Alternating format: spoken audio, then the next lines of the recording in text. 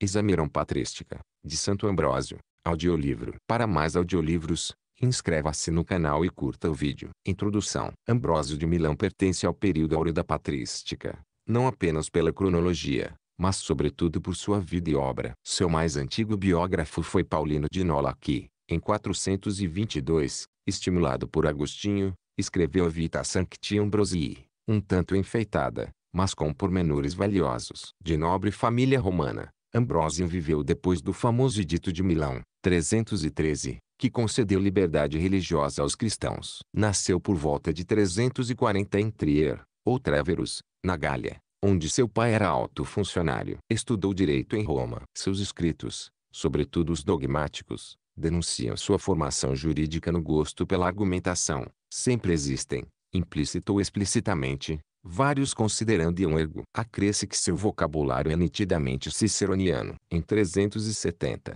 foi nomeado governador da Ligúria e Emília, com sede em Milão. Depois da morte de Alcêncio, foi aclamado bispo pelo brado de uma criança, ao qual se seguiu o grande aplauso popular. Ambrósio era então catecúmeno, recebeu o batismo e oito dias depois foi sagrado bispo de Milão. Distribuiu seus bens aos pobres, estudou teologia e passou a dedicar-se à grandiosa obra pastoral, teológica e litúrgica. Seguidor do credo de Nicea, sempre combateu os arianos, hereges que negavam a natureza divina de Jesus. Destemido, obrigou o imperador Teodósio a fazer penitência pública por ter ordenado um massacre em Tessalônica. Seus estudos tinham natureza eminentemente prática e a força de sua oratória sacra é testemunhada pela conversão de um retórico do porte de Agostinho. Seus escritos são recheados de citações da Escritura, feitas provavelmente de memória ou copiadas da Vetus Latina, uma vez que a Vulgata de Jerônimo ainda não estava concluída. Levava a vida austera, recebia todos os que o procuravam para conselhos ou ajuda material. Não costumava escrever os sermões,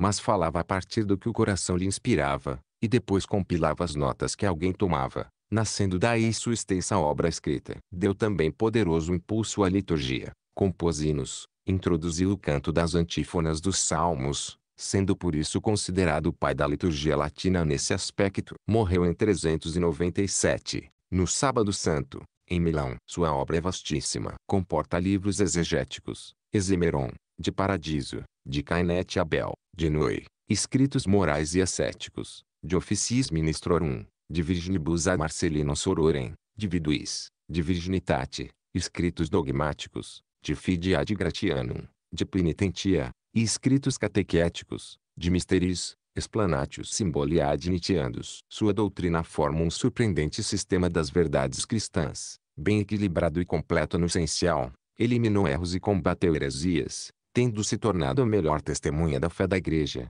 tanto no Ocidente quanto no Oriente. Sabia grego, o que era uma grande vantagem, pois, entre outras coisas, permitiu-lhe trocar experiências com seu contemporâneo e amigo Basílio Magno. Disse que, se a Igreja do Ocidente dialogasse com a do Oriente como dialogavam esses dois santos padres, não teria havido cisma. A língua de Ambrósio é o latim pós-clássico das obras literárias compostas entre os séculos IV de nossa era, a qual ainda apresenta textos de grande valor, embora já comece a perder a pureza e a perfeição que apresentava no período clássico. Os textos de Ambrósio, apesar de não primarem pela característica síntese clássica, apesar de praticamente não recorrerem a orações infinitivas, de apresentarem poucos ablativos absolutos e particípios verbais, e, pelo contrário, tenderem para certo barroquismo peço vênia para o anacronismo, prolixo e retórico, são de grande beleza literária, muitas vezes poéticos, inspirados sobretudo nas descrições. O mar da criação O mar de Ambrósio de Milão é o mar do Zemeron, 2 isto é, do relato dos seis dias da criação do mundo, narrada no primeiro capítulo do livro do Gênesis. Deus disse, que as águas que estão sob o céu se reúnam numa só massa e que apareça o continente e assim se fez. Deus chamou ao continente terra e a massa das águas, mares, e Deus viu que isso era muito bom. A interpretação literal do Exameron é de que Deus criou tudo em seis dias de 24 horas. A exegese bíblica associada à evolução da ciência, contudo, leva a concluir que o Gênesis não quer dar uma explicação científica da formação do mundo, mas teológica, isto é, descreve a criação em seis dias para dar um ensinamento religioso de que Deus criou tudo do nada, e para fundamentar o preceito do descanso sabático. Uma teoria interessante é a hipótese visionista, Deus teria dado a Adão a revelação de toda a criação em seis imagens ou visões. Esta teoria combina com o sono visionário Tardema, em que Adão viu a criação de Eva. 3 combina também com o estilo apocalíptico encontrado em muitos livros da Bíblia. Ambrósio, inspirando-se na obra homônima de Basílio, 4 escreveu o Examerão em nove homilias, cerca do ano 388. Em seu Examerão, Ambrósio endossa a interpretação literal de que a cada dia de 24 horas corresponde uma ou várias ações criadoras de Deus, que finalmente descansou no sétimo dia, o sábado. Diz ele no Dias Primus, a medida de 24 horas é o tempo de um dia. Na conclusão do sexto dia escreve, fez o céu, não leio que descansou, fez a terra, não leio que descansou, fez o sol, a lua e as estrelas, nem a leio que descansou, mas leio que fez o homem e então descansou. Sua leitura desproblematizada da criação conforma-se com a intenção geral dos padres de desfazer a contradição entre espírito e matéria, ser absoluto e seres contingentes, característica da filosofia helenística. Sua aproximação da escritura é sempre humilde e simples. Assim está escrito,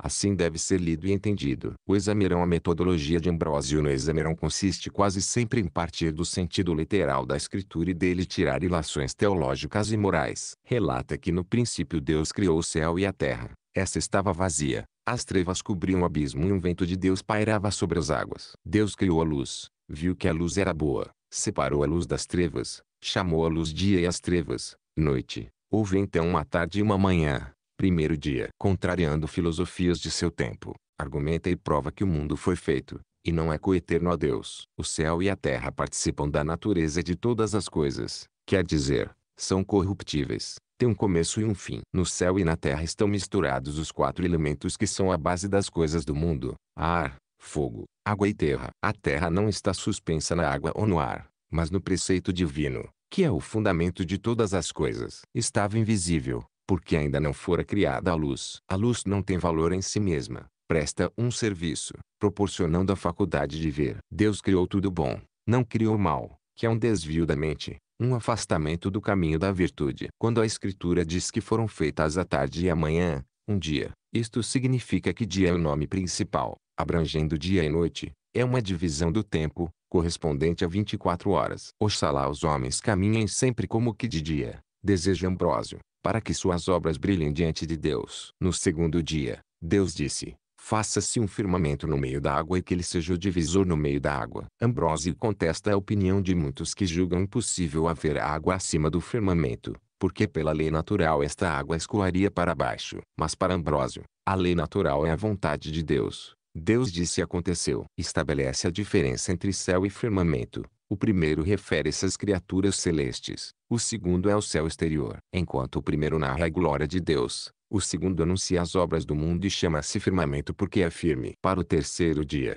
Ambrósio toma dois pontos de partida da escritura. Reúna-se a água que está debaixo do céu em um só ajuntamento e que a terra produza a erva do feno, que a semente germine segundo sua espécie e a árvore frutífera produza, segundo sua espécie, o fruto que tem em si sua semente. Deus ordenou que as águas que estavam em vários reservatórios, uns mais altos, outros mais baixos, fossem reunidas em um só ajuntamento. Ambrósio contesta a opinião daqueles que julgam impossível as águas mais baixas subirem, porque a natureza das águas é descer, afirmando que a natureza de todas as coisas é obedecer ao Criador. A este ajuntamento único Deus chamou mar, embora existam muitos mares, cujas denominações advêm das regiões por eles banhadas. Tendo-se ajuntado as águas do mar, apareceu a terra, que antes estava invisível. Por ordem do Criador, ela germinou ervas e plantas de toda espécie, todas boas, umas servem de alimento, outras de remédio. O homem, comenta Ambrósio, deve procurar refletir em sua vida a beleza e a bondade das criaturas. No quarto dia, Deus fez os dois grandes luminares, o sol para governar o dia, a lua para governar a noite. O sol é criatura, não pode ser adorado como Deus, é prestador de um serviço. Prova disso é que muitas coisas foram criadas antes dele, inclusive a luz. A contemplação do sol deve levar o homem ao sol de justiça, que é Cristo. O sol e a lua são sinais para os tempos, mas daí não se deve deduzir, como também dos signos do zodíaco, que sejam sinais de predestinação, presidindo ao nascimento dos homens. Nesse caso, a fatalidade sobrepujaria o esforço para o crescimento das virtudes. A lua anuncia o mistério de Cristo, porque desaparece para tornar a aparecer, diminui e torna a crescer. É também figura da igreja, porque ilumina as trevas deste mundo. No quinto dia, Deus deu à água a graça da vivificação, e ela foi a primeira a produzir criaturas de alma vivente, répteis, peixes e aves. Cada espécie de peixe tem seus próprios costumes, que devem ser imitados ou evitados pelos homens. O homem é um peixe, e o mar é um evangelho. Como um peixe, o homem deve saltar sobre as ondas do mar, isto é, sobre as seduções do mundo. No mar também nasceram as aves. Aves e peixes são parentes, porque o voo das aves corta os ares, assim como o nado dos peixes corta as águas. As aves também nos ensinam costumes que devemos imitar, piedade filial, castidade, arrependimento, temor de Deus. O sexto dia trata da criação dos animais terrestres e, finalmente, do homem. Descreve muitos animais, enxergando em todos a presença da sabedoria de Deus, que penetra toda a criatura. Fala do asno, da raposa, perdiz, leão, leopardo, formiga, dos cães, da serpente, da tartaruga, dos bois, ovelhas, ouriço. A partir de seus hábitos, tira lições teológicas e morais para o homem. O cão, por exemplo, é o símbolo da fidelidade. Certo homem foi roubado e assassinado. Seu cão não saiu de seu lado e, quando se juntou gente ao descobrir-se o cadáver, agarrou seu assassino que tentava confundir-se com a multidão, delatando com seu comportamento e permitindo sua prisão. Ambrósio chega finalmente ao façamos o homem à nossa imagem e semelhança. A semelhança do homem com Deus reside sobretudo na alma humana, que é espiritual, imortal e, pelo pensamento, pode vaguear por lugares distantes, sem sair de onde está, o que é uma figura da onipresença de Deus. O corpo humano também reflete a perfeição divina, da cabeça aos pés, e deve ser respeitado. A obra do mundo foi concluída na perfeição do homem, nele Deus descansou, porque, sendo misericórdia, tinha alguém para perdoar os pecados, estava assim prefigurado o mistério pascal de Jesus Cristo, que descansou na cruz, redimindo a humanidade. Um texto extraído do livro da profa. Doutora Marlene Paula Marcondes e Ferreira de Toledo, FFLCHUSP. O Mar de Ambrósio de Milão, Nascedouro de Almas Viventes. São Paulo, Paulus, 2007. 2 Rudloff, DLV, barra Kikikeisen, DBeda, OSB. Pequena Teologia Dogmática. Bahia, Tipografia Beneditina, 1951, p. 201. 3 CF. Rudloff, Op. City. Página 202 a 203. 4 Basílio Magno nasceu em Constantinopla, cerca de 330, e morreu em 379. Entre muitas outras obras doutrinárias e morais cristãs, escreveu nove longas homilias denominadas sobre Zemeron, que visam a explicar e comentar o sentido literal do relato bíblico. Ambrósio aproveitou esse comentário da criação e retocou-o em sua obra homônima. Cf. Altaner, Op. City, página 295 a 296.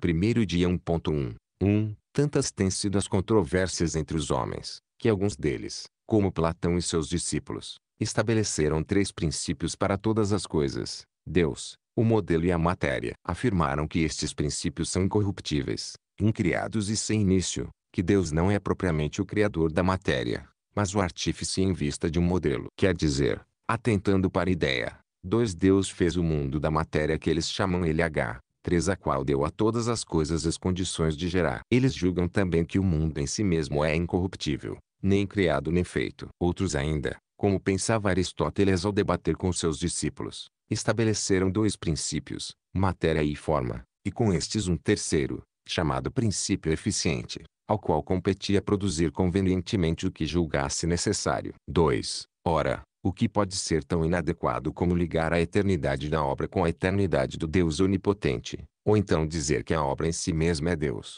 e envolver céu, terra e mar com honras divinas. Daí resultou acreditar em que partes do mundo fossem deuses, embora o mundo em si mesmo não seja entre eles uma questão de pouca monta. 3. Com efeito, Pitágoras propõe um único mundo. Outros dizem que existem mundos inumeráveis, como escreve Demócrito, 4. cujo antigo prestígio influenciou a maior parte dos filósofos naturalistas. Aristóteles chega a dizer que o mundo em si mesmo sempre existiu e existirá. Em contrapartida, Platão ousa afirmar que o mundo não existiu sempre, mas sempre existirá, embora muitos provem, com os escritos dele, que o mundo não existiu sempre, nem sempre existirá.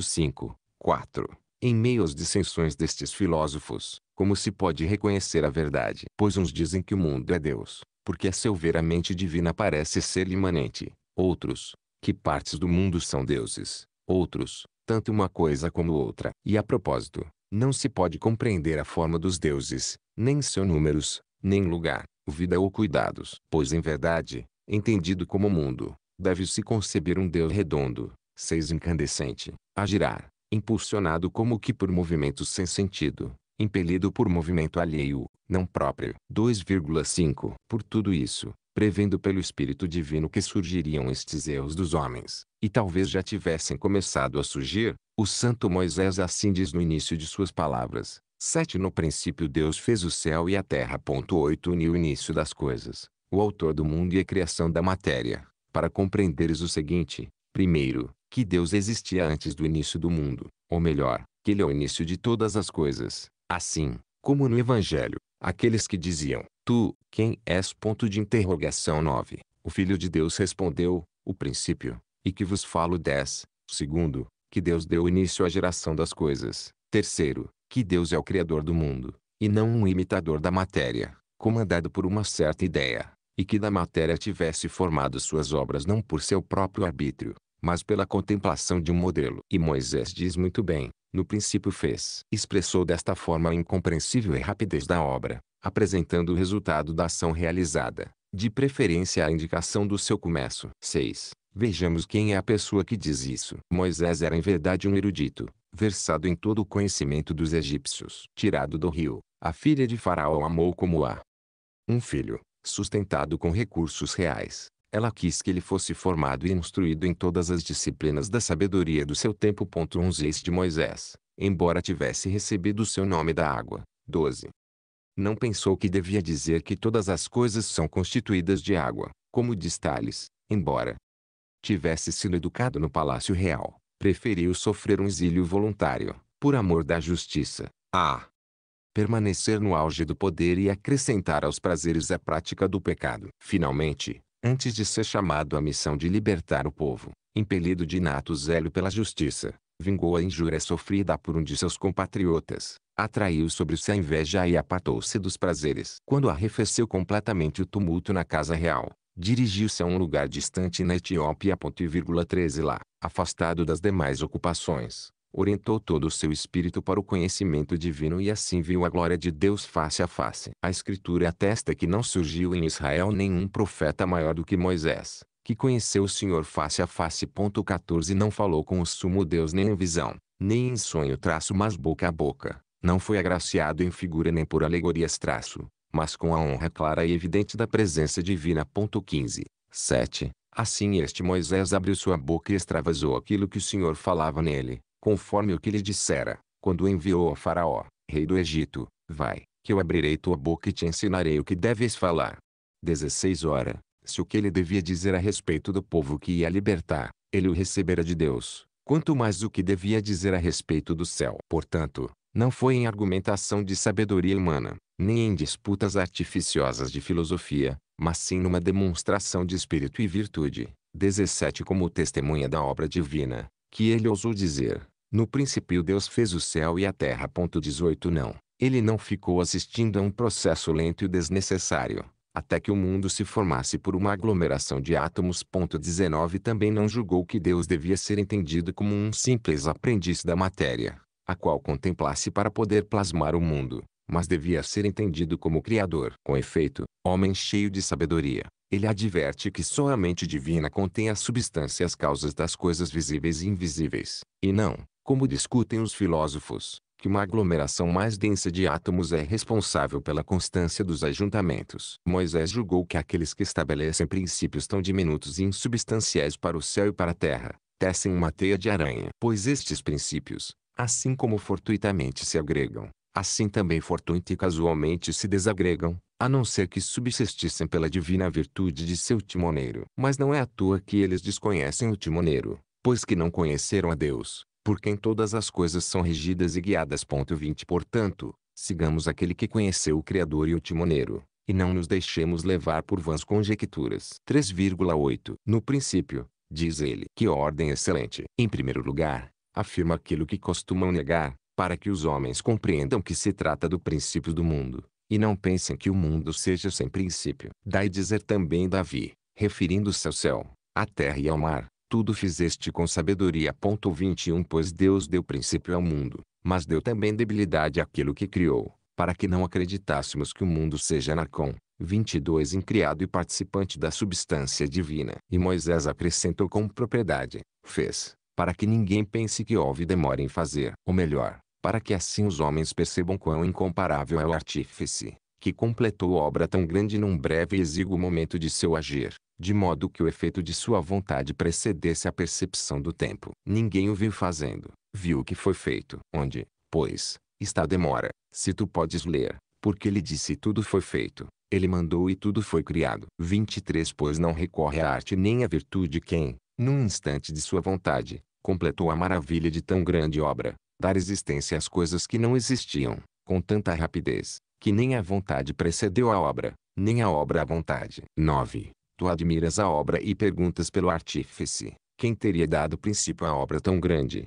quem teria feito tudo tão depressa? Moisés o apresentou logo, dizendo que Deus fez o céu e a terra. Ouviste quem é o autor, não deves duvidar. É este, em cujo nome Melquisedeque abençoou Abraão, pai de muitas nações. 24 Dizendo, Bendito seja Abrão pelo Deus Altíssimo, que fez o céu e a terra. 25 Abrão acreditou e disse, Estendo minha mão ao Deus Altíssimo, que fez o céu e a terra. 26 Podes ver que não foi o homem que descobriu isto, mas foi Deus que o anunciou. Ora, é o Deus deste Melquisedeque, rei da paz e da justiça, que não tem princípio nem fim de dias. 27 Portanto, não é de admirar que Deus, que é sem início, tenha dado início a todas as coisas, de modo que as que não existiam começassem a existir. Não é de admirar que Deus, que em sua virtude contém todas as coisas e tudo abarca em sua incompreensível majestade, tenha feito as coisas que se veem, visto que fizera também as que não se veem. Ora, quem poderia negar que as coisas invisíveis sejam mais poderosas do que as que se veem,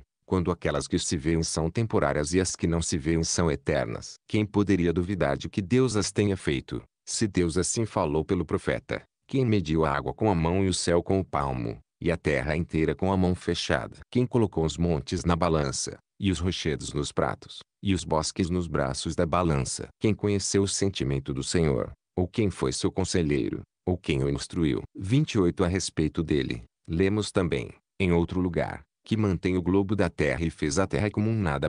29 Jeremias diz, os deuses que não fizeram o céu e a terra desapareceram da terra e de debaixo desse céu. Foi o Senhor que, em sua virtude, fez a terra. Em sua sabedoria endireitou o orbe. Em sua prudência estendeu o céu e a multidão das águas no céu.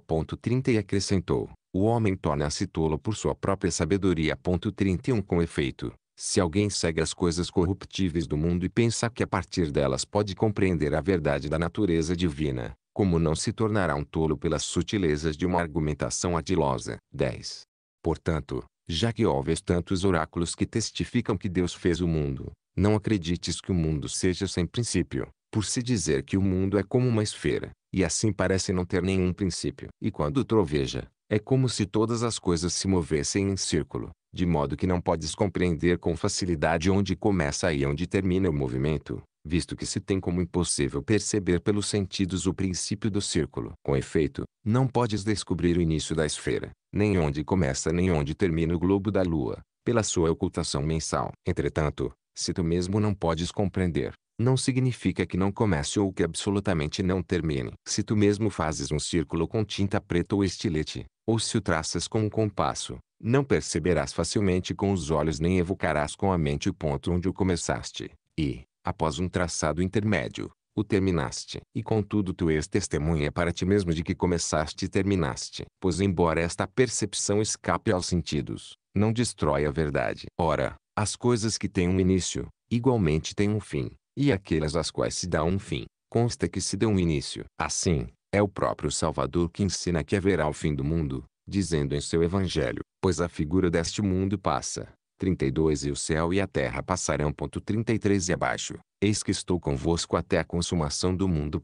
34. 11. Como, pois, podem afirmar que o mundo é coeterno de Deus? Como podem associar a criatura ao Criador de todas as coisas e argumentar que são iguais? Como podem pensar que se deve unir o mundo corpóreo e material ao mundo invisível e à inacessível natureza divina? Ainda mais que, de acordo com seu modo de pensar, não podem negar que, se as partes de alguma coisa estão sujeitas à corrupção e à mutabilidade, é forçoso que a totalidade desta coisa esteja sujeita às mesmas perturbações às quais suas partes estão expostas. 35.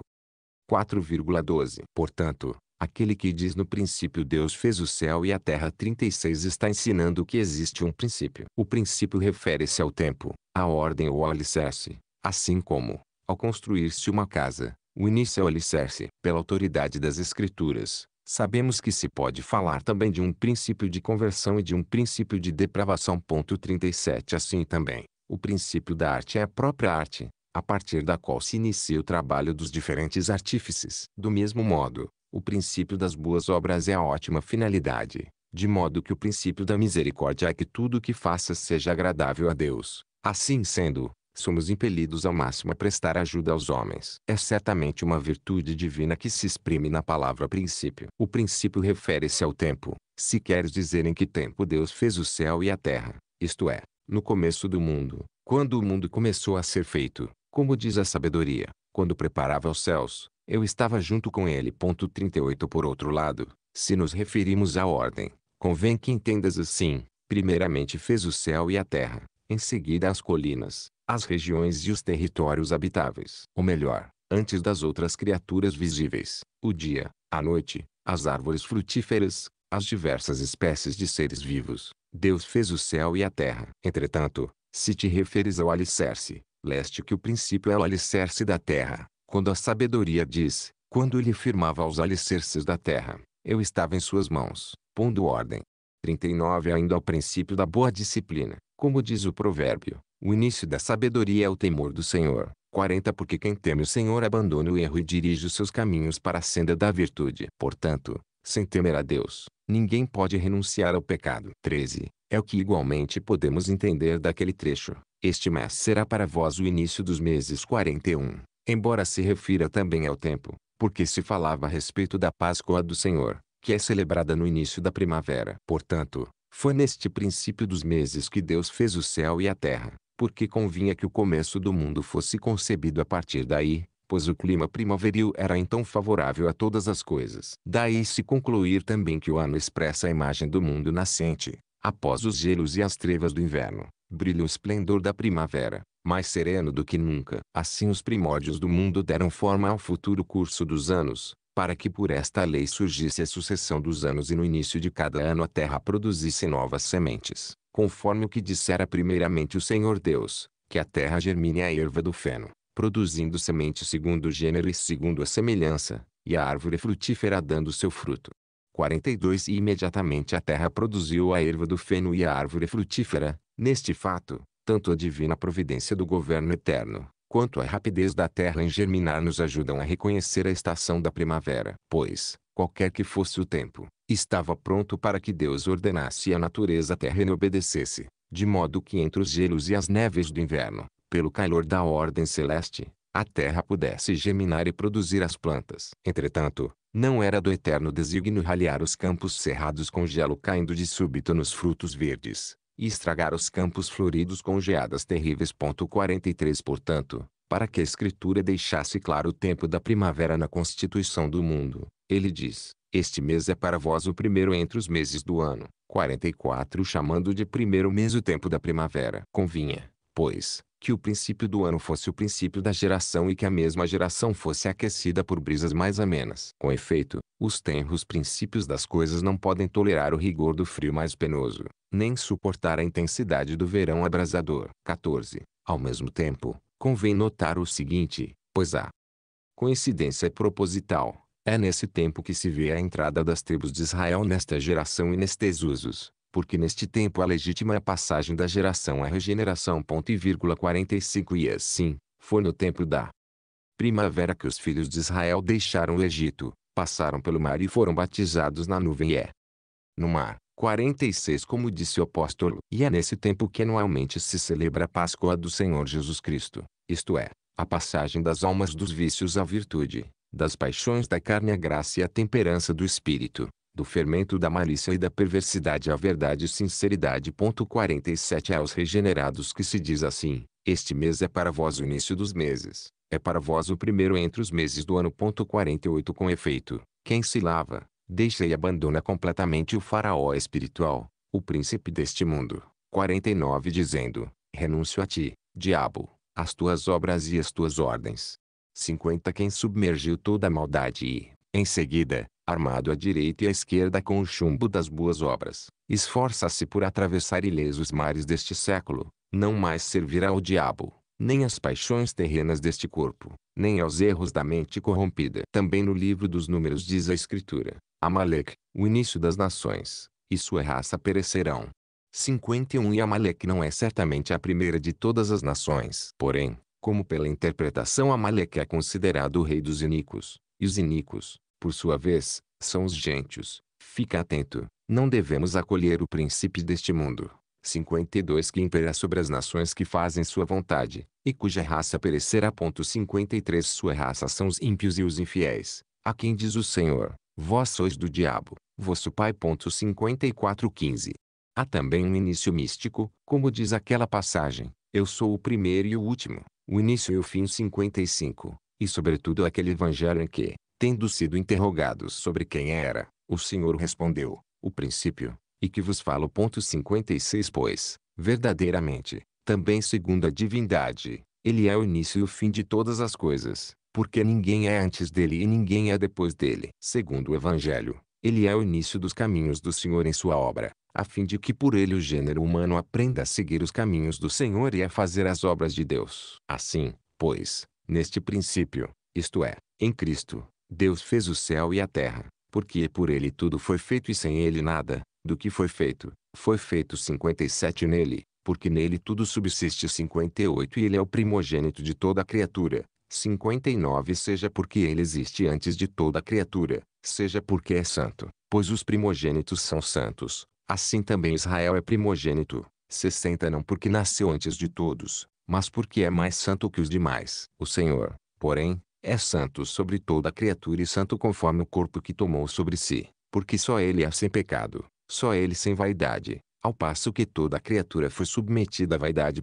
61, 16. Podemos também entender, no princípio Deus fez o céu e a terra, 62 Isto é, antes do tempo, assim como o início do caminho ainda não é caminho e o início da casa ainda não é a casa. Finalmente, outros disseram é no que fala, ou seja, na cabeça. 63 Com isso se expressa que a totalidade da obra completou-se num momento breve e exíguo. Portanto, existem também alguns que entendem o princípio não como um tempo, mas como o que antecede o tempo, e que flaion, ou caput, cabeça, como dizemos em latim, como a totalidade da obra. Pois a totalidade das coisas visíveis são o céu e a terra, que parecem dizer respeito não só ao ornamento deste mundo, mas também a um sinal das coisas invisíveis. São uma espécie de argumento daquelas que não se veem. 64 Como naquela palavra profética, os céus narram a glória de Deus e o firmamento anuncia as obras de sua mão. 65 Em seguimento a isto, o apóstolo concluiu com outras palavras, mas com o mesmo sentido, dizendo, porque as suas criaturas invisíveis são reconhecidas através daquelas que foram criadas. 66 Com efeito, reconhecemos facilmente como Criador dos anjos, das dominações e potestades aquele que, num instante de seu mando, fez nascer do nada esta beleza tão grande do mundo, a qual não existia, e deu existência às coisas ou causas que não se veem. 67. 5,17 Assim, pois, este mundo é um exemplo do agir divino, porque, quando se vê a obra, manifesta-se o artífice. De fato, entre tuas habilidades, umas são ativas, as que estão no movimento do corpo ou no som da voz. Cessado o movimento ou o som, nada resta nem fica para se ver ou ouvir. Outras são especulativas, as que exercitam a força da mente. Outras são de tal espécie que, mesmo parando o funcionamento da obra, aparece o produto, como por exemplo o edifício e o tecido. Estes, ainda que o artífice se cale, manifestam a sua perícia, de modo que o testemunho da obra aprova o artífice. Assim também, de modo semelhante, este mundo é um sinal da divina majestade, de forma que através dele se manifesta a sabedoria de Deus. Vendo este mundo e simultaneamente elevando os olhos do Espírito até as coisas invisíveis, o profeta diz, Quão magníficas são tuas obras, Senhor. Tudo fizeste com sabedoria. 68-18. E não é por acaso que lemos que o mundo foi realmente feito, porque a maior parte dos pagãos, que querem que o mundo seja coeterno de Deus, como que um esboço da virtude divina, asseveram que o mundo subsiste por si mesmo. E embora admitam que Deus seja sua causa, entendem, como causa, ter sido feito o mundo não pela vontade e determinação divina, mas da mesma forma que a causa da sombra é o corpo. Com efeito, a sombra adere ao corpo e o brilho à luz natural, atestando mais uma associação do que uma vontade. Portanto, Moisés diz bem que Deus fez o céu e a terra. Ponto e vírgula 69 não disse que os colocou abaixo de si, não disse que forneceu a causa para o mundo existir, mas que, sendo bom, fez o que seria útil, sendo sábio, fez o que julgava ótimo, sendo onipotente, fez o que previa ser de mais ampla dimensão. Ora, como poderia haver sombra onde não havia corpo, já que não pode haver esboço corpóreo de um Deus incorpóreo? Da mesma forma, como o esplendor da luz incorpórea pode ser corpóreo. 19. Mas, se procuras o esplendor de Deus, o Filho é a imagem do Deus invisível.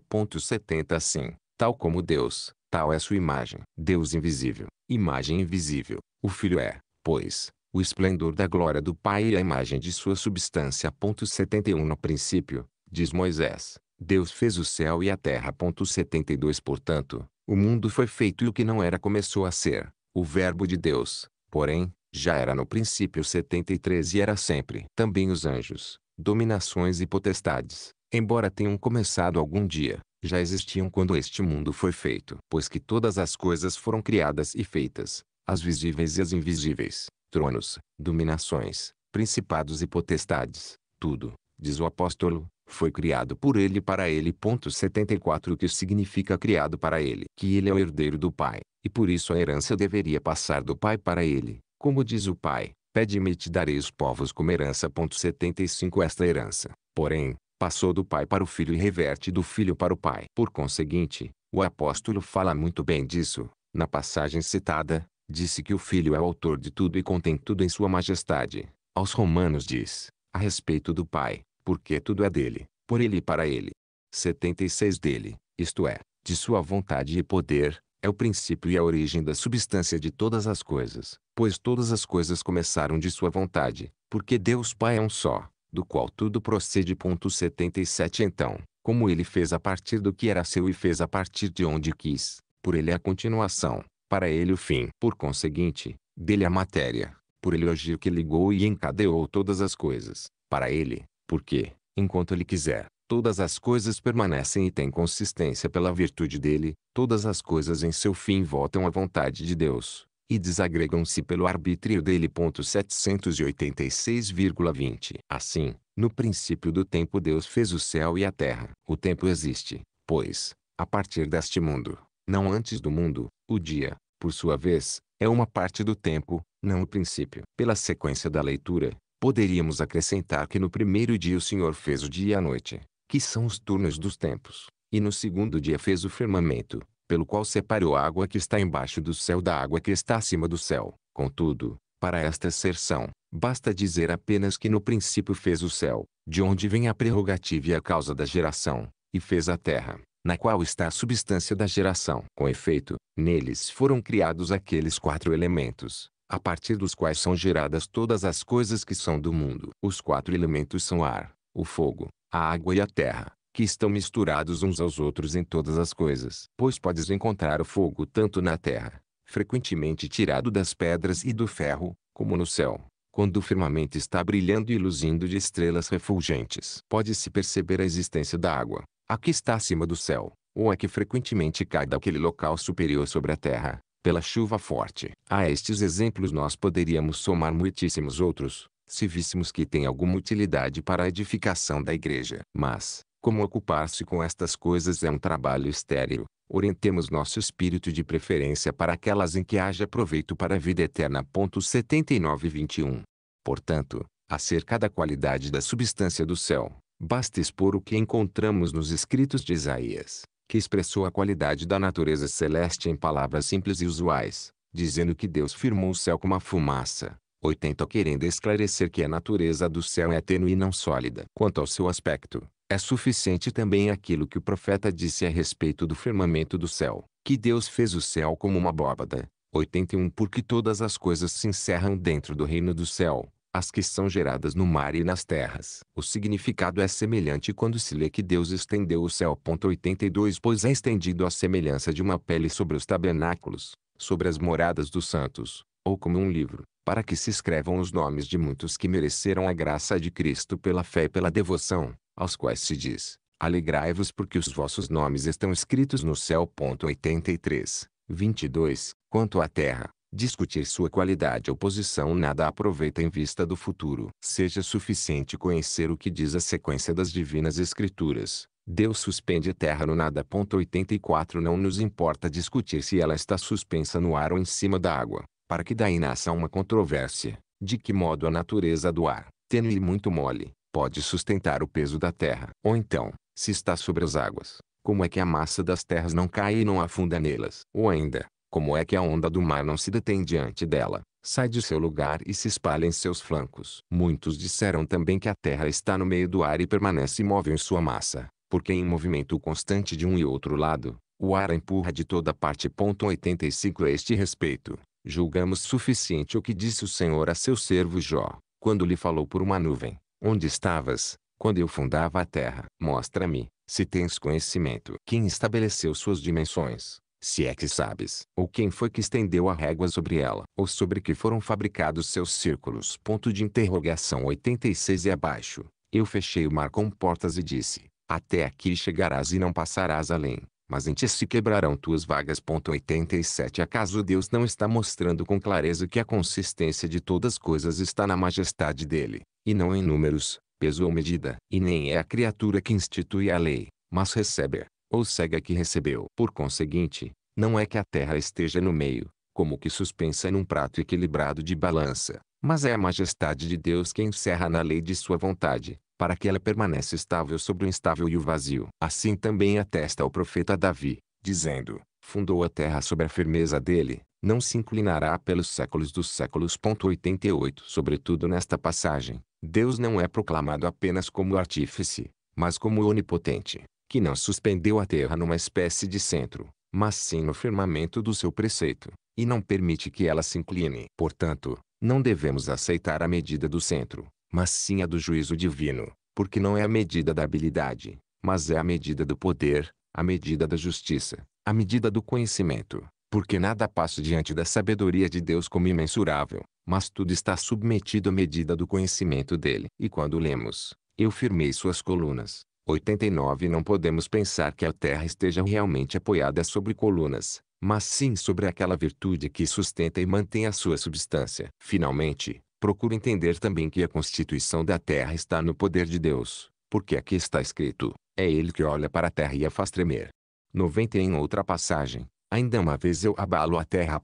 91 Portanto, ela não permanece imóvel em seu equilíbrio, mas frequentemente é abalada pelo comando e pelo arbítrio de Deus. Como diz Jó, o Senhor abala-a desde os alicerces, e sacode suas colunas. Ponto e vírgula 92 Em outra passagem, os infernos estão nus a seus olhos e não existe um véu para a morte. É ele que estende o bórea sobre o nada, suspende a terra no nada, prende a água nas nuvens. Há uma reprimenda dele, as colunas do céu voaram e temeram. Com sua virtude, ele acalmou o mar, com sua disciplina submeteu o monstro marinho, e as portas do céu temem. Ponto 93 Portanto, é pela vontade de Deus que a terra permanece imóvel e firme pelos séculos. 94 Conforme diz o Eclesiastes, e é na vontade de Deus que ela se move e oscila. Por conseguinte, não é em seus próprios alicerces que ela fica apoiada, nem em seus próprios suportes que ela permanece estável, mas é o Senhor que a coloca e encerra no firmamento de sua vontade, porque em sua mão estão todos os confins da terra. 95 E esta simplicidade da fé ultrapassa todos os argumentos. Que outros se admirem de que a terra não cai em parte alguma, porque segundo a natureza ela tem seu lugar no meio do céu e, portanto, é forçoso que permaneça em sua posição e não se incline para outro lado, que outros celebrem a excelência do divino artifício e do eterno construtor, quando a terra não se move contra a natureza, mas conforme a natureza. Com efeito, qual dos artífices não aprende com ele? Ou quem deu às mulheres a habilidade de tecer e a percepção das diferenças? Ponto de interrogação 96 Eu, porém, que não posso compreender a profundeza da majestade de Deus e a excelência de sua arte, não me associo aos que argumentam com pesos e medidas, mas penso que tudo repousa na vontade dele, porque a vontade dele é o fundamento de todas as coisas e é por causa dele que o mundo ainda permanece aqui. E isto também se pode provar com o exemplo da autoridade dos apóstolos, pois está escrito, a criação foi submetida à vaidade, não por sua vontade, mas por causa daquele que a submeteu na esperança. 97 A própria criação, por sua vez, será libertada da escravidão da corrupção, quando brilhar a graça da recompensa divina. 23. Quanto à natureza e qualidade da substância do céu, porque eu haveria de enumerar tudo quanto urdiram os filósofos em suas disputas. Uns afirmam que o céu é composto dos quatro elementos. Outros induzem para sua constituição uma espécie de quinta natureza de corpo novo, 98 Ajuntando que se trata de um corpo etéreo, ao qual não estão misturados nem fogo, nem ar, nem água, nem terra. Pois os elementos deste mundo têm como que seu curso, uso e movimento naturais, de modo que os mais pesados afundam e são levados para baixo, os vazios e mais leves se elevam às partes superiores cada um tem seu próprio movimento, no circuito da esfera. Porém, esses elementos se misturam e perdem a força de seu curso, porque a esfera gira em seus círculos os elementos de cima vêm para baixo e os de baixo vão para cima. Ora, se os movimentos destes elementos mudam segundo a natureza, dizem que forçosamente deverão mudar as qualidades de suas substâncias. Então, por que sustentamos que o céu é um corpo etéreo, para que assim pareça infenso à corrupção? Pois aquilo que é composto de elementos corruptíveis,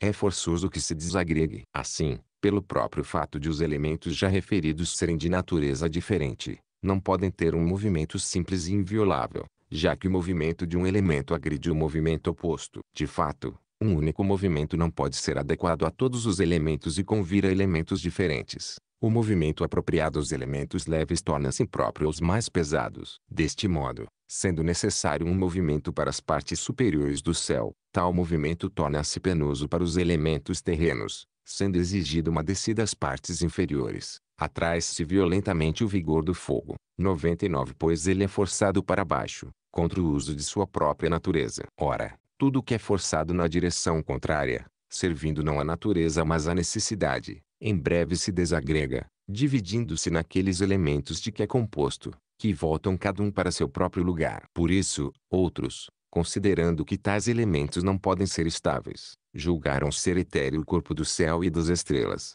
introduzindo uma espécie de quinta natureza de corpo, pelo qual julgavam que permaneceria estável a natureza do céu. 24. Entretanto, esta opinião não pode contrariar a palavra profética que a divina majestade do Senhor Jesus Cristo nosso Deus confirmou também no Evangelho. Com efeito, disse Davi, no princípio tu fundaste a terra, ó Senhor, e os seus são obra de tuas mãos. Eles perecerão, tu, porém, permaneces, todas as coisas envelhecem como uma veste, Assim como tu trocas teu manto, elas também mudarão. Tu, porém, és o mesmo e teus anos não cessarão. Ponto sem tanto o Senhor aprovou estas palavras, que disse no Evangelho, o céu e a terra passarão, mas as minhas palavras não passarão. Ponto 101 Portanto, nada fazem os que julgaram necessário introduzir um quinto corpo etéreo para afirmar a perpetuidade do céu, porque veem que, juntando-se igualmente a um corpo um único membro, diferente dos outros, a tendência desta porção é levar o corpo à queda. 102 Ao mesmo tempo,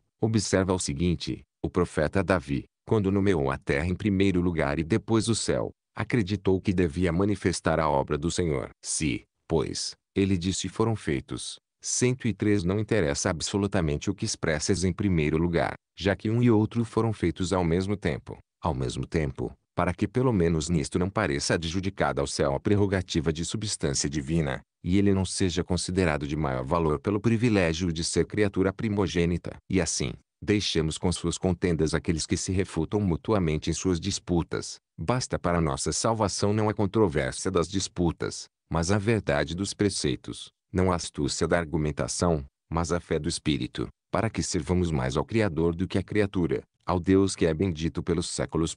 104 7,25.105 A terra, porém, estava invisível e em desordem. 106 O bom artífice põe primeiro o alicerce, depois de colocar o alicerce, separa as partes do edifício e acrescenta o ornamento. Assim, colocado o alicerce da terra e confirmada a substância do céu, pois estas duas criaturas são como que os pontos cardeais de todas as coisas traço. Moisés prosseguiu. A terra, porém, estava invisível e em desordem. 107 O que significa estava? Com certeza para que não levem até o infinito sem princípio de sua opinião, e não venham a dizer que é matéria. A LH dos filósofos, não teve início até mesmo segundo a divina escritura. Em verdade, aos que assim disseram, tu responderás que está escrito, Caim, porém, era lavrador da terra. 108 E a respeito daquele que foi chamado Jubal, diz a escritura, este era o pai que mostrou o saltério e a cítara. 109 ainda, havia na região de Elzite de um homem chamado Jó. 110 Desse modo, eles desistem de questionar a respeito de uma palavra, sobretudo porque Moisés já havia anunciado que Deus fez o céu e a terra. 111 Ora, a terra estava, pelo fato de ter sido feita. Pois se eles dizem que a terra era sem princípio, afirmando que não só o Senhor, mas também a ele era sem princípio, que delimitem então onde ela estava. Se estava em algum lugar, fica assegurado, por conseguinte, que igualmente não teve princípio o lugar onde estava a matéria das coisas, já que esta não tinha princípio. Se parece absurdo crer tal coisa a respeito do lugar, cuidar para que não venhamos a considerar a lá da terra, pois, não tendo alicerce, ela ficaria suspensa pelos movimentos das asas. 112 De onde vem que possamos admitir-lhe asas? A não ser talvez que aqui mudemos a interpretação da palavra profética. Ouvimos prodígios acerca das penas da terra. 113 ou daquela outra, aí da terra das naus de pena. 114 Admitamos esta interpretação, mas em que ar a terra voava? Pois, sem ar, ela não poderia voar, mas o ar ainda não podia existir, porque, sem a matéria das coisas, não teria sido feita a distinção dos elementos, uma vez que os próprios elementos ainda não tinham sido feitos. 115 Onde estava, então, esta matéria sustentada pelos movimentos das asas? No ar não estava, porque o ar é um corpo do mundo. Ser o ar um corpo, é o que ensina o texto seguinte. Lançada para o alvo a flecha distendida pelo arqueiro, o ar imediatamente foi cortado e abriu-se em si mesmo. 116 Onde, pois, estava ele H, a não ser talvez que se diga, quase por insensatez, que estava em Deus. Assim sendo, Deus, de natureza invisível e inviolável, que habita numa luz inacessível, 117 Espírito incompreensível e puríssimo, seria o lugar da matéria do mundo e em Deus estaria uma parte do mundo. Quando, na verdade, o espírito de seus servos não é deste mundo, conforme está escrito, não são deste mundo, assim como também eu não sou do mundo. 118 26. Como, então, as coisas invisíveis poderiam estar unidas às visíveis, e as coisas desorganizadas àquele que deu ordem e beleza a tudo, a não ser que, por ter dito Moisés, a terra, porém, estava invisível. 119 eles acreditassem que ela era invisível por sua substância, e não certamente porque, coberta pelas águas, não podia ser visível aos olhos do corpo. De fato, a maior parte dela jazia no fundo das águas, escapando à visão e à percepção dos olhos. Não se pensa, pois, em algo invisível para Deus, mas numa criatura do mundo, na opinião de outra criatura. A terra estava invisível também, porque ainda não existia a luz que iluminaria o mundo. Ainda não existia o sol, de fato, os luminares do céu foram feitos depois. E a propósito, se um raio de sol normalmente ilumina até aquilo que está coberto pelas águas e revela o que está imerso no fundo, com o esplendor de sua luz, será que alguém duvidaria que aquelas coisas que estão no fundo das águas podem ser invisíveis para Deus? A não ser que entendamos assim a invisibilidade da terra. Ela ainda não fora visitada pela palavra e pela proteção de Deus, porque não tinha um homem, por cuja causa o Senhor olharia para a terra. Conforme está escrito, o Senhor olhou sobre os filhos dos homens, para ver se havia alguém que reconhecesse ou procurasse ao Deus. 120 A Escritura diz em outra parte, do céu foi lançado um julgamento. A terra tremeu e ficou quieta.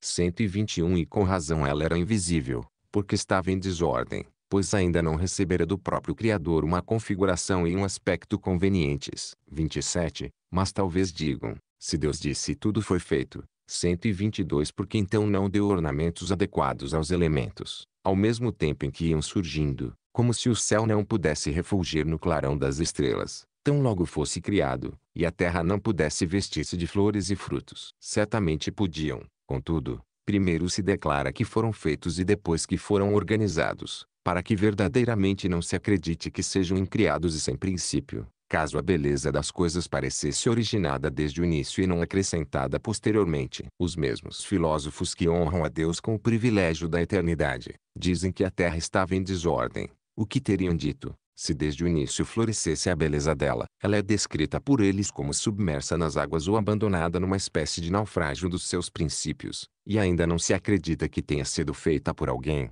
o que teriam dito se ela reivindicasse uma beleza primogênita? Acontece que Deus quis que nós fôssemos seus imitadores, que primeiro façamos as coisas e depois as ornamentemos, para não acontecer que, começando ao mesmo tempo os dois trabalhos, não possamos completar nenhum nem outro. Por outro lado, nossa fé cresce num certo grau. Primeiro Deus fez e depois ornamentou, para crermos que quem enfeitou foi o mesmo que fez, e quem fez foi o mesmo que enfeitou. E para não pensarmos que um ornamentou e outro criou, mas que o mesmo efetuou as duas coisas, primeiro fez e depois organizou, de modo que uma coisa seja acreditada por meio da outra. Tens no Evangelho um testemunho evidente deste procedimento. Quando ia ressuscitar Lázaro, o Senhor ordenou que os judeus removessem a pedra do sepulcro. 123 para que o vissem morto e depois acreditassem que ele ressuscitara. Em seguida, chamou Lázaro, que ressuscitou e saiu para fora com as mãos e os pés atados.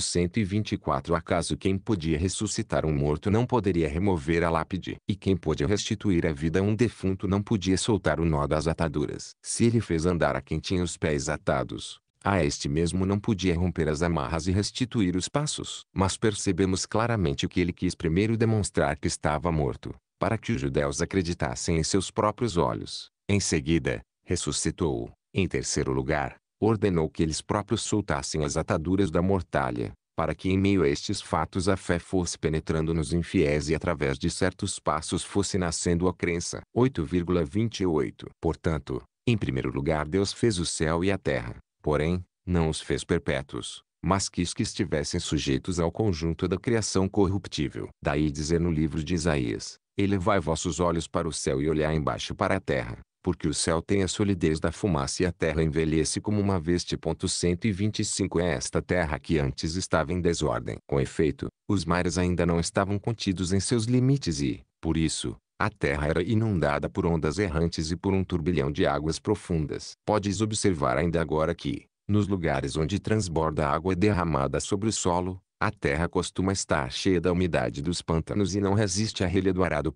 126 Assim, a terra estava em desordem, visto que não fora cultivada por um hábil agricultor. Faltava ainda quem a cultivasse. Estava em desordem, porque estava despida de plantas. 127 Sem a relva das ribanceiras. 128 Sem a espessura dos bosques. Sem a alegria dos campos. 129 Sem o perfume das flores. Sem a graça das vinhas. Com razão estava em desordem, pois carecia de ornamentos faltavam-lhe as preciosas coroas das vinhas. Deus quis assim mostrar que o próprio mundo não teria graça, se o trabalhador não ornasse com um cultivo variado. O próprio céu coberto de nuvens costuma provocar horror aos olhos e tristeza às almas. A terra molhada de chuva é um tédio, e os mares conturbados pelas tempestades, a quem não causam medo. É belíssimo o aspecto das coisas, mas o que seria sem a luz, sem a temperatura, sem o ajuntamento das águas nas quais estavam antes submersos os primórdios deste mundo. Tire das terras o sol, tire dos céus globos das estrelas,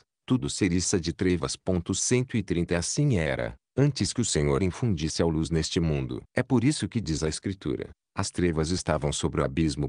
131 Havia trevas, porque faltava o esplendor da luz, havia trevas, porque o próprio ar é tenebroso. A própria água abaixo das nuvens é tenebrosa, porque é tenebrosa a água nas nuvens do ar. 132 Havia, pois, trevas sobre os abismos das águas. Mas não pensou que se devam entender as trevas como potestades más, cuja maldade teria sido criada pelo Senhor, sobretudo porque a maldade que se afasta da bondade da natureza não é substancial, mas acidental. 29. Descarte-se, pois, a conjectura de maldade durante a formação do mundo, não pareça que misturamos as coisas corrompidas com o agir divino e com a maravilha da criação, principalmente quando a Escritura prossegue, e um vento de Deus pairava sobre as águas.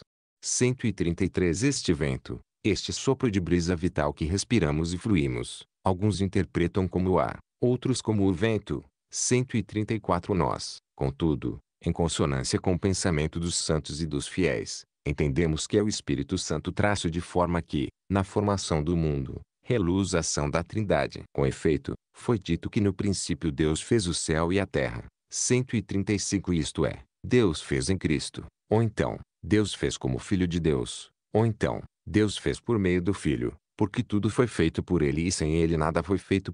136 Mas a plenitude da obra subsistia no Espírito, conforme está escrito. Pela palavra do Senhor foram firmados os céus e pelo sopro de sua boca toda a virtude deles. 137 Assim como neste salmo tomamos conhecimento da ação da palavra, que é a palavra de Deus, e da virtude, que foi dada pelo Espírito Santo. Assim também neste mesmo salmo ressoa o oráculo profético de que Deus disse e Deus fez. Um vento de Deus pairava também sobre as águas. Com efeito, sendo preciso ornamentar o mundo, um vento do céu pairava agradavelmente sobre as terras que deviam germinar, e por meio dele elas recebiam as sementes de novos rebentos, para germinarem conforme o que disse o profeta. Envia o teu sopro, e tudo será criado, e renovarás a face da terra. 138 Enfim, o siríaco, que é próximo do hebraico, e quase sempre se harmoniza e concorda com este sermão, diz assim, e um vento de Deus aquecia as águas. 139 Isto é, vivificava-as, para reuni-las em novas criaturas e animá-las para a vida com seu calor. Lemos ainda que o Espírito Santo é Criador, quando Jó diz, o Espírito Divino, que me fez.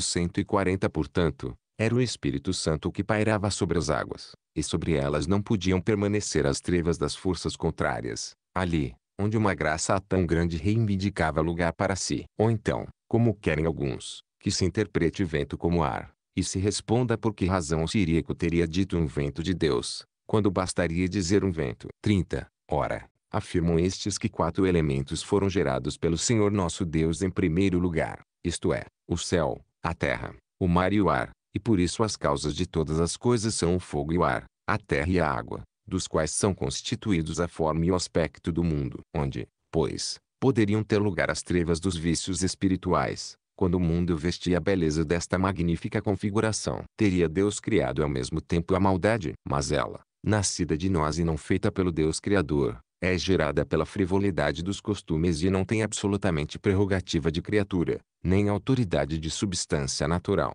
mas o vício da inconstância e o erro da queda. Deus quer erradicá-la de todos os espíritos, como ele mesmo poderia tê-la gerado. Clama o profeta, abandonai vossas iniquidades. Ponto e vírgula 141 e particularmente o santo Davi, abandona o mal e faz o bem. Ponto e vírgula 142 Como podemos atribuir ao Senhor o início do mal? Mas esta é a funesta opinião daqueles que pensaram em conturbar a igreja. Foi daqui que os marcionitas 143, os valentinianos 144 e aquela peste dos maniqueus 145 tentaram levar desastrosas influências para as mentes dos santos. Por que procurarmos para nós mesmos estrevas da morte na luz da vida? Ponto de interrogação 146 A Sagrada Escritura produz a salvação, exala o perfume da vida, para que tu alheias e recebas a suavidade, e não te precipites perigosamente no abismo. Lê simplesmente, ó homem, não caves um buraco para ti mesmo, sendo um mau intérprete. É uma palavra simples. Deus fez o céu e a terra, fez o que não existia, não o que existia. E a terra estava invisível, desde que foi feita. A terra existia, e estava invisível, porque a água a inundava e cobria, e havia trevas espalhadas sobre ela.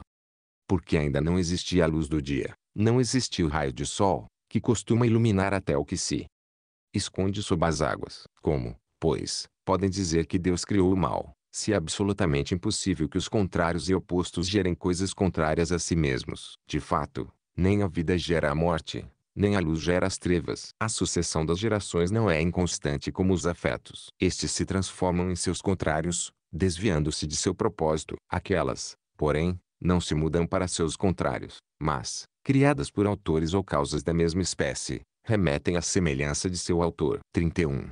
O que diremos, então, se o mal não é sem princípio, como se fosse criado, nem foi feito por Deus, de onde o recebe a natureza? Pois nenhum sábio negou a existência de coisas más neste mundo, visto que neste mundo é tão frequente a queda para a morte. Porém, a partir do que já dissemos, podemos compreender que o mal não é uma substância viva, mas uma depravação da mente e do espírito, um desvio do caminho da virtude, que se insinua frequentemente nos espíritos dos negligentes. Portanto, para nós, O perigo que vem de fora não é maior do que aquele que vem de nós mesmos. Está dentro do adversário. Está dentro do autor do erro. Dentro, digo eu, fechado dentro de nós mesmos. Vigie o teu propósito. Examine a disposição de tua mente. Contrapõe uma sentinela aos pensamentos de tua mente e aos desejos de teu espírito. Tu mesmo és a causa de tua perversidade. Tu mesmo és o guia de tuas infâmias e o instigador de teus crimes. Que outra natureza podes avocar para escusar tuas quedas? Oxalá não empurrasses a ti mesmo.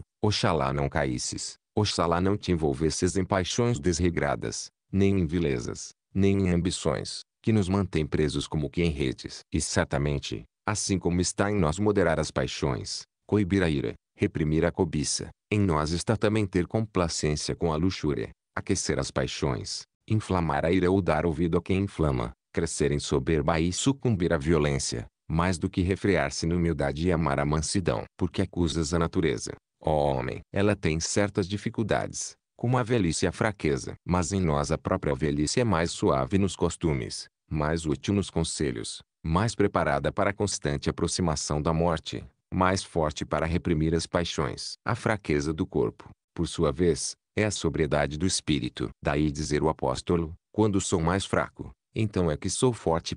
147 Assim, ele não se gloriava nas virtudes, mas nas fraquezas. Brilhou igualmente uma resposta divina no oráculo salutar. E na fraqueza que a virtude se consuma.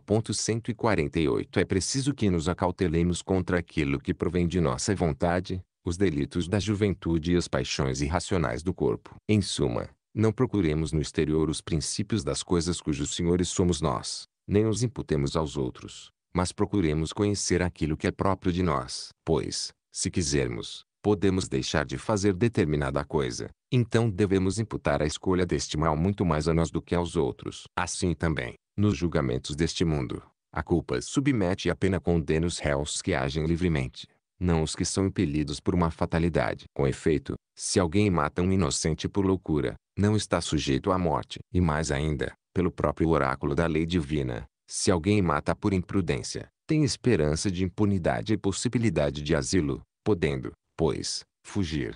149 Portanto, diga-se o mesmo a respeito daquilo que é visto propriamente como um mal. Não são males, a não ser que na acusação esteja envolvidamente ligada a consciência. Quanto ao mais, pobreza, origem obscura, doença, morte, nenhum sábio diria que sejam males, nem enumeraria na classe dos males, porque os seus contrários não estão considerados entre os bens maiores. Alguns destes parecem sobrevir-nos por natureza, outros por oportunidade. 32. Não foi ociosamente que avançamos por esta digressão. Provamos assim que as trevas e o abismo devem ser entendidos com simplicidade. As trevas vinham da obscuridade do céu, porque todo corpo faz uma sombra, pela qual obscurece os corpos mais próximos ou inferiores, sobretudo aqueles que parecem cobertos e fechados por ele. É o polo do céu que se fecha, porque o céu se estende como uma abóbada, conforme demonstramos acima. Portanto, não havia originalmente uma substância tenebrosa, mas a escuridão das trevas acompanhou o corpo do mundo como se fosse uma sombra. E assim,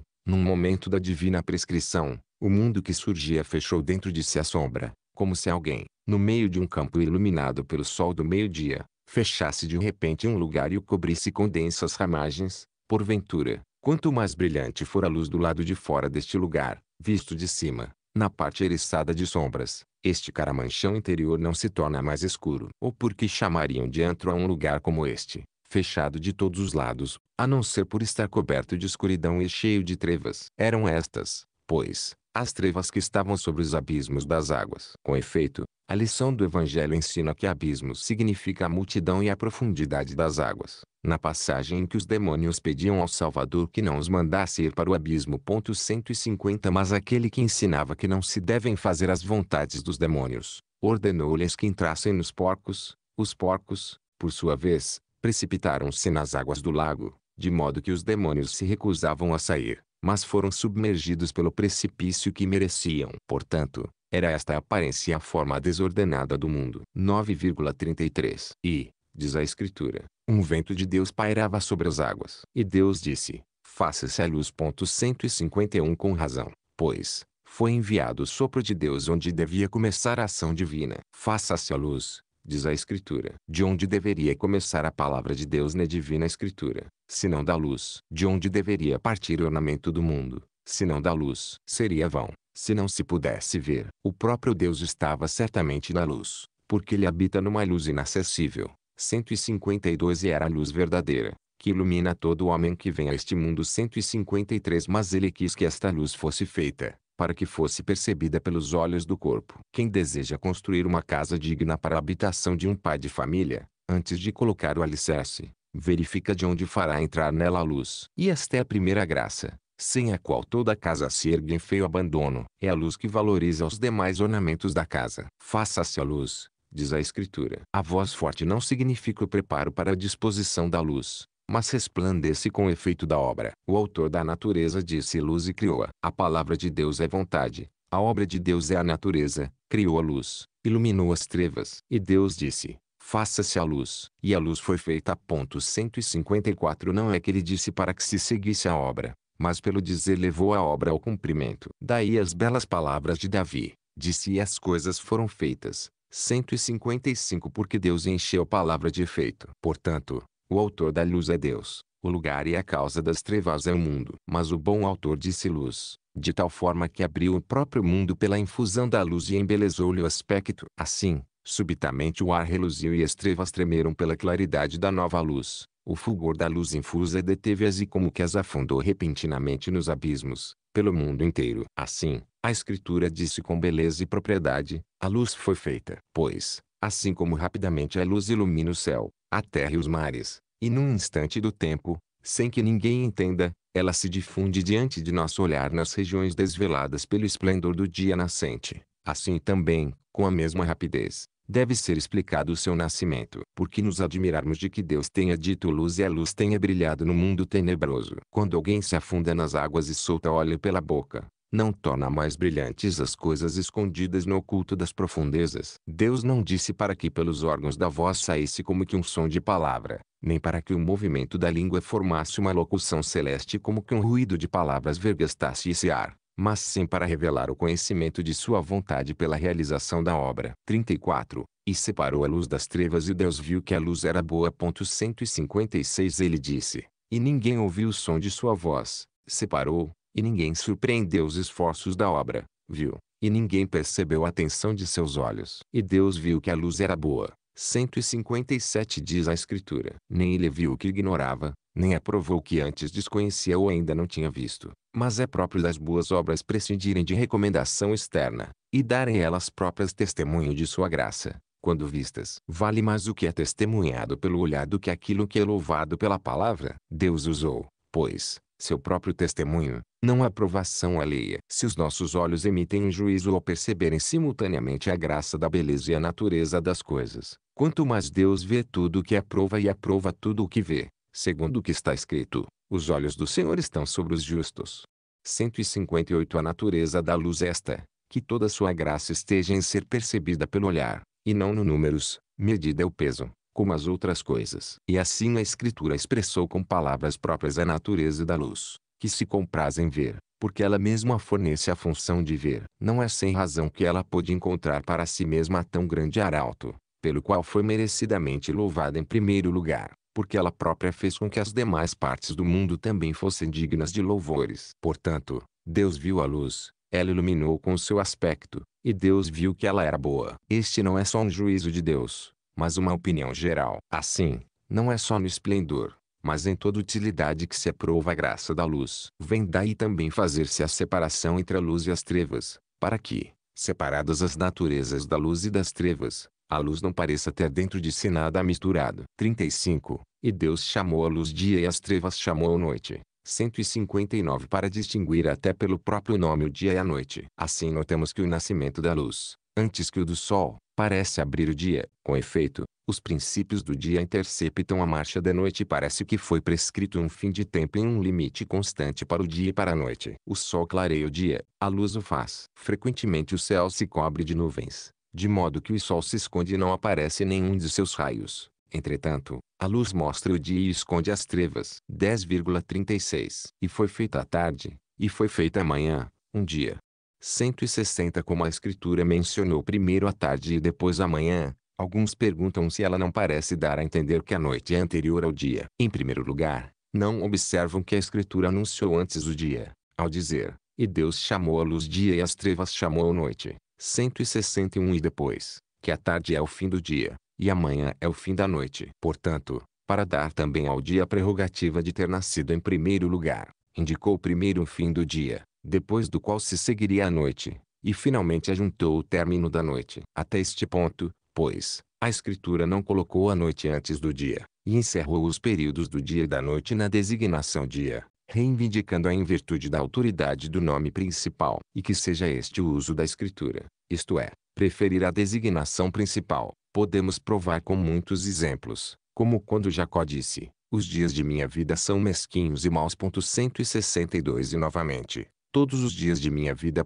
163 Davi também usou, os dias de meus anos. Ponto e vírgula 164 Não disse as noites. Deste fato, compreendemos que aquilo que hoje é narrado na forma de história está em força de lei para o futuro. Portanto, o princípio do dia é a palavra de Deus. Faça-se a luz. E a luz foi feita. Ponto 165 O fim do dia é a tarde. Ao fim da noite já sucede o dia seguinte. E a palavra de Deus é evidente, porque primeiro chamou a luz dia e em segundo lugar chamou as trevas noite. 37. Também disse claramente um dia, não primeiro dia. Pois, como deveriam seguir-se o segundo e o terceiro dia e em seguida os demais, poderia dizer primeiro, e pareceria número de ordem, mas estatuiu uma lei, pela qual 24 horas diurnas e noturnas sejam definidas apenas pelo nome dia, como se dissesse, a medida de 24 horas é o tempo de um dia. Com efeito, assim como se conta a geração dos homens e se entende também a das mulheres, porque o que vem em segundo lugar está ligado ao que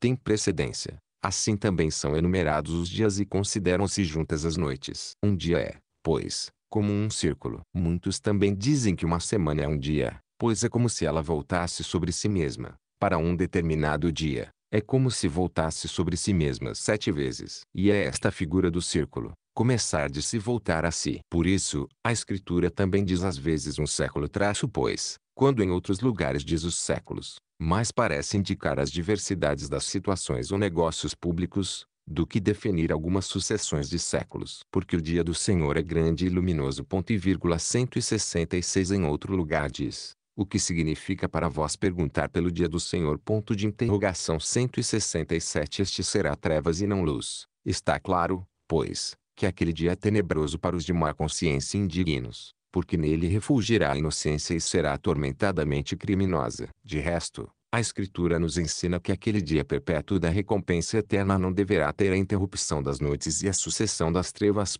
168, 38. E para dizer bem que os dois turnos são só dia, fechou o dia com o limite da manhã, ensinando que o dia começa da luz e termina na luz. Pois o tempo do dia e da noite não está inteiro, enquanto não se completa. Por isso, andemos sempre honestamente, como que durante o dia, 169 e abandonemos as obras das trevas.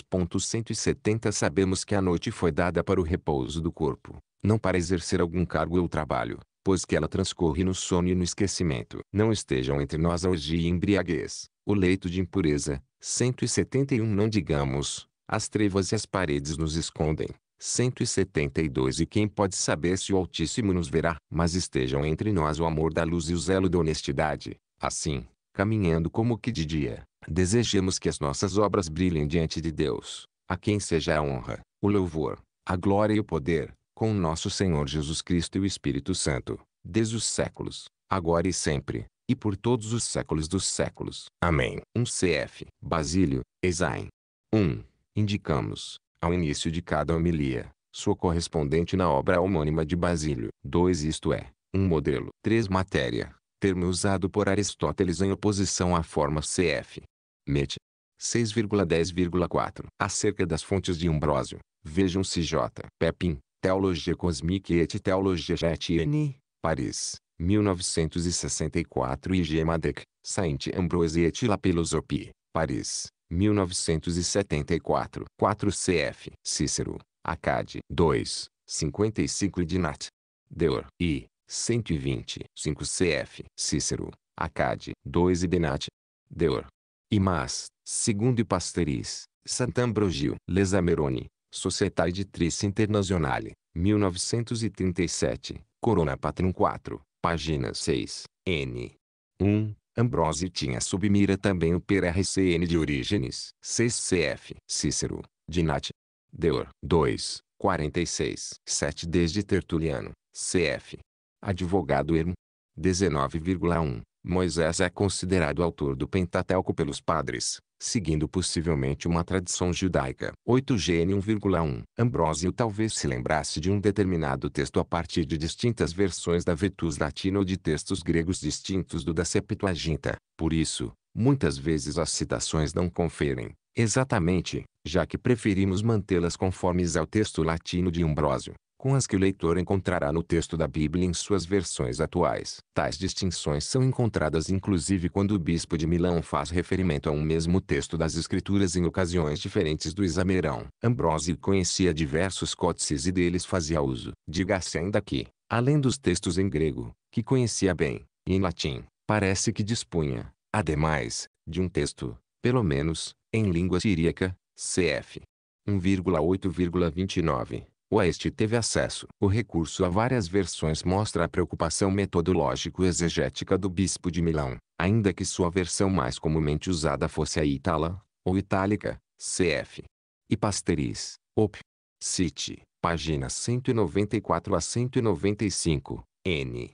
3, 9 de 8,25, 10 de 8,25, conforme ao texto da Vulgata. Acerca do referido texto, e sua tradução, Veja-se nota respectiva na Bíblia de Jerusalém. 11 ex 2,5 ss, 12 cf, ex 2,10, 13 cf, ex 2,15. Texto que, no entanto, diz que Moisés retirou-se para Madian. O Ambrósio tem presente a Etiópia, por ter se lembrado do matrimônio de Moisés com uma. Cf.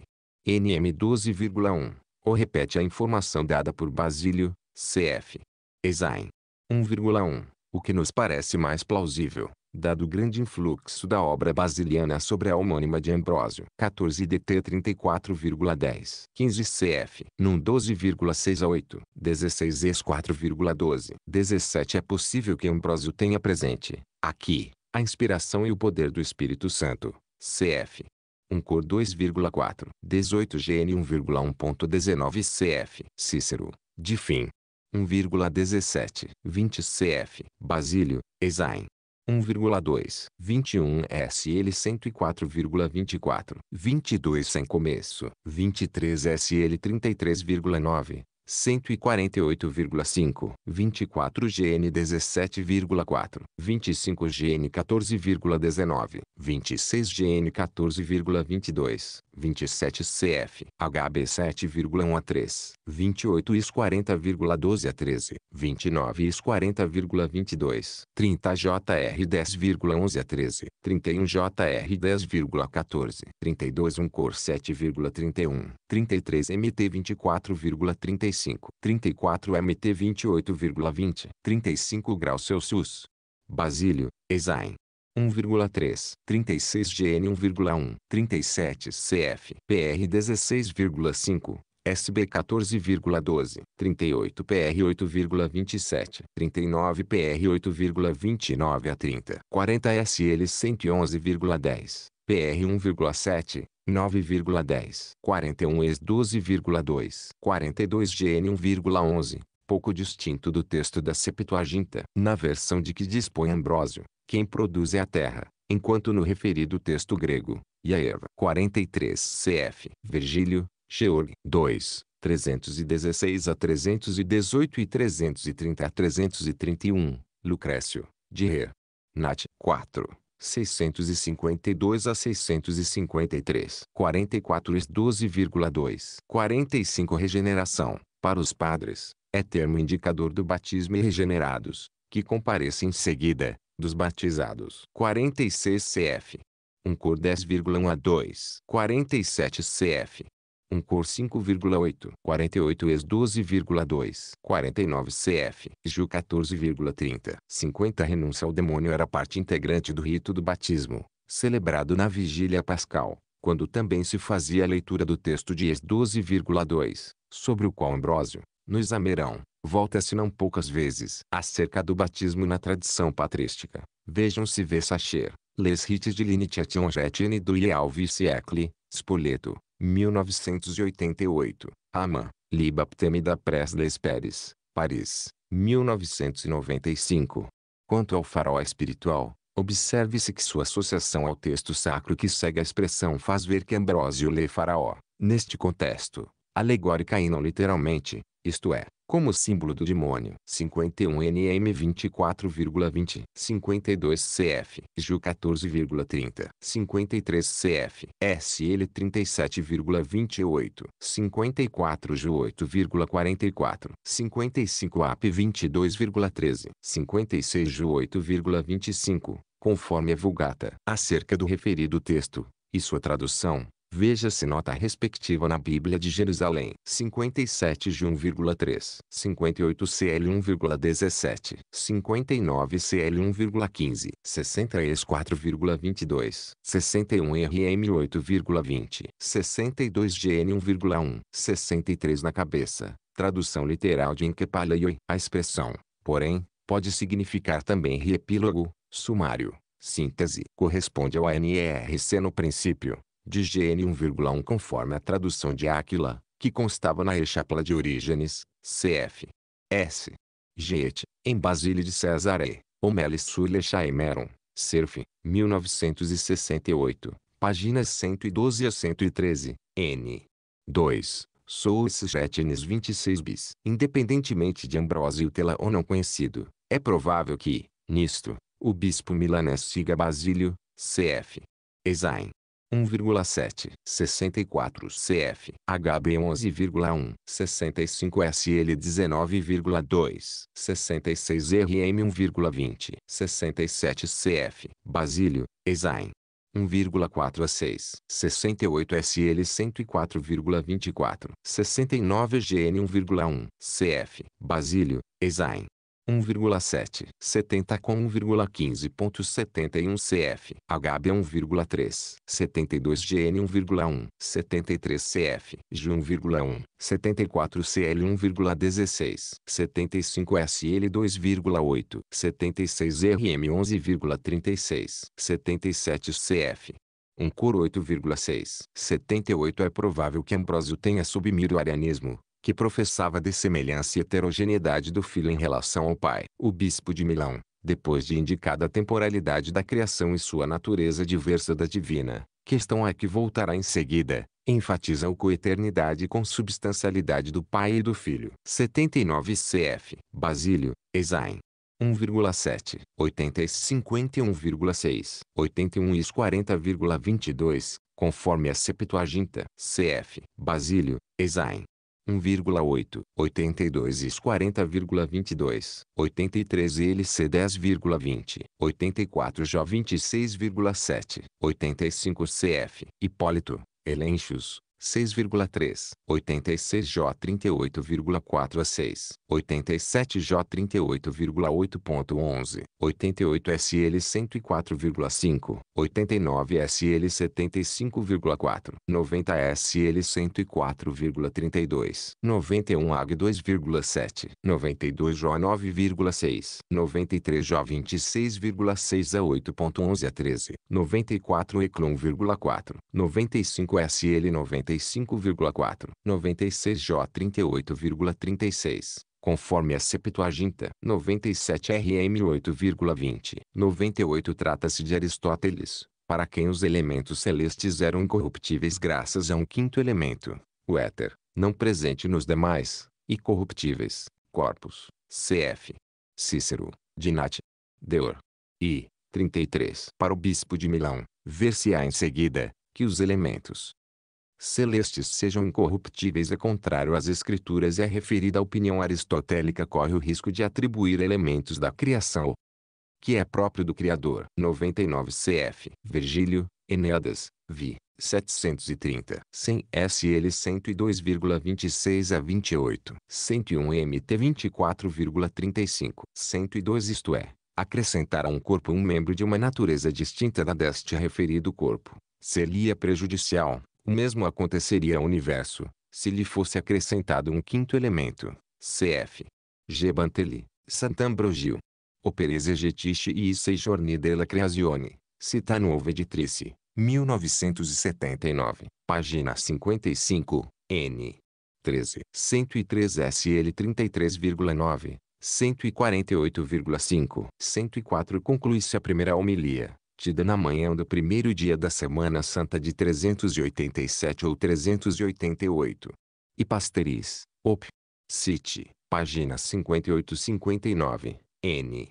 1. Observou que Ambrósio parece preferir, nas conclusões das homilias matinais, afirmar verdades de fé, enquanto nas da tarde, exortações morais. 105 cf. Basílio, Esaim. 2. Aqui começa o sermo, homilia. 2 proferido na tarde do mesmo dia. 106 GN 1,2, 107 GN 1,2, 108 GN 4,2, 109 GN 4,21, 110 J 1,1. Ambrósio translitero grego astidi, diasti, enquanto a Vulgata traz os 111 GN 1,1, 112 CF. Virgílio, Eneadas, I, 301, 4. 19, 113 24,16, conforme a Septuaginta, 114 is 18,1, conforme a Septuaginta, 115 indício da improvisação da homilia. De fato, Ambrósio dissera que os elementos foram criados com o céu e a terra. Cf. Exam. 6,20, o que lhe passou despercebido, mesmo ao revisar o texto, admitindo-se que o tenha feito traço, como era costume. 116 SB 5,12, 117 1 TM 6,16, 118 JU 17,14, 119 GN 1,2, 120 SL 14,2. 53,3.121 SL 76,9, 122 SL 33,9, 148,5, 123 CF, Ju 11,39, 124 CF, Ju 11,43 a 44, 125 e 51,6, 126 CF, Virgílio, Georg, 2, 223, 127 CF, Salústio, de Belug, 79,6, 128 CF, Virgílio, Eneadas,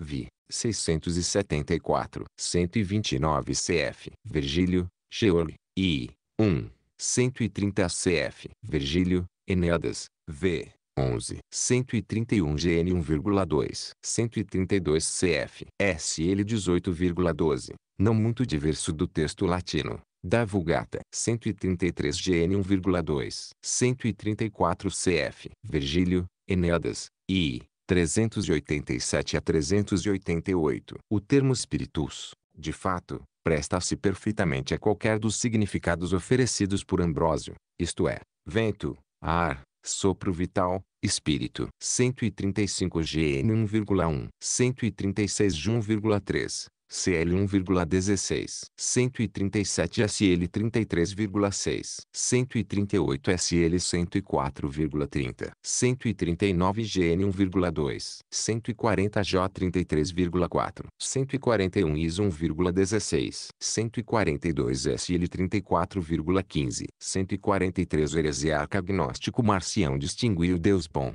Deus de amor de Jesus Cristo, do Deus Criador, vingativo do Antigo Testamento. Ao receber deste um corpo material, o homem sucumbiu ao mal. Mas o Deus bom do Novo Testamento, cuja versão de Marcião é reduzida a textos de Lucas e Paulo, fez-se conhecer ao enviar Jesus em um corpo aparente, não real, para viver entre os homens e ensinar-lhes a redenção. Como, para os cristãos, Deus é um só, seja no Antigo seja no Novo Testamento, seja criando seja redimindo, Ambrósio entende que Marcião tenha relacionado a origem do mal a Deus mesmo. Acerca de Marcião, mas também de Valentino e Mani, nas notas seguintes, veja-se Altaner, B. Barra Stuber, A. Patrologia, São Paulo, Paulus, 2004. 144 Ireneu de Leão detalhadamente narra sobre o complexo sistema do gnosticismo dos valentinianos, de Valentino, sec. E, que situam a origem do mal no pleroma, dimensão celeste, divino, mas que se materializa no mundo. Cf. Contra as heresias. I. 1,1 a 22.2. São Paulo. Paulus. 2001. Patrística 4. 145 segundos Maniqueus. De Mani. Babilônia. Sec. I. O bem, a luz, o espiritual, e o mal, as trevas, O material, eram dois sistemas opostos, justapostos e existentes desde a eternidade. 146 cf. Ju 8,12. 147 2 cor 12,10. 148 2 cor 12,9. 149 cf. DT 19,4. 150 cf. LC 8,31 SS. 151 GN 1,2 a 3.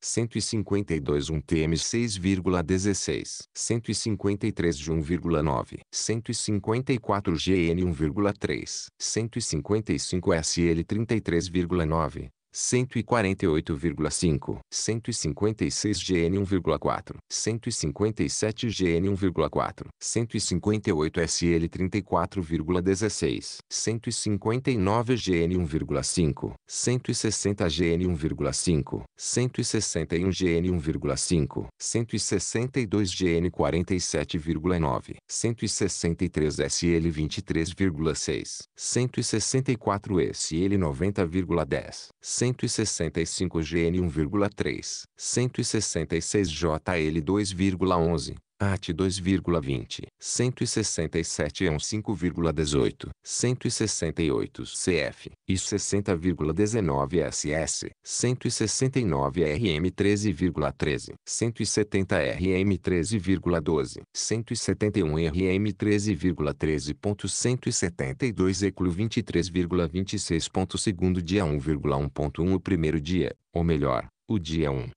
mantenha-se para ele a prerrogativa de palavra profética traço. Nós o concluímos como podemos. Neste dia, sabemos que foi feito o céu, foi criada a terra, a profusão das águas, foi espalhado o ar, foi feita a separação entre a luz e as trevas, por obra do Deus onipotente e do Senhor Jesus, bem como do Espírito Santo. Ora, quem não se admira de que de membros dessemelhantes surgem um só corpo um mundo ímpar, e de que, sendo estes membros tão diferentes entre si, juntem-se em sociedade e união, por uma lei irrevogável de concórdia e caridade. E, assim sendo, elementos diferentes por natureza se unam em vínculo de unidade e paz, como que por uma atração irresistível. Ou, vendo isto, quem buscaria tal poder de inteligência em uma mente débil? Todas estas coisas, foi a força divina, incompreensível para as mentes humanas e inefável para as nossas palavras, que entrelaçou pela autoridade de sua vontade. 2. Portanto, foi como autor que Deus fez o céu e a terra e prescreveu que passassem a existir.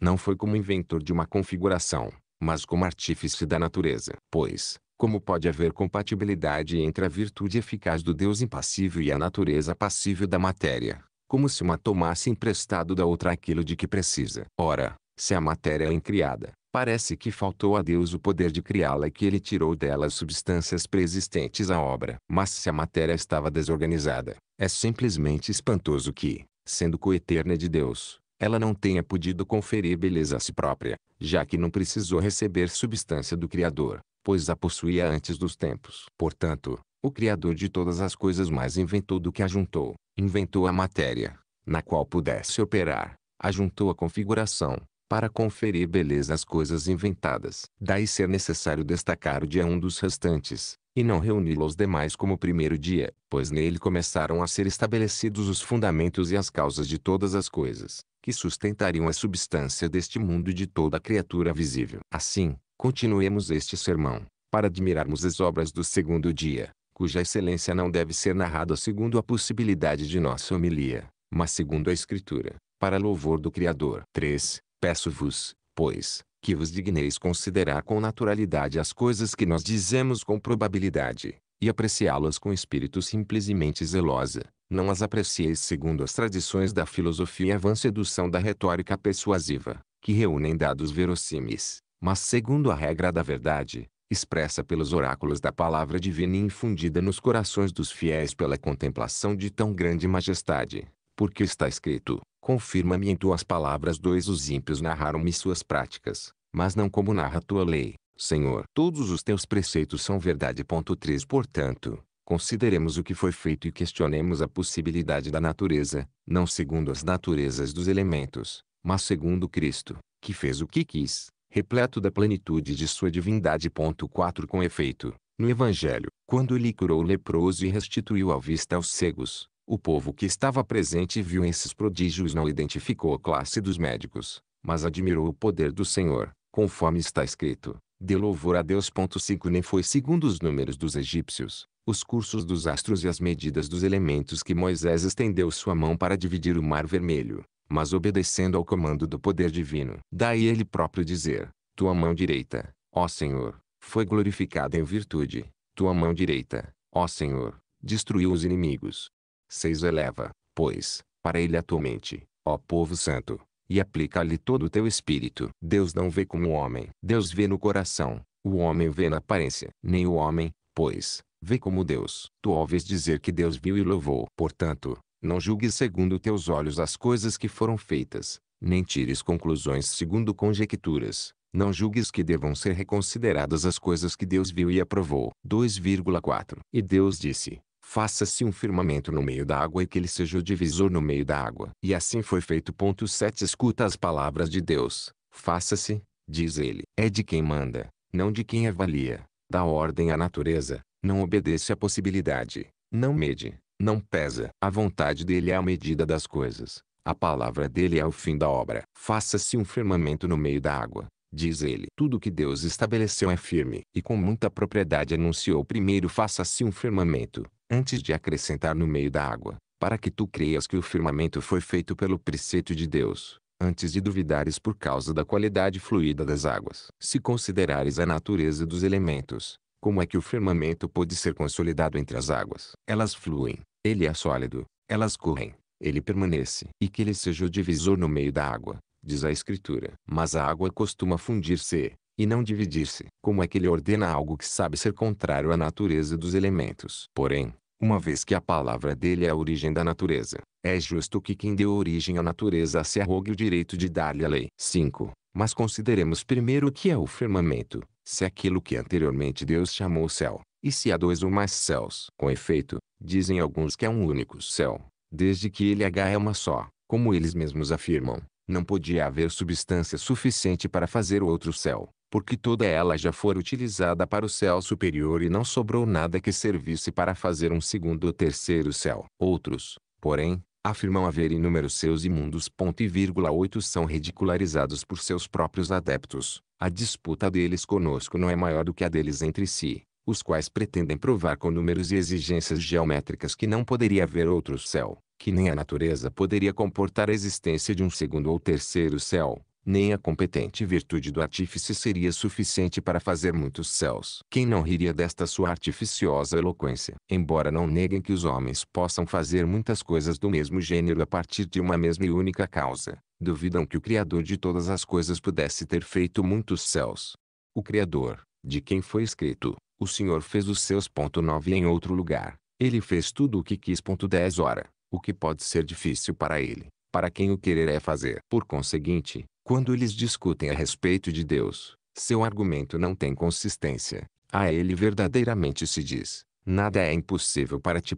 11. 6. Assim sendo, nós não podemos negar a existência de um segundo e até de um terceiro céu, quando o apóstolo confirma pelo testemunho de seus próprios escritos que foi arrebatado ao terceiro céu. 12 Davi também colocou os seus dos seus treze no coro dos que louvam a Deus, imitando-o. Os filósofos introduziram um movimento harmonioso de cinco esferas, das estrelas, do Sol e da Lua, a cujos orbes, ou melhor, esferas, dizem que estão presas todas as coisas. Julgam que estas esferas se encontram interligadas, como que inseridas umas nas outras, e que são impulsionadas por movimentos opostos entre si. Este impulso e o movimento dos próprios orbes produzem certo som doce, cheio de suavidade, de arte e de harmonia agradabilíssima, porque o ar, ao ser cortado por movimento tão harmonioso, combinando agudos e graves, executa regularmente concertos tão variados, que superam toda a suavidade de um poema musical. 14. 7. Se procuras uma resposta e exiges que seja comprovada a veracidade deste fato pelo sentido da audição, eles ficam hesitantes. Ora, se fosse verdade, tão grande movimento dos orbes faria muito barulho. O orbe celeste, ao qual a seu ver estão fixos os cursos das estrelas que giram sem parar, tem uma revolução mais rápida e provoca um som agudo, por sua vez, o orbe da Lua produz um som muito grave. Como é que nós não ouviríamos, se estamos acostumados a ouvir sons mais leves? Ora, ao exigirmos que a veracidade desta disputa seja confirmada pelo testemunho de nosso sentido da audição, eles dizem que nossos ouvidos se ensurdeceram e nosso sentido da audição se tornou mais fraco por causa do hábito de receber sons desde o princípio de nossa geração. E apresentam o exemplo do Nilo, 15 o maior dos rios, na região em que se precipita em Catadupa, de montes altíssimos. Ele obstrui os ouvidos das populações vizinhas, pela intensidade de seu fragor, e por isso se diz que elas não têm o sentido da audição. Mas a própria realidade lhes responde facilmente. Se nós ouvimos os trovões produzidos pela colisão das nuvens, não ouviríamos as revoluções de urbes tão grandes, que eles dizem que são impulsionados por um movimento maior e assim deveriam produzir sons mais fortes. Acrescentam, ademais, que este som não chega às terras exatamente para que os homens não sejam arrebatados pela sua suavidade e pelo encantamento que aquele movimento rapidíssimo dos seus produz. Caso contrário, do nascente ao poente, abandonariam seus negócios e trabalhos, e todas as coisas a que ficariam ociosas, como que por um êxtase da mente humana voltada para os sons celestes. Mas deixemos aos de fora aquilo que é alheio à nossa preocupação e à sequência do divino ensinamento. Quanto a nós, prendamo-nos ao magistério das Escrituras Celestes. 3,8 Assim, foi-nos proposto que Deus disse, faça-se um firmamento no meio da água e seja o divisor entre a água e a água. 16 E a partir daí se discute se a Escritura chama firmamento aquilo que Deus já fizera antes. 17 Sobre o qual está escrito, no princípio Deus fez o céu e a terra. 18 Não faltam os que antes de nós entenderam assim, por isso, na passagem anterior, a Escritura expressou que o céu foi criado e feito tendo Deus como autor, e aqui nesta passagem ela ampliou a narração da obra da criação. Assim sendo, na passagem anterior foi como que brevemente compreendida a totalidade da obra, e aqui foi classificada a qualidade da obra, segundo o aspecto dos próprios elementos que nela concorrem. Contudo, o que nos impressiona é que seja dado outro nome, que seja distinguido o aspecto mais sólido e sua causa, e seja acrescentada a figura do cooperador. Pois assim está escrito, e Deus fez uma separação entre a água que estava sob o firmamento, e a que estava sobre o firmamento. 19. 9. Em primeiro lugar, eles querem destruir aquilo que foi enraizado e impresso em nossas mentes pelo repetido ensinamento das Escrituras, dizendo que não pode haver águas acima dos céus, uma vez que o orbe do céu é redondo e no meio dele está a terra, a água não pode deter-se naquele círculo, porque ela necessariamente flui e cai já que seu curso é de cima para baixo. Como, pois, pode a água deter-se sobre o orbe, dizem eles, se o próprio orbe gira? Isso é artifício de dialética. Permite-me responder-te. Se não me permitires, não direi nenhuma palavra. Eles pedem que nós admitamos que o eixo do céu gira em movimento rápido, enquanto o orbe da terra é imóvel, e desta forma afirmam que não pode haver águas acima dos céus, porque o eixo, ao girar, derramaria a totalidade delas. Na verdade, se nós admitirmos o que postulam e se eu lhes responder conforme o que pensam, é como se eles pudessem negar que naquela altura e profundidade existam comprimento e largura, o que ninguém pode compreender, a não ser aquele que está repleto de toda a plenitude de Deus. 20 Como diz o apóstolo, com efeito, quem poderia facilmente ser censor da obra divina? Existe, sim, largura na própria altura do céu. E, para dizermos o que podemos saber a este respeito, Existem também muitas construções redondas por fora e quadradas por dentro, e quadradas por fora e redondas por dentro, cujas partes superiores são planas e podem reter água. Dizemos isto, para eles perceberem que suas opiniões podem ser vencidas por opiniões mais semelhantes à verdade, e deixarem de medir tão grande obra de Deus pela contemplação da obra humana e da nossa possibilidade. 10. Nós, contudo, Acompanhamos a sequência e a ordem das Escrituras e avaliamos a obra pela contemplação do autor. O que foi dito? Quem disse para quem disse? Faça-se um firmamento no meio da água e seja o divisor entre as águas. 21 dias a Escritura. Eu ouço dizer que o firmamento foi feito por uma ordem, que por ele foi dividida a água e a superior foi separada da inferior. O que pode ser mais claro do que isto? Aquele que ordenou que a água fosse separada pela interposição do firmamento, providenciou para que ela pudesse permanecer dividida e separada. A palavra de Deus é a virtude da natureza e a duração da substância. É ela que estabelece até quando quer que a substância permaneça, conforme está escrito. Estabeleceu estas coisas pelos séculos e pelos séculos dos séculos. Pôs um preceito e não passará. Ponto 22 E para saberes que isto foi dito a respeito destas águas que tu negas que possa haver nas partes superiores do céu, escuta o seguinte: Louvai-o, seus dos céus, e as águas que estão acima dos céus louvem o nome do Senhor. 23 Porventura não foi dito a quem te contesta, porque ele mesmo disse foram feitas, ele mandou e foram criadas. Estabeleceu estas coisas pelos séculos e pelos séculos dos séculos, pôs um preceito e não passará a ponto de interrogação 24 Não te parece idôneo o autor que dá uma lei à sua obra? Quem diz é Deus, venerável por natureza, inestimável em grandeza, infinito em recompensas, incompreensível em suas obras, quem pode perscrutar a altura de sua sabedoria? Mas ele diz ao filho, isto é, a seu braço, diz a sua virtude, diz a sua sabedoria, diz a justiça. E o filho faz como poderoso, faz como virtude de Deus, faz como sabedoria de Deus, faz como justiça divina. Quando escutas isto, por que te admiras de que a água possa estar retida acima do firmamento do céu, por obra de tão grande majestade? 11. Aprendei isto acerca de outros fatos que são vistos pelos olhos humanos, a saber, de que modo a água se dividiu a passagem dos judeus. Não costuma ser natural que a água se separe da água e nas profundezas a profusão das águas da terra se divida pelo meio. As ondas gelaram, diz a escritura, e numa espécie de barreira detiveram seu curso em limite insólito. 25 Porventura ele não poderia também libertar o povo hebreu de outra maneira? Mas quis que tu visses, a fim de que, com este prodígio, Tu penses que deves acreditar também nas coisas que não viste. O rio Jordão também, revertendo a corrente, voltou para sua nascente. 26 É extraordinário a água parar quando está correndo, e é impossível voltar para cima sem nenhuma barreira, mas o que é impossível para aquele que deu poder aos fracos, de modo que o fraco diga, tudo posso naquele que me conforta. Ponto de interrogação 27 Que digam com exatidão de que forma o ar se condensa em nuvem 28 E se a chuva é produzida pelas nuvens, ou se está comprimida no centro das nuvens. Vemos muitas vezes as nuvens saírem dos montes. Pergunto,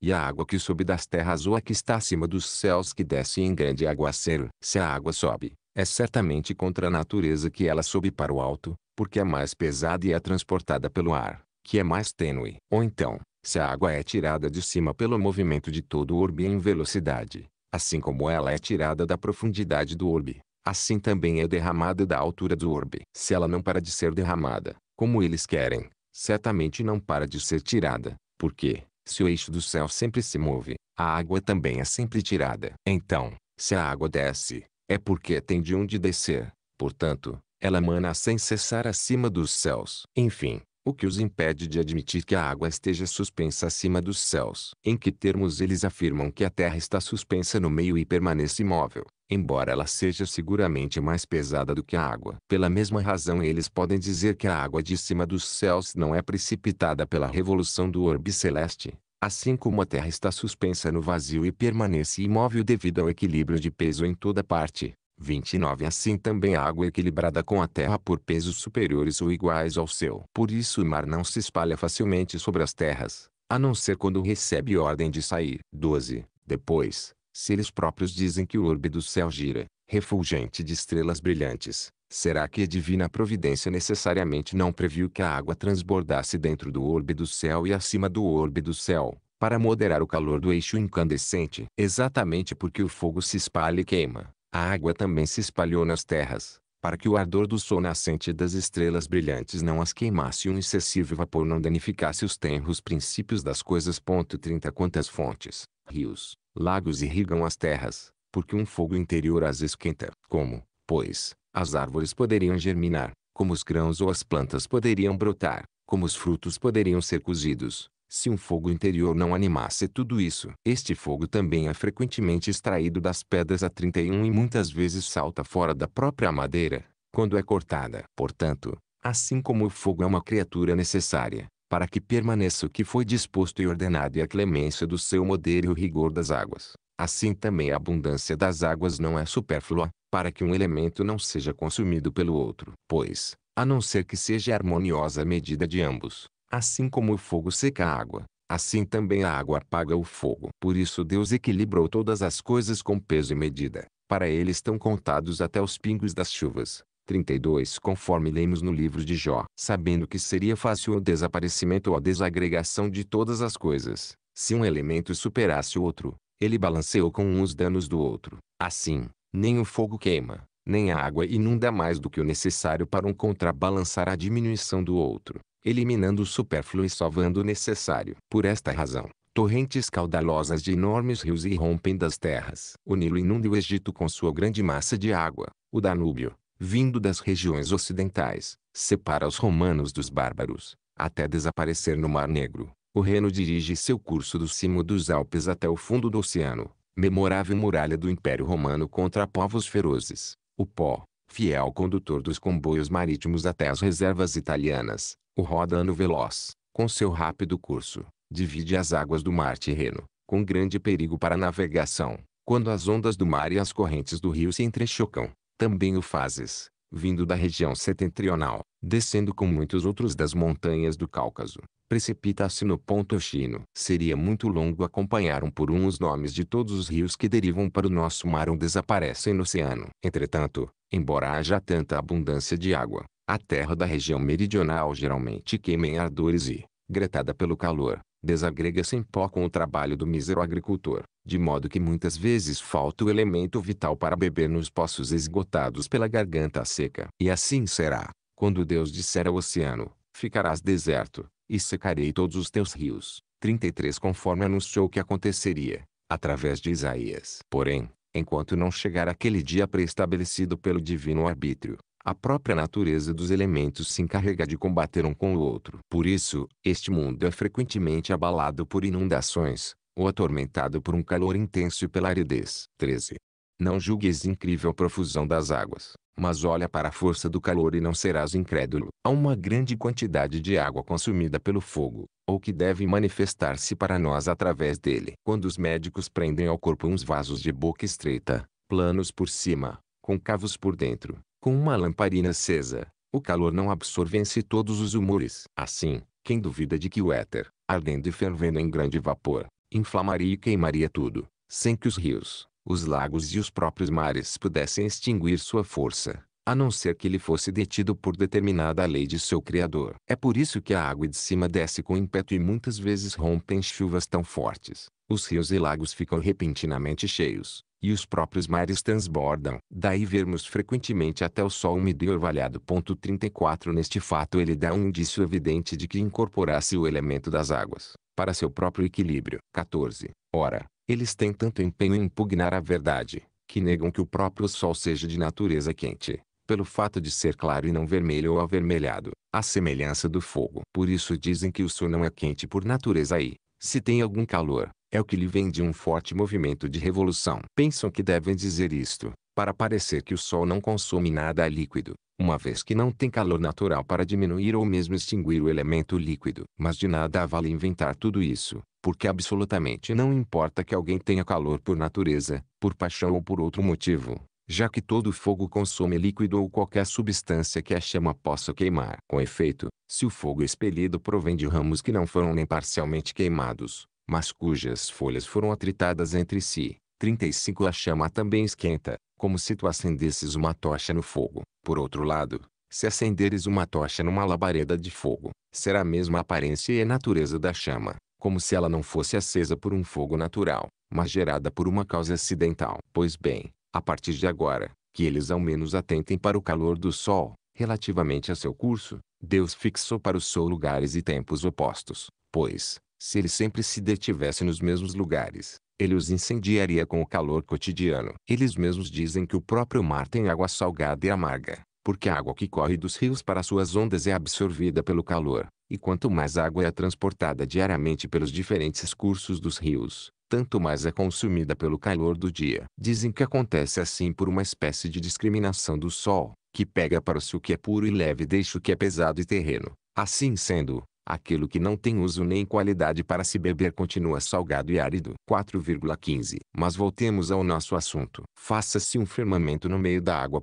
36 Não cause espanto. Como eu já disse, que anteriormente a escritura tenha dito céu e aqui firmamento, porque também Davi diz, os seus narram a glória de Deus e o firmamento anuncia as obras de suas mãos.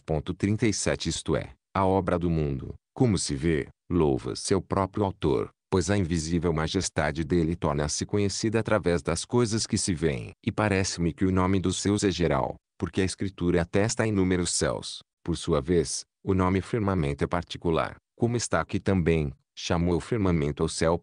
38 Deste modo, percebe-se que acima a escritura disse de maneira geral que o céu foi feito no princípio, para abarcar a totalidade da criação da criatura celeste, e aqui, porém, fala da firmeza específica deste firmamento exterior, que se chama firmamento do céu, conforme lemos no hino do profeta, bendito esto no firmamento do céu.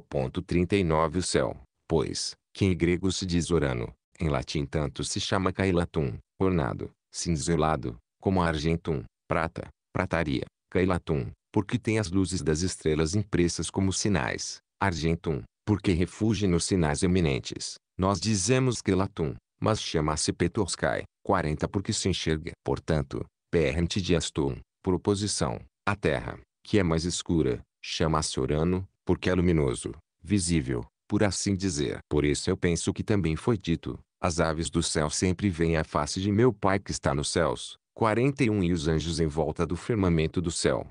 42 Pelo fato de que as potestades que estão naquele lugar visível contemplam todas essas coisas e as mantêm debaixo de suas vistas. 16 Enfim foi dito que nos tempos de Elias o céu estava fechado, quando reinava a perfídia, com Acabe e Jezabel. 43 Quando o povo se consagrou ao sacrilégio real, e por isso ninguém elevava os olhos ao céu, ninguém venerava o Criador do céu, mas adoravam paus e pedras. De onde tiramos isto? É que também nas maldições ao povo de Israel Deus disse, o seu será de bronze para ti, sobre tua cabeça, e tua terra será de ferro. 44 O povo judeu, pagando o preço da perfídia, era então punido pela intempérie do céu e pela infecundidade da terra, pois é do céu que vem a fertilidade. Finalmente, também Moisés, em suas bênçãos, deu à tribo de José desde os confins do céu e do orvalho das fontes do abismo subterrâneo e, quanto ao tempo, desde o curso do sol e desde os meses convenientes, e desde o cume dos montes e das colinas eternas, 45 Porque a fecundidade das terras é nutrida pela temperança do céu. Portanto,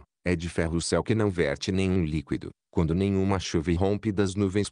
46 Céu de ferro é também o ar obscurecido, pesado, nebuloso, cor de ferrugem, quando a terra é confrangida pelo rigor do frio. Vê-se então uma espécie de líquido suspenso sobre nossas cabeças, pendendo por alguns instantes. Muitas vezes também as águas, enrijecidas pelos sopros glaciais dos ventos, solidificam sem neve, que cai, rompendo o ar. Ora, este firmamento não pode ser rompido sem algum barulho. É por isso também que se chama firmamento, porque não é fraco nem mole. Daí também dizer a escritura a respeito dos trovões que ressoam com grande fragor, quando o vento formado no seio das nuvens se despedaça violentamente ao sair, firmando pelo trovão. 47 Portanto, o firmamento é assim chamado pela sua firmeza, ou por ter sido firmado pela virtude divina, como nos ensina também a Escritura, ao dizer, Louvai-o no firmamento de sua virtude. 48, 17. E não faltam alguns que relacionaram os céus dos seus 49 com as virtudes inteligíveis, e o firmamento com as operatórias. E por isso interpretam que os seus louvam ou narram a glória de Deus, e o firmamento anuncia, por assim dizer, não as obras espirituais, mas as obras do mundo, conforme dissemos acima. Outros ainda interpretaram as águas que estão acima dos céus como virtudes purificatórias. Aceitamos estas interpretações pela beleza da narração. Entretanto, não nos parece estranho nem absurdo entendermos as águas como águas verdadeiras, em vista do que já dissemos. Com efeito, o orvalho, o gelo, o frio e o calor bendizem ao Senhor, segundo o hino do profeta. A terra também bendize as estrelas igualmente 50 e não incluímos as estrelas entre as naturezas inteligíveis,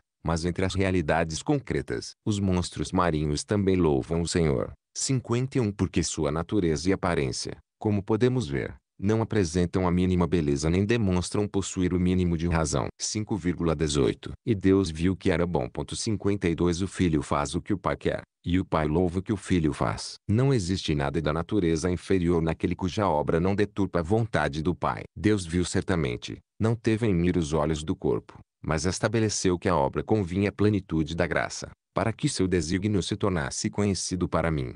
Pois nós também costumamos discutir a respeito das coisas divinas. E por que nos admirarmos de que eles voltem a debater a respeito da obra? Se colocam dúvidas até sobre a geração do próprio autor. Chamou-no a juízo, pretendem afirmar que ele é dessemelhante e inferior ao Pai. Por isso lês que Deus disse 53 e Deus fez 54 O Pai e o Filho são honrados pelo mesmo nome de majestade. E Deus viu que era bom. 55 Disse a quem sabia tudo o que o Pai queria, Viu tudo o que o filho fazia com sabedoria, sustentando e fazendo ele também, em ação conjunta. 19. Viu que era bom. Certamente ele não tomou conhecimento do que não sabia, mas aprovou o que lhe agradava. Não lhe agradou, por assim dizer, uma obra desconhecida, porque não é desconhecido o pai que se compraz no filho, conforme está escrito, este é meu filho muito amado, em quem eu me comprazo. 56 Ora, o filho sempre conhece a vontade do pai, e o pai é do filho. O filho sempre ouve o pai e o pai é o filho, por unidade de natureza, vontade e substância. Enfim, é isto que o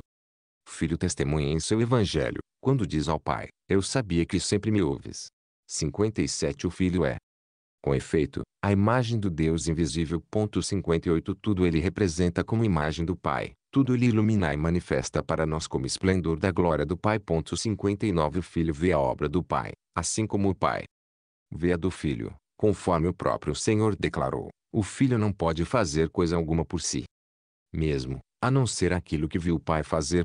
60 Portanto, o Filho vê o Pai fazer, vê pelo mistério de sua natureza invisível, e igualmente ouve. Finalmente diz o filho, assim como eu ouço, também julgo. 61 E o meu julgamento é verdadeiro, porque não estou só, mas sou eu e o Pai que me enviou. 62, 20 O que acabamos de dizer é místico, o que diremos a seguir é moral. Viu para mim, aprovou para mim. Para que tu não consideres repreensível aquilo que Deus aprovou, ao te lembrares do que foi escrito para ti, não chames de profano aquilo que Deus purificou.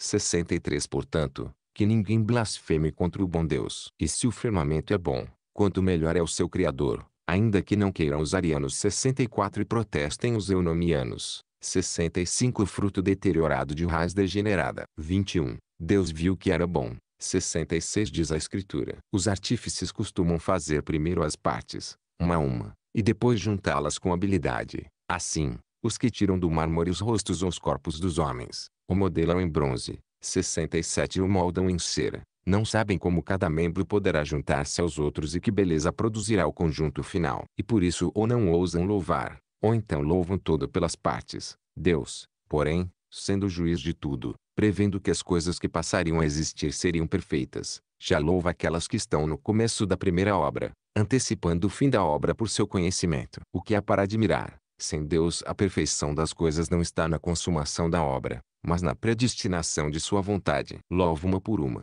como que em adequação com as futuras, louva a plenitude formada pela beleza de cada uma. Com efeito, a verdadeira beleza é esta, aquilo que agrada deve estar tanto em cada um dos membros como no todo, de modo que em cada um deles seja louvada a graça, e no conjunto, a plenitude da forma resultante. 22. Mas encerremos de uma vez este segundo dia. Não aconteça que, enquanto nós edificamos a obra do firmamento, tornemos menos firmes aqueles que nos escutam.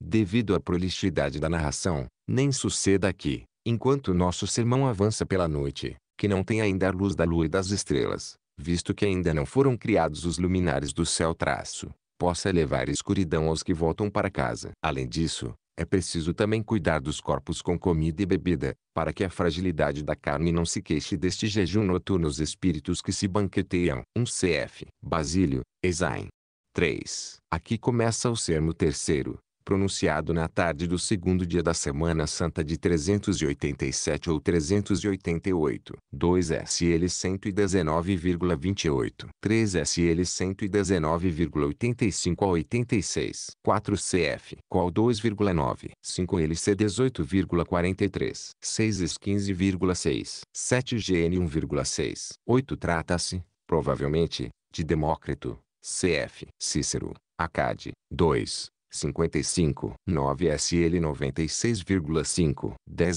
SL 115,3, 11 MC 14,36, 12 CF. 2 Cor 12,2, 13 SL 148,4, 14 CF. Cícero, de Rep, Vi, 17 a 18. Ambrósio, porém, parece não depender diretamente do grande retor romano, mas do Macróbio, que comentou a referida obra ciceroniana. A esse respeito, veja-se P. Corselli, Novo Aspects do Platonisme chez Saint Ambroise, Revue des Études Latines 34, 1956, páginas 232 a 239. 15 Acerca das descrições das quedas de água do rio Nilo, veja-se Plínio, Nat. Ist. V. 54. Vi. 181. 16 GN 1,6. 17 CF. Filon de Alexandria. Diopif. Munde. 10, 18 GN 1,1, 19 GN 1,7.20 CF, EF 3,18 a 19, 21 GN 1,6, 22 SL 148,6, 23 SL 148,4, 24 SL 148,5 a 6, 25 ES 15,8, pouco distinto tanto da Septuaginta quanto da Vulgata. 26 CF, SL 114,3, 27 FL 4,13, 28 CF, Virgílio, Eneadas, V, 20, 29 CF, Ovídio, Meton, I, 12 a 13, 30 CF, Virgílio, Eclogue, Vi, 33 a 34, 31 CF, Virgílio, Eneadas, I, 174, 32 CF, J 36,27, 33 is 44,27, 34 CF, Suetônio, Dinat, Her, 128, 35 CF, Virgílio, Eneadas, I, 174 a 176, 36 GN 1,6, 37 SL 19,2, 38 GN 1,8, 39 DN 3,56, 40 isto é, algo como céu a ver-se, ou céu para ser visto. Mas etimologia de Ambrósio, aqui, é dúbia. 41 MT 18,10, que, porém, tanto na Septuaginta quanto na Vulgata, refere-se aos anjos, não às aves. É possível que Ambrósio tenha se confundido ao citar também GN 1,20, cf.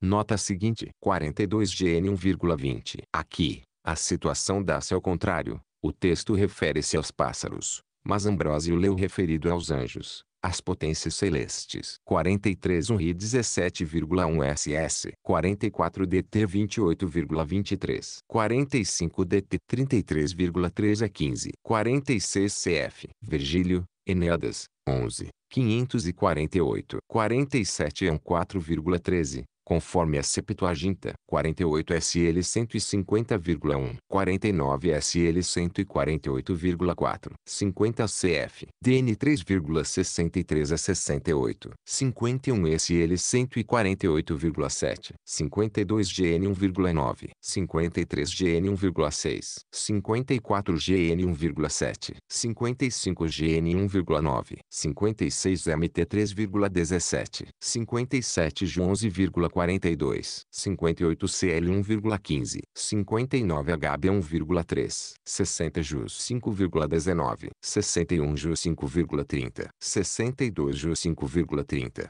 8,16, 63 AT 10,15, 11,9, 64 CF. Página 32, N. 78, relativa a exam.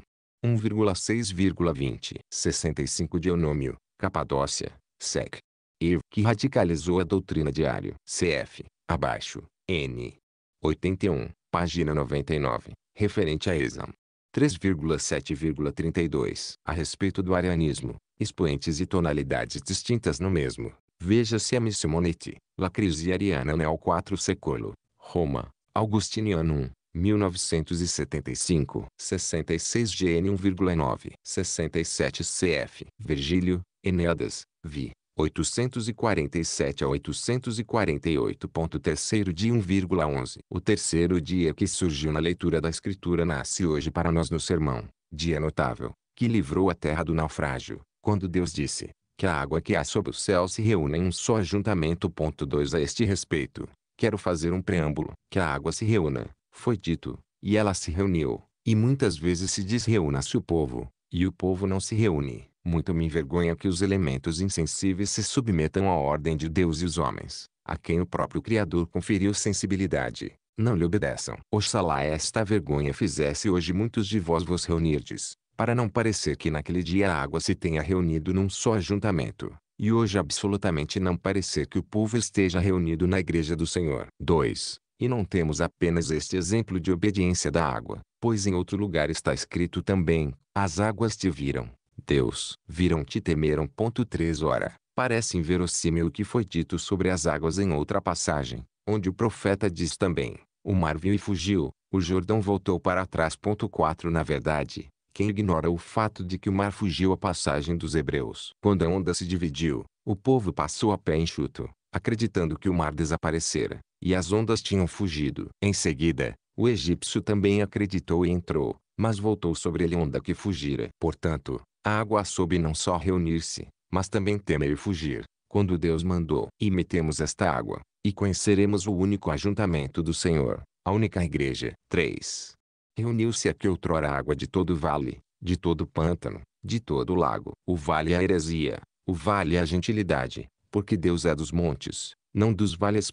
5 Afinal, na igreja está a exultação, na heresia e na gentilidade estão o choro e a tristeza. Daí dizer a Escritura, colocou choro no vale. 6 Portanto, o povo católico foi reunido de todo o vale. Já não existem muitos ajuntamentos, mas um só ajuntamento, uma só igreja. Aqui também foi dito, reúna-se a água de todo o vale, e foi feito um ajuntamento espiritual, foi feito um único povo. A igreja foi preenchida com hereges e gentios. O vale é a arena, o vale é o circo, onde o cavalo enganador corre para salvar-se, onde o combate é vil e abjecto, onde a disputa é uma horrível infâmia. Pois a partir destes que costumavam estar ligados ao circo cresceu a fé da igreja e aumenta diariamente a assembleia. 4. O pantano é luxúria, o pantano é intemperança, o pantano é incontinência. Ali estão os lamaçais dos desejos, os rugidos das feras, os esconderijos das paixões. Ali todos os que caem, mergulham e não emergem. Ali escorregam as plantas dos pés e vacilam os passos de cada um. Ali as gaivotas se sujam ao se lavarem. Em cima dali são aflitivos os gemidos das pombas. Ali a tartaruga lenta fica parada no abismo lamacento. Enfim, o javali fica no pântano. O cervo vai às fontes. 7 Assim, pois, de todo o pântano, onde por assim dizer as rãs entoavam uma velha lamentação. 8 Foi reunida a fé, foi reunida a pureza do espírito e a simplicidade da mente. 5.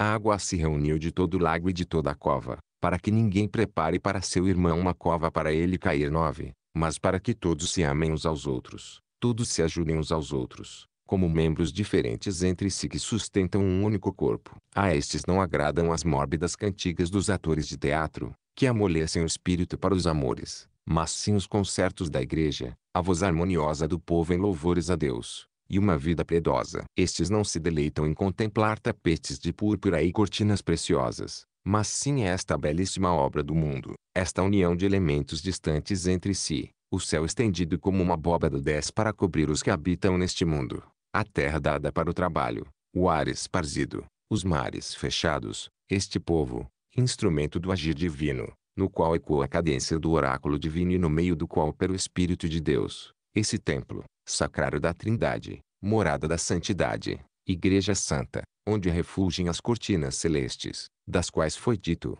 dilata o lugar dos teus tabernáculos e de tuas cortinas, fixa-o, não faças economia, alonga tuas cordas e reforça tuas estacas, estende-te para a direita e para a esquerda, e as nações possuirão tua semente como herança, e habitarás cidades abandonadas. 11 Ela tem, pois, cortinas, com as quais exalta uma boa vida, cobre os pecados, oculta a culpa. 6. Esta é a igreja, que foi fundada sobre os mares e preparada sobre os rios.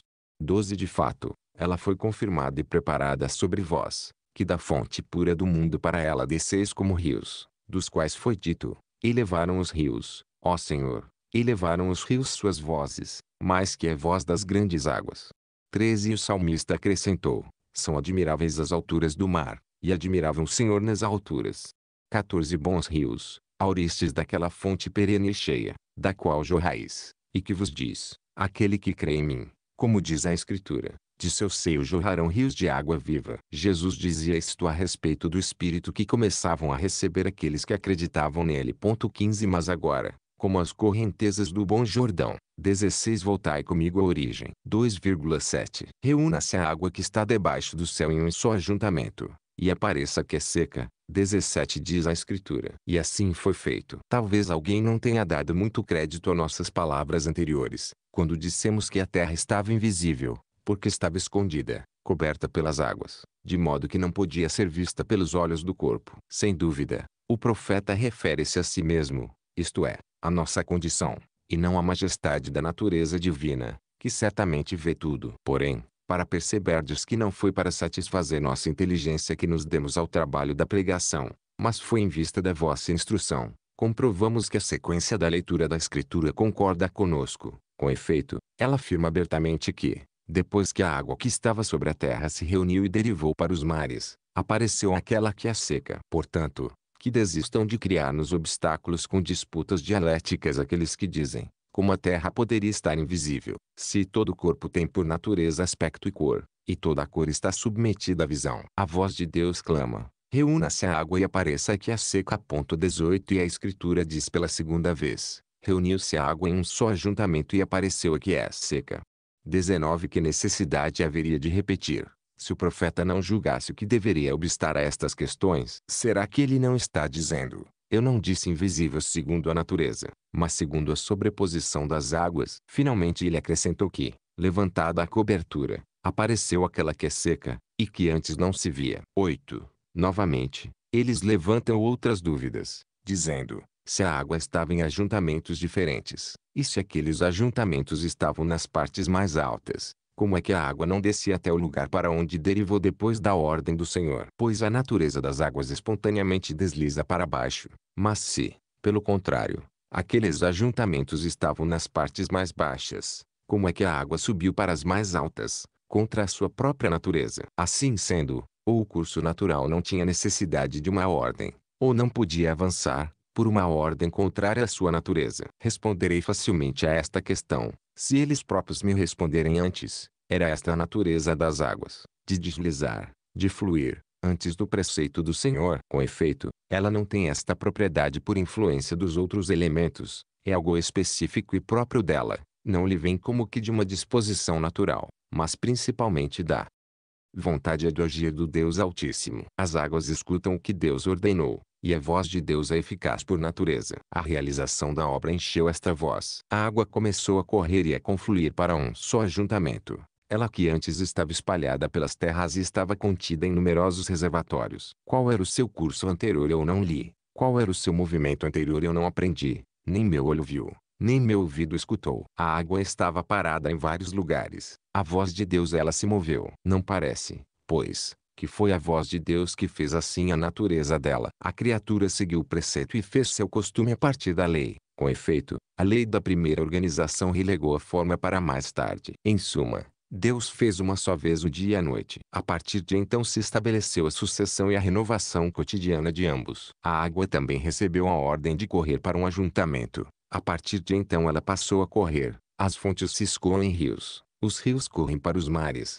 Vinte os lagos derivam para os mares. A própria água precede, impele e segue a si mesma. Um só é o aqueduto, um só é o corpo. E embora a profundidade da água seja diversa, a superfície de seu dorso é indivisa. É por isso que eu penso que o mar foi chamado de Aicor, porque sua superfície é igual. 219. Eu respondi a proposta deles, que eles agora respondam para mim. Nunca viram as fontes saltarem de debaixo da terra e a água surgir do chão. Quem a reúne? De onde ela prorrompe, como é que ela não acaba? Como pode ser que as gargantas profundas do solo vomitem água? Estas coisas acontecem segundo os segredos da misteriosa natureza. De resto, quem ignora que, muitas vezes, ao descer para as profundezas em rápido ímpeto, a água se levanta para cima e se ergue até o cume de um monte. Outras vezes também, desviada para canais pela mão de um artífice, ela não torna a subir tanto quanto desceu. Assim sendo, se a água é conduzida e elevada, contra sua própria natureza, ora por seu próprio ímpeto,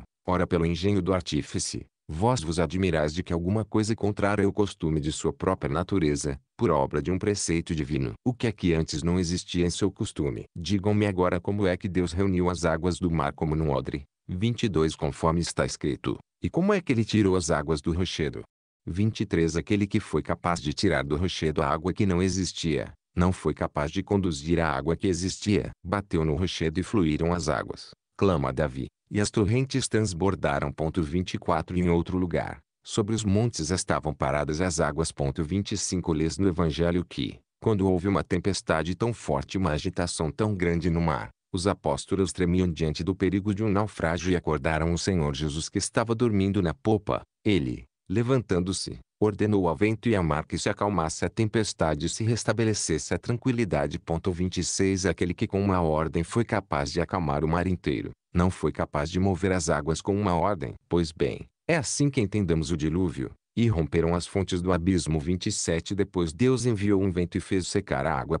28 Se eles não aceitam que a natureza tenha obedecido e que o costume de um elemento tenha sido mudado por uma ordem de Deus, façam a menos esta concessão. Com o vento que foi enviado, as águas puderam correr, conforme vemos diariamente no mar, pois as águas correm do lugar de onde sopra o vento. Se num instante foi citado para Moisés o vigoroso austro, que fez secar o mar, 29 Será que da mesma forma o ajuntamento das águas não pôde secar, e correr para o mar a água que depois foi dividida desde as profundezas? Pois bem, aprendam que a natureza pode ser mudada, como, quando a rocha verteu água e o ferro flutuou sobre as águas. Eliseu certamente conseguiu fazê-lo pedindo, e não ordenando.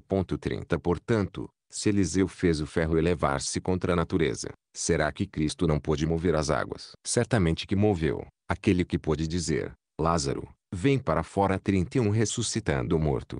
Deus fez, pois, aquilo que ordena. Assim sendo, entende da mesma forma o que foi dito, reúna-se a água, e a água se reuniu. 32 Entretanto, ao dizer reúna-se, ele não só moveu a água de um lugar, como também a fixou em um lugar, para que não se escoasse, mas permanecesse. 10.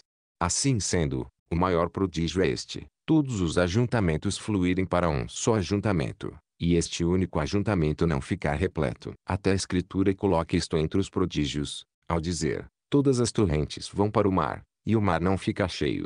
33 Portanto, uma coisa e outra vem do preceito de Deus, que a água flui e que não transborde. Assim, fecham-se os mares, circunscritos em um limite estabelecido, para que não se espalhem sobre as terras, inundando tudo, provocando o abandono do cultivo dos campos e tornando inviável a fecundidade da terra. Saibam eles, pois, que isto é obra do preceito divino e do agir celeste. Com efeito, entre outras coisas, o Senhor também falou a Jó, por meio de uma nuvem, sobre o fechamento do mar, estabeleci-lhe limites, com ferrolhos e portas. Disse-lhe ainda, até aqui chegarás e não passarás, mas em ti mesmo se deterão tuas vagas. 34 Porventura nós mesmos não vemos frequentemente o mar tão agitado, que as ondas sobem para o alto como uma montanha de água. 35 E depois quebram seu ímpeto na praia, dissolvendo-se em espumas, como que rebatidas pelas barreiras da humilde areia. Pois está escrito, ou será que não me temerás, diz o Senhor, a mim, que pus a areia como limite para o mar.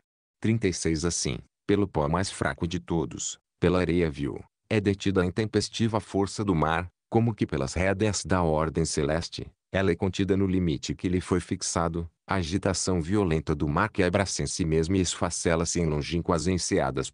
37, 11. De resto, se não fosse detido pela força do estatuto celeste, o que impediria o mar vermelho de misturar-se ao mar egípcio, nas planícies do Egito? Pois o Egito se estende em grande parte por vales muito baixos e está localizado em lugares planos. Em suma, é isto que ensinam os que queriam unir entre si estes dois mares, fundindo um no outro, Sesostes egípcio, mais antigo, e Dario Medo. Este último, com maior poder de visão, quis levar a efeito o que o egípcio tentara antes. Isso mostra que o Oceano Índico, onde se localiza o Mar Vermelho, é mais alto do que o Mar Egípcio, 38 que banha regiões mais baixas. E quem sabe se ambos os reis não teriam envidado esforços para que o mar mais extenso não transbordasse, precipitando-se das regiões mais altas sobre as mais baixas. 3,12 A Escritura disse, reúna-se a água em um só ajuntamento.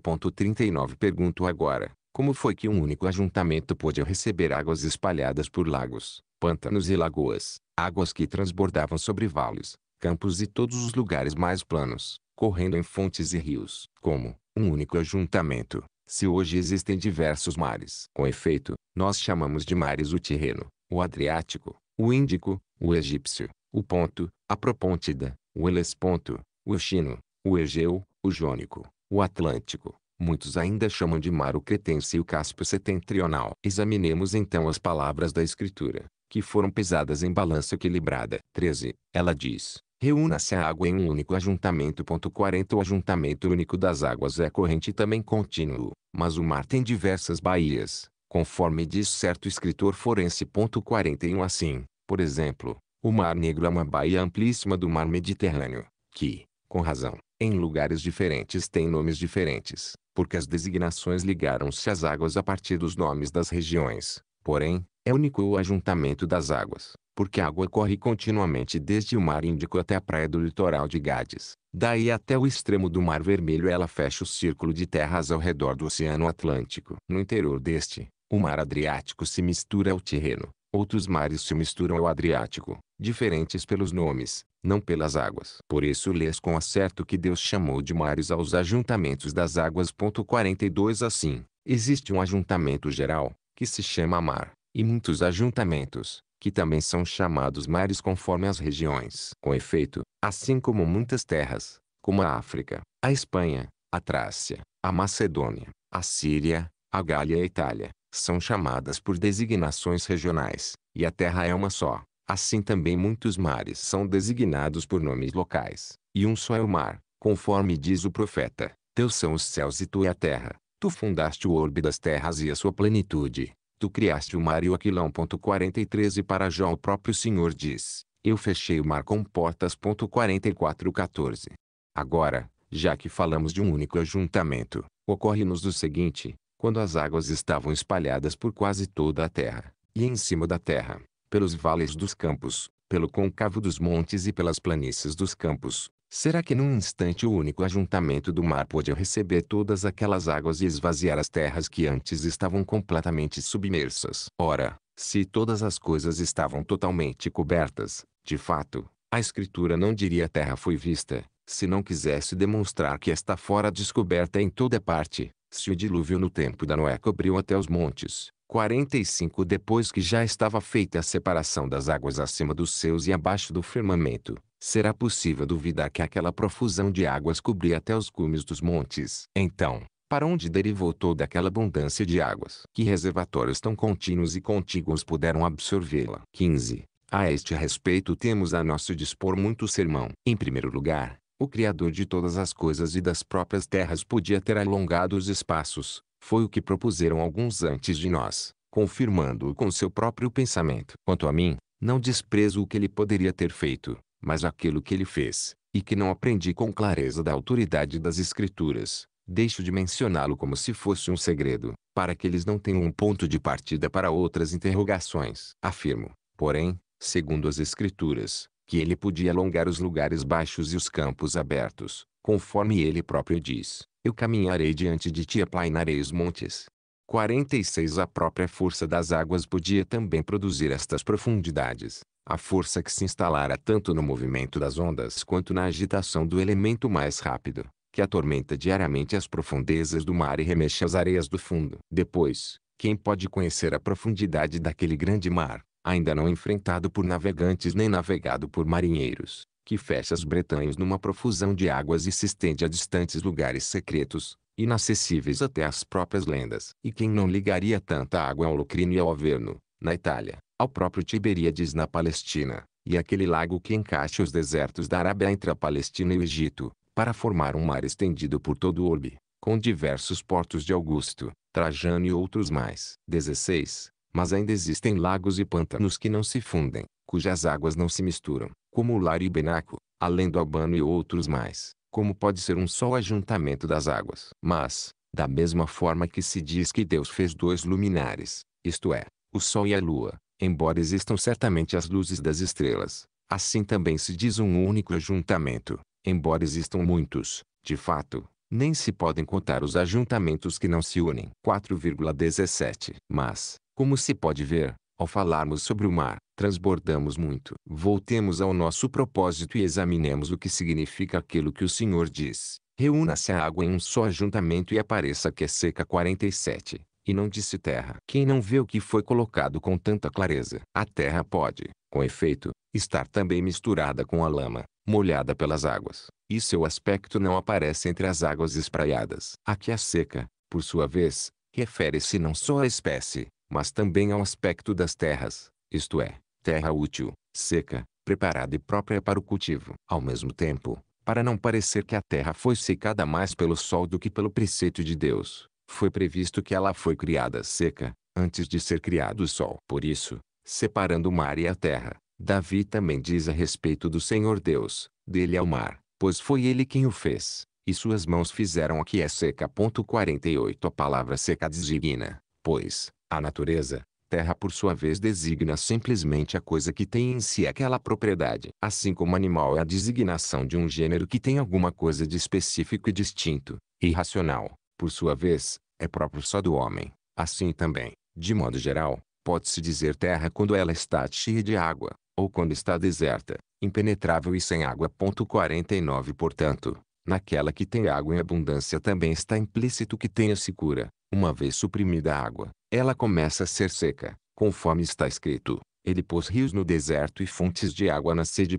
50 Isto é, da terra cheia de água fez terra seca. 18. A terra tem, pois, sua própria qualidade, assim como acontece com cada um dos elementos. O ar tem qualidade úmida, a água tem qualidade fria e o fogo, qualidade quente. Esta é a propriedade principal de cada elemento, que percebemos pela razão. Se quisermos, porém, perceber com os sentidos e com o corpo, encontraremos estas propriedades, por assim dizer, juntas e acopladas. A terra é seca e fria, a água, fria e úmida, o ar, quente e úmido, o fogo, quente e seco. E desta forma, os elementos se misturam entre si, por meio das qualidades que têm em comum. Assim, a terra, que tem qualidade seca e fria, une-se à água pela afinidade da qualidade fria, e por meio da água une-se ao ar, porque o ar é úmido. Portanto, é como se a água tivesse dois braços, um frio, outro úmido, e abraçasse a terra com um e o ar com o outro, a terra com o frio, o ar com o úmido. O ar,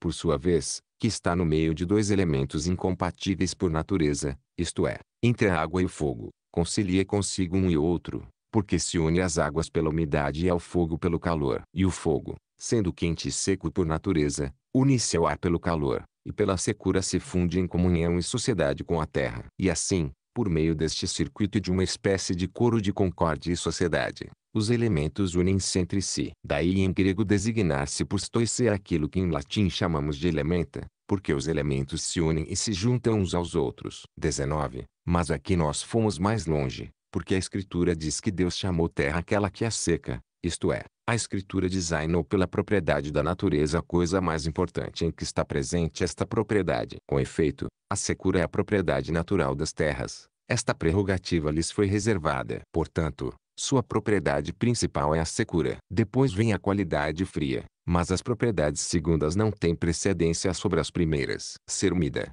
por outro lado, lhe vem da proximidade das águas. Portanto, a primeira propriedade é sua, a segunda é alheia, sua qualidade própria é ser seca, ser úmida é qualidade alheia. Assim, o Criador da natureza manteve aquilo que lhe concedeu primeiro, porque a primeira propriedade lhe vem da natureza, e a outra, de uma causa. Portanto, foi pelas qualidades principais e não pelas acidentais que se definiu a propriedade da terra, de modo que nosso conhecimento seja formado segundo a prerrogativa da qualidade dela. 5,20 E Deus viu que era bom.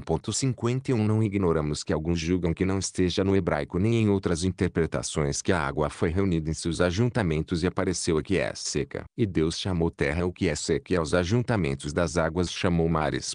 52 Com efeito, já que Deus disse que assim foi feito.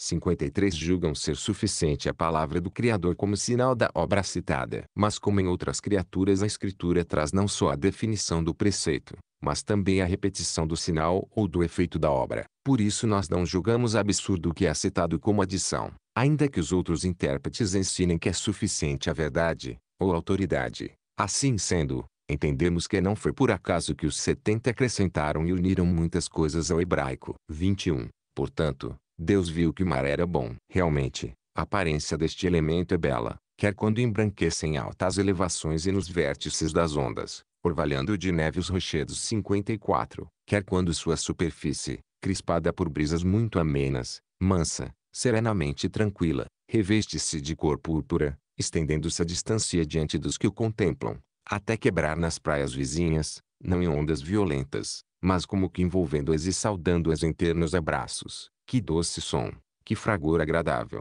que repercussão grata e harmoniosa. Apesar disso, eu não penso que o mar foi considerado belo por olhos de criatura, mas sim porque a razão da obra condiz com o juízo do autor e corresponde ao que foi determinado. 22. Portanto, o mar é bom, primeiro porque provê às terras da necessária umidade, e fornece-lhes ocultamente, como que através de veias, certa seiva útil, bom mar, receptáculo dos rios, fonte das chuvas, escoamento das enchentes, caminho das provisões, o mar aproxima os povos distantes entre si, afasta o perigo das batalhas, detém a fúria dos bárbaros, é socorro nas necessidades, refúgio nos perigos, graça nos prazeres, saúde na doença, união dos separados, caminho mais curto, refúgio dos que labutam, ajuda nos rendimentos, sustento na privação. A partir dele a chuva se espalha nas terras, pois a água é aurida do mar pelos raios solares, que dela retiram o que é tênue. Em seguida, quanto mais alto ela sobe, tanto mais se resfria em nuvens escuras,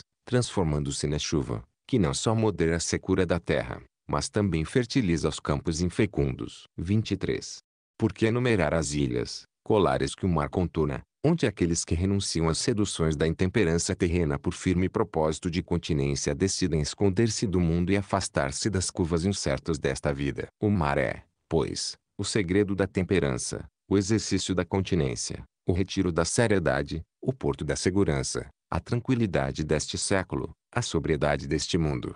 O mar é de tal forma incentivo da devoção para os homens fiéis e devotos, que, quando os cantos dos salmistas rivalizam com o som das ondas que fluem docemente, as ilhas aplaudem o tranquilo coro destas águas santas, que ressoam nos hinos dos santos. Como eu poderia abarcar toda a beleza que o Criador viu no mar? E o que mais? Que outra coisa é essa harmonia das ondas, senão uma espécie de harmonia do povo? Por isso a igreja é, com razão, muitas vezes comparada ao mar, pois ela espelha por todas as partes as ondas do povo que marcha na vanguarda, depois ribomba, como em ondas refluentes. 55 Na oração de todo o povo, quando o canto harmonioso de homens, mulheres, virgens e crianças ressoa como o fragor das ondas. Ora, seria necessário dizer que a onda lava o picado. 56 E a brisa salutar que sopra o Espírito Santo. 24. Que o Senhor nos conceda correr em rápido barco, ao sopro dos anos, parar em porto seguro, desconhecer as tentações da indolência espiritual maiores do que podemos suportar,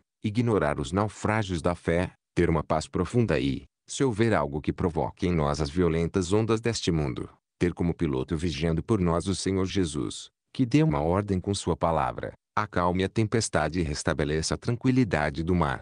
57 A Ele a honra, a glória, o louvor, a eternidade, pelos séculos, agora e sempre, e por todos os séculos dos séculos. Amém. 6,25.58 Dividida a água. Era preciso dar à terra aparência e beleza, para que deixasse de ser invisível e desorganizada. Com efeito, muitos dizem que é invisível aquilo que não tem aparência e, assim, entendem que a terra estava invisível, não porque não pudesse ser vista pelo sumo Deus e seus anjos traço pois os homens ainda não tinham sido criados, nem os animais traço, mas porque não tinha aparência. Ora, a aparência da terra é a germinação e a verdura do campo. Por isso, para torná-la visível é organizada, Deus diz que a terra produza a erva do feno, que a semente germine segundo sua espécie e a árvore frutífera produza, segundo sua espécie, o fruto que tem em si sua semente. 59, 26. Ouçamos as palavras da verdade, cuja sequência é a salvação dos que as escutam. Com efeito, a primeira palavra de Deus dirigida a cada criatura capaz de gerar é a lei da natureza, que sempre permaneceu nas terras e que o dará o modelo da futura sucessão de modo que se desenvolva no futuro a faculdade de gerar ou de produzir frutos. Assim, a germinação começa quando as plantas nascentes parecem irromper, depois, surge e cresce um renovo, aparecendo a erva. A erva, por sua vez, crescendo um pouco, torna-se feno. Que palavra útil, que palavra veemente, germine a terra a erva do feno. 60 Isto é, que a própria terra germine por si mesma, que não busque auxílio de outra criatura, que não precise da ajuda do que quer que seja. 27. De fato, muitos costumam dizer, se o calor benfazejo do sol não esquentasse o solo, e se de alguma forma seus raios não o aquecessem, a terra não poderia germinar. É por isso que os povos conferem honra divina ao sol, porque com a virtude do seu calor ele penetra nos buracos do solo, aquece as sementes espalhadas e dilata os veios das árvores enrijecidas pelo gelo. Escuta então Deus como que pronunciando estas palavras, cale-se o inepto sermão dos homens, o qual virá depois. Afaste-se a vã opinião. Antes que seja feito o luzeiro do sol, que nasça a erva, que a prerrogativa dela seja mais antiga que a do sol, para que não cresça o erro dos homens, que a terra germine antes de receber o calor do sol. Saibam todos que o sol não é o autor das plantas nascentes. A clemência de Deus dilata o solo, A indulgência de Deus faz prorromperem os frutos. Como o sol poderia ministrar a capacidade de viver às plantas que nasceriam, se estas vieram ao mundo pela ação vivificadora de Deus, antes que o sol chegasse à vida? Ele é mais novo do que as ervas, mais novo do que o feno. 617, 28. E talvez alguém se admire de que a forragem para o gado tenha sido criada antes do alimento para o homem. Neste fato devemos atentar primeiro para a profundidade de Deus, que não negligencia nem as mínimas coisas. Conforme diz no Evangelho a sabedoria de Deus 62 Olhai as aves do céu, porque não semeiam nem colhem, nem ajuntam nos celeiros, e o vosso Pai Celeste as alimenta. Porventura vós não sois mais do que elas. Ponto de interrogação 63 Ora, uma vez que elas são alimentadas pela graça de Deus, ninguém deve gloriar-se de seu esforço e virtude. Depois, ele quis dar precedência ao alimento simples e natural sobre os demais alimentos. Com efeito, este é o alimento da sobriedade. Os restantes são dos prazeres e da luxúria. Este é o alimento comum a todos os animais, aquele é o alimento de poucos. E assim, o exemplo da frugalidade, o magistério da economia é que todos se contentem com o alimento da erva simples, dos legumes humildes ou dos frutos, alimento que a natureza lhes proporcionou, que a liberalidade de Deus lhes deu primeiro. Alimento saudável, útil, que afasta as doenças, que evita a indigestão, cuja produção não exige dos homens esforço algum, porque é prodigalizado pelo favor divino, cereais sem semeadura, frutos sem semente, tão doce e agradável que mesmo os que já estão satisfeitos o consomem com prazer. Em suma, dado em vista das primeiras refeições, permaneceu para as seguintes. 29. Ora, como eu poderia esboçar a maravilha desta criação e apresentar a prova da sabedoria criadora? Pois na aparência destes rebentos e na serventia daquela erva verdejante está a imagem da vida e da natureza humana, e se vê e se manifesta como num espelho o sinal de nossa condição. A erva e a flor do feno são a figura da carne humana, conforme o bom intérprete da divindade expressou com o órgão de sua voz, dizendo, clama. O que clamarei? Toda a carne é como o feno e toda a glória do homem é como a flor do feno. O feno secou e a flor caiu, mas a palavra do Senhor permanece para sempre. 64 A voz humana é o pensamento de Deus. Deus diz, Selama, 65 Mas no próprio Isaías é ele que fala. O profeta responde, o que clamarei? Ponto de interrogação 66 E tão logo ouviu o que deveria falar, acrescentou, toda a carne é feno. 67 Em verdade, pois a glória do homem floresce na carne como o feno e, embora pareça ser sublime, é fraca como a erva, prematura como a flor, perecível como o feno, germina o verdor na aparência e não a solidez no fruto, como uma flor, promete os prazeres de uma vida alegre, mas em breve cairá por terra, como a erva do feno, que seca antes de ser arrancada. 68 Com efeito, que firmeza pode haver na carne, que saúde pode ser duradoura. 30. Hoje podes ver um jovem saudável na flor dos verdes anos da adolescência, de aparência agradável e bela cor. No dia seguinte ele se apresenta diante de ti mudado no aspecto e no semblante. Ponto e vírgula 69 Então, aquele que na véspera te pareceu cheio de glória graças à bela aparência, no outro dia parece digno de compaixão, debilitado pela fraqueza de uma doença qualquer. A muitos é o trabalho que abate, ou a penúria que consome, a indigestão que maltrata, os vinhos que corrompem, a velhice que debilita, os prazeres que efeminam, a luxúria que empalidece. Não é verdade que o feno secou e a flor caiu? Outro, nobre pelos avós e antepassados setenta e honrado pelos galões dos ancestrais, ilustre pelas insígnias de uma família antiga, setenta e um cheio de amigos, rodeado de protegidos, resguardado de todos os lados, conduzindo e reconduzindo uma família numerosa, repentinamente acabrunhado pelo peso de uma eventual provação, é abandonado por todos, desprezado pelos companheiros, atacado pelos parentes. Eis como é verdade que a vida do homem é semelhante ao feno, seca antes de ser colhida. 72 Existe também quem desfrute no momento de abundância de recursos e voe de boca em boca. A 73 pela fama de liberalidade, ilustre pelas honrarias, preeminente pelos poderes, importante nos tribunais, elevado em autoridade, considerado feliz pelo povo, enquanto é escoltado pelo pregão dos aduladores, subitamente, por uma mudança nos acontecimentos, é arrastado ao mesmo cárcere em que ele próprio precipitara outras pessoas, e chora as aflições de um castigo iminente, no meio de seus antigos réus. Quantas pessoas um dia são tiradas de casa pela caterva dos aduladores e pelo cortejo invejoso da população, e uma única noite destrói o esplendor da gloriosa aventura, e uma súbita pleurite mistura aos pródigos prazeres uma lúgubre sucessão de pesada tristeza. Assim, pois, a glória do homem é semelhante à flor do feno, pois ela também nada acrescenta às obras depois de subtraída, nela não se obtém nenhum fruto, ao ser perdida, desaparece, abandonando repentina e completamente a vida do homem, que ela recobria por cima, 74 e animava por dentro. 31. Mas oxalá imitássemos esta erva, sobre a qual diz o Senhor, que a terra produz a erva do feno, germinando a semente conforme a sua espécie e semelhança. 75 Semeemos, pois, a semente conforme a sua espécie. Queres saber qual a espécie? Escuta o Senhor, que diz que devemos procurar a semente divina, se é que de alguma forma podemos apresentá-la ou encontrá-la, embora não esteja longe de cada um de nós. Pois nela vivemos, nela somos e nos movemos, assim como alguns dentre nós disseram, também somos dessa espécie.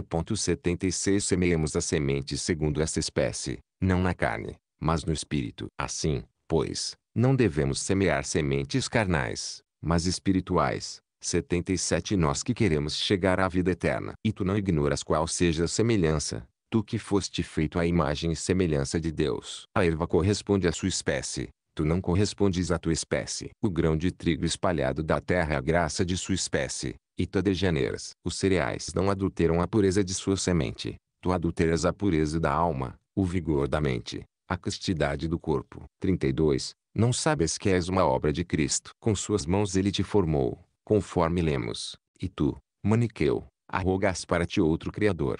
78 Deus Pai diz ao Filho, façamos o homem à nossa imagem e semelhança 79 E tu, Fortiniano, Dizes que na constituição do mundo ainda não existia Cristo. 80 e tu, Eunomiano, dizes que o Filho é diferente do Pai. 81 Pois se a imagem, certamente não é diferente, mas revela totalmente o Pai, pois o Pai o marcou com a unidade de sua substância. O Pai diz façamos, e tu negas o cooperador. Aquilo que o Pai disse, o Filho fez, e tu negas que seja igual ao Pai aquele em quem o Pai se compraz. 8,33 Que a terra produza a erva do feno, segundo sua espécie. 82 diz a Escritura. Em todas as plantas consideradas nativas da terra existe um primeiro germe. Quando uma pequena quantidade se mantém, aparece a erva, depois o feno, e daí o fruto. São nativas as plantas germinadas a partir de uma raiz, assim como as árvores que não foram semeadas nascem da raiz de outras árvores. Na extremidade de um caniço, vemos como se forma,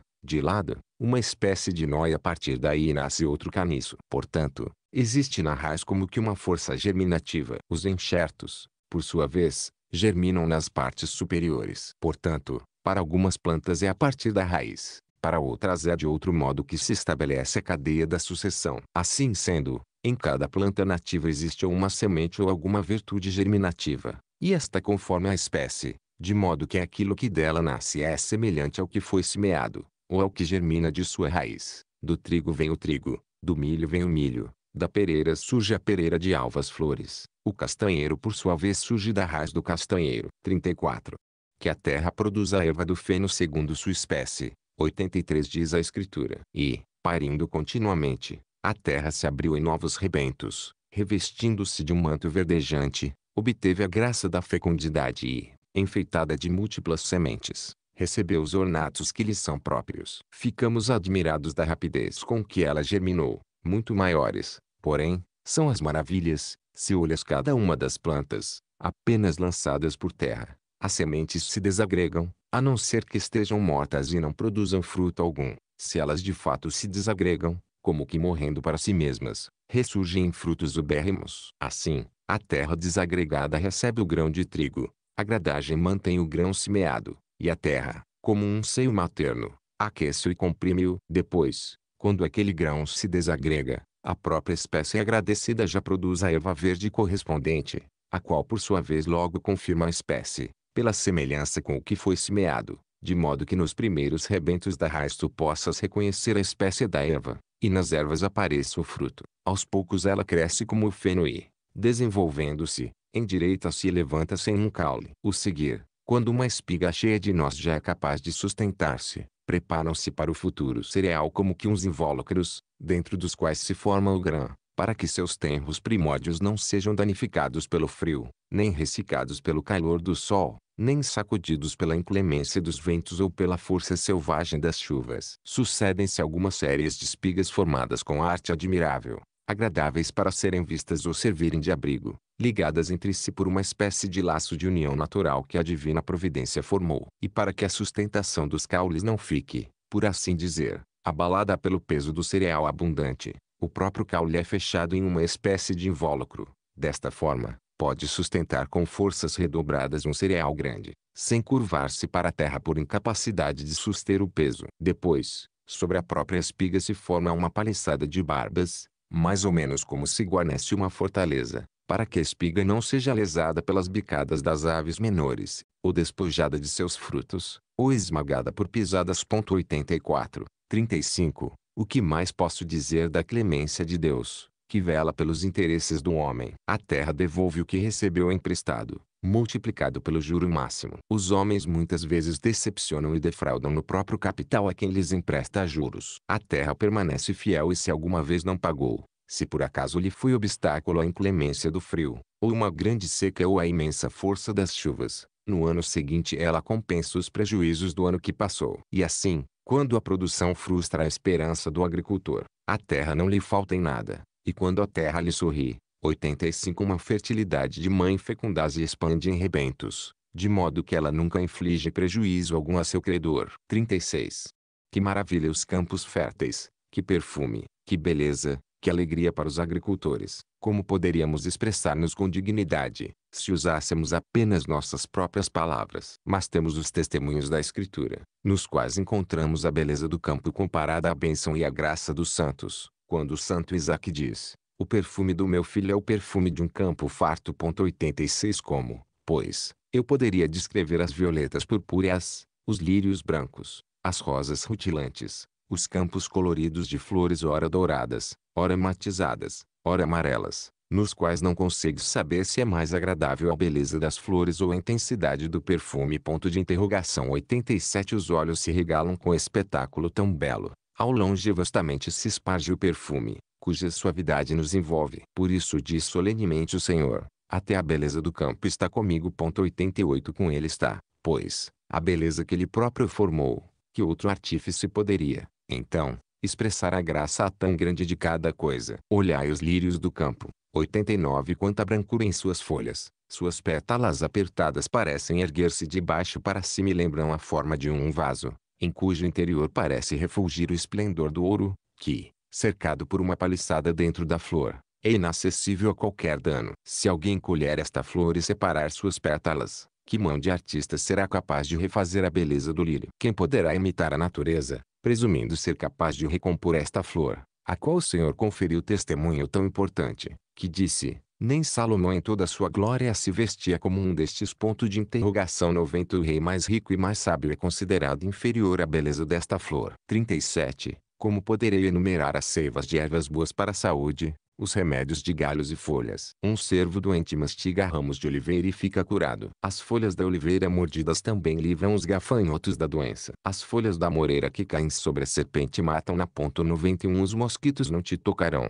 Se cozinhares a erva do absinto com óleo e com este te untares. 92 9,38. Mas talvez digam alguns, o que pensar quando plantas mortíferas e perniciosas são geradas junto com as úteis? Junto com o trigo nasce a cicuta, que, entre os alimentos, sabes que é nociva à vida e, se passar despercebida, pode prejudicar a saúde. Entre outros nutrimentos da vida surpreende-se também o eléboro. Os acônitos também frequentemente iludem e enganam quem os colhe. 93 Mas, ainda que censures a terra, isto acontece porque nem todos os homens são bons. E o que é mais, tens de admitir que nem todos são bons anjos no céu. O próprio sol, pelo excesso de calor, torre as espigas e queime os tenros rebentos das plantas nascentes. 94 A lua, pelo contrário, ilumina o caminho para os viandantes, revelando as emboscadas dos ladrões. Então, será justo que, negligentes em confessar a graça do Criador nos alimentos úteis, nós invalidemos sua previdência por causa de alguns que são nocivos, como se todos os alimentos devessem ser criados por causa da gula,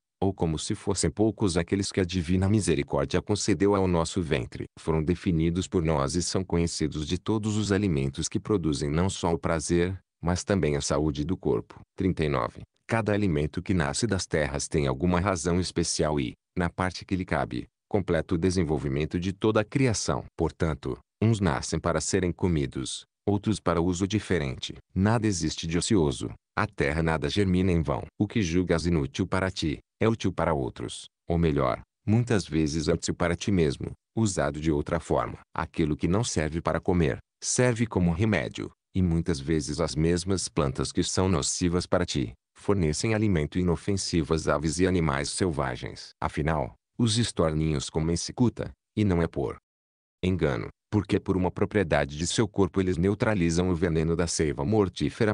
95 Existe, de fato, uma força fria na raiz da cicuta que eles vedam os finos poros que conduzem ao seu coração, antes que ela afete suas forças vitais, por meio de uma digestão precoce. Os conhecedores dizem também que o eléboro é alimento nutritivo das codornizes. 96 Porque por alguma disposição de seu corpo elas evitam a força desta planta nociva. Assim sendo, se com razão a maioria dos remédios está preparada também para a saúde do corpo humano, embora pareça ser-lhe adversa, com maior razão, pela propriedade da natureza, serve também para alimentação aquilo que é transformado em saúde pela mão que cura. Por meio da mandrágora, frequentemente chega ao sono aos doentes atormentados pelo incômodo das vigílias.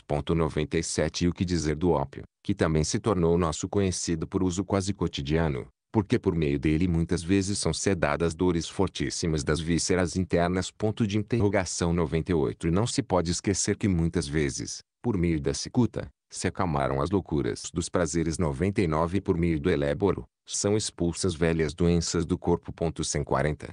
Por isso, nestas plantas não existe nenhuma censura ao Criador, mas sim um incentivo a dar-lhe graças, pois aquilo que tu poderias pensar que nasceu para o perigo foi feito para remédio de tua saúde. De fato, a providência afasta o que causa perigo, e a arte não deixa perder-se o que dá saúde. Porventura as ovelhas e as cabras aprenderam a evitar as plantas que lhes são nocivas. Embora sejam desprovidas de razão, elas conhecem, contudo, a razão de fugir do perigo e proteger a saúde, por algum mistério da natureza, sabem distinguir só pelo cheiro as plantas nocivas das úteis. Assim, muitas vezes, quando são atingidas por setas envenenadas, Conta-se que procuram ervas conhecidas e com elas aplicam um remédio à ferida. 101 Portanto, para elas o alimento é remédio e podes ver as flechas saltarem da ferida, os venenos saírem e não se espalharem. Finalmente, para os cervos o veneno é alimento. A cobra foge do cervo e mata o leão. O dragão encantou o elefante. 102 E a queda deste causa a morte do vencedor, por isso um combate o outro com toda a força. O dragão enrola-se na pata do elefante, para que a queda do animal enlaçado não lhe possa causar dano, o elefante luta para não ser apanhando na pata traseira em um caminho estreito, onde não possa voltar para trás e esmagar o dragão com uma forte pisada, nem obter ajuda de outro elefante. 41. Portanto, se os animais irracionais conhecem as ervas com que podem medicar-se, ou os recursos que podem ajudá-los, será que o homem, que tem senso racional inato, não conhece, ou está tão afastado da verdade, que não percebe nem ao menos o que serve para cada caso. Ou é tão ingrato para com os bens da natureza, que, por lhe ser mortífero engolir sangue de touro, julga que este laborioso animal não deveria ter nascido ou deveria ter sido gerado sem sangue. Ponto de interrogação 103 Ora, a virtude do touro é útil para o cultivo dos campos, hábil para o uso das carroças, agradável como alimento, sustenta de diversas formas os agricultores, aos quais, se reconheceram os dons divinos, 104 Deus deu tudo, ao dizer, que a terra produz a erva do feno, germinando a semente segundo sua espécie.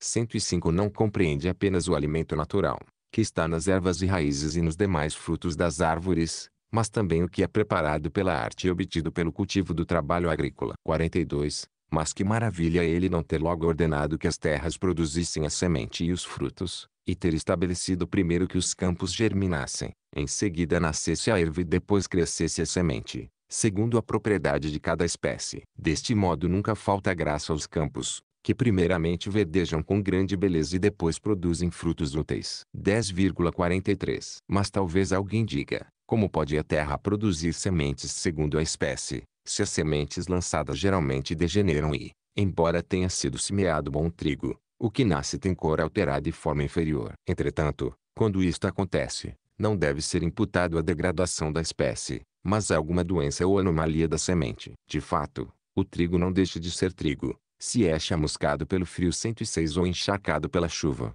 pela cor e definhamento, muda mais no aspecto do que na espécie. Enfim, os grãos encharcados frequentemente retomam o aspecto de sua espécie se são aquecidos pelo sol ou pelos relâmpagos, ou se os esforços dos agricultores diligentes são favorecidos pela amenidade da atmosfera e pela fecundidade de terras férteis. E assim, o que tinha degenerado no pai é reparado no filho. Por isso não corremos o risco de que o preceito de Deus, no qual se enraiza o uso da natureza, seja suprimido pelo vício no resto da sucessão, porque até hoje está preservada a integridade das sementes de cada espécie. 44. De fato, sabemos que o joio e as demais sementes corrompidas, que muitas vezes se misturam aos cereais, são chamadas de cisânia pela leitura do Evangelho. Mas elas têm uma espécie própria, não transferem sua natureza degenerada da semente do trigo para outra espécie de semente, alteradas por uma transformação. Ora, Assim ensina o Senhor, ao dizer, o reino dos seus é semelhante a um homem que semeou a boa semente em seu campo. Quando, porém, seus homens dormiram, veio seu inimigo e semeou a cisânia no meio do trigo.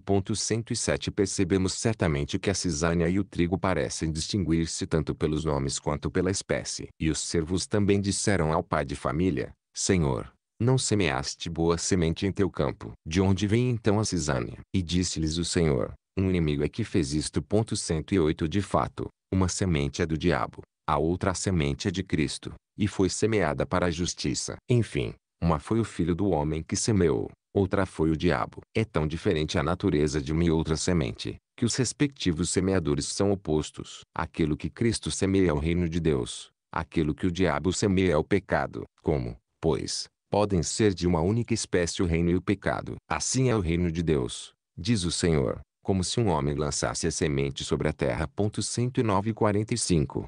Existe também o homem que semeia a palavra, sobre o qual está escrito: aquele que semeia, semeia a palavra.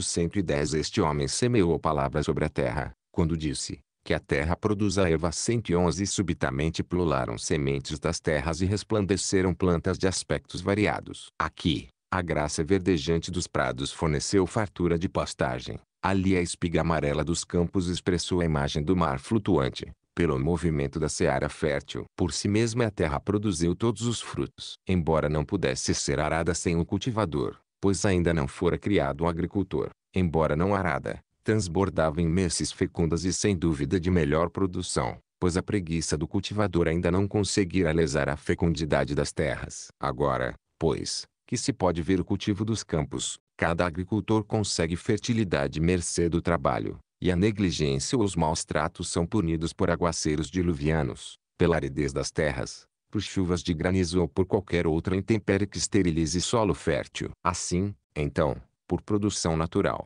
a terra levava frutos a todos os lugares, porque aquele que prescrever é a plenitude de todas as coisas. Com feito, a palavra de Deus frutificava nas terras, e a terra não for ainda condenada por nenhuma maldição. Pois os princípios do mundo que nascia são mais antigos do que nossos pecados, e é mais recente a culpa que nos condenou a comer o pão com o suor de nosso rosto. 112 e a não obter sem suor os alimentos. 46. Enfim, ainda hoje a fecundidade da terra produz a abundância primitiva, mercê da fertilidade natural. Com efeito, quantas são as plantas ainda hoje geradas espontaneamente? Entretanto, até nas próprias plantas que obtemos por nossas mãos permanece grande parte dos favores divinos, pois os próprios grãos de trigo são produzidos por agricultores que dormem. É o que ensina o exemplo proposto pela leitura, quando o Senhor diz que o reino de Deus é como alguém que lança a semente sobre a terra e vai dormir, levanta-se de noite e de dia, diz o Evangelho, e a semente germina.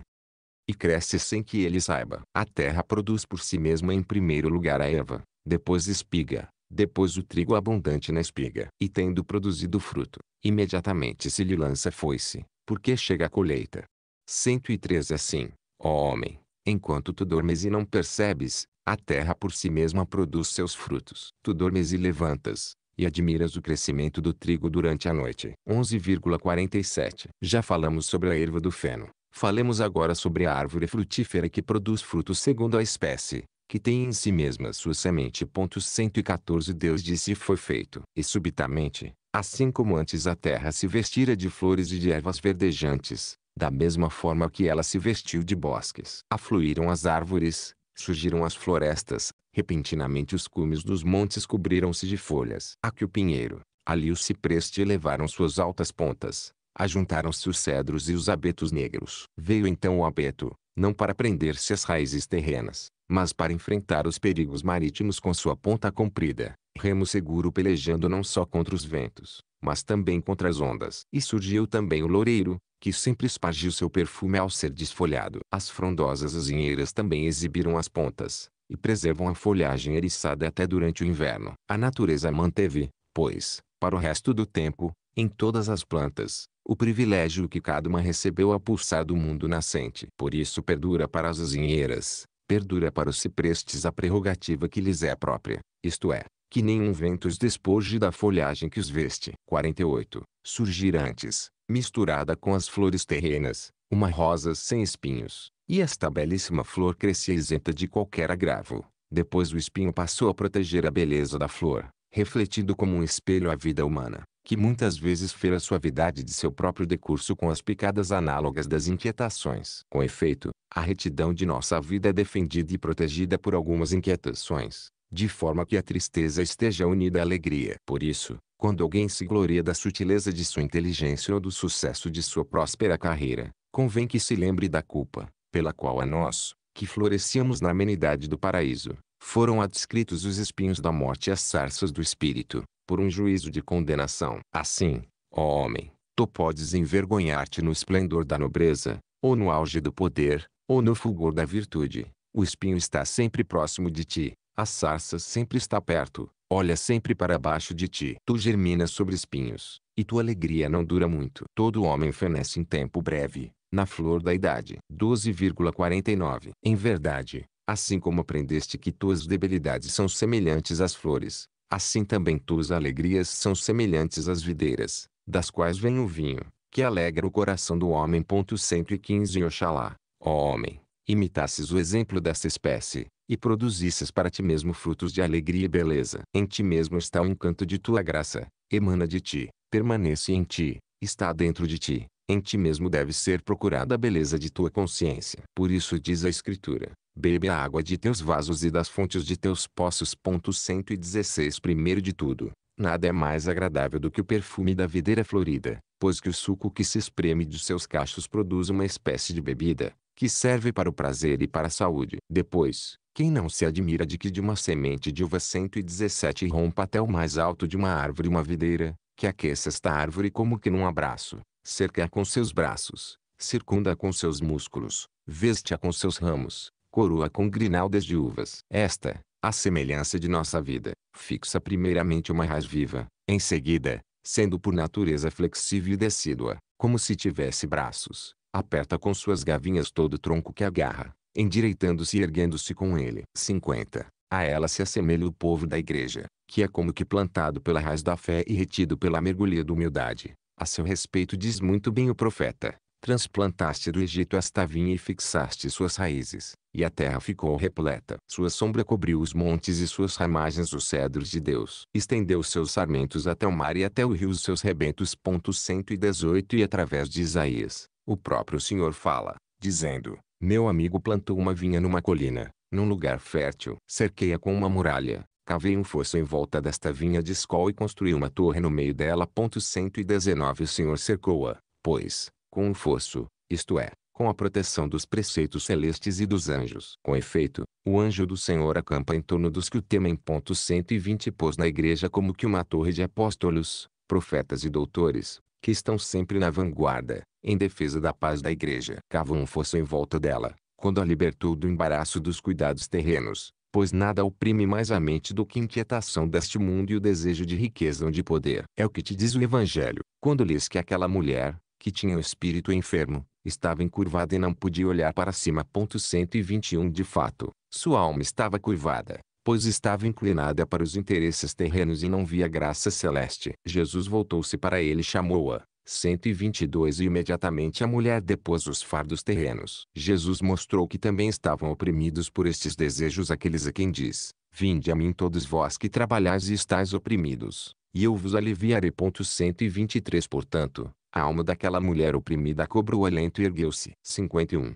Mas a videira também, quando cavada em volta, é amarrada e erguida para não vergar por terra. Alguns sarmentos são cortados, outros replantados por mergulhia, é cortado uma grande quantidade que nada produz. São replantados os que o bom agricultor julgar frutíferos. Como eu poderia descrever os arranjos das estacas 124 e a graça do emparreiramento, que verdadeira e manifestamente ensinam que na igreja deve ser preservada a igualdade, para que ninguém se eleve por ser rico e honrado, ninguém se rebaixe por ser pobre, ou se desespere por não ser nobre. Deve existir para todos na igreja uma igual e única liberdade, devem ser partilhadas por todos a justiça comum e a graça. Por isso a torre está no meio, para propagar o exemplo daqueles agricultores, daqueles pregadores, que conseguiram sustentar a cidadela das virtudes. Pelo exemplo deles, nosso sentimento deve alçar-se e não jazer por terra, vil e desprezível. A mente de cada um deve elevar-se até as coisas do alto, ousando dizer, nossa morada está nos céus.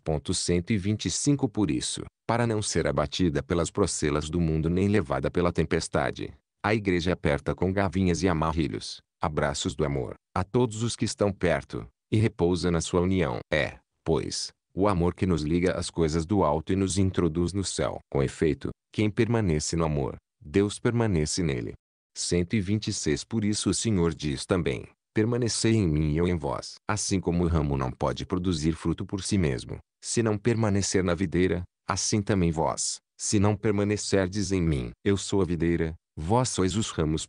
127, 52. Jesus indicou, pois, claramente, que o exemplo da videira deve ser invocado para a instrução de nossa vida. Sabe-se que primeiro ela germina aquecida pela estação da primavera, em seguida solta o fruto dos nós de seus sarmentos, Saindo deles, forma-se o cacho de uvas que, crescendo pouco a pouco, retém a acidez do fruto verde e não pode ficar doce se ainda não estiver bem maduro. Entre mentes, a vinha veste-se de renovos verdejantes, que lhe fornecem não pequena ajuda contra o frio e toda a adversidade, e a defendem do ardor do sol. 128 O que pode ser mais belo do que este espetáculo, ou mais doce do que este fruto, ver as guirlandas pendentes como se fossem colares enfeitando o campo, colher as uvas reluzentes, da cor do ouro ou da púrpura. Talvez saibas que brilham os jacintos e as demais pedras preciosas, que refúgio o anil, que cintila a graça das pérolas, mas não percebes que tudo isso te adverte, ó homem, para que o último dia não te encontre com frutos verdes, e que o tempo completo de tua vida não produza obras pequenas. Pois o fruto verde costuma ser muito amargo, e só pode ser doce aquilo que atingiu a maturidade da perfeição. A este homem perfeito, nem o frio terrível da morte, nem o sol da iniquidade conseguem prejudicar, porque a graça espiritual o cobre com sua sombra, apaga todos os incêndios e afasta todos os ardores do desejo mundano e da volúpia do corpo. Que te louvem todos os que contemplam e admiram as fileiras da igreja, como se fossem as guirlandas das videiras. Que todos vejam os belos colares das almas fiéis e se comprazam com a maturidade da prudência, o esplendor da fé, a honra da confissão, a beleza da justiça, a fecundidade da misericórdia, para que te seja dito, tua esposa é como uma videira fecunda, entre as paredes de tua casa. 129 Porque imitas a abundância da vinha frutífera pelo dom de uma copiosa generosidade. 13. 53. Mas porque me detenho apenas na videira, quando todas as espécies de árvores são úteis. Umas nasceram para dar frutos, outras para serem usadas. Em verdade, aquelas que não dão frutos abundantes, têm, contudo, uma utilidade preciosa. O cedro é apropriado para levantar as cumeiras dos telhados, porque essa espécie de madeira é suficientemente longa para os espaços e não é pesada para as paredes. O cipreste, por sua vez, serve para preparar tetos com painéis em declive. Por isso a igreja diz também no Cântico dos Cânticos, as vigas de nossas casas são de cedro, nossos telhados de cipreste. 130 significando que nestas madeiras estão os belos ornatos de seu teto, com sua virtude, elas sustentam a cúpula da igreja como se fossem vigas e embelezam seu teto. O louro e a palmeira são o emblema da vitória. Com o louro são coroadas as cabeças dos vencedores. A palmeira é ornato das tropas vitoriosas. Por isso a igreja diz também, eu disse, subirei a palmeira, habitarei suas alturas. 131 Contemplando a eminência da palavra e esperando poder ascender à sua altura e a culminância da sabedoria, ela diz, subirei a palmeira, deixando tudo o que é inferior para atingir o que é superior, o prêmio de Cristo, e colher e degustar seus suaves frutos, pois suave é o fruto da virtude. Também o chupo, árvore frondosa para as coroas da vitória, e o salgueiro flexível, 132 próprio para ligar as videiras, misticamente não significam outra coisa senão os bons vínculos de Cristo, que não costumam prejudicar, vínculos da graça, vínculos do amor, para que cada um se glorie de seus vínculos, como Paulo também se gloriava, dizendo, Paulo, prisioneiro por Jesus Cristo.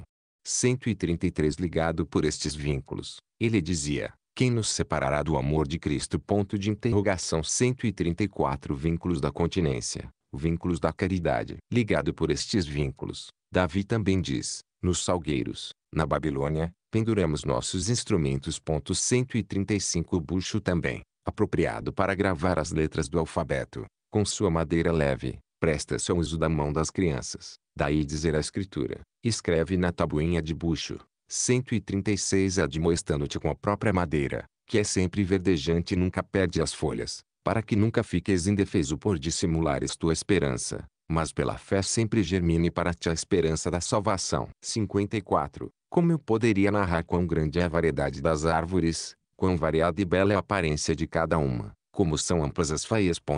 137 Como são altos os abetos, como são comosos os pinheiros, como são frondosas as azinheiras. 138 Como são bicolores os chopos.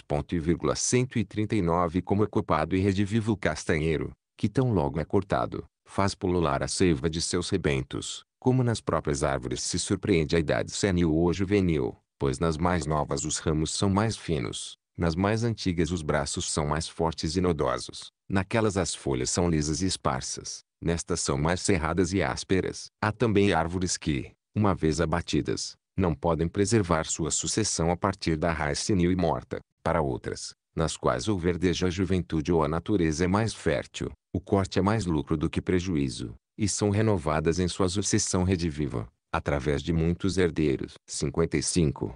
E para que te admires, existe sexo nas próprias árvores frutíferas. Assim, podes ver a palmeira que dá tamaras, baixando e levantando muitas vezes seus ramos, sugerindo uma imagem de concupiscência e carícia para com aquela árvore que os filhos dos agricultores chamam de palmeira macho. Portanto, a primeira é uma palmeira fêmea, e revela seu sexo no aspecto submisso. Por isso os que cultivam os bosques lançam para seus ramos sementes de tamaras ou de sarmentos masculinos, e aquela árvore feminina é como que invadida por um sentimento de amor a eles, oferecendo-se para o desejado acasalamento. Gratificada com esta função, ela se endireita novamente, levanta seus ramos e outra vez eleva sua ramagem ao estado primitivo. Sobre a figueira também existe a mesma opinião, por isso conta-se que muitos enxertam ao lado da figueira doméstica e frutífera uma figueira agreste, porque dizem que os frutos da figueira fecunda e doméstica caem logo por terra, atacados pelo vento ou pelo calor. Por isso os conhecedores deste recurso de ligar os figos selvagens da figueira agreste à árvore fértil,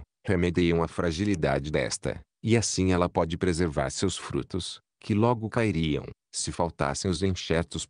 140 Isto nos aconselha, como que por uma alegoria da natureza, a não desprezar os que estão separados de nossa fé e de nosso convívio, porque também o gentil que se juntar a nós, quanto mais ferrenho defensor do erro tenha sido, tanto mais veemente defensor da fé poderá tornar-se. E se algum dos hereges se converte, na verdade está ratificando a parte da doutrina qual voltou a mudar de opinião, sobretudo se por natureza ele não faz rodeios e tem um pensamento vigoroso, e se tiver apoio da sobriedade e observância da castidade. Portanto, prodigaliza teu zelo para com ele, para que, à semelhança daquela figueira frutífera, possas robustecer a tua virtude pela presença e pela ligação com aquela árvore agreste. Desta forma, tua aplicação não será perdida, e será preservado o fruto do zelo e da graça. 56. Quantas coisas ensinam que a dureza natural pode ser moderada pelo zelo da diligência. O cultivo do campo é um exemplo delas, pois muitas vezes as romanzeiras florescem logo e não podem dar fruto, a não ser que sejam bem cultivadas, com recursos convenientes. Outras vezes sua seiva interior se esvai e por fora sua aparência continua bela. Não é sem razão que é comparada à igreja, conforme se lê no Cântico dos Cânticos, que fala a igreja, tuas faces são como pele de romã. 141 e abaixo. Se a vinha está em flor, se floresceram as romanzeiras. 142 De fato, a igreja, bela pelo sangue de tantos mártires e, o que é mais, dotada do sangue derramado por Cristo, ostenta o bom fulgor da fé e da confissão, conservando unidos no seu interior muitos frutos dentro de uma única muralha, como faz a romã, e abarcando muitas ações virtuosas. Com efeito, com a sabedoria do Espírito, ela esconde suas atividades.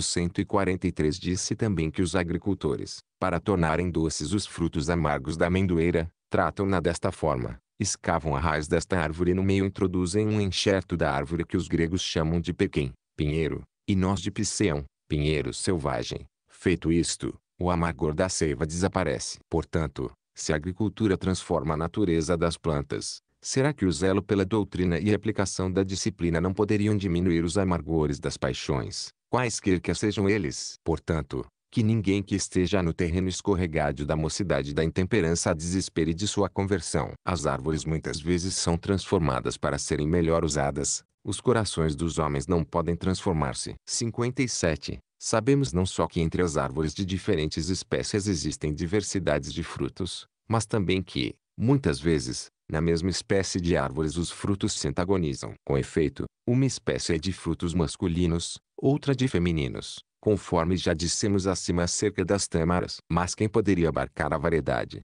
o aspecto e a beleza dos frutos, e ainda mais a utilidade de cada fruto, a propriedade de cada seiva, que remédio pode servir para cada caso, de que modo alguns frutos amargos curam as vísceras doentes dos homens e moderam o inchaço e acidez interiores, de que forma os acres humores do corpo são moderados por alguns frutos doces. Enfim, esta é a medicina mais antiga, que costuma curar com ervas e seivas e nenhuma saúde é mais firme do que aquela que é restaurada com alimentos salutares. Assim, aprendemos com a natureza que só o alimento já é remédio para nós. As feridas abertas fecham-se com erva, certamente, as feridas internas curam-se com as ervas, por isso é necessário que os médicos conheçam o poder das ervas, do qual se desenvolveu o seu uso medicinal. 14,58 Mas, voltando aos frutos simples, existem alguns que são aquecidos pelo sol, outros que se desenvolvem dentro de cascas e invólucros. As maçãs, as peras e também todas as espécies de uvas são nuas,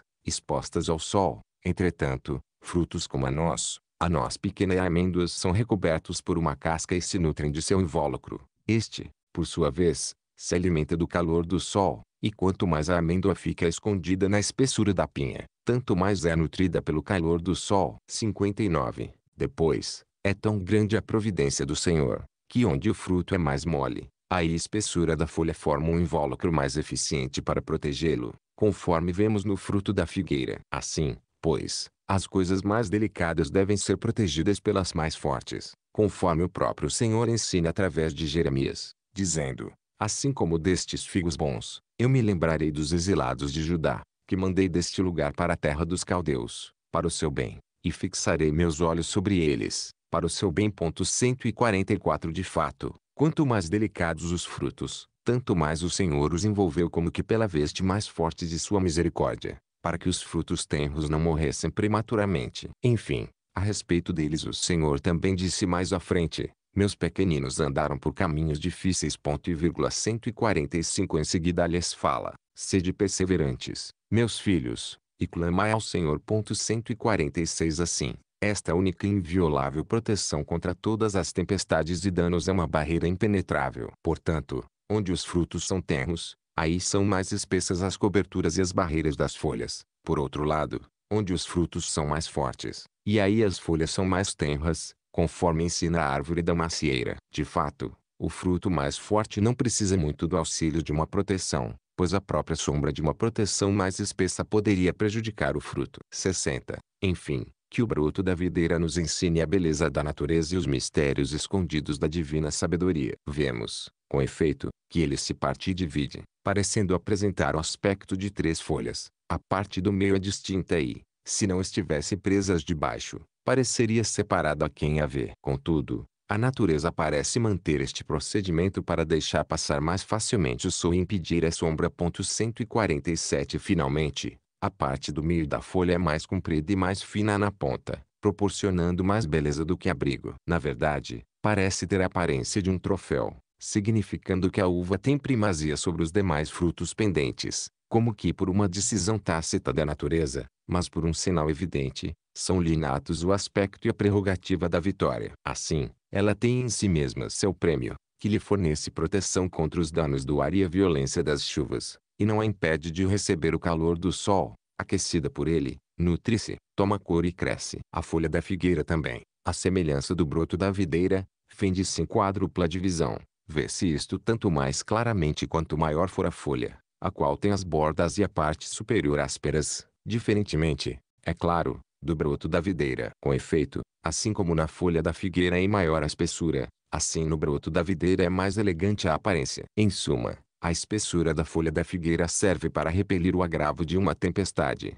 a divisão para aquecer os belos frutos. Enfim, essa espécie de fruto não é facilmente afetada pelo granizo, e atinge logo a maturidade, porque parece ao mesmo tempo proteger-se contra os agravos e expor-se para tornar-se mais bela. 61. Como eu poderia descrever as variedades de folhas? Umas são redondas, outras são mais longas, umas flexíveis, outras mais rijas, umas não caem facilmente com os ventos, outras são derrubadas por um leve movimento das brisas. 15,62 É impossível querer descobrir as propriedades de todas as coisas, distinguir suas variedades por um sinal evidente, ou desvendar suas causas latentes e ocultas com argumentos inesgotáveis. Sem dúvida, uma só e a mesma é a água e geralmente assume aparências diferentes. Amarela entre as areias, espumante entre os rochedos, mais esverdeada entre os bosques, variegada entre as flores, mais luminosa entre os lírios, mais brilhante entre as rosas, mais límpida na relva, mais turva no pântano,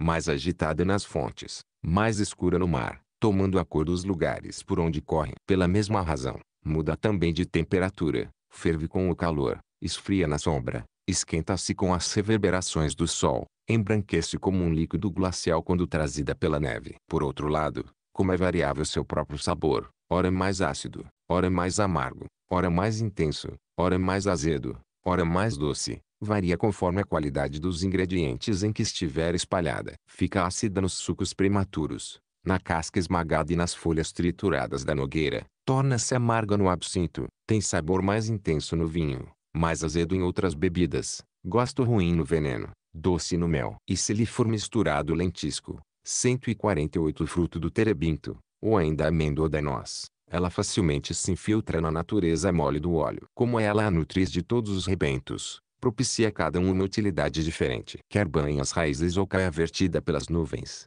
Dá tudo forças especiais, entumece a raiz, ergue o tronco, espalha os ramos, faz as folhas verdejarem, alimenta as sementes dos frutos, faz o fruto crescer. Portanto, embora a mesma água seja a nutriz de todas, algumas espécies de árvores produzem seiva mais amarga, outras mais doce, umas tardia, outras precocemente. Seus próprios perfumes também se distinguem entre si. Um é o perfume da videira, outro da oliveira, outro das cerejeiras, outro da figueira, diferente da macieira, ímpar na tamareira. 63. A própria consistência da água ora é macia, ora mais áspera, algumas vezes mais viscosa. Seu peso também varia muito, assim como sua aparência. Em muitos lugares é mais pesada, em outros mais leve. Portanto, já que ela própria em si mesma se diferencia, não é de admirar que as resinas das árvores sejam diferentes entre si pois são geradas pelo derramamento da mesma água. E embora seja uma só a causa de todas as resinas, é diferente a utilidade e a natureza de cada uma. Uma é a força da resina da cerejeira,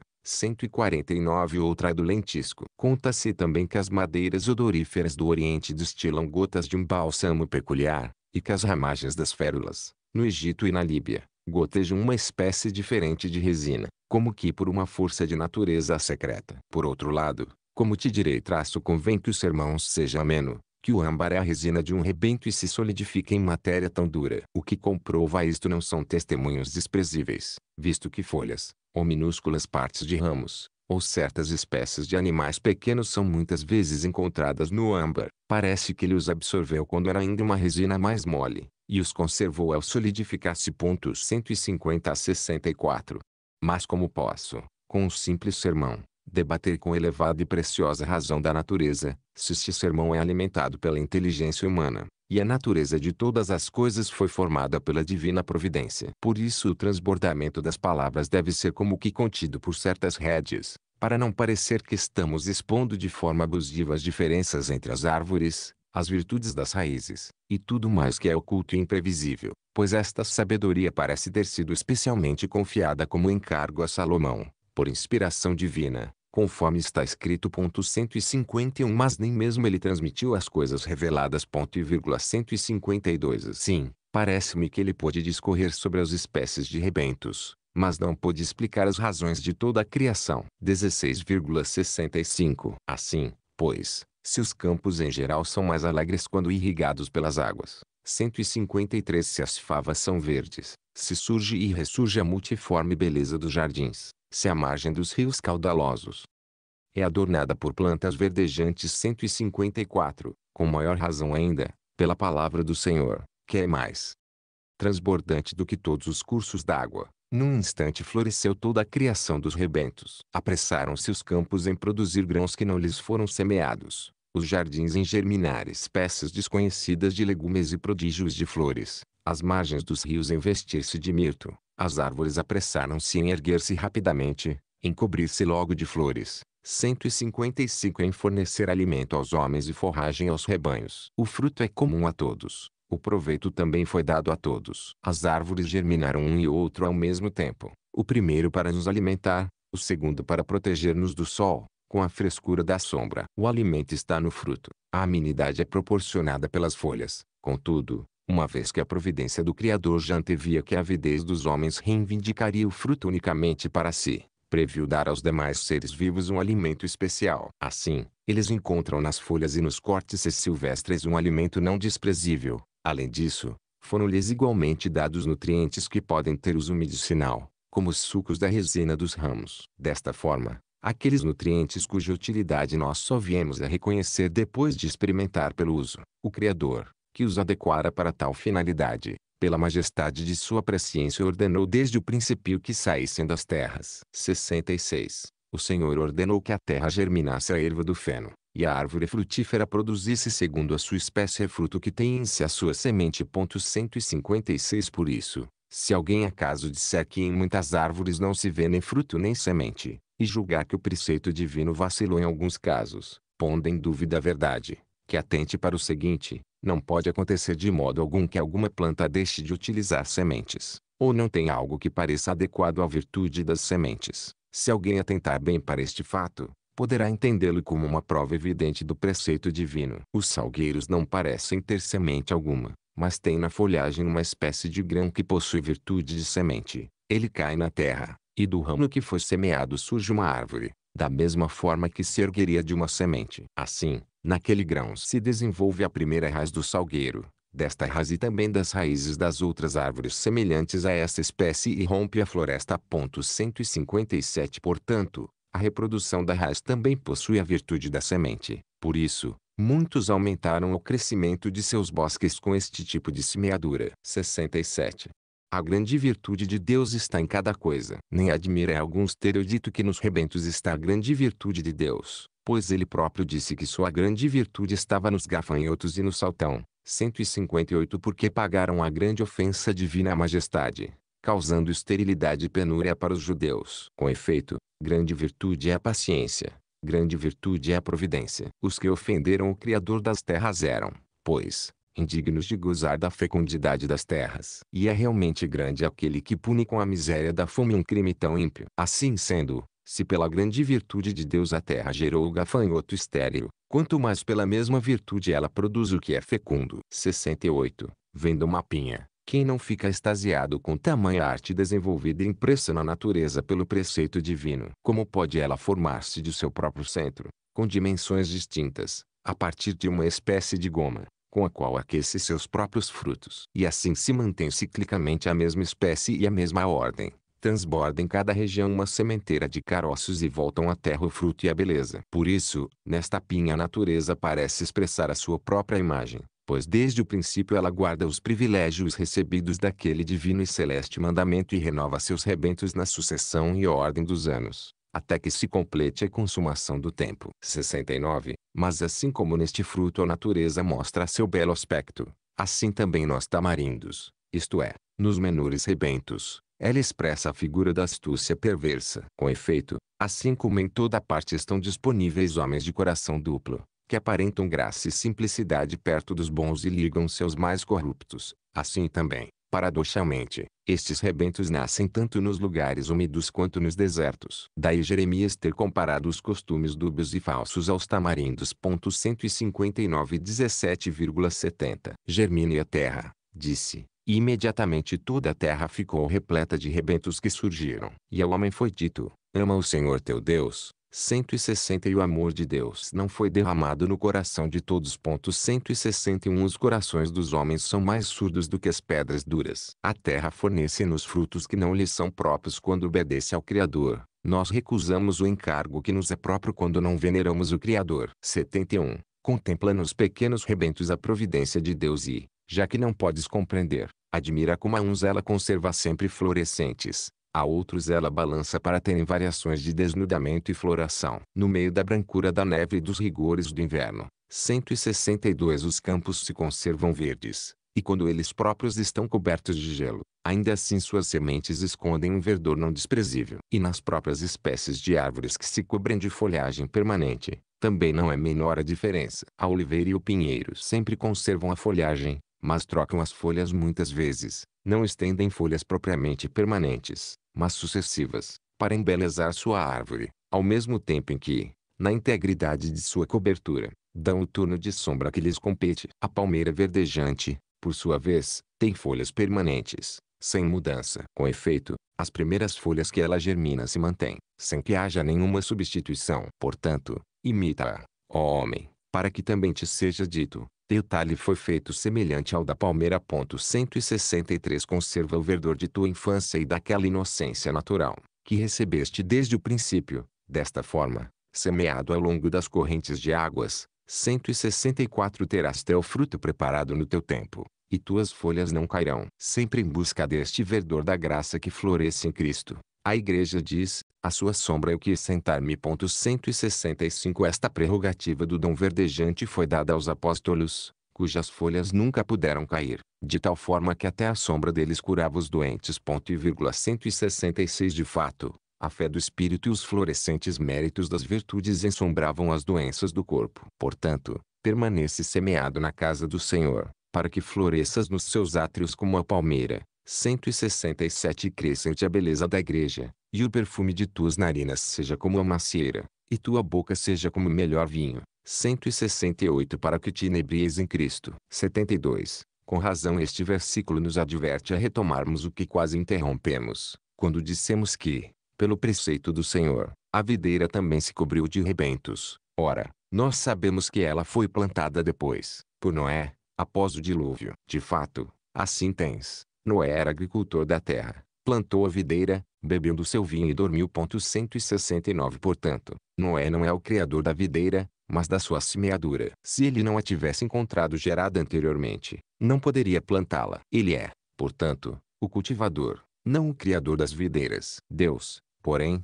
que sabia que o vinho bebido com sobriedade daria saúde e aumentaria a prudência, mas consumido sem moderação daria motivo aos vícios 170 forneceu a criatura e reservou ao arbítrio do homem a fartura de sua produção. Desta forma, a parcimônia da natureza é o magistério da sobriedade, e a condição humana subscreve a si mesma os danos da abundância e as quedas de embriaguez. Afinal, o próprio Noé também ficou embriagado e caiu no sono, adormecido pelo vinho. E assim, pelo vinho, ficou exposto à vergonha aquele que pelo dilúvio se elevou até a glória. Mas o Senhor preservou também aí a graça de sua criação, convertendo o fruto da videira em nossa salvação, de modo que por ele nos viesse a remissão dos pecados. Por isso disse piedosamente Isaac, o odor de Jacó é o odor do campo farto, 171 isto é, um odor natural. Pois o que é mais suave do que um campo farto, o que é mais agradável do que o perfume da vinha, o que é mais belo do que a flor da fava. Por isso, embora alguém tivesse dito engenhosamente antes de nós,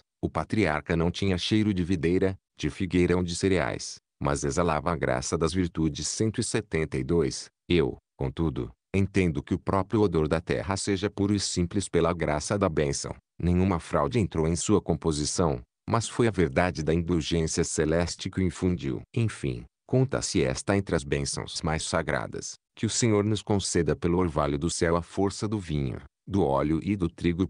173 A Ele a honra, o louvor, a glória, a eternidade pelos séculos, agora e sempre, por todos os séculos dos séculos. Amém. 1 CF, Basílio, Esaim. 4. Aqui começa o sermo quarto, proferido, provavelmente, na manhã do terceiro dia da Semana Santa. 2 GN 1,9. 3 SL 77,17. 4 SL 114,3. 5 CF. 1 RI 20,28. 6 SL 84,7. Distinto do texto da Septuaginta. 7 CF. SL 42,2. 8 CF. Virgílio, Sheol, I. 378, 9 CF, PR 26,27, ECL 10,8, ECLO 27,29, 10 CF, IS 40,22, conforme ao texto grego. 1154,2 a 3. 12 SL 24,2. 13 SL 93,3 a 4. 14 SL 93,4. 15 Ju 7,38 a 39. 16 CF. SL 114,3. 17 GN 1,9 conforme ao texto grego. 18 GN 1,9. 19 GN 1,9. Ambrósio explica o aparecimento da a seca, que consta no texto da Septuaginta, mas não no texto hebraico. A este respeito, veja-se, abaixo, N. 52, página 91, relativa a 3,5,20. 20 CF. Virgílio, Eneadas, I. 607. 21 Aicor.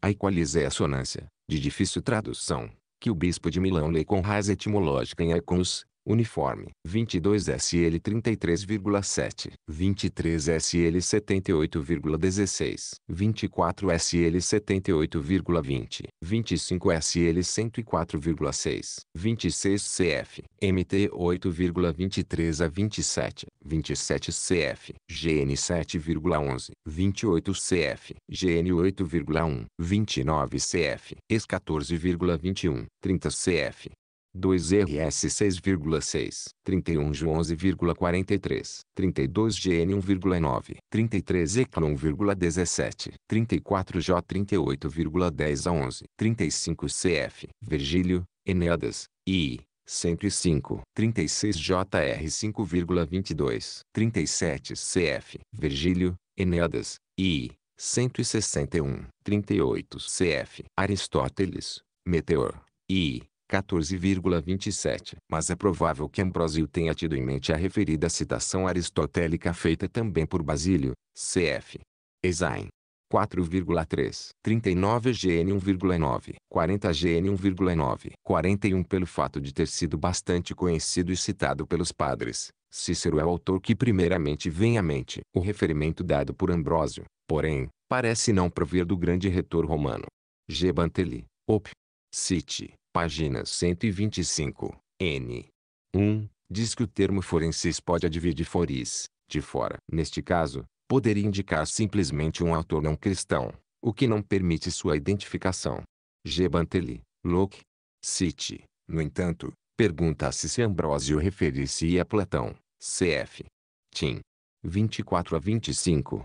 42 GN 1,10, 43 SL 89,12 a 13, 44 J 38,10, 45 GN 7,20, 46 IS 45,2, 47 GN 1,9, 48 SL 95,5, 49 SL 63,3, 50 SL 107,33, 51 GN 1,10, 52 GN 1,9 a 10 é justificada a digressão de crítica textual escriturística de Ambrósio, admitindo-se seu conhecimento direto do texto hebraico. Neste caso, o bispo de Milão não ignora que a referida passagem não se encontra no mencionado texto escriturístico. Encontra-se, porém, na Septuaginta, que ele, como os padres, considera texto inspirado por excelência. No entanto, é provável que tivesse presente a mesma, e brevíssima, digressão de crítica textual precedentemente feita por Basílio,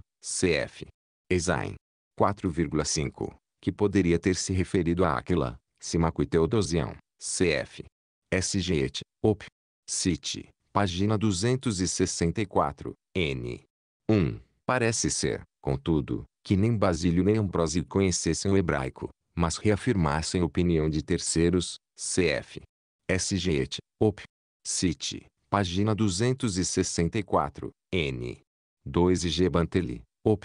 Cite, página 131, n. 1. 53 GN 1,9 54 CF Virgílio, Eneadas, 3, 534 55 CF Virgílio, Georg, 2, 462 56 refere-se à água do batismo 57 CF MT 8,26 LC 8,24 58 CF Basílio, Esain, 5 Aqui começa o sermo V, pronunciado, provavelmente, na tarde do terceiro dia da Semana Santa. 59 GN 1,11. 60 GN 1,11. 61 O parágrafo parece ter submir o culto de Mitra, deus da luz que fertiliza o mundo, que, no século IV, identificava-se no culto ao Sol. 62 CF um cor 1,30, 63 MT 6,26, 64 IS 40,6 a 8, 65 IS 40,6, 66 IS 40,6, 67 IS 40,6, 68 CF, SL 129,6, 69 CF, Virgílio,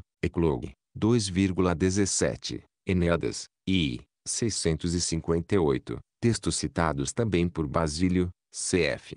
Esain, 5, 2. Ambrósio, porém, parece reelaborá-los como quem tem conhecimento direto dos mesmos. 70 cf. Virgílio, Eneadas, 7, 56. 71 cf. Salústio, de Belug, 85,10. 72 cf. SL 129,6. 73 cf. Cícero, Dispute, Tusk, I. 34, 74 cf. Virgílio, Eneadas, I. 165, 75 GN 1,11, 76 AT 17,27 a 28, 77 CF.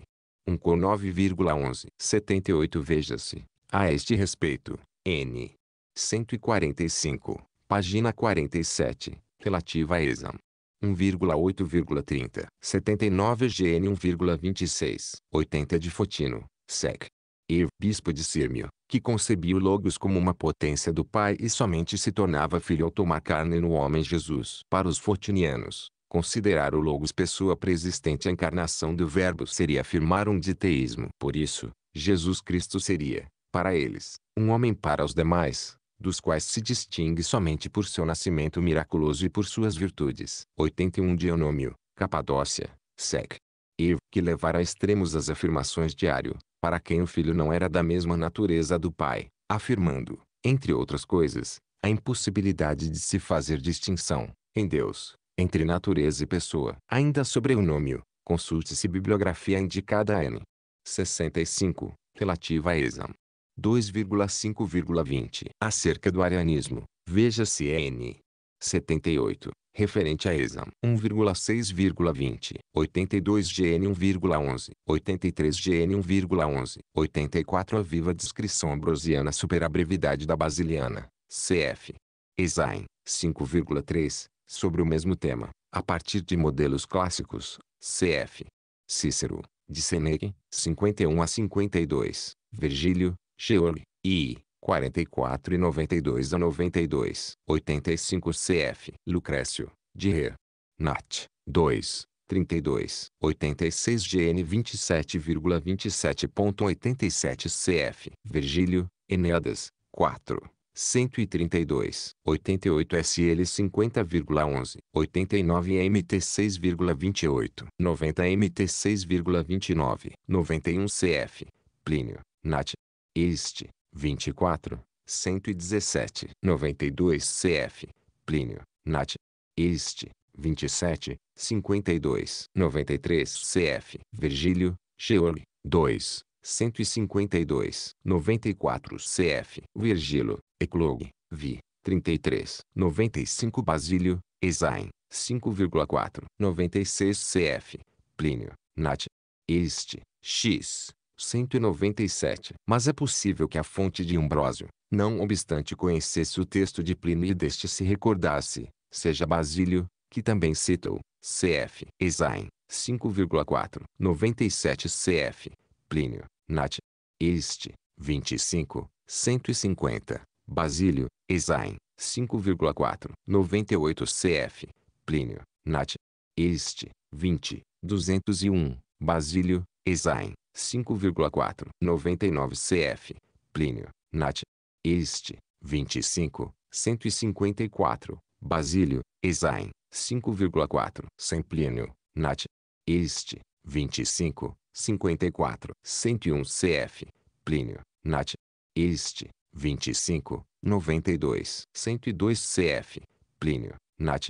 Este, 8, 118. Ambrósio, porém, substitui a serpente do texto de Plínio pelo dragão, Draco, no latim. 103 Basílio, Esaim, 5,4. 104 cf. Virgílio, Sheol, 2. 458 a 459, 105 GN 1,11, 106 CF, Virgílio, Sheol, I, 94, 107 MT 13,24 a 25, 108 MT 13,27 a 28, 109 MC 4,26, 110 MC 4,14, 111 GN 1,11, 112 CF, GN 3,19, 103 MC 4,26 a 29, 114 GN 1,11, 115 SL 104,15, 116 PR BR 5,15, 117 CF, Cícero, de Senec, 52, 118 SL 80,9 a 12, 119 5,2, 120 SL 34,8, 121 CF, LC 13,11 SS, 122 CF, LC 13,11 SS, 123 AMT 11,28, 124 CF, Cícero,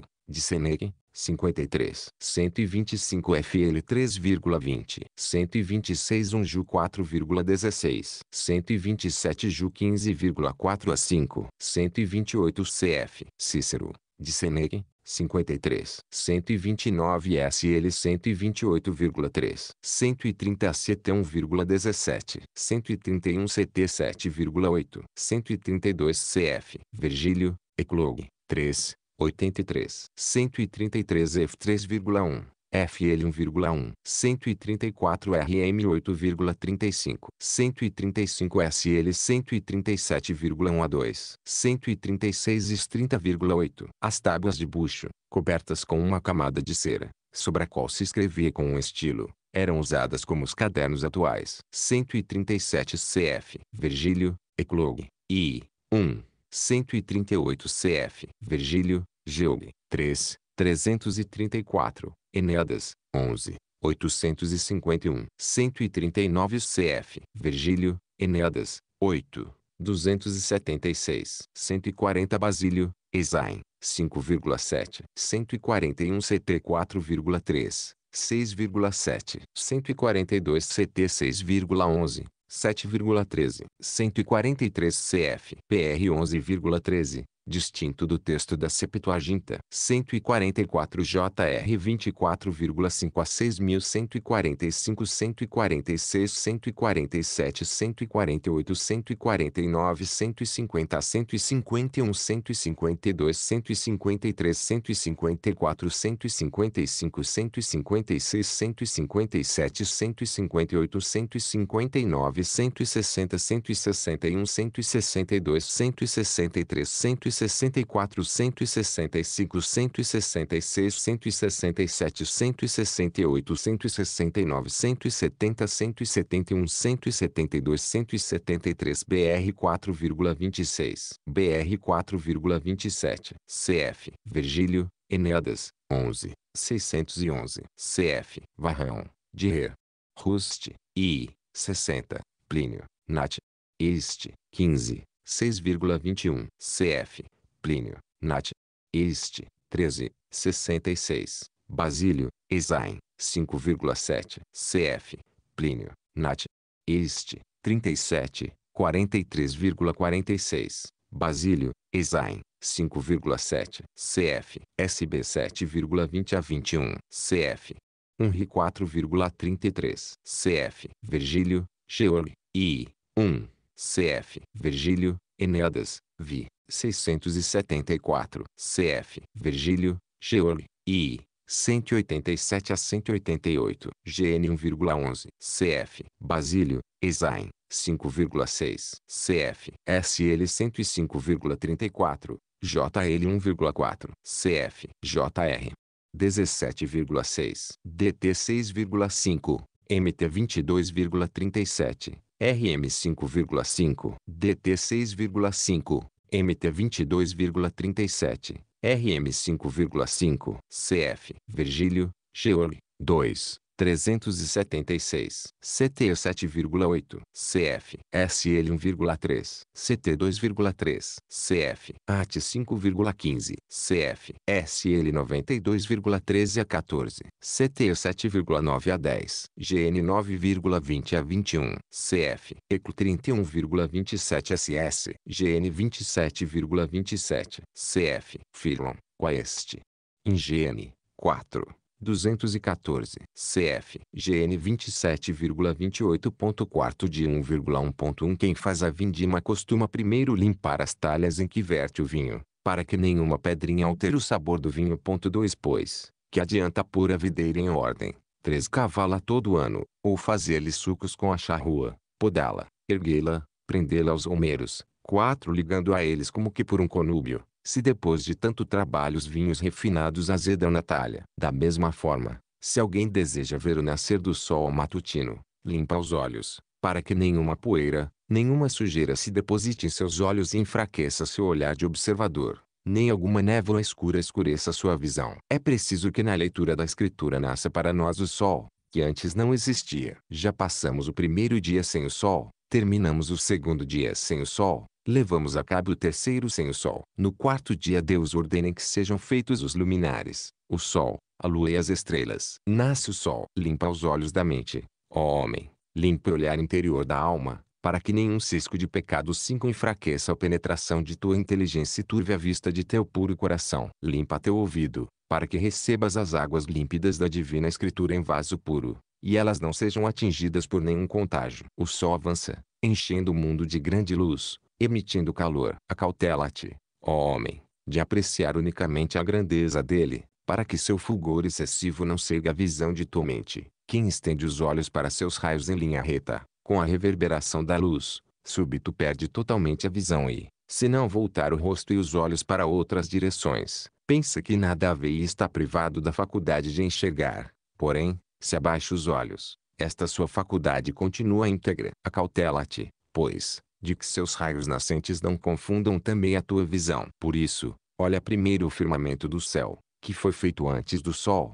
olha a terra, que antes do sol avançar já começara a ser visível e organizada, olha seus germes, que são anteriores à luz do sol. O caruncho é anterior ao sol, a erva é mais antiga do que a lua. 6 Não creias, pois, que o sol seja um deus, pois vês que os encargos de Deus são superiores aos do sol. Passaram-se três dias, ninguém perguntou pelo sol, mas abundou a claridade da luz. Com efeito, o dia também tem sua luz, que é predecessora do sol. 2. Portanto, não fiques tão deslumbrado com o esplendor tão grande do sol, pois ele é o olho do mundo. 7. A alegria do dia, a beleza do céu, a graça da natureza, a superioridade da criação traço. Mas quando vires, pensa no seu autor. Quando admirares, louva ao seu Criador. Se o sol é um consorte e companheiro das criaturas tão encantador, tanto melhor é o sol de justiça. Ponto de exclamação 8 Se o primeiro é tão veloz, que em seu rápido curso ilumina todas as coisas de dia e de noite, quanto mais este último,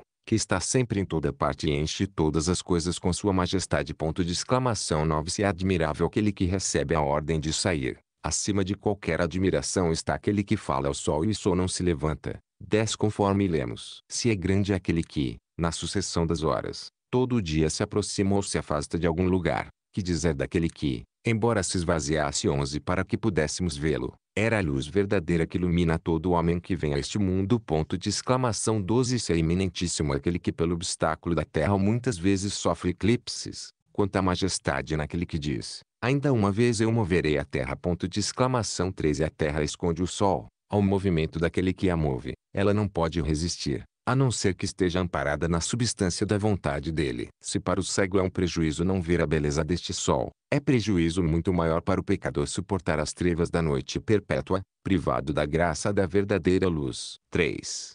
Portanto, quando vires o sol, observa a terra, que foi fundada antes, observa a erva do feno, que vem na frente, pelo privilégio da ordem, observa as árvores, que batem palmas, porque começaram a existir antes dos luminares do céu. Será que os méritos do feno são maiores que os do sol? Ou será que a prerrogativa da árvore lhe é superior? Longe de nós pôr as coisas insensíveis à frente de um ministro de tão importante função. Porque então a altura da sabedoria da ciência de Deus 14 previu que as árvores começassem a existir antes dos dois luminares do mundo e como que dos olhos do celeste firmamento, senão para que todos soubessem, pelo testemunho do ensinamento divino, que a terra podia ser fecunda sem o sol. Com efeito, aquela que pôde produzir sem o sol as primeiras sementes das coisas, pode certamente nutrir as sementes plantadas e, por seu próprio calor, dá-las à luz. 4.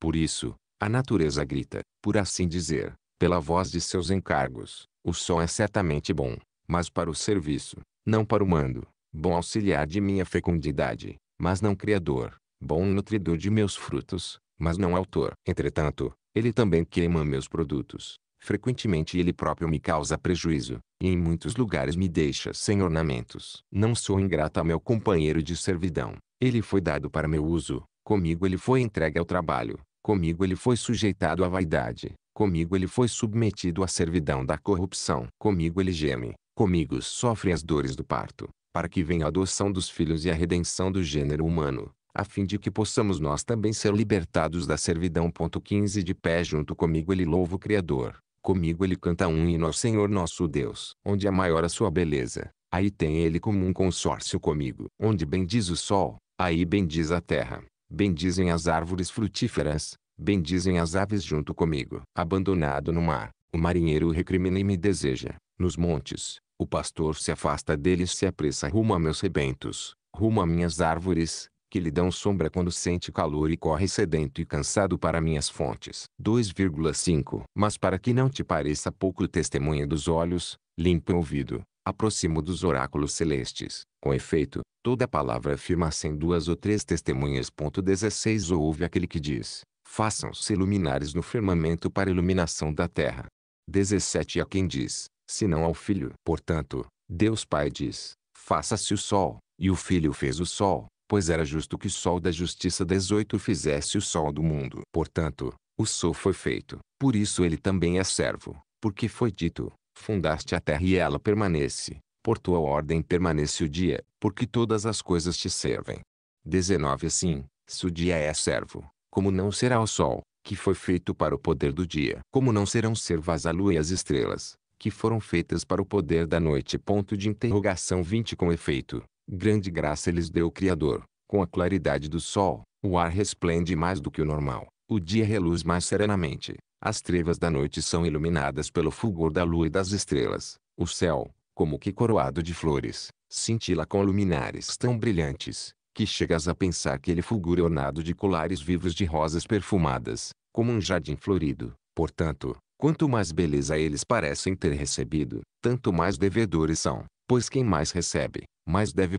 21 E por isso muitos o chamaram, com razão, de ornamento do céu, porque há um colar precioso de estrelas. 6. E para que saibamos que a fertilidade da terra não está descrita ao calor do sol, mas é imputada à clemência divina, diz o profeta. Todas as coisas esperam em ti, que lhes des o alimento no tempo, quando tu lhes dás, juntam para si. Quando tu abres tua mão, todas as coisas se enchem de bondade. 22 e abaixo, envia teu espírito, e tudo será criado, e renovarás a face da terra. 23 E no Evangelho, olhai as aves do céu, por que não? Semeiam nem colhem, e vosso Pai Celeste as alimenta. 24 Portanto, nem o sol nem a lua são autores da fecundidade, mas foi Deus Pai que, pelo Senhor Jesus, concedeu a todos a graça da fecundidade. 7. O próprio profeta nos explicou muito bem o que significa dizer que Deus fez o sol para o poder do dia e a lua para o poder da noite. 25 No próprio Salmo 103, do qual falamos acima, ele escreveu: Fez a lua para os tempos, O Sol conheceu o seu ocaso. 26 Assim, quando o dia completa suas horas, o Sol conhece o devido ocaso. Está, pois, o Sol em poder do dia e a Lua em poder da noite. A Lua, por sua vez, tem de obedecer à sucessão dos tempos, ora enchendo-se de luz, ora esvaziando-se. Por isso, muitos parecem entender misticamente esta passagem, com relação a Cristo e à Igreja, porque Cristo experimentou a paixão de seu próprio corpo, e disse, Pai, chegou a hora, glorifica teu Filho. 27 Assim, em seu ocaso, ele deu a vida eterna a todos os que estavam oprimidos pelo ocaso da morte perpétua, e a Igreja tem seus tempos, isto é, tempos de perseguição e de paz. Realmente, ela parece desaparecer, como a lua, mas não desaparece. Pode ser obscurecida, mas não desaparecer. Fica certamente diminuída nas perseguições, pelo afastamento de alguns, mas fica cheia nas confissões dos mártires e, glorificada pela vitória do sangue derramado por Cristo, espalha sobre todo o mundo a luz maior de sua devoção e fé. De fato, a lua tem uma diminuição da luz, não do corpo, quando no decurso do mês ela parece renunciar à sua luz para entregá-la ao sol. Isto se pode perceber facilmente no ar puro e transparente, quando não se espalha nenhum nevoeiro para obscurecê-la. O orbe da lua permanece, pois, intocado, embora o todo não brilhe como uma de suas partes, e tal como costuma ser visto quando está cheio de luz, tal é em grandeza. Ele apenas aparece privado de sua luz por uma espécie de sombra. E por isso são os chifres da igreja que refugem, porque seu corpo está espalhado pelo mundo e como que penetrado de uma luz proporcionalmente deficiente. 3,8 Mas Deus pode produzir o que diz. Façam-se os luminares para a claridade sobre a terra, os quais separem o dia da noite. 28 Porque já dissera antes, ao fazer a luz, Deus separou a luz das trevas. E foi feita a tarde e foi feita a manhã, dia 1. 29 Mas consideremos que uma é a luz do dia, outra é a luz do sol, da lua e das estrelas, pois o próprio sol, com seus raios, parece aumentar o fulgor da luz do dia, e tanto seu nascer quanto seu ocaso podem servir ao dia. De fato, o dia certamente reluz antes do sol, mas não refuge, porque seu resplendor é maior com o sol do meio-dia. É o que mostra o profeta ao dizer, e ele elevará como uma luz a tua justiça e o teu julgamento como um meio-dia. 30 De fato, comparou a justiça do santo não só com a luz, mas também com a luz do meio-dia. 9. Além disso, ele quis que houvesse não apenas um, mas dois sinais de separação entre o dia e a noite, de forma que esta separação seja feita pela luz e pelo nascer do sol e, reciprocamente, o desaparecimento da luz e o aparecimento das estrelas façam a distinção entre o ocaso do dia e o começo da noite. Pois quando o sol se põe, permanecem ainda, contudo, alguns vestígios do dia, até que as trevas cubram a terra, e então nasçam a lua e as estrelas. Quanto à noite,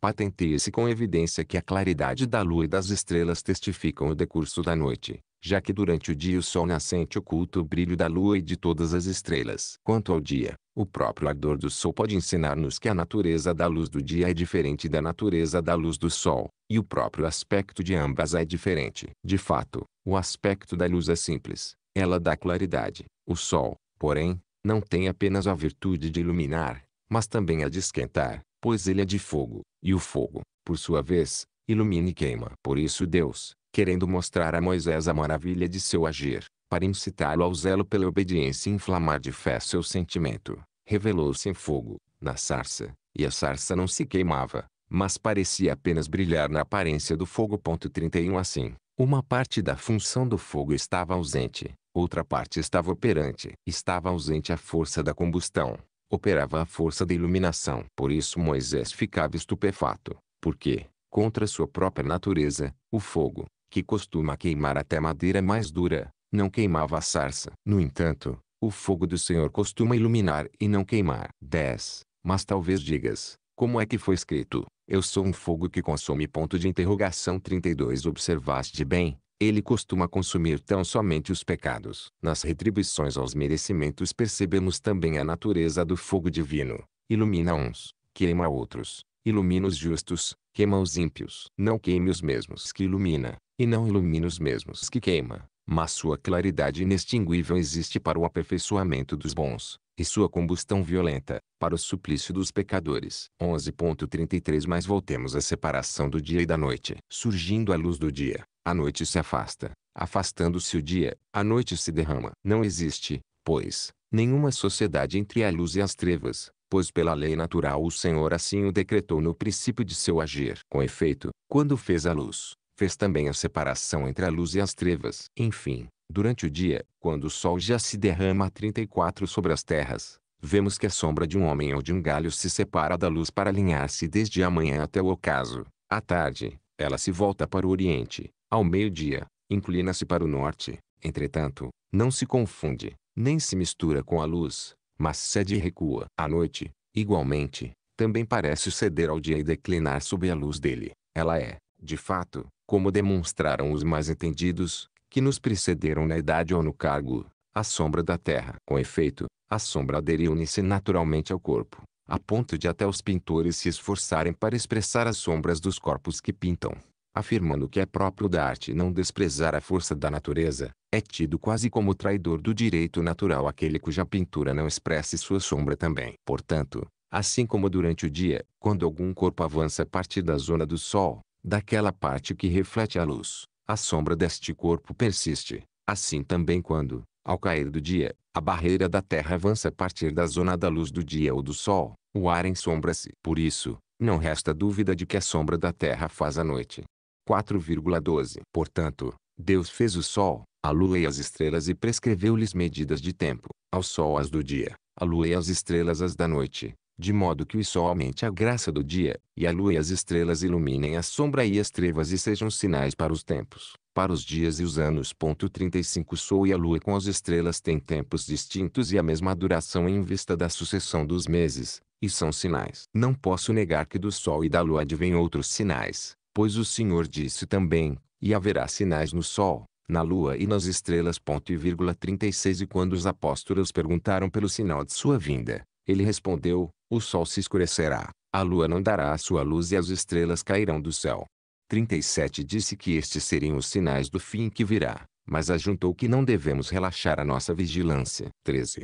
Depois alguns tentaram deduzir destes sinais as qualidades de nascença, como deverá ser cada um que nasceu. Isto, porém, é não apenas ilusório, mas também inútil para os que indagam, e impossível para os que pressagiam. Ora, Existe algo mais inútil do que alguém se persuadir de que é como nasceu. Sendo assim, ninguém deve mudar de vida, estado e costumes, sem esforçar-se para tornar-se melhor, mas permanecer naquela crença. E não podes nem louvar o virtuoso nem condenar o ímpio, porque parecem responder a uma necessidade de nascença. Mas como é que o Senhor estabeleceu prêmios para os bons ou castigos para os ímpios, se é a fatalidade que dita as regras e o curso das estrelas que determina os acontecimentos? Que significa isto? senão o homem desfazer-se da qualidade de homem, já que não pode abandonar nenhum costume, nenhuma conduta, nenhuma preocupação. Ponto de interrogação 38 Quantas pessoas vemos tiradas de crimes e pecados, e convertidas a um estado melhor? Os apóstolos com certeza não foram redimidos e congregados dentre os pecadores na hora de seu nascimento,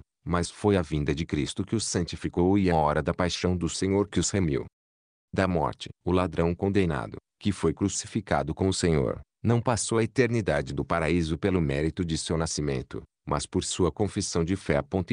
39 Jonas não foi lançado ao mar por força de seu nascimento, mas pelo agravo de ter negligenciado a divina predição. Uma baleia o recolheu, vomitando-o após três dias, como sinal do futuro mistério. 40 E salvou merecidamente, em vista do dom da profecia. 41 A Pedro, que seria fatalmente destruído pela morte, foi um anjo de Cristo que livrou do cárcere. 42 Não o alinhamento das estrelas. Paulo foi convertido à graça pela cigueira. 43 Atacado por uma víbora e abatido por um naufrágio. 44 Não foram os remédios do seu nascimento que o salvaram, mas os méritos da devoção. Que podemos dizer daqueles que, embora mortos, ressuscitaram pelas orações destes apóstolos. Ponto de interrogação 45 Foi o seu nascimento ou a graça dos apóstolos que os trouxe de volta. Que necessidade haveria de se exporem a jejuns e perigos, se pudessem chegar aonde queriam graças ao nascimento? Se assim acreditassem, enquanto esperavam a fatalidade dos oráculos,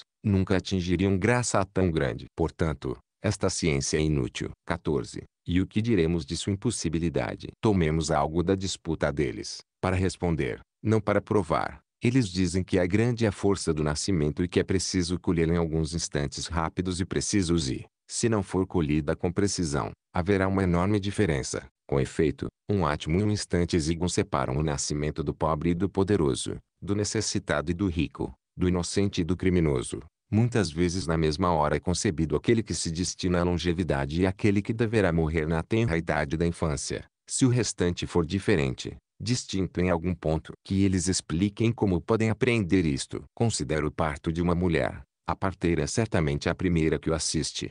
Assegura-se do choro, pelo qual se percebe a vida da criança. Observa-se a do sexo masculino ou feminino. Quantos momentos de força não passam entre estas delongas? Põe um matemático de prontidão. Mas será que um homem pode assistir um parto? Então, a parteira informa, o astrólogo escuta, faz horóscopo. Os fados do recém-nascido já migraram para o destino de outra pessoa. Indaga-se a respeito de uma pessoa e é proposto o horóscopo de outra. Mesmo que admitas como verdadeira a opinião deles sobre o fatalismo dos nascimentos, não pode ser exata a sua delimitação. Os instantes passam. O tempo foge irreparavelmente. 46 Sou levado a crer que não há dúvida de que haja tempo num ótimo, em um piscar de olhos, porque todos nós ressuscitaremos num ótimo, num piscar de olhos, conforme atesta o apóstolo, dizendo, Eis que digo um mistério. Todos certamente ressurgiremos, mas nem todos seremos transformados. Num átimo, num piscar de olhos, na última trombeta, os mortos ressurgirão incorruptos e nós seremos transformados.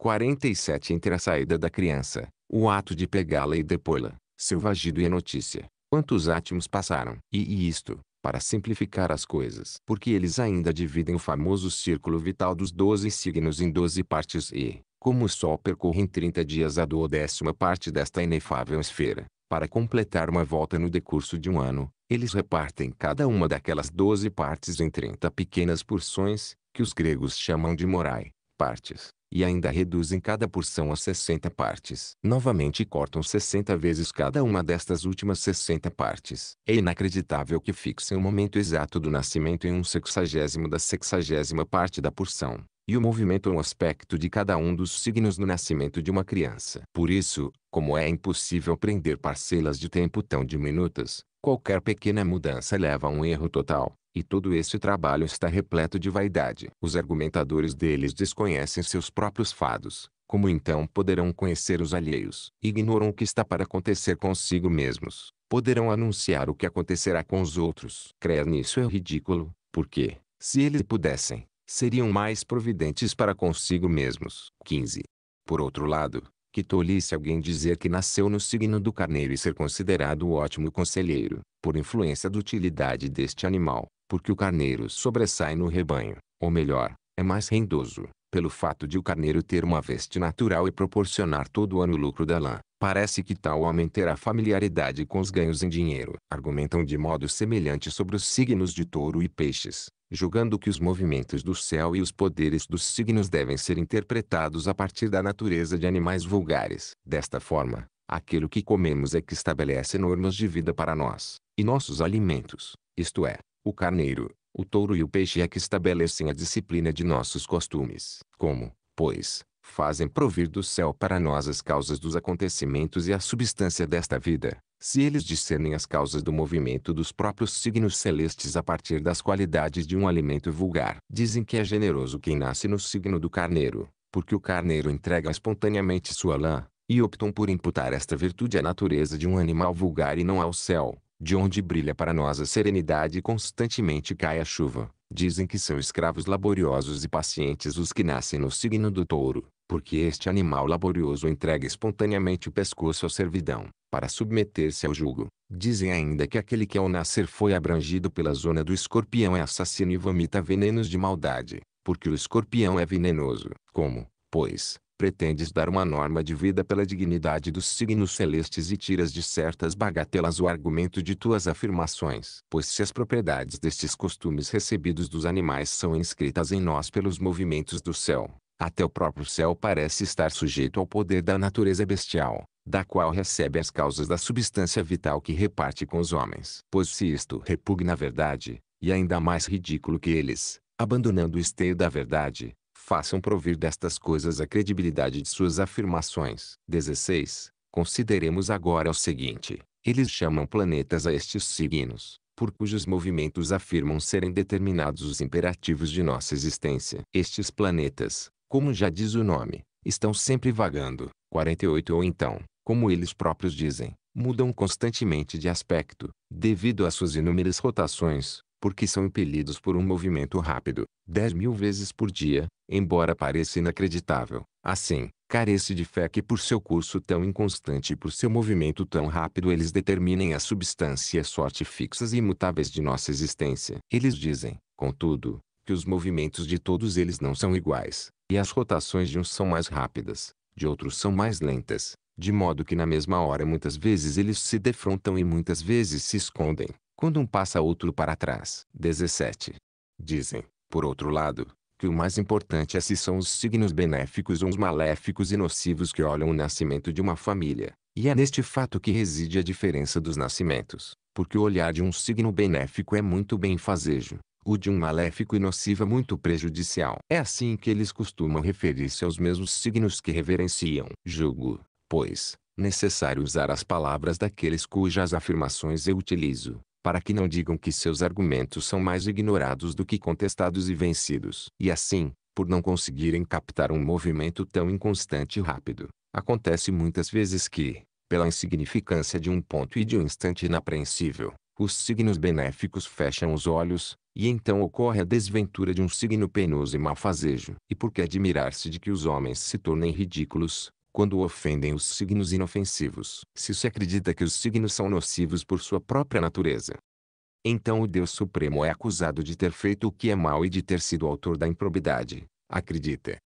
Se, na verdade, que os signos voluntariamente tomaram sobre si aquilo que prejudica os inocentes, os que ainda não têm consciência de nenhum crime perverso, e a quem a pena é prescrita antes da culpa. Ora, o que pode ser mais irracional, e até ultrapassar a selvageria dos animais irracionais, do que não imputar a prática do vício ou da virtude aos méritos dos homens, mas atribuí-la aos movimentos dos signos. Aquele homem não fez nada de mal, dizem eles, foi uma estrela maléfica que olhou para ele. A constelação de Saturno veio-lhe ao encontro, virou-se um pouquinho e absolveu-o da pena, perdoou-lhe o crime. 18. Mas a sabedoria deles é comparável a uma teia de aranha, se um mosquito ou uma mosca caem nela, não conseguem safar-se. Mas se é alguma espécie de animal mais forte que cai, atravessa-a, rompendo-lhe os fios fracos e destruindo-lhe os laços inúteis. Tais são as redes dos astrólogos, prendem os mais fracos, mas não podem causar dano aos mais sensatos. Assim também vós,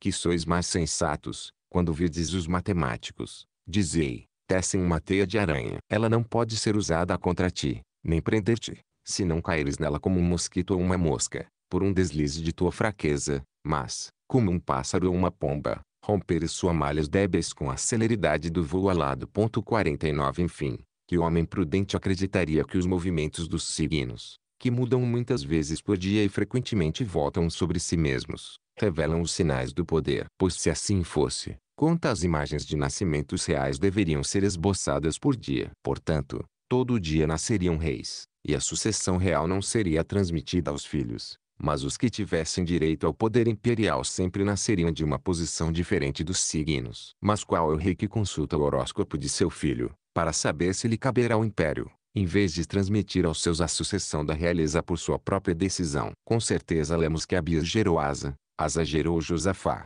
Josafá gerou Jorão, Jorão gerou Osias, 50 e que toda a sucessão restante até o cativeiro foi conduzida por reis de nascimento e de honra. Por serem reis, podiam porventura ordenar aos signos celestes os movimentos que deviam realizar? Que homem, então, pode ter domínio sobre eles? 19. Depois, se nossos atos e realizações são imputados ao fatalismo do nascimento e não às instituições dos costumes. 51 Porque foram propostas as leis e promulgados os julgamentos, pelos quais se prescreve castigo aos ímpios e se garante segurança aos inocentes. Porque não se perdoa aos réus, se, conforme dizem os astrólogos, na verdade eles não delinquiram por vontade própria, mas por fatalismo. Porque o agricultor, em vez de trabalhar, não aguarda para armazenar nos celeiros frutos que não cultivou, em virtude do privilégio de seu nascimento. Se ele nasceu de modo tal que as riquezas deveriam afluir a ele sem esforço, certamente estaria coberto delas. A terra lhe produziria frutos espontaneamente, sem semente alguma. Ele não precisaria arar os campos, não poria as mãos na foice curva. 52 Não arcaria com os gastos da colheita da vindima, mas pelo contrário, vinhos abundantes seriam vertidos em todas as suas talhas, e a azeitona da oliveira silvestre, não enxertada em caule algum, espontaneamente destilaria óleo para ele. Nem o mercador zeloso poria em perigo a própria vida, atravessando o imenso mar, pois, como dizem eles, por uma espécie de sorte congênita, um tesouro de riquezas afluiria para ele sem que se esforçasse. Mas não esta é a opinião geral. Enfim, o lavrador infatigável fende a terra, 53 sulcando-a com o arado, no ele ara, no ele semeia, 54 no debaixo de um sol ardente ele tritura na ele os grãos secados pelo calor. Ponto e vírgula 55 E o negociante impaciente muitas vezes sulca o mar em navio inseguro, ao sopro dos ventos. Ponto 56 Por isso, condenando a obstinação e a temeridade destes dois últimos, o profeta diz,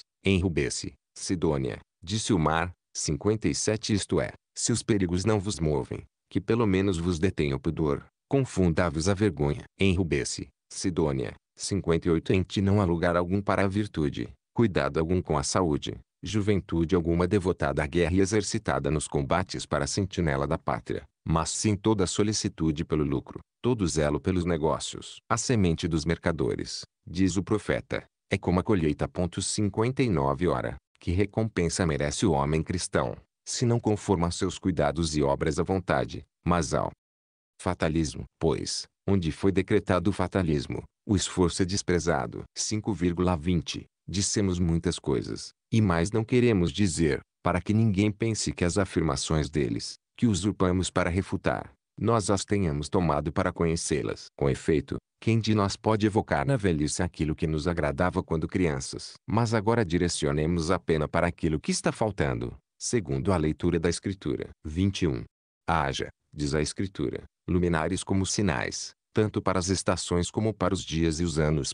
60 Falamos dos sinais, e as estações não são apenas o suceder das mudanças, inverno, primavera, verão e outono. Nestas estações, o curso do sol é ora mais veloz, ora mais lento, pois umas ele apenas roça com seus raios, outras ele inflama de calor. Assim, quando o sol se demora nas regiões meridionais, é inverno para nós. Com efeito, quando o sol está muito afastado, a terra enrijece de gelo, encolhe-se de frio e a espessa sombra da noite cobre as terras, de modo que o decurso da noite é muito mais longo que o do dia. Daí vem que, com os ventos do inverno, as neves e as chuvas caem com força excessiva. Mas quando o sol deixa as regiões meridionais e volta a brilhar sobre a terra, o decurso da noite se iguala ao do dia. Então, quanto mais ele demora em seu curso, tanto mais, paulatinamente, faz voltar o equilíbrio do ar e traz de volta a clemência das brisas aquecendo a estas, ele obriga todas as plantas a renovar os partos. Assim, a terra germina e revivem as sementes lançadas aos sucos, as árvores verdejam,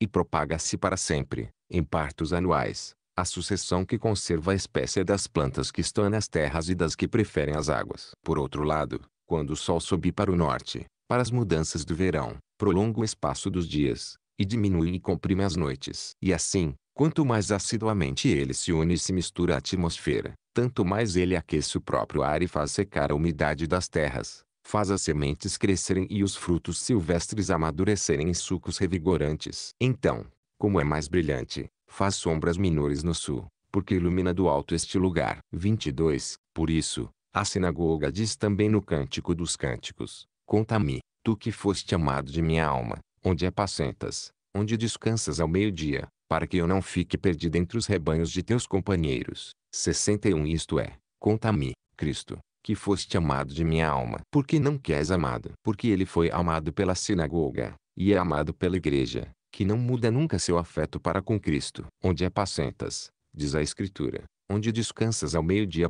62 Desejo seguir-te como discípula, eu que antes te retinha como que amarrada, desejo procurar teus rebanhos, porque perdi os meus. Apacentas ao meio-dia, onde está a igreja, onde resplende a justiça, onde refúgio o juízo como o meio-dia. 63 Onde não se vê sombra, onde os dias são maiores, porque para eles, como nos meses de verão, não desaparece o sol da justiça. Enfim, o dia do Senhor não é breve, mas grande, porque está escrito, até que venha o grande dia do Senhor. 64 Por isso, Jacó também diz, Todos os dias de minha vida que eu passo são breves e maus. Ponto e vírgula 65 Existe, pois, uma maligna luz dúbia. Assim, os dias breves são de luz dúbia e sombrios. Os dias grandes são sem sombra, como muitos aprenderam pela experiência e pelo exemplo, em alguns lugares muito quentes. Assim também a sinagoga, nos dias breves e maus, cujo tipo muitas vezes Jacó expressou em sua própria pessoa, ou na figura de seu povo, tinha muita sombra, porque não via o sol da justiça. 66 Não enxergava vindo do alto sobre a sua cabeça, mas iluminando do sul, quando era inverno para ela. A igreja, porém, se diz, o inverno passou, já se foi, as flores apareceram na terra, o tempo da messe chegou. 67 Antes da vinda de Cristo era inverno, depois da vinda de Cristo há flores de primavera e messe de outono. Portanto, vendo iluminar a partir do sul e da conversão das nações, a sinagoga permanece na sombra. Mas o povo das nações, que era da confusão, os gentios, que viviam nas trevas, viram uma grande luz. Para os que viviam na região da sombra da morte, nasceu-lhes uma luz. 68 A grande luz da divindade, a qual nenhuma sombra de morte se mistura. Por isso ela ilumina do alto, porque também foi escrito, quando Zacarias disse, nas quais nos visitou o sol que vem do alto, para iluminar aqueles que jazem nas trevas e na sombra da morte. 69 Na verdade, existe também uma outra sombra, de salvação, não de morte, como aquela, sob a sombra das tuas asas me proteges. 70 Sombra real, porque é de um corpo, sombra, porque é da cruz, mas sombra de salvação, porque nela estava o perdão dos pecados e a ressurreição dos mortos. 23. Podemos, portanto, tomar como modelo o fato de que os dias do inferno são breves, mas têm sombras maiores, e os dias do verão são maiores, mas têm sombras menores. Ao meio-dia, também a sombra é menor do que no começo ou no fim do dia, e isso ocorre conosco, no Ocidente. Mas na região meridional, há indivíduos que ficam sem sombra dois dias por ano, porque, tendo o sol sobre o seu vértice, são iluminados em círculo por toda parte, por isso são chamados ácios, sem sombra, em grego. Muitos dizem também que o sol vem da região do alto, tanto é assim que, através dos buracos estreitos dos poços, vem brilhar a água que está no fundo. Conta-se ainda que no sul existem indivíduos que se chamam anfícios, porque projetam sombra de ambos os lados. 71 Com efeito, para os que vêm da região do sol, a sombra está atrás. Sendo assim, imagina que caminhas em sentido contrário ao oriente nas horas matutinas, que vais em direção contrária ao sul ao meio-dia, e ao ocidente, no fim do dia. Portanto, o sol chega a ti de três partes do oriente, do sul e do ocidente. De manhã e à tarde, ele está nas tuas costas. Ao meio-dia, está do teu lado. Porém, do norte o sul não vem nunca. Por isso, se caminhas em direção contrária ao norte, de manhã, à tarde, ou ao meio-dia, a sombra não pode estar atrás de ti. Os anfícios são, pois, os únicos instalados neste orbe das terras habitadas por nós, que por volta do meio-dia projetam sombra para o sul. Conta-se que isto acontece no auge do calor, quando o sol se orienta para o aquilão. Depois, o outono nos surpreende, moderando a intensidade do verão, em pouco tempo, amenizando e afastando o calor com sua temperatura intermediária, ele nos entrega sem nenhum dano ou prejuízo aos ventos invernais. 24. Que os luminares sejam para os dias, diz alguém, de modo que eles não criem os dias, mas tenham neles a primazia, que o sol ilumine com maior força o nascer do dia, que durante o dia todos seus movimentos tenham como encargo o poder de marcar o dia. É assim que alguns entendem o que diz o profeta, o sol para o poder do dia, a lua e as estrelas para o poder da noite. 72 Visto que espalham a luz. O sol e a lua também foram ordenados para os anos. A lua, completando 12 vezes seu percurso de 30 dias, perfaz um ano, ajuntam-se mais alguns dias segundo os hebreus, ou celebra-se o ano bissexto segundo os romanos, com o acréscimo de um dia de quatro em quatro anos. O ano é também solar, porque o Sol, tendo completado durante o ano sua passagem por todos os signos, volta para o lugar onde começou seu curso, disse, pois, que é anual a realização de seu circuito completo. 6,25 Portanto, Deus fez estes dois grandes luminares. Podemos entender grandes não tanto por comparação com os outros, mas por sua função, assim como é grande o céu e grande o mar. Com efeito, é grande o sol, porque enche o orbe das terras com seu calor. É grande a lua, porque enche com sua luz não só as terras, mas também o ar, o mar e a face do céu. Grandes luminares, porque seja qual for a parte do céu em que estejam, iluminam tudo e são igualmente vistos por todos, de modo que cada povo como que acredita que eles permanecem apenas em suas fronteiras e lá estão, brilhando apenas para ele, quando eles brilham da mesma forma para todos os povos, para que nenhum pense que algum outro esteja mais perto deles do que ele próprio está. Um exemplo evidente da grandeza deles é que o mesmo orbe da lua seja visto por todos os homens. De fato, ainda que de tempos em tempos sua luz cresça ou diminua, a mesma lua aparece à noite para mim, tal e qual para todos. Pois se ela parece menor aos que ficam longe, refúgio maior para os que estão mais perto, servindo para sinalizar caminhos estreitos e exíguos. Com efeito, estando longe, julgamos menores as outras coisas, observando mais de perto, acreditamos que sejam maiores. Quanto mais próximo tu estiveres, tanto mais para ti aumenta a grandeza daquilo que vês. Um raio de sol não está nem mais perto nem mais longe de ninguém. Da mesma forma, o globo da lua é igual para todos. O sol parece semelhante para os índios e para os britânicos, no momento em que nasce. Quando mergulha no ocaso não parece menor para os orientais do que para os ocidentais, e quando nasce, não é considerado mais baixo pelos ocidentais do que pelos orientais. Como está longe o Oriente do Ocidente. Ponto de exclamação 73 diz o Salmo 26. Estes estão distantes entre si, mas o Sol não está distante de ninguém. De ninguém está mais perto ou mais longe. 26. Nem te admires de que o orbe do Sol te pareça ter a altura de um côvado. 74 Quando ele nasce, mas considera que existe uma grande distância entre o Sol e as terras, e a fraqueza do nosso olhar não pode transpô-la sem grande prejuízo para si. Nosso olhar se obscurece. Será que o Sol se obscurece? Ou a Lua? Nossa visão é estreita. Será que por isso ela torna mais estreitas as coisas que são vistas? É a aparência que diminui, não a grandeza. E não devemos subordinar a fraqueza de nossa paixão à paixão dos luminares. Nosso olhar mente, portanto, não consideres fiel o juízo dele, porque é a aparência visível dos corpos celestes que é menor, não a forma deles. Se queres olhar com teus olhos, do mais alto cume dos montes, um campo localizado embaixo e os rebanhos que pastam ali, não julgarás os animais semelhantes às formigas. Observa o mar, de alguma elevação do litoral, os maiores navios, velas brancas no meio das refulgentes ondas azuis, não te parecem talvez desenhar a figura de pombas que voam no alto mar? E as próprias ilhas que dividem o mar, esparramando as planuras das terras, parecem fechadas num limite tão estreito. Parecem planícies redondas e cerradas, quando vistas dos rochedos isolados. Portanto, pesa estas fraquezas de tua visão, e como justo juiz tirarás de ti mesmo a fé em nossa argumentação. 27. Mas queres avaliar a grandeza do sol não só com o olho da mente, mas também com o do corpo. Considera quantos globos de estrelas podes ver, bordando a abóbada celeste e assinalando-a com tantas luzes.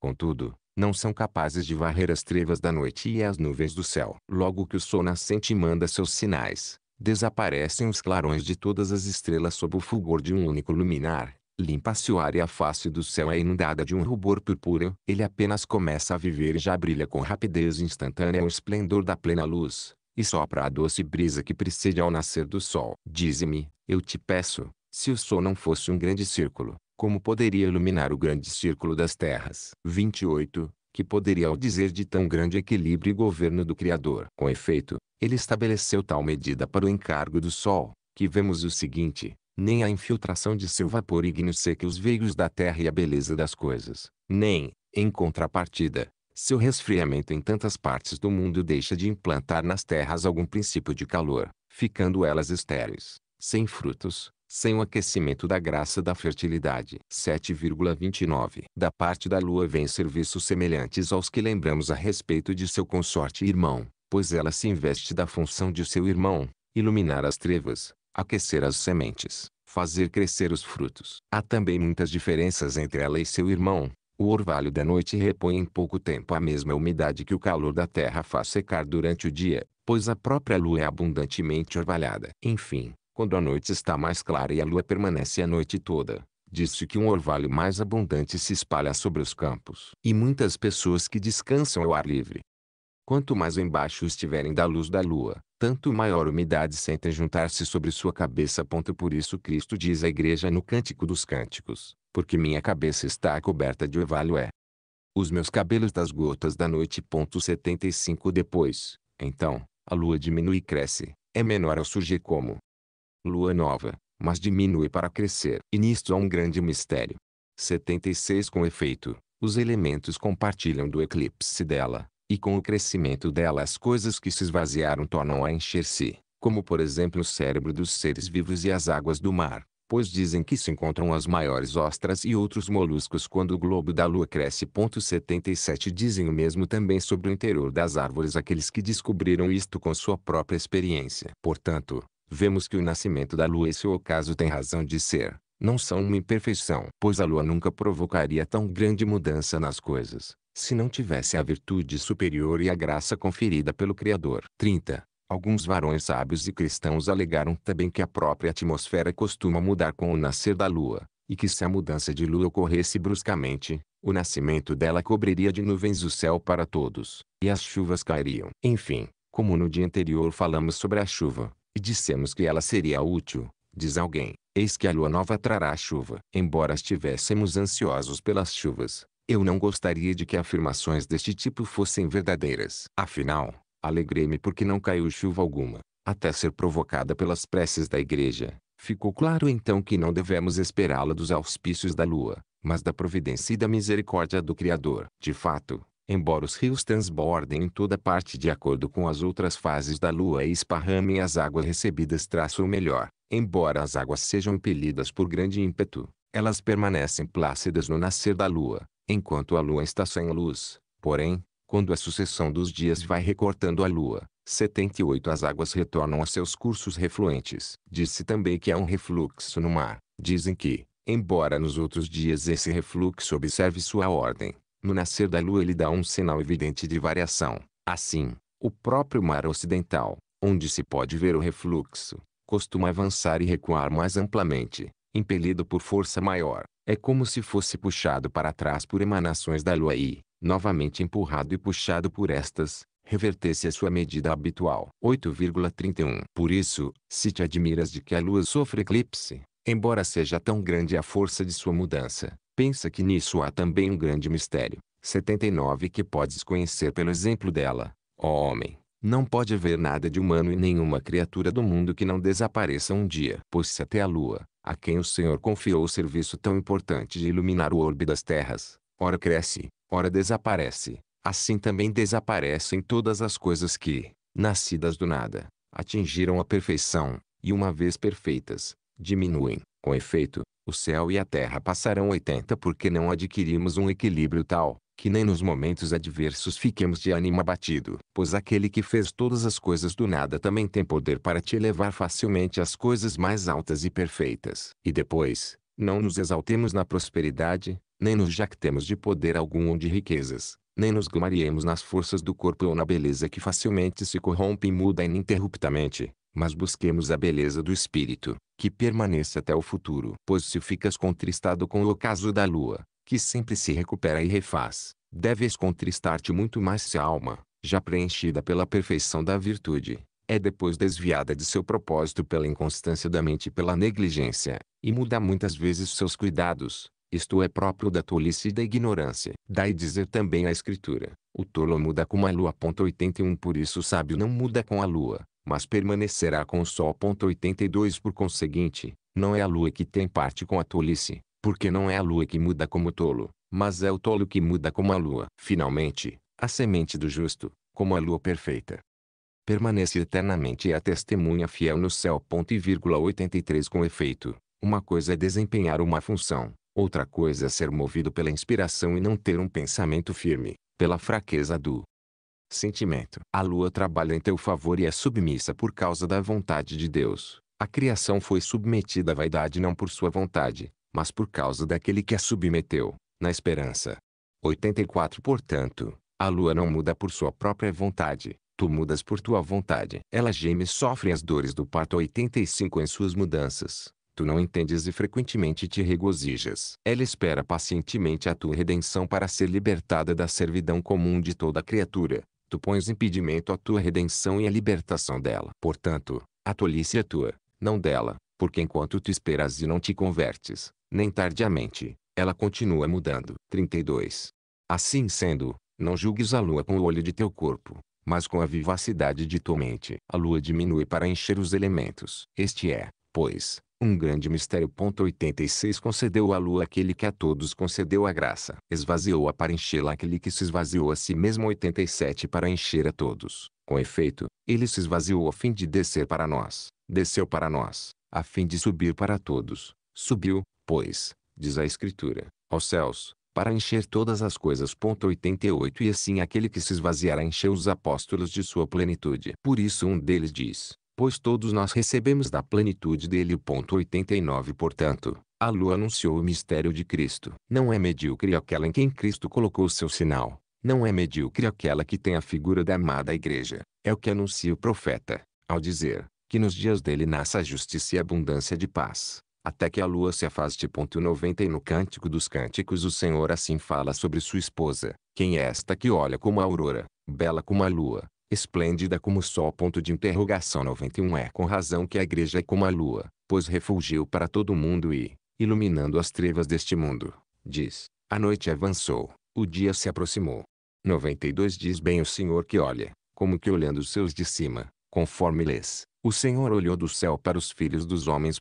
93 Esta que olha, isto é, a igreja, tem, como a lua, frequentes declínios e ressurgimentos, mas cresceu em seus declínios e mereceu ser ampliada por eles, enquanto diminuía nas perseguições, era coroada pelo martírio dos confessores. Esta é a verdadeira lua, que da luz perpétua de seu irmão toma para si a luz da imortalidade da graça. De fato, a igreja brilha não por sua própria luz, mas pela luz de Cristo, e tira seu esplendor do sol da justiça, de modo que diz, eu vivo, mas já não sou eu que vivo, é Cristo que vive em mim. 94 És plenamente feliz, tu que mereceste tão grande sinal. É por isso que eu te considero feliz, não por tuas luas novas, mas por seres figura da igreja. Com efeito, nas luas novas, tu és serva, como figura da igreja, tu és amada. 33 como é ridículo os homens crerem muitas vezes que te podem fazer descer com cantos mágicos. Isto são fábulas de mulher velha e crendices do povo. Pois quem acredita que uma obra de Deus investida de tão importante função possa ser seduzida pelas superstições dos astrólogos. Que cai aquele que se transfigura em anjo de luz 95 e desceu por sua própria vontade, não pelo poder de cantos mágicos. Sem dúvida,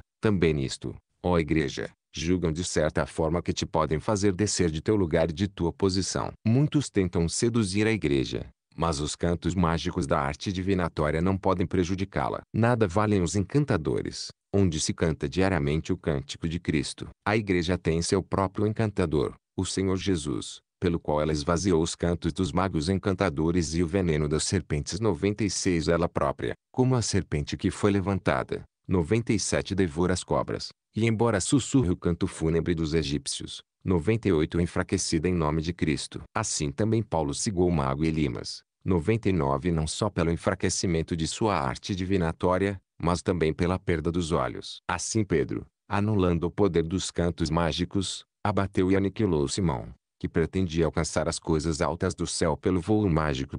C 9,34 O quarto dia terminou muito bem, conforme penso. Como então muitos costumam evitar o 4 e julgam inútil começar alguma coisa com este números, no qual o mundo inteiro brilhou com uma nova luz. Porventura o sol começou com maus presságios. Por outro lado, como pode o sol indicar bons presságios para alguém que não pôde escolher para si o dia de seu próprio nascimento? Ou então, como aprovam os sinais dele, se não aprovam o seu nascimento? E o que dizer da lua, que também começou no quarto dia e no décimo quarto indica o dia da salvação. Porventura desagrada o número em que é celebrado o mistério da redenção. Por isso os demônios tentam convencer que se deve evitar este números, pelo qual foi destruída a maldade deles. Por isso os gentios afirmam que não se deve começar nada neste dia, porque sabem que foi então que suas artes começaram a esvaziar-se e os povos pagãos começaram a entrar na igreja. Pensam que o quarto dia da lua nova, se ela estiver clara e seus cornos não estiverem obscurecidos, dá os dias restantes até o fim no mesmo indício de serenidade. 101 Portanto, não querem começar nada nos mesmos princípios em que começa a serenidade. Mas nós já precisamos acautelar-nos, para que o quarto dia não decline durante nosso sermão, pois já descem dos montes as sombras maiores. 102 Diminui a luz, aumenta a sombra. Uma começa aqui o sermo sexto, pronunciado na tarde do quarto dia da Semana Santa. O correspondente basiliano a este sermão encontra-se em Esaim, 6, 2 cf. Lucrécio, de Re. Nat. Vi. 17 a 23, Horácio, Episte, I. 2,54. 3 cf. Virgílio, Eclogue, I. 73. 4 cf. Virgílio, Sheol, I. 2. 5 CF, MT 7,3. 6 Outro indício da improvisação do sermão. De fato, seguindo o texto bíblico, os seres vivos não tinham, ainda, sido criados. 7 CF. Ovídio, Met. 4. 228. 8 ml 4,2. 9 cf. SL 72,19. 10 J 9,7. 11 cf. FL 2,7. 12 J 1,9. 13 AG 2,6. 14 cf. RM 11,33. 15 cf. RM 8,20 a 23.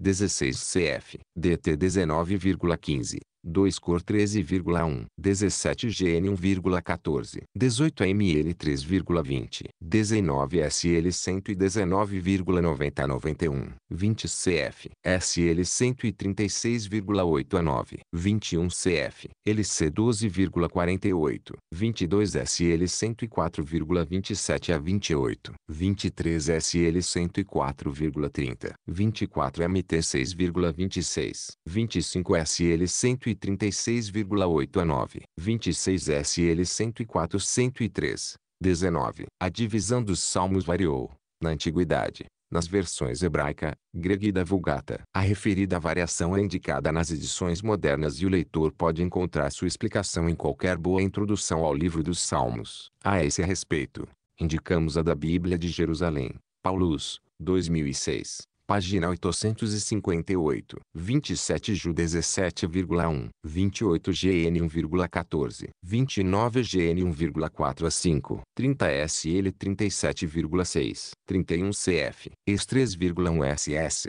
32 TT 4,24. 33 CF. Basílio, Esaim. 6,3. 34 CF. Virgílio, Eneadas. 9. 461.35 36 37 38 39 40 41 42 43 44 45 46 47 48 49 50 51 52 53 54 55 56 57 58 59 60 61 62 63 64 65 66 67 68 69 70 70, 71, 72, 73, 74, 75, 76, 77, 78, 79, 80, 81, 82, 83, 84, 85, 86, 87, 88, 89, 90, 91, 92, 93, 94, GN 1,14, LC 21,25, MT 24,29. MC 13,24 a 25, CF, Cícero, de fim, V, 35, Firlon, de Pro, I, 88, CF, LC 23,42 a 43. A ressurreição de Cristo, prefigurada no episódio de Jonas no ventre da baleia. CF, JN 1,2 a 3.15. 2,1.11 CF AT 12,7 SS CF AT 9,8 a 18 CF AT 28,3 a 6 CF AT 9,36 a 41 20,9 a 12 CF Virgílio Sheol 3 284, um cor 15,51 a 52. Etimologia correta. O termo planeta, de fato, é oriundo do grego plão, cuja definição é dada pelo próprio Ambrósio. CF. SL 124,7 a MT 1,7 a 8. CF. Firlon. De Pro. I. 80 SS. CF. Virgílio. Sheol. I. 508. CF. Virgílio. Sheol. I. 45. CF. Virgílio. Sheol. I. 299. CF. Virgílio. Sheol. I. 298. CF. Horácio. Carmo, I, 1,15 a 18, IS 23,4, IS 23,4, IS 23,3, GN 1,14, CT 1,7, CT 1,7, CF, SL 37,6, JL 2,31, GN 47,9, ML 3,20, CT 2,11 a 12, CF, MT 4,16, LC 1,78 a 79, SL 17,8, CF, Basílio, Esaim, 6,8, GN 1,16, SL 136,89, SL 103,12, CF, Cícero, Acade, 2, 82, de fim, I, 20, CF, CT 5,2, isto é, um grande ensinamento simbólico, CF, Plínio, Nat. Este, 2, 221, CF, Ovídio, Met. 7, 531, ou seja, Ensinamento simbólico. MT 24,35. ECLO 27,12. CF. SL 72,5. SL 89,38. RM 8,20. RM 8,22. O ensinamento, ora, concentra-se em seu significado cristológico, como é explicitado a seguir. CF, FL 2,7, F 4,10, G 1,16, SL 72,7, CT 6,10, RM 13,12, SL 14,2, 33,13, 53,3, GAL 2,20.95 isto é, Satanás, CF, 2 cor 11,14, 96 CF, SL 58,6, 97 CF, NM 21,6 Ju 3,14, 98 CF, E 7,12, 99 CF, AT 13,6 a 11. Sem nas escrituras, o episódio de Pedro e Simão, o mago, é narrado em At 8,9 a 24, mas Ambrósio parece ter tido acesso ao mesmo como narrado nas conste. A post, vi, 9, 101 cf. Virgílio, Sheol, I, 431 a 435, 102 cf. Virgílio, Eclogue, I, 83.5 de 1,1.1 Toda a terra verdejava, vestida de diversas plantas. O céu também brilhava na beleza do seu aspecto, iluminado pelos gêmeos Sun e Lua e pelas luzes das estrelas. Restava o terceiro elemento, isto é, o mar, para receber também ele, pelo dom divino, a graça da vivificação. Efetivamente, todos os rebentos da terra são animados pelo sopro celeste. Ponto e vírgula 2 A própria terra, dissolvendo as sementes, vivifica todas elas, e sobretudo por ter sido a primeira a receber da palavra de Deus a ordem de verdejar, pululava em seu encargo de vivificação.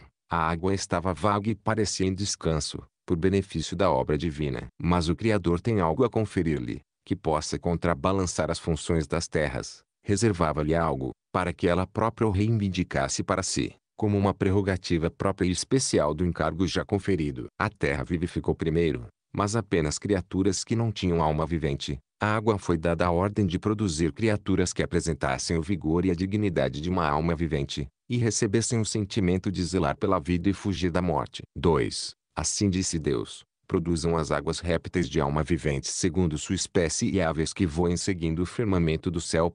3 Veio a ordem e imediatamente a água se abriu nos partos que lhe foram ordenados. Os rios começaram a gerar, os lagos começaram a produzir a vida, o próprio mar começou a parir diversas espécies de répteis e a multiplicar segundo a espécie é tudo quanto tinha produzido. Não ficaram vazios nem os abismos estreitos nem os pântanos lamacentos que arrogavam a si o poder concedido para criar de tudo. Os peixes saltavam para fora dos rios, os golfinhos brincavam nas ondas, as conchas grudavam nos rochedos e as ostras nas locas do fundo. Os ouriços do mar cresciam. Aí de mim. Antes do homem começou a tentação mãe da nossa luxúria. Antes do homem começaram as delícias. Portanto, a tentação dos homens é anterior à sua criação. Mas a natureza não errou em nada. Deu os elementos, não prescreveu os vícios. Deu estes alimentos para todos, para que não reclamasses alguns como particulares a ti. A terra produz seus frutos para ti. Para ti as águas geram sardinhas, peixes e outros rebentos. E não satisfeito com estes, provaste alimentos que te eram proibidos. Todos se juntam à tua inveja, para agravar a prevaricação de tua cobiça. 3. Mas não somos capazes de enumerar quantas espécies e nomes receberam uma alma no momento da ordem divina. Ao mesmo tempo em que se formava o corpo, também era produzida a alma, formava-se a força vital, algo da virtude. A terra estava cheia de plantas, o mar repleto de seres vivos. Ali pululam as criaturas insensíveis, aqui se multiplicam as sensíveis. Até nas terras, as águas reclamam para si suas partes. Os peixes das águas lambem a terra à procura de uma presa. Os mosquitos e as ranzinhas fazem ruído em volta dos pântanos fecundos. E as águas ouviram a ordem do Senhor, que dizia, produzam as águas répteis de almas viventes. 4. 4. Sabemos que os répteis significam as espécies de serpentes, porque rastejam sobre a terra, mas todo ser vivo que sabe nadar tem muito mais o aspecto e natureza de réptil. Pois embora todos eles mergulhem no fundo e pareçam cortar a água, entretanto, quando flutuam na superfície, rastejam com o corpo todo, como que arrastando-se sobre o dorso das águas. Daí dizer também Davi, eis um mar grande e espaçoso, onde existem répteis impossíveis de enumerar.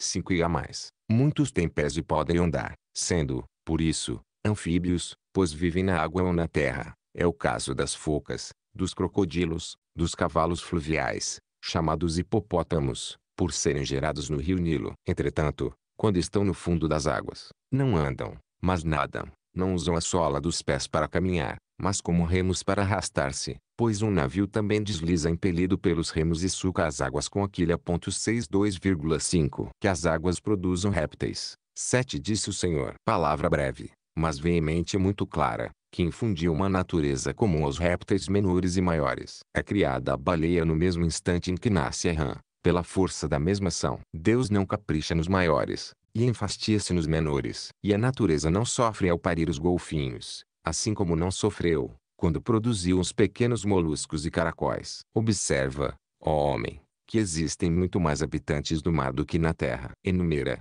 se puderes, todas as espécies de peixes, dos menores aos maiores, as sépias, os pólipos, as ostras, as lagostas, os caranguejos com suas espécies incontáveis. O que direi das espécies de serpentes, dos dragões, moreias, enguias, e não omitirei os escorpiões, as rãs, as tartarugas, até as doninhas e os cães marinhos, os vitelos marinhos, as baleias enormes, oito os golfinhos, as focas, os leões. O que direi ainda dos meuros, tordos, até dos pavões, cujas cores vemos representadas nas aves, como por exemplo, meuros negros, pavões de dorso e pescoço furta-cor, tordos matizados no ventre, e outros, cujas formas e nomes foram reivindicados pelas terras. Ora, eles começaram primeiro no mar e em diversos rios, pois a água foi a primeira a produzir répteis de alma vivente, obedecendo à vontade divina. 6. Acrescenta esta graça, as criaturas que tememos na terra,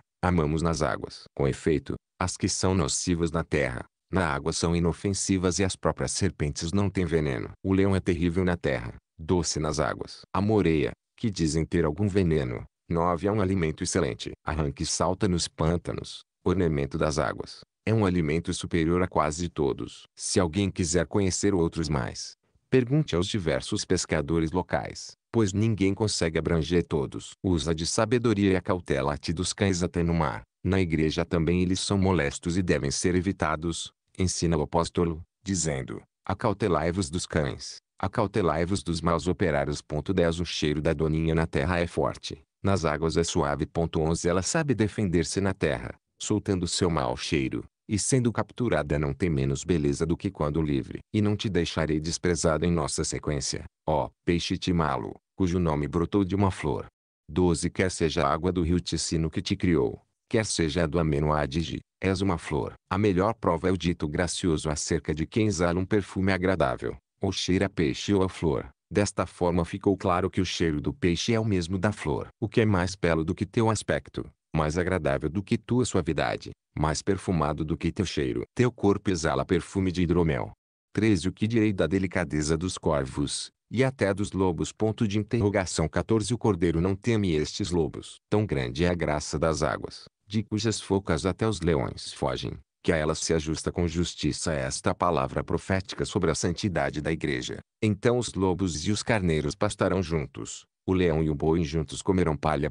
15 Não há de que admirar-se, visto que também na igreja as águas fazem essa obra, purificada a maldade dos ladrões, podem ser igualados aos inocentes. O que direi ainda dos murices, que adornam os festins reais, tingindo os mantos? Pertence a águas, pois, o que se adora nos reis, pertence às águas aquele aspecto refulgente. Acrescenta os porcos do mar, 16 agradáveis até aos judeus, porque nada existe em comum com a terra que a água não purifique, e assim os judeus não podem julgar estes porcos iguais aos que são produzidos na terra. 3,7 Tão inumeráveis os costumes, tão inumeráveis as espécies dos peixes. Alguns põem ovos, como vários peixes grandes, chamados atuns, e confiam-nos as águas para serem aquecidos. Portanto, a água dá vida e faz crescer, cumprindo até hoje o encargo daquele primeiro mandamento, qual mãe carinhosa dos seres animados. Outros peixes, de seu próprio corpo dão à luz filhotes vivos, como por exemplo as doninhas, os cães do mar,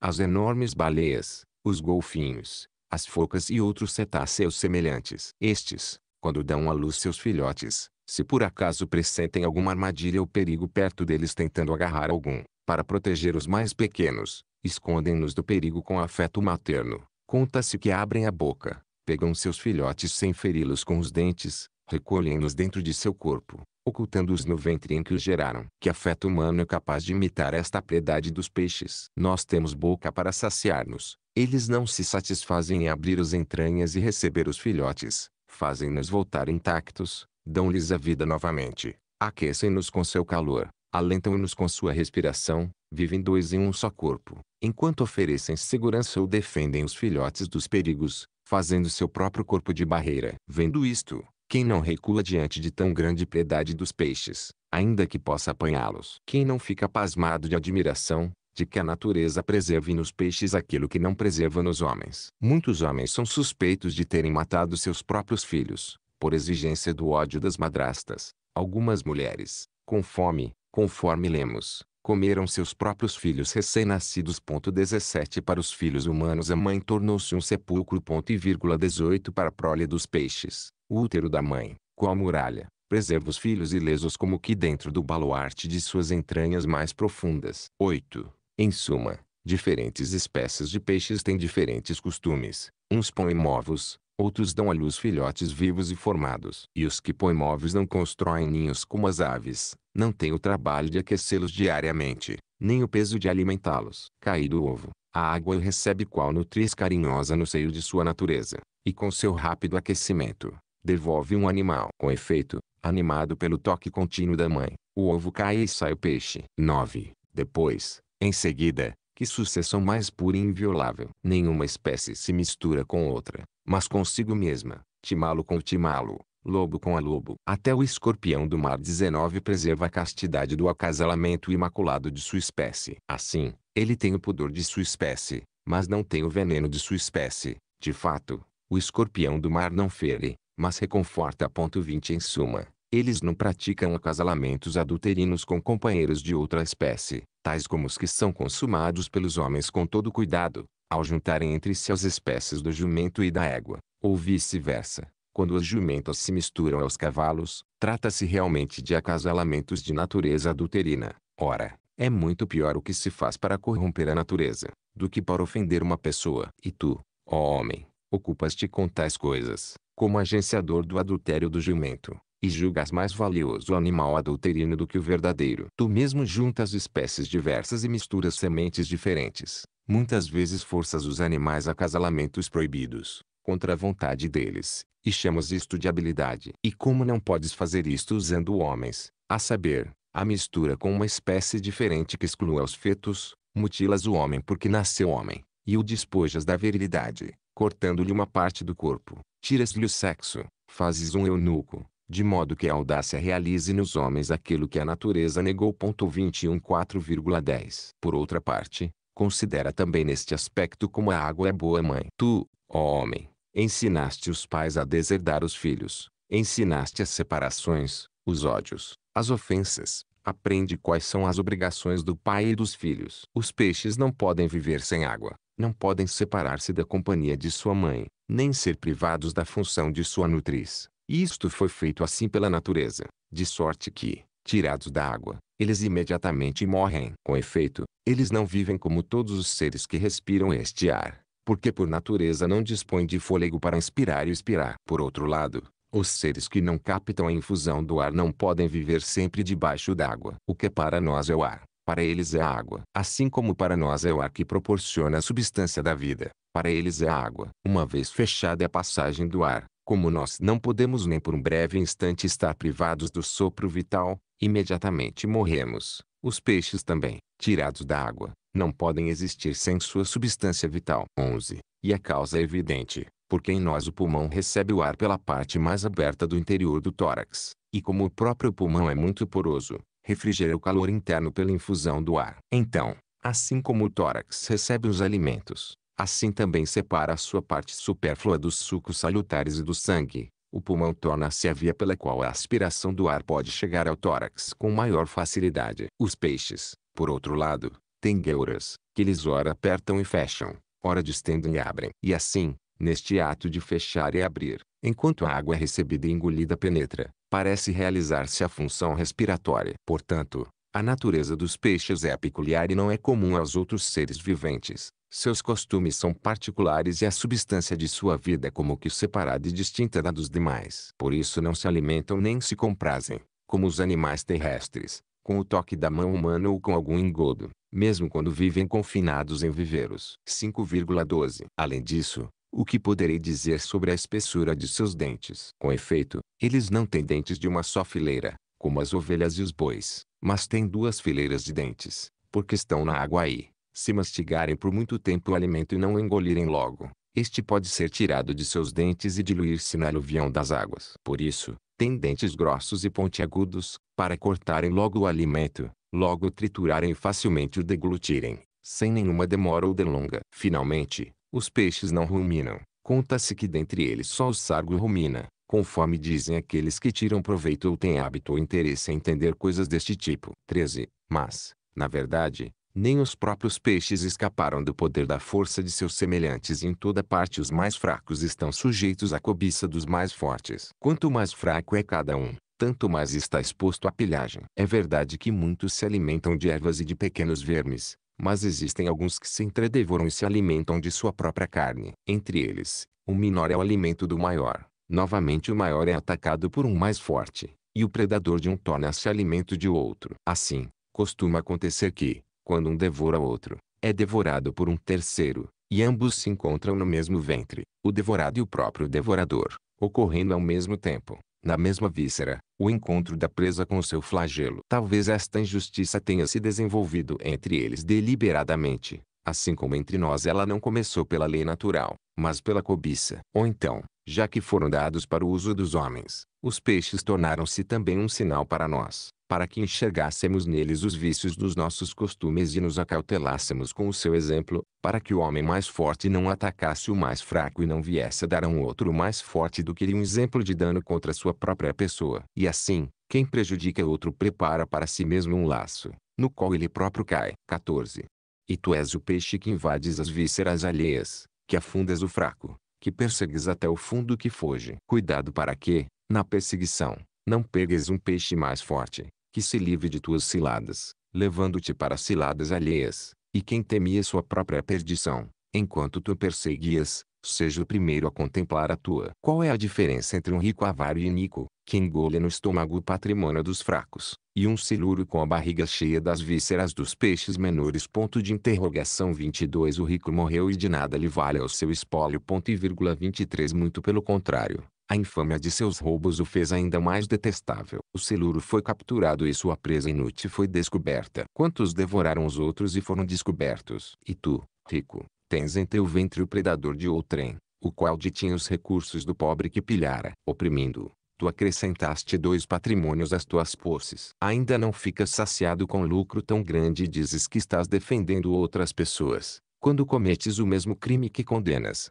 mais injusto do que o injusto, mais iníquo do que o iníquo, mais avaro do que o avaro. Cuidado para que não encontres o mesmo fim daquele peixe. Cuidado com o anzol e as redes. Mas tu pensas que ninguém pode resistir a teu poder. O celuro também presumia que ninguém lhe arremessaria o anzol, que ninguém lhe estenderia as redes e, se nelas ele caísse, romperia todas. Entretanto não se livrou do forcado e caiu nos laços de cadeia mais resistente, dos quais não pode soltar-se. Sem dúvida também, Quanto mais graves faltas comete a maldade dos homens, tanto menos segura poderá estar, em sua perversidade, de poder destruir um dia aquilo que é difícil conseguir evitar como salário dos crimes. 6,15 Portanto, ó homem, és peixe. Escuta porque és peixe. O reino dos seus é semelhante a uma rede lançada ao mar, que juntou peixes de toda a espécie. Quando estava cheia, levaram-na para a praia, sentaram-se, recolheram os melhores em seus cestos e jogaram fora os maus. Assim será na consumação dos tempos. Virão os anjos e separarão os maus do meio dos justos e os enviarão para a fornalha ardente.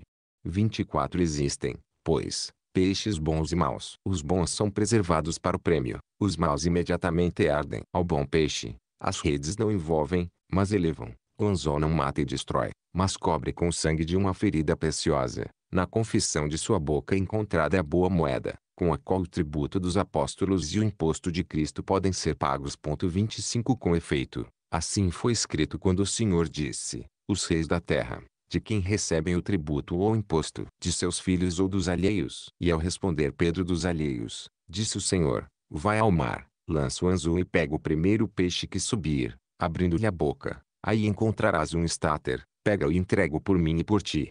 26, 16 Não temas, pois, ó bom peixe, o anzol de Pedro, ele não mata, mas consagra. Não te consideres como desprezível, porque vês teu corpo enfraquecido. 27 Em tua boca tens o que oferecer por Pedro e por Cristo. Não temas as redes de Pedro, a quem diz Jesus, joga para o alto e lança as redes. 28 Ele não lançou à esquerda, mas à direita, conforme Cristo lhe ordenara. 29 Não temas as dobras de seu manto, porque ele foi dito, a partir de agora serás vivificador de homens. 30 Por isso ele lançou as redes e enlaçou Estevão, o primeiro peixe que subiu do evangelho tendo em sua boca o estáter da justiça. Por isso, em firme confissão, clamou dizendo, Eis que vejo os seus abertos e o Filho do Homem de pé direita de Deus. 31 Por causa deste peixe estava de pé o Senhor Jesus, pois sabia que na boca dele estava o preço do seu imposto. Enfim, confessor inabalável, Estevão completou com glorioso martírio o juízo e doutrina de Pedro e a graça de Cristo. 7,17 Nem te admires de que eu tenha aplicado o evangelho ao mar. É um evangelho em que Cristo andou. É um evangelho em que Pedro, embora tivesse vacilado ao negar, encontrou na mão direita de Cristo o sustento da fé. A graça de ficar de pé. 32 É um evangelho do qual ele subiu como testemunha. É um evangelho o mar, no qual os apóstolos pescam, ao qual é lançada a rede que é semelhante ao reino dos céus. 33 É um evangelho mar, no qual estão figurados os mistérios de Cristo. É um evangelho mar, no qual o hebreu escapou e o egípcio desapareceu. 34 É um evangelho mar, porque a igreja, esposa de Cristo e plenitude da divina graça, foi fundada sobre os mares, conforme disse o profeta, eu próprio afundei sobre os mares.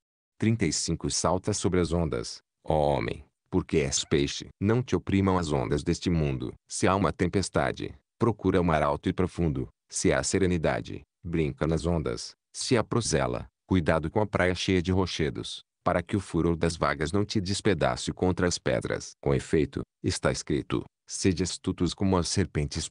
36, 18. E já que foi proposto o exemplo da astúcia das serpentes, sejamos astutos em procurar e preservar os casamentos tenhamos zelo pelas comunidades que nos foram confiadas. Quanto àqueles que, por ocasião de seu nascimento, estavam separados em regiões longínquas, se vierem a unir-se se o homem for para terras estrangeiras, nenhuma distância, nenhuma abstinência diminua o amor mútuo. A mesma lei une os presentes e os ausentes. O mesmo vínculo natural liga os direitos do amor conjugal entre os distantes e os próximos. O mesmo jugo da bênção une o pescoço de ambos ainda que um deles se afaste para longas separações em regiões distantes, porque os cônjuges não receberam o jugo da graça na serviço do corpo, mas do espírito. A víbora, a mais perversa espécie de fera e a mais astuta de todas as serpentes, quando quer satisfazer o desejo de copular, procura a conhecida união com a moreia marítima. 37 Ou melhor dizendo, prepara nova união, avança para o litoral e, anunciando sua presença com um assovio, chama para o amplexo conjugal, a moreia, uma vez solicitada, não falte e partilha seus desejos conjugais com a serpente venenosa. O que significa isto que estou dizendo? Senão que é preciso suportar os costumes conjugais e, se um está ausente, é preciso aguardar sua presença. Ainda que ele seja áspero, pérfido, grosseiro, lascivo, ébrio, o que é pior do que o veneno, e a moreia não evita em seu cônjuge. Quando é chamada, não falta e abraça com amor zeloso o corpo escorregadio da serpente. Ele carrega tuas maldades e a fraqueza da inconstância feminina. E tu, mulher, não podes suportar teu marido. Adão foi enganado por Eva, não Eva por Adão. 38 Aquele que foi chamado à culpa pela mulher, é justo que assuma o encargo de timoneiro, para não cair novamente, por causa da fraqueza da mulher. Mas ele é rude e grosseiro, Só me agradou uma vez. Por acaso o marido deve ser escolhido muitas vezes? O boi sente falta e o cavalo ama seu companheiro. Se um deles é trocado, o outro companheiro não consegue puxar o jugo, sentindo que não está completo. Mas tu repudias teu marido e pensas que deve ser trocado muitas vezes. Se ele se ausenta um único dia, tu contrais novas núpcias com um rival imediatamente, como se tivesse sido já instruído um processo que não foi cometes um atentado ao pudor. A víbora procura o ausente. Chama o ausente com um assovio carinhoso e, quando sente que seu companheiro se aproxima, vomita o veneno. Em consideração ao marido, em respeito pela graça nupcial, tu, mulher, repeles com injúrias teu marido que está chegando de longe. A víbora olha para o mar, observa o caminho do cônjuge. Tu obstruís o caminho para teu marido com insultos. Tu lhe moves os venenos dos processos, em vez de cuspi-los. Tu soltas pelas têmporas um veneno terrível para o amplexo conjugal e não respeitas as núpcias nem tens consideração por teu marido. 19. Mas tu também, ó homem, podemos também entender assim traço. Abandona a arrogância do coração, a rudeza dos costumes. Quando tua esposa solicita vem ao teu encontro. Afasta de ti a irritação. Quando tua esposa carinhosa te convida ao amor. Não é senhor, mas marido. Não ganhaste uma escrava, mas uma esposa. Deus quis que tu fosses timoneiro do sexo mais frágil, não o todo-poderoso. Retribui ao zelo com a reciprocidade, retribui ao amor com a gratidão. A víbora espelha seu veneno. Tu não podes abandonar tua dureza e coração. É certo que tens uma rudeza natural, mas deves moderá-la pela contemplação de tua esposa e deixar de lado a grosseria do espírito em respeito à união conjugal. É possível também entender assim, não procureis, ó homens, outro leito, não fiqueis à espreita de outra esposa. O adultério é grave, é uma ofensa à natureza. Deus fez primeiramente dois, Adão e Eva, isto é, o marido e a mulher, e fez a mulher tirada do marido, isto é, da costela de Adão, e mandou que ambos se tornassem um único corpo 39 e vivessem em um único espírito. Porque partes um corpo único, porque divides um espírito único. É um adultério contra a natureza. É o que ensina o ardente abraço da moreia e da víbora, não pelo direito da raça, mas pelo ardor do desejo. Aprendei, ó maridos, aquele que deseja manchar a honra da esposa de outrem, quer adotar para si o concubinato com uma serpente deve ser ele próprio também comparado a uma serpente. O marido corre para a víbora, a qual se aninha em seu regaço não pelo caminho reto da verdade, mas pela senda escorregadia do amor infiel. Corre para aquela que recubra seu veneno como uma víbora, de quem se diz que, uma vez concluída a união conjugal, torna a engolir o veneno que vomitara. Efetivamente, adúltera é uma víbora. Por isso Salomão também diz que, se alguém está embriagado, quando ferve de luxúria por causa do vinho, é como que derrubado pelo bote de uma cobra quarenta e parece que uma raia espalha o veneno nele. E para saberes que falou sobre a mulher adúltera, acrescentou, quando teus olhos veem a mulher alheia, tua boca diz perversidades. 41, 20. E ninguém creia que nós tenhamos caído em contradição ao usarmos este exemplo da víbora tanto para o bem quanto para o mal, porque ambos os usos são úteis à instrução. Nós nos envergonhamos ou por não darmos prova de fidelidade ao amado, como da serpente, ou por desprezarmos os santos laços conjugais, preferindo os amores lascivos e nocivos aos salutares como faz quem se une a uma serpente. 8,21 E já que começamos a tecer considerações sobre a astúcia com que cada um se esmera em assediar e enganar seu irmão, engendrando inusitadas fraudes para envolver com um engano e cobrir com uma espécie de disfarce artificioso a quem não possa apanhar pela força. Não deixarei de falar sobre a arte de enganar que tem o polvo, encontrando uma pedra em litoral pouco profundo, nela se fixa, absorvendo-lhe a água. 42 Com sua arte de fingir, revestindo seu dorso de uma aparência semelhante à da pedra, prende nas redes de sua arte manhosa e fecha nas dobras de sua carne. A muitos peixes que deslizam por ele, sem suspeitar de nenhum engano, desatentos aos sinais, pensando tratar-se de alguma pedra. Assim, a presa vem a ele espontaneamente e é apanhada por artifícios comparáveis aos daqueles que mudam muitas vezes seu modo de pensar e põem em ação diversas artimanhas maléficas, a fim de tentar as mentes e os sentimentos de cada um. Entre os castos, eles pregam a continência. No convívio com os intemperantes, desviam-se do zelo pela castidade e mergulham nos lamaçais da libertinagem. Assim sendo, aqueles que os ouvem ou veem entregam-se a eles com incauta facilidade e caem muito depressa em seu engano. Não sabem abster-se nem acautelar-se daquilo que causa dano, embora a improbidade disfarçada pelo véu da benignidade seja mais grave e mais nociva. Assim, pois, Cuidado com aqueles que espalham ao longe e ao largo os pés e os braços de sua fraude e vestem-se de multiforme aparência. Efetivamente, estes são povos que têm muitos braços e pés de astuciosas artimanhas, com os quais podem prender qualquer coisa que caia nos rochedos de sua fraude. 22. O caranguejo também nos ensina alguns artifícios para conseguir alimento. O fato é que ele gosta de ostra e quer banquetear-se com esta carne. Contudo, quando é apanhada, a ostra é um alimento, mas bem observada, é um perigo, pois caçá-la é tão difícil quanto perigoso. É difícil, porque a parte comestível está fechada no interior de certas cascas muito resistentes. Com estas cascas, a natureza, intérprete do preceito imperial, protegeu uma carne mole como a do rato, nutrindo-a e aquecendo no meio delas, numa espécie de seio côncavo, como que derramando-a num vale. Por isso, todas as invectivas do caranguejo são infrutíferas, porque ele não tem força para abrir a ostra fechada. É também perigoso caçá-la, porque ela pode prender-lhe a ponta das patas. Então ele recorre a uns artifícios, maquinando armadilhas para enganá-la. Assim,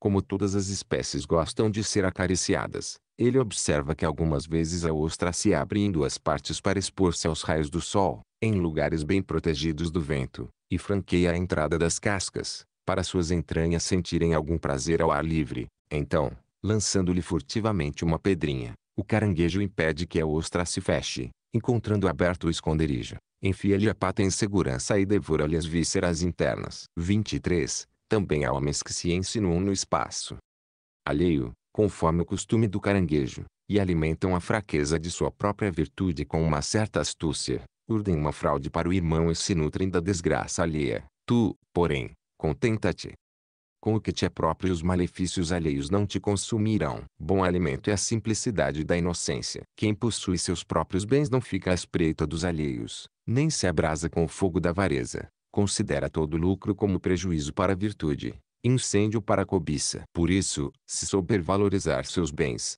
a pobreza com a verdade 43 a bem-aventurada, deve ser preferida a todos os tesouros porque é melhor o pouco recebido com temor de Deus do que os maiores tesouros sem este temor. 44 Com efeito, quanto é preciso para alimentar um homem? Ou, se queres saber, aquilo que chega a transbordar para agradar os outros, também não é muito. Efetivamente, é melhor a hospitalidade com legumes, com a graça, do que o preparo de gordos vitelos com discórdia. 45 Zemos, pois, a inteligência para procurar a graça e defender a salvação, e não para iludir inocência alheia. Podemos usar o exemplo das criaturas do mar para o proveito de nossa salvação, e não para o perigo da salvação alheia. 9,24 O ouriço, animal pequeno, comum e desprezível, estou falando do ouriço do mar, costuma ser ora indício de tempestade vindoura, ora anúncio de tranquilidade para os navegantes. Ora, quando ele pressente uma tempestade de ventos, pega uma pedra pesada,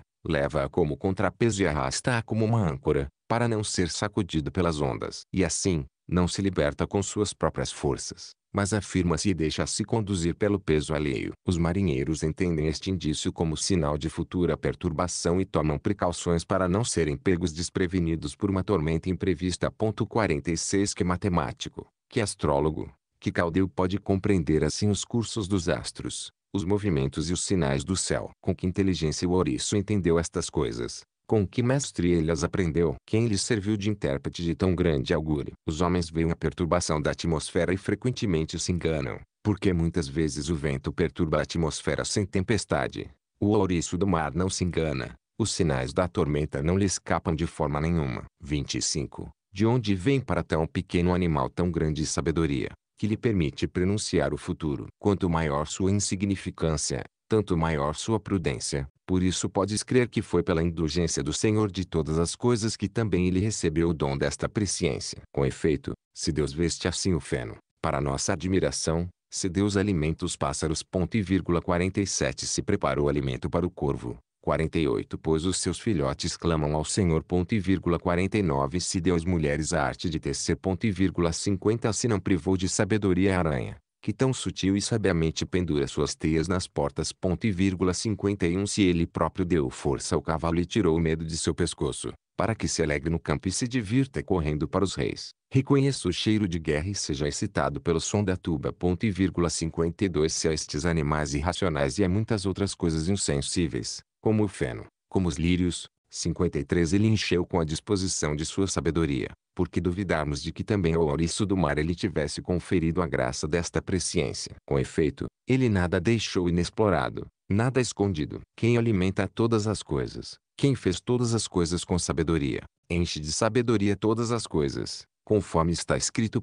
54 Por isso, se Deus não deixou excluído de sua manifestação o ouriço do mar, se dá atenção a ele e informa-lhe os indícios das coisas futuras, não dará atenção a ti. Muito pelo contrário, ele cuida de ti, conforme atesta sua sabedoria, que diz, se ele cuida das aves, se as alimenta, porventura vós não sois mais do que elas. Com efeito, se Deus veste assim o feno do campo, que existe hoje e amanhã é lançado ao fogo, quanto mais a vós, Homens de pouquíssima fé. Ponto de interrogação 5510,26. Será que pensamos que é sem uma certa dádiva da natureza que também para os peixes permanece a graça de cada espécie ter um domicílio preestabelecido para si, o qual nenhum deles ultrapassa, nem é invadido por uma espécie diferente? Que geômetra fez a divisão destas moradas, que não serão violadas em tempo algum? De geômetra nós já ouvimos falar, mas de oceanômetra 56 nunca ouvimos. No entanto, os peixes conhecem seus limites, os quais não são prescritos pelas muralhas e portas das cidades, nem pela edificação das casas, nem determinados pelas divisas dos campos. São os limites que lhes convêm, suficientes para cada espécie, na medida em que satisfaçam a uso de cada uma, não na medida em que favoreçam uma cobiça imoderada. Existe uma certa lei natural, de procurar obter apenas o que seja suficiente para a subsistência e considerar a parte dos alimentos como a de um patrimônio. Uma espécie de peixes alimenta-se e nasce num golfo do mar, outra espécie em outro. Finalmente, não encontrarás espécies de peixes misturadas, mas aquela que é abundante aqui, não aparece ali. Um golfo do mar nutre peixes chamados cabeçudos, outros peixes lobos, outros peixes sachícolas, outros lagostas. O direito de vaguear não é livre, embora os cardumes não estejam cercados por montes, nem tenham a passagem impedida por rios que deslizam no meio deles. É como que um costume gravado em sua natureza, que cada um se detenha nos limites de sua região, sendo surpreendente que algum avance além dos companheiros. 27. Mas longe de nós um pensamento diferente. Trocar a pátria pelo exílio, ser objeto de desprezo dos habitantes, granjear o favor dos estrangeiros, transferir os limites perpétuos que nossos pais possuíram, juntar campo a campo, casa a casa. 57 Falta terra para os homens, e os mares se dilatam. 58 A terra é dividida e redividida por causa da cobiça de cada um.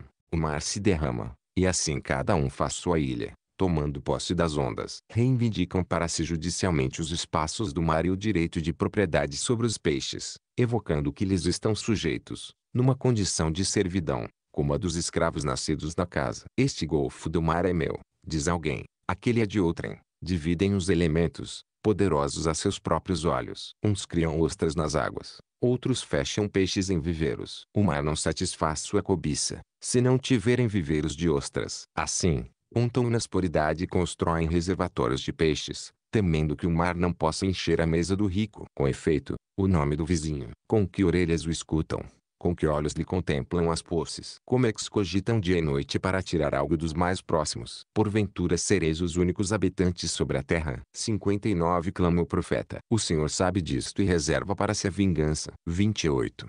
Quão estranha aos peixes é a rapina da cobiça. Eles captam os segredos da natureza e conhecem o mar além dos confins do orbe das terras, onde não se interpola nenhuma ilha, nem terra alguma se interpõe ou é estabelecida posteriormente. Lá, então, onde o mar se estende largamente, barrando todos os olhares, toda a audácia de navegar por interesse. Conta-se que se escondem as baleias, aquelas imensas espécies de peixes, de corpos iguais a montanhas, conforme nos disseram os que puderam ver. Lá levam vida tranquila, afastadas das ilhas, e têm suas regiões e domicílios bem distribuídos, isoladas de qualquer contato com as cidades marítimas. Lá permanecem, sem perturbar os limites dos vizinhos, não procuram mudar de lugar, com movimentações inconstantes, mas amam suas moradas como solo pátrio e julgam agradável permanecer nelas. Por isso as escolheram, para poderem levar uma vida solitária, livres das interpelações dos observadores. 29. Existem,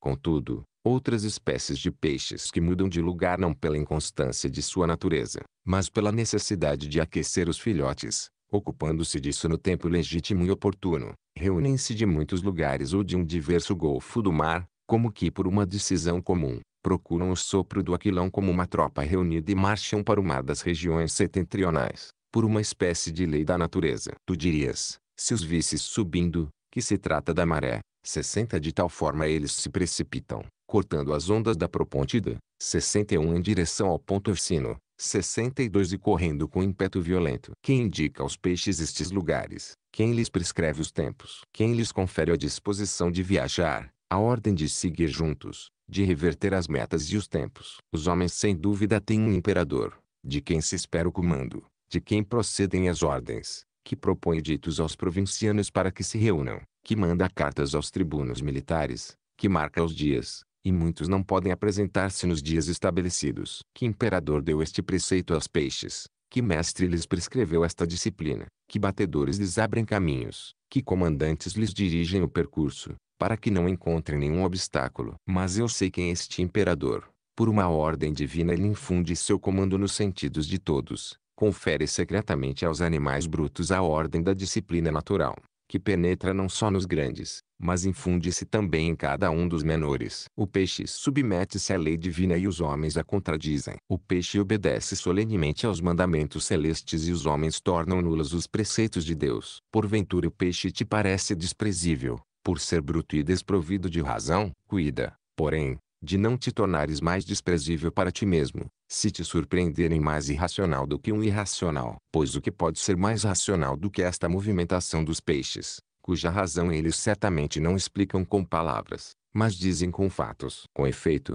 no tempo do verão eles avançam até as ondas do ponto Chino, porque este golfo é mais ameno do que o restante do mar. De fato, o sol não se detém nestas águas tanto quanto nas demais, e esta é a causa de não esgotar toda a água, que é doce e potável. E quem não sabe que os animais marinhos são também muitas vezes atraídos pelas águas doces. Ponto de interrogação 63 Afinal, quando eles seguem os rios e sobem muito, é comum pegar nos rios peixes de espécie diferente. Quando o sopro constante do aquilão ali ameniza os calores, esta circunstância torna o ponto Euxino mais agradável para eles. Então os peixes o consideram mais favorável do que os outros lugares. Podem ali gerar e alimentar seus próprios filhotes, uma vez que os peixinhos recém-nascidos dificilmente poderiam suportar as dificuldades de outra região, e ali são aquecidos pela suave clemência do clima. E assim, Cumprida a missão, voltam todos juntos no batalhão em que vieram. 30. Consideremos qual seja a razão deste fato. O Golfo do Ponto Euxino está exposto aos sopros violentíssimos do Bóreas e de outros ventos. Por isso, se ali se desencadeia uma forte tormenta, vêm as tempestades, de tal forma que a areia do fundo se revolve, serve como indício deste fenômeno uma água arenosa, que, subindo muito alto pelo impulso dos ventos, torna-se então, sem dúvida, não só penosa para os navegantes mas também intolerável para os próprios animais marítimos. Isto acontece porque correntes de água mais numerosas e maiores se miscuem no ponto. Então, no tempo do inverno, o próprio golfo é mais frio e congela-se quando as correntes escoam. Por isso, os peixes, como senhores dos rios, estão acostumados a captar a clemência da brisa que sopra ali no verão, tendo desfrutado até o fim de sua amenidade. Procuram, em troca, distanciar-se dos rigores do inverno, fugindo das intempéries da região setentrional, confluem para os golfos restantes, onde os ventos sejam mais brandos e o calor do sol possa trazer a primavera. Portanto, o peixe conhece o tempo de parir, o que a sabedoria de Salomão considera como um grande mistério. 64 Conhece o tempo de ir e voltar, conhece o tempo do trabalho e da jactância e sabe que não pode enganar-se, porque não se serve do discernimento da razão e do argumento da discussão, mas da inspiração da natureza, que é a verdadeira mestra da piedade. Enfim, todos os viventes têm tempos pré-estabelecidos para reproduzirem-se. 65 Só o homem os tem distintos e confusos. As outras espécies procuram a clemência do tempo. Só as mulheres dão à luz seus filhos com tempo inclemente. Assim, pois, a luxúria inconstante e moderada resulta na inconstância do tempo de gerar. O peixe atravessa mares enormes à procura de alguma vantagem para sua espécie. Nós também atravessamos extensos mares, mas quão mais honesto é que se obtém por amor da sucessão da espécie do que pela cobiça de riquezas. Enfim, eles imputam a travessa piedade, nós aos lucros. Eles consideram a prole mais preciosa do que todos os lucros. Nós, cada vez, obtemos um ganho muito inferior ao perigo, pelo mísero desejo de lucro. E assim, eles voltam à pátria, nós a abandonamos. Nadando, eles incentivam o desenvolvimento da espécie. Navegando, nós o diminuímos. 31. Quem, então, poderia negar que neles foi divinamente infundida tal inteligência e força, ao ver uns formarem com vivaz inteligência uma peregrinação tão regular ao aquilão, 66 para irem ao encontro da fecundidade, e outros assumirem no pequeno corpo tanta força, que conseguem deter no meio das ondas os maiores navios que correm a toda vela. Por exemplo, conta-se que um peixinho chamado ouriço do mar detém com tanta facilidade um grande navio, que podes vê-lo parado imóvel, como que enraizado no mar. De fato, ele o mantém imóvel por algum tempo. 67 Porventura pensas que este peixinho também poderia dispor de tanta força sem o benefício do Criador? O que direi dos peixes espada, ou dos peixes serra, ou dos cães marinhos, ou das baleias, ou dos peixes martelo? O que direi ainda do ferrão da rola marinha, 68 mesmo morta? Com efeito, dizem que, se alguém pisar na boca ainda fresca de uma víbora, o dano não é menos grave do que o veneno e serpeia uma ferida incurável.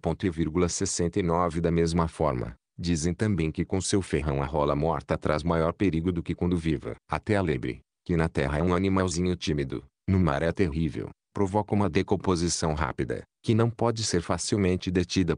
70 Portanto, quis o teu Criador que nem no mar tu estivesses completamente livre de ciladas. Assim, por causa de alguns poucos perigos, como se estivesses de sentinela, apoiado nas armas da fé e cingido pelo escudo da devoção, é do teu Criador que deves esperar o socorro da salvação. 11,32 Passemos ao Oceano Atlântico. Como são enormes ali, de grandeza infinita, as baleias. Quando elas nadam sobre as ondas, pensas que são ilhas que andam. 71 montes altíssimos que sobem até o céu com seus cumes elevados. Dizem que elas não são vistas na praia nem nos litorais, mas no Alto Atlântico, para que, à vista delas, os marinheiros sejam dissuadidos da presunção de navegar naqueles lugares e não ousem afrontar os segredos dos elementos, sem o supremo terror da morte. 33. Quanto a nós, do fundo do mar venhamos à tona, que nosso sermão possa emergir bastante e erguer-se para o alto. Contemplemos as coisas a que estamos muito acostumados, mas que são cheias de graça, de que modo a água se transforma em grãos de sal, para serem cortados com ferro, assim, não há nada de extraordinário com os sais britânicos, resplendentes como o mármore sólido, de brilho claro como o desta pedra, saudáveis para alimentar o corpo e muito agradáveis na bebida. Contemplemos também de que modo no mar a planta coral não é uma pedra feia e, se for trazida para o ar, solidifica-se como uma pedra dura. Vejamos também de onde a natureza tirou para as ostras uma pérola preciosíssima, de que forma a água do mar a solidificou numa carne tão mole. Coisas que dificilmente se encontram junto aos reis jazem em todas as partes nas praias, como se fossem desprezíveis, amontoando-se em ásperos penedos e rochas. A água também no truvelo de ouro 72 e os litorais produzem uma lã com a aparência do famoso metal,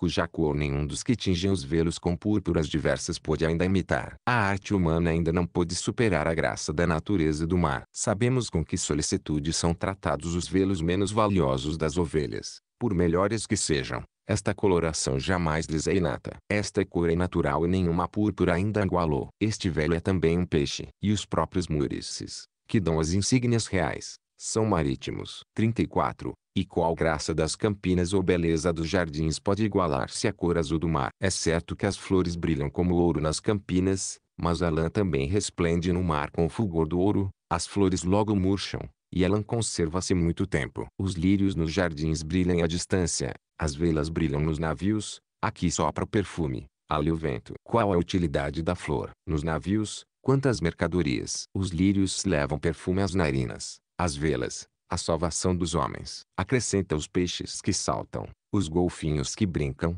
acrescenta as ondas que ressoam com um murmúrio rouco, ajunta os navios que correm para os litorais ou que deles partem. E quando as quadrigas saem de seus compartimentos, 73 Quantos zelo e gosto tem pelos sertamos que lhe assistem. Contudo, o cavalo corre em vão. 74 Ao contrário dos navios, o cavalo corre em vão, porque está vazio. Os navios correm para nossa utilidade, porque estão cheios de trigo. E esta corrida é mais grata nos navios, que não são movidos a chicote, mas pelo sopro dos ventos. Nela ninguém é adversário, mas todos colaboradores. Nela não há vencedor, seja qual for o primeiro a chegar, mas são coroados todos os navios que tiverem participado. Nela a palma é a recompensa da salvação. A vitória é o prêmio do regresso. Com efeito, quanta diferença existe entre os caminhos retos e os curvos. Aqueles se perpetuam, estes se desfazem. Junto aos remadores os litorais que se prolongam, onde o sinal de partida é a brisa que vem do céu. Assim, os aurigas obtêm um aplauso inútil.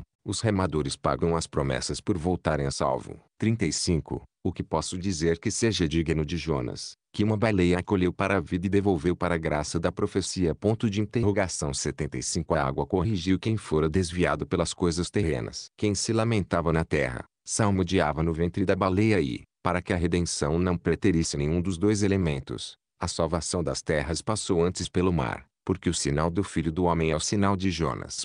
76 Assim como Jonas esteve no ventre da baleia, assim esteve Jesus no coração da terra. Em ambos os elementos há um remédio, contudo, no mar é maior exemplo de piedade, porque os peixes acolheram quem foi recusado pelos homens e os peixes salvaram quem foi crucificado pelos homens.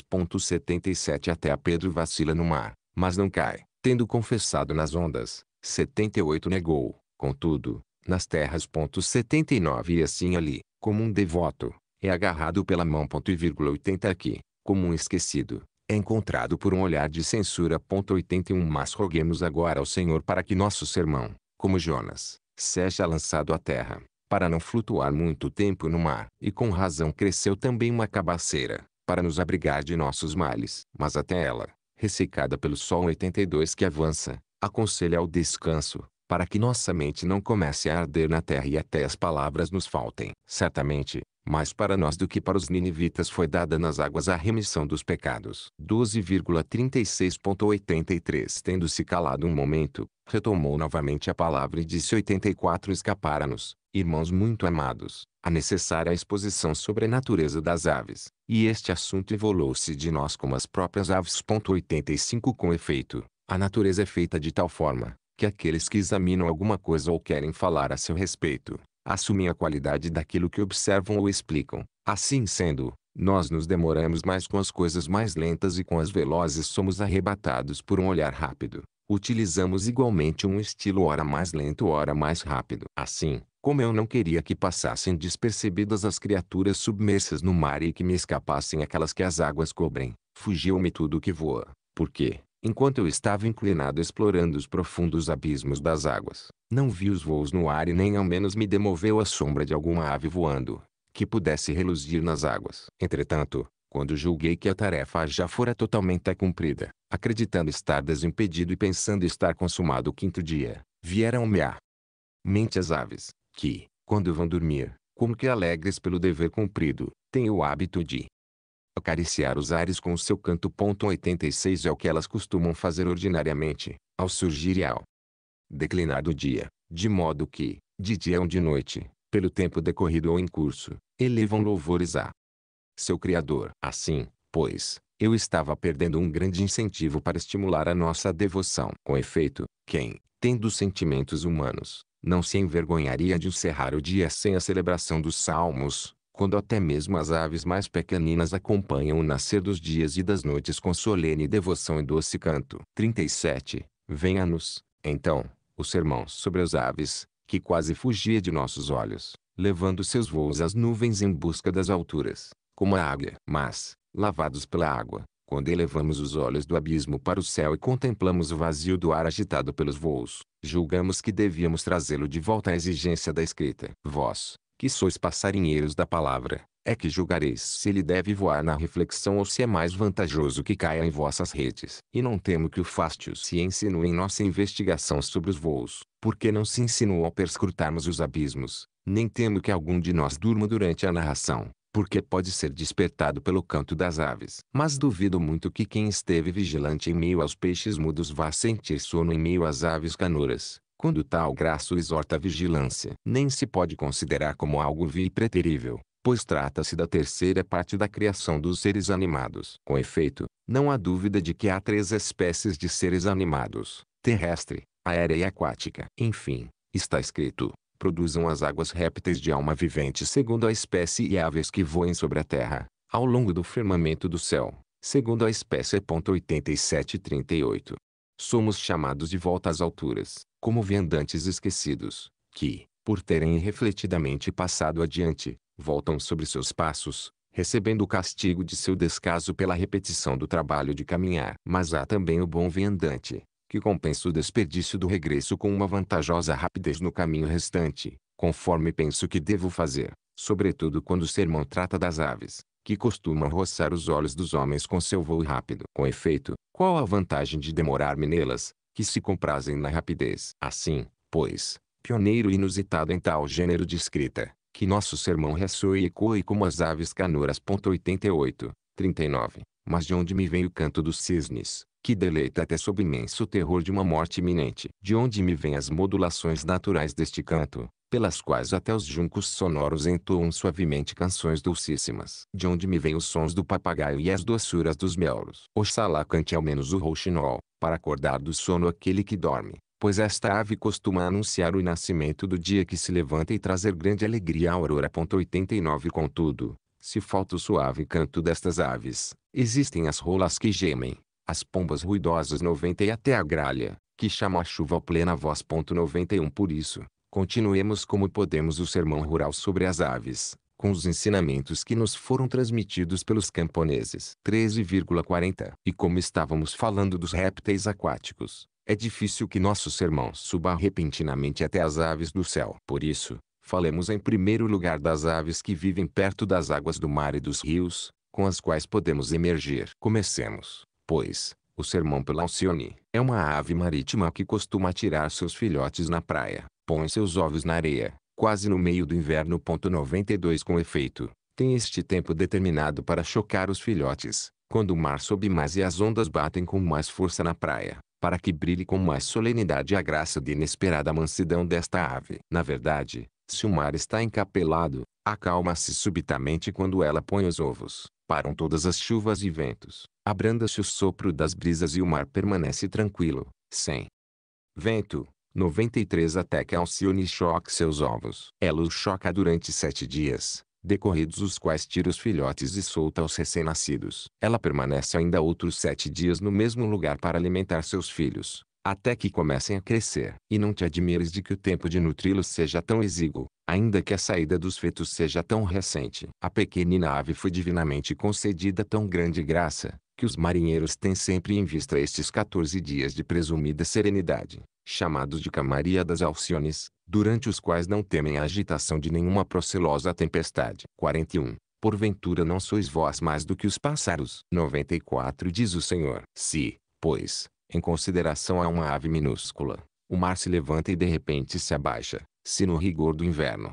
em meio a perigosas procelas e tempestades de vento, uma tranquilidade subitamente derramada em todos os elementos limpa as nuvens do céu e acalma as ondas, quanta confiança deves ter, ó homem, feito à imagem de Deus, se imitares a fé desta vezinha pelo zelo da devoção. Quando vê levantarem-se as tempestades e enraivecerem-se os ventos em meio aos rigores do inverno, ela não retrocede nem se desvia, mas põe-se em movimento. Enfim, põe seus ovos na praia, onde os recebe a areia ainda molhada pelo refluxo das ondas, e não tem medo das ondas ameaçadoras, cujo barulho e aproximação ela percebe. 42. E não julgues que ela parece desprezar os ovos. Em seguida, no lugar onde pôs os ovos, faz um ninho e aquece os filhotes com seu corpo. Não teme pela própria saúde, por causa da aluvião da praia, mas certa da graça de Deus, expõe seus ventos e as ondas. E isto ainda é pouco. Acrescentado outros tantos dias para nutri-los. Não tem medo de que durante tanto tempo seja interrompida a tranquilidade do mar inconstante e dá provas de seu merecimento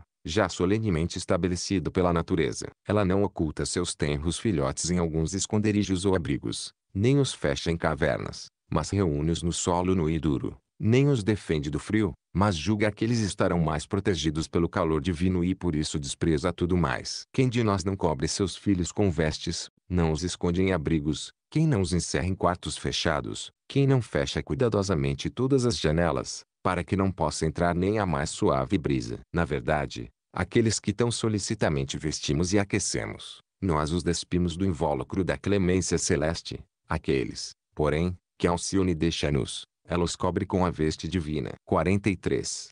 E não vos preterirei, ó mergulhões, 95 que recebestes este nome pela constância em mergulhar. Sempre mergulhando, como é que percebeis os sinais das brisas e, prevendo a tempestade futura, depressa voais do meio do mar e vos dirigis com clamor para os litorais seguros. Como é que também vós, gaivotas, que vos divertis em alto mar, recuais ao pressentir alguma perturbação no mar e ides brincar na areia. Ponto de interrogação 96 A própria garça real, que costuma permanecer nos pântanos, abandona os lugares conhecidos e, temendo as chuvas, voa acima das nuvens, e assim não pode ressentir-se das procelas das nuvens. 97 Consideremos as diferentes aves marítimas, ante o movimento iminente dos ventos, dirigem-se para lugares mais seguros e depois para os lagos mais agradáveis da estação, e, no seio oculto das terras, procuram para si alimentos que conhecem. 44 Por outro lado, quem não admira as sentinelas noturnas dos gansos, os quais também comprovam suas vigílias com a constância do canto. Afinal, foi com este canto que defenderam o Capitólio romano do inimigo gaulês. Com razão lhes deves, ó Roma, teu reinado. Teus deuses dormiam e os gansos vigiavam. Por isso, nesta data, sacrificas ao ganso e não a Júpiter. Assim, vossos deuses cedem lugar aos gansos, pelos quais sabem que foram defendidos, e por isso não foram pegos pelos inimigos. 98 14,45 Após a descrição dos peixes, vem bem a propósito o sermão sobre as aves que estão acostumadas às águas, porque também elas se alegram por saberem e gostarem de nadar. Daí parece vir um primeiro parentesco destas aves com os peixes, porque ambas as espécies parecem compartilhar a capacidade de nadar. O segundo parentesco entre as aves e os peixes está no fato de que o procedimento de quem voa é uma imagem de quem nada. Com efeito, assim como o peixe corta a água ao nadar, Assim também a ave corta o ar com seu voo célere. E ambas as espécies têm igualmente à disposição o remo da cauda e das asas, usando as nadadeiras como asas. Os peixes sobem para os lugares mais próximos, e avançam para os mais distantes com o leme da cauda, ou se viram facilmente para onde querem, ou dão um impulso e se movem em linha reta. As aves, por sua vez, com seu voo, nadam no ar como nas águas, como se estendessem braços, com a cauda, ou sobem para os lugares mais altos, ou mergulham nos mais baixos. Então, como alguns peixes e aves têm o mesmo costume e aparência, por esta razão, segundo o preceito divino, o nascimento de ambas as espécies veio das águas. Pois Deus disse, produzam as águas répteis de alma vivente segundo sua espécie e aves que voem ao longo do firmamento do céu, segundo sua espécie. 99 Não é sem razão, portanto, que as duas espécies disponham da capacidade de nadar, já que ambas foram tiradas das águas. 46. Sem dúvida, embora a cobra escorregadia e todas as serpentes não tenham pés, o nome serpente está bem empregado, porque elas não podem andar, mas arrastar-se, e embora também a maior parte dos dragões igualmente não os tenha, à semelhança dos peixes, nenhuma espécie de aves deixa de usufruir do serviço dos pés, como todas elas tiram seu alimento da terra sustentadas pelos pés precisam do serviço deles para procurar alimento. Assim também algumas aves são dotadas de unhas para agarrar, como por exemplo os falcões e as águias, e praticam a caça de rapina. Outras servem-se desta capacidade e função para andar ou preparar seu próprio alimento. 47. É só o nome de aves, mas há diversas espécies. Quem poderia abarcá-las com a memória ou com o conhecimento? Assim, há aves que se alimentam de carne. Por isso têm unhas duras, bico pontiagudo e curvo, voo rápido, porque vivem da rapina. Desta forma podem agarrar facilmente a presa que perseguem, despedaçando-a rapidamente com o bico ou com as unhas. Existem também aves que comem a semente que encontram, outras comem alimento diverso e fortuito. Existe ainda uma variedade de uniões, de cujo benefício carecem as aves de rapina. Com efeito, devido à avidez da pilhagem ou às ciladas da espionagem, não lhes convém unirem-se nem mesmo entre si, e por isso evitam unir-se. Com efeito, a avareza impede a união de muitos traço. Depois, o ajuntamento de muitas delas facilmente por si mesmo as denuncia. Para estas aves, portanto, nada serve para unir, a não ser o jugo conjugal. Este é o modo de vida das águias e falcões. Ao contrário das pombas, grolls, estorninhos, corvos e gralhas, os tordos também alegram-se muito com a união. 48. Algumas espécies de aves são locais e permanecem sempre em suas regiões, outras são migratórias partem para regiões diferentes e voltam depois do inverno. Existem ainda outras que voltam no inverno, e no verão peregrinam, afastando-se de nós, seja porque algumas se juntam em lugares mais quentes no tempo do inverno, seja porque muitas voltam a passar o verão nos lugares que sabem ser mais amenos. Enfim, os tordos voltam no fim do outono, nas proximidades do inverno, como se fosse pleno verão. E nós lhes preparamos armadilhas com inhospitaleira crueldade, de diversos modos. Ora nos esforçamos para atraí-los com um abrigo traiçoeiro, ora para enganá-los com um assobio, ora para capturá-los em laços. Sem a volta da cegonha ergue a bandeira da primavera. Os grolls, que procuram os lugares altos, gostam de peregrinar com frequência. 49. Algumas aves vêm para baixo de nossa mão, estão acostumadas à mesa 101 e se comprazem quando acariciadas. Outras têm medo. Umas gostam das mesmas moradas que os homens. Outras preferem a vida oculta nos lugares desertos e compensam a dificuldade de encontrar alimento com o amor à liberdade. Umas produzem ruídos estridentes. Outras nos deleitam com um canto melodioso e suave. Umas por natureza, outras por aprendizagem. Sabem distinguir os diversos intervalos vocais. 102 De sorte que pensas ser um homem que está falando, quando é uma ave. Como é doce a voz dos meuros, como é expressiva a voz do papagaio. Há também aves simples como as pombas, 103 outras astutas como as perdizes. O galo é o mais vaidoso, o pavão mais bonito. Existem ainda diferenças na vida e no modo de agir das aves. Umas gostam de tomar decisões em comum e,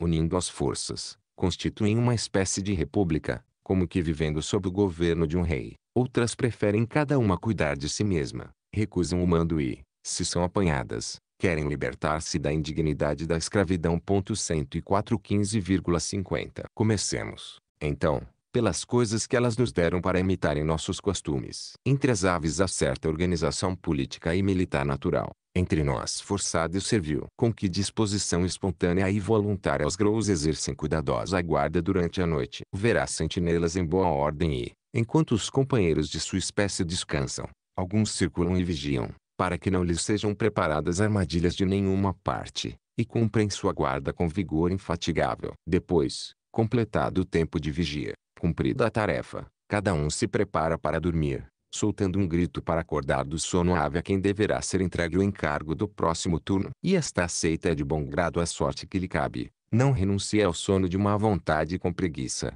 como é nosso costume, mas sai rapidamente de seu leito, toma seu posto e leva adiante a graça recebida com o mesmo cuidado e fidelidade. Assim, não há deserções, porque a devoção é natural. Assim, a proteção é segura, porque a vontade é livre. 51. Também quando voam servem a esta ordem e aliviam todo o trabalho com esta regulamentação, cumprindo por turnos o encargo de dirigir o voo. Com efeito, uma precede as demais durante o tempo que lhe é estabelecido e, por assim dizer, vai na frente das insígnias, depois vem para trás e cede a seguinte a vez de conduzir o batalhão. O que pode ser mais belo do que isto? Não só o trabalho, mas também honra é comum a todas e o poder não é atribuído a poucas, mas passa por todas, numa espécie de partilha espontânea. 52. Esta é uma função da antiga república e equivale à cidadania livre. Foi assim que, desde o princípio, os homens começaram a exercer a atividade política que aprenderam da natureza, pelo exemplo das aves. O trabalho era comum,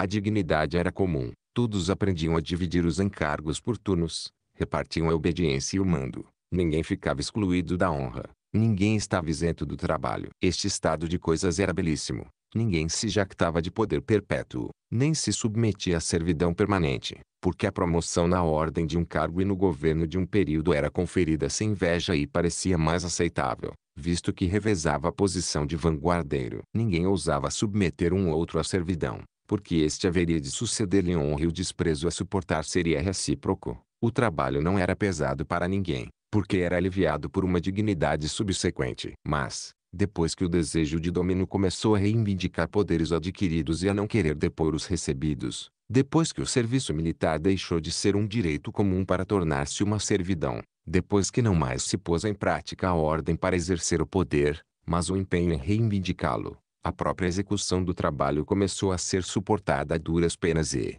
como já não era voluntário, logo deu lugar à negligência. Quanto mais a contragosto os homens cumprem os turnos das vigílias, com maior má vontade cada um monta guarda nos acampamentos militares, quando sorteado por um decreto real para proteger contra o perigo. Ponto de exclamação 105 prescreve-se um castigo para indolência, no entanto, quase sempre insinua-se a negligência e não se mantém a guarda. Com efeito, a obrigação que impõe obediência contra gosto quase sempre leva ao desleixo, pois nada é tão fácil, que não tenha dificuldade, se o fazes a contragosto. Assim, O trabalho sem descanso perverte o sentimento e o poder ininterrupto e duradouro gera insolência. Que o homem encontra-se que renuncia espontaneamente ao poder, deponha os insígnias de seu mando e, sendo primeiro, voluntariamente se faça o último. Quanto a nós, não brigamos somente pelo primeiro lugar, mas muitas vezes pelo lugar do meio. Reivindicamos os primeiros lugares nos banquetes 106 e, se uma vez isto nos for concedido,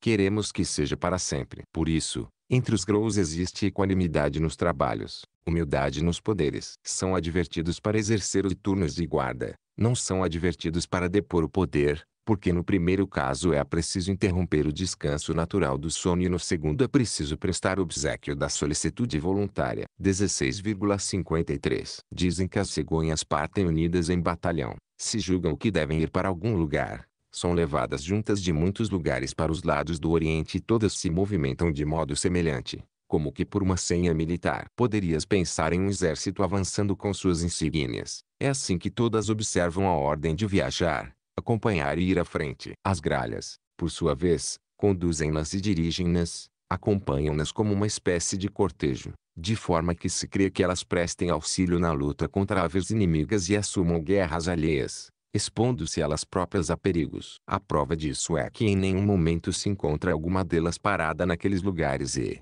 quando voltam feridas, é como se falassem claramente, com a voz do sangue e com outros indícios, que suportaram o conflito de duras batalhas. Quem, pois, lhes teria imposto castigo pela deserção? Quem lhes teria prescrito suplícios terríveis por abandono de tropa, para que nenhuma se negue a seguir nos esquadrões de hospitalidade? Mas todas, a porfia, cumpram o encargo e o dever de escolta. 54. Que os homens aprendam a observar o direito de hospitalidade e, a partir das aves, conheçam a honra que deve ser prestada, a deferência que deve ser concedida aos hóspedes, a quem as gralhas não costumam negar nem o risco da própria vida. Portanto, nós fechamos as portas para aqueles a quem as aves entregam até suas próprias almas, aqueles que elas acompanham, compartilhando com eles o perigo. A eles nós negamos o abrigo de um teto, aqueles que elas amparam nas guerras, contra eles nós frequentemente fazemos guerra. Minto, se não foi esta a causa do castigo dos habitantes de Sodoma.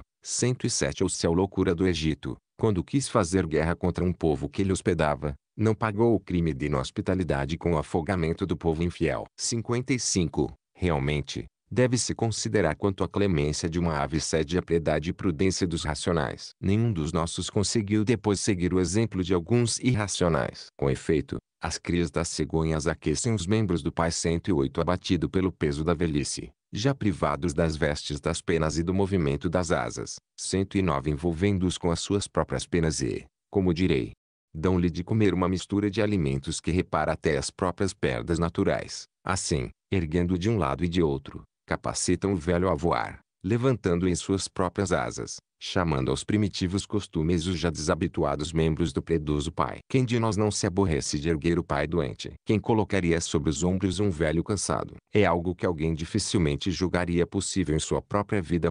110 Quem, ainda que fosse predoso, não encarregaria os escravos deste obsequio. Mas, em verdade, para as aves, algo que está repleto de piedade não é pesado, não é oneroso algo que paga uma dívida à natureza. As aves não se negam a alimentar o pai, coisa que, mesmo por obrigação de família temendo castigos, a maioria dos homens recusa. Não é uma lei escrita que aproxima as aves, mas uma lei inata. Ponto e vírgula 111 Preceito algum impele as aves a esta missão, mas sim os deveres da graça natural. As aves não se envergonham de sustentar os membros de um honorável ancião. É a piedade transportando, algo que, pela constância do testemunho, divulga-se até encontrar a merecida recompensa. Com efeito, esta ave costuma ser chamada predosa pelos romanos e diz-se que este epíteto conferido somente uma vez a um único imperador 112 por decreto do Senado, estas aves o mereceram em comum. Portanto, estas aves têm um decreto do Senado como insígnia da própria clemência,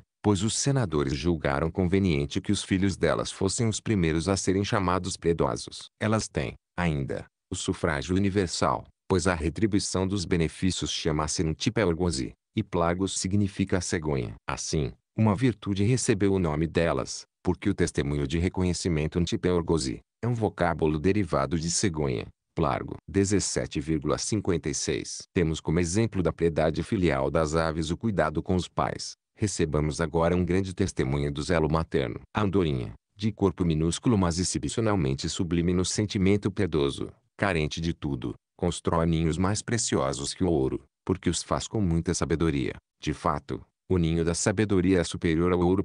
113 O que é mais sábio do que desfrutar da liberdade de voar para onde quiser, confiando os filhotes e ninhos às casas dos homens, onde ninguém pode atacar a prole. Com efeito, isso também é belo. Desde o nascimento, ela habitua seus filhotes ao convívio humano, garantindo-lhes segurança contra ciladas de aves inimigas. Então, é algo notável a graça com que ela constrói seus ninhos, sem ajuda de ninguém, como se fosse perita nesta arte. Com efeito, recolhe pequenos ramos com o bico e unta-os com barro, para poder juntá-los. Mas, como não pode carregar o barro com os pés, molha com água suas penas superiores, para que o pó grude nelas com facilidade e se transforme em barro. Depois, pouco a pouco, vai recolhendo raminhos ou pequenos gravetos e os ajunta. Levanta a construção do ninho todo deste modo, de forma que seus filhotes vivem dentro de suas casas, quase ao resto do chão, sem serem incomodados, e ninguém enfia o pé pelas fendas das paredes, nem o frio maltrata os pequeninos. 57.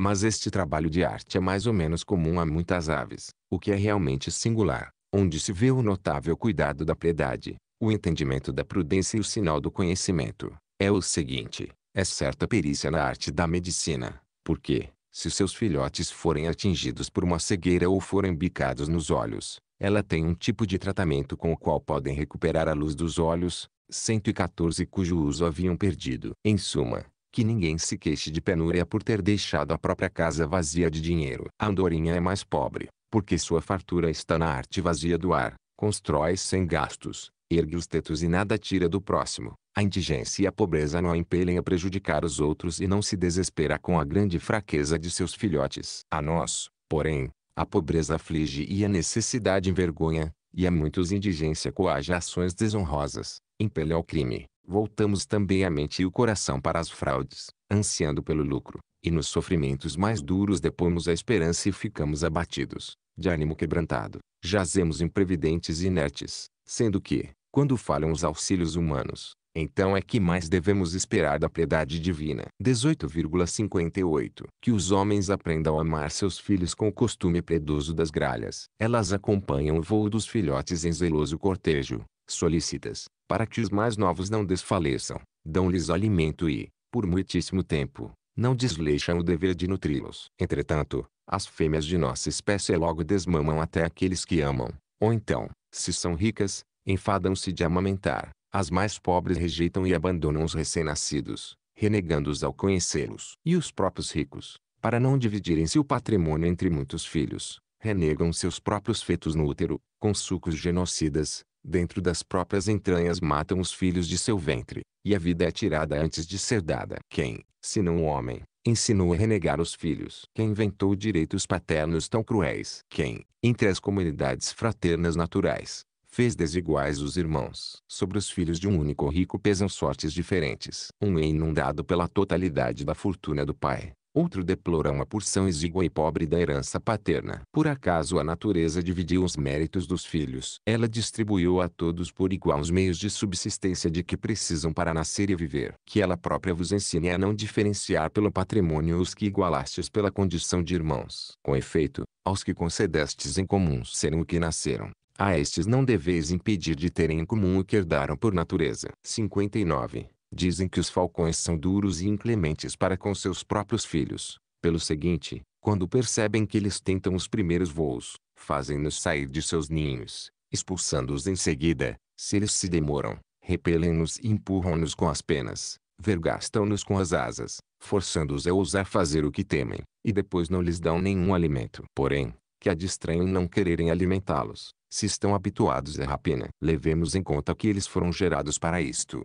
Desta forma, o medo obriga estas aves a se protegerem e a não relaxarem aqui e ali as precauções, mas a estarem atentas aos perigos que devem ser evitados pelos ladrões. Depois, como a natureza parece ter desenvolvido nelas a tendência de roubar, é mais provável que elas estejam preparando seus filhotes, desde muito cedo, para a rapina e não que lhes neguem alimentos por avareza. Cuidam para que não se tornem preguiçosos em tenra idade, não se deixem perverter pelos prazeres, não fiquem entorpecidos pelo ócio, Não aprendam a esperar o alimento em vez de procurá-lo. Não percam o vigor de sua própria natureza. Interrompem os cuidados com a nutrição para impeli-los à ousadia da rapinagem. 60. A águia também recebe muitas censuras porque abandona seus filhos. No entanto ela não rejeita ambos, mas apenas a um dos dois filhotes. Alguns atribuíram este fato ao aborrecimento de prover alimentos em dobro.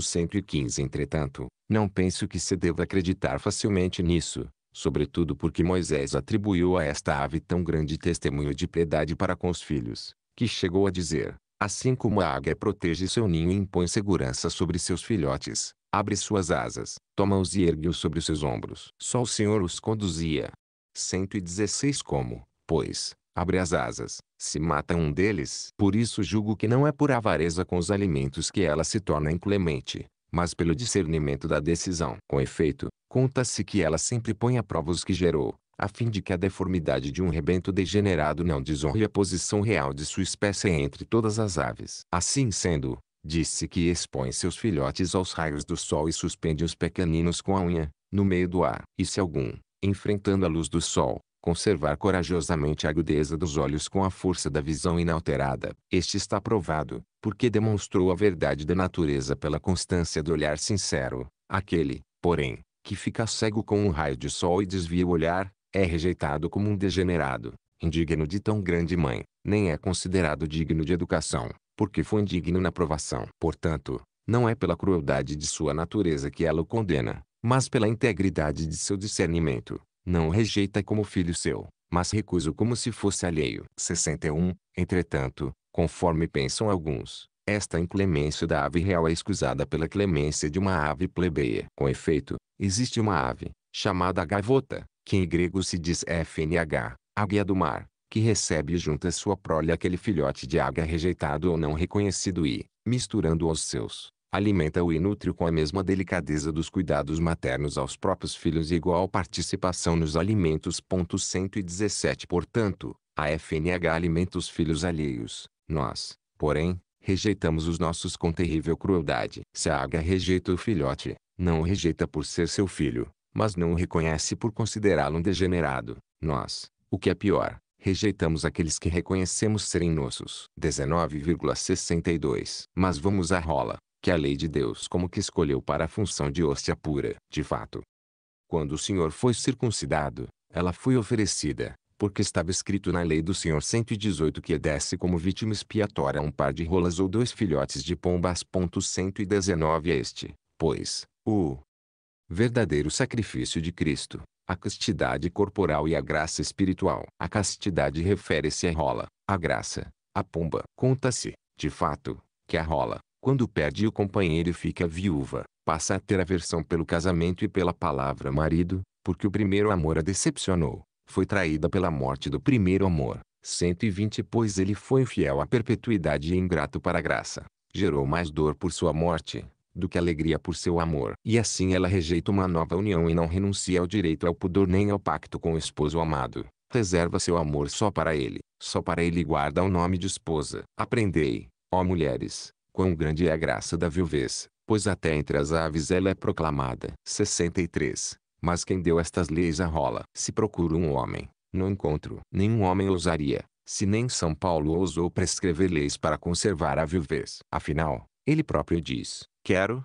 pois, que as jovens viúvas se casem, criem filhos, sejam mães de família e não dêem nenhuma ocasião ao adversário. 121 E em outro lugar, é bom para elas, se assim permanecem, mas, se não conseguem guardar continência, que se casem, pois é melhor casar-se do que abrasar-se. 122 Paulo acha o melhor para as mulheres o que entre as rolas é o constante. E em outro lugar exorta as viúvas mais jovens a casarem-se, porque nossas mulheres dificilmente conseguem guardar a castidade das rolas. Portanto, foi Deus que infundiu este sentimento nas rolas, deu-lhes a virtude da continência, pois só ele pode prescrever o que todos devem seguir. A rola não se abrasa com a flor da juventude, não fica tentada pelos atrativos da ocasião, a rola não sabe tornar sem efeito a primeira promessa, porque sabe manter a castidade prometida na primeira união conjugal. 20,64 Acabamos de falar sobre a viuvez das aves e que esta virtude surgiu primeiramente delas. Falemos agora da castidade, virtude que dizem existir em muitas aves, podendo ser encontrada até entre os abutres. Com efeito, dizem que os abutres não se comprazem com o acasalamento nem com os usos conjugais e não se unem em cópula nupcial, concebendo, assim, sem nenhuma semente dos machos e gerando filhos sem acasalamento. Ponto e vírgula 123 Por isso avançam muitos anos em longevidade,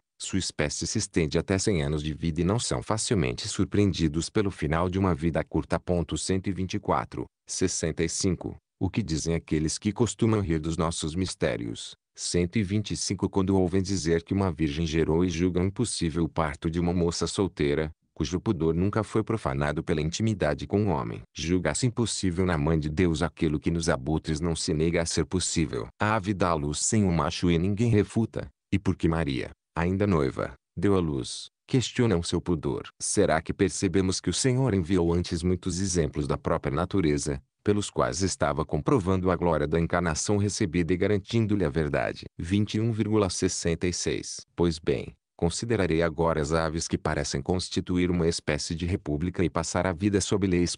126 Decorre daí ser pertinente à república que as leis sejam comuns a todos e observadas por um comum devotamento, que todos estejam ligados por um só vínculo, que não seja direito de um o que outro reconheça não ser lícito para si próprio, mas que o que é lícito seja lícito para todos, e o que não é lícito não seja lícito para todos, que também seja comum o respeito aos senadores, cujo conselho governa a república, seja comum a todos a sede da cidade, seja comum o serviço da casa, que haja um único preceito para todos, uma única deliberação. 67. São coisas grandiosas e tanto mais belas entre as abelhas, as únicas que, em todo gênero animal, têm uma descendência comum a todas. 127 moram todas na mesma casa, estão encerradas no limiar de uma só pátria. O trabalho de todas é feito em comum, é comum o alimento, a obra é comum a todas. 128 é comum o uso e o fruto. É comum o voo. O que mais? Traço. É comum a todas a geração.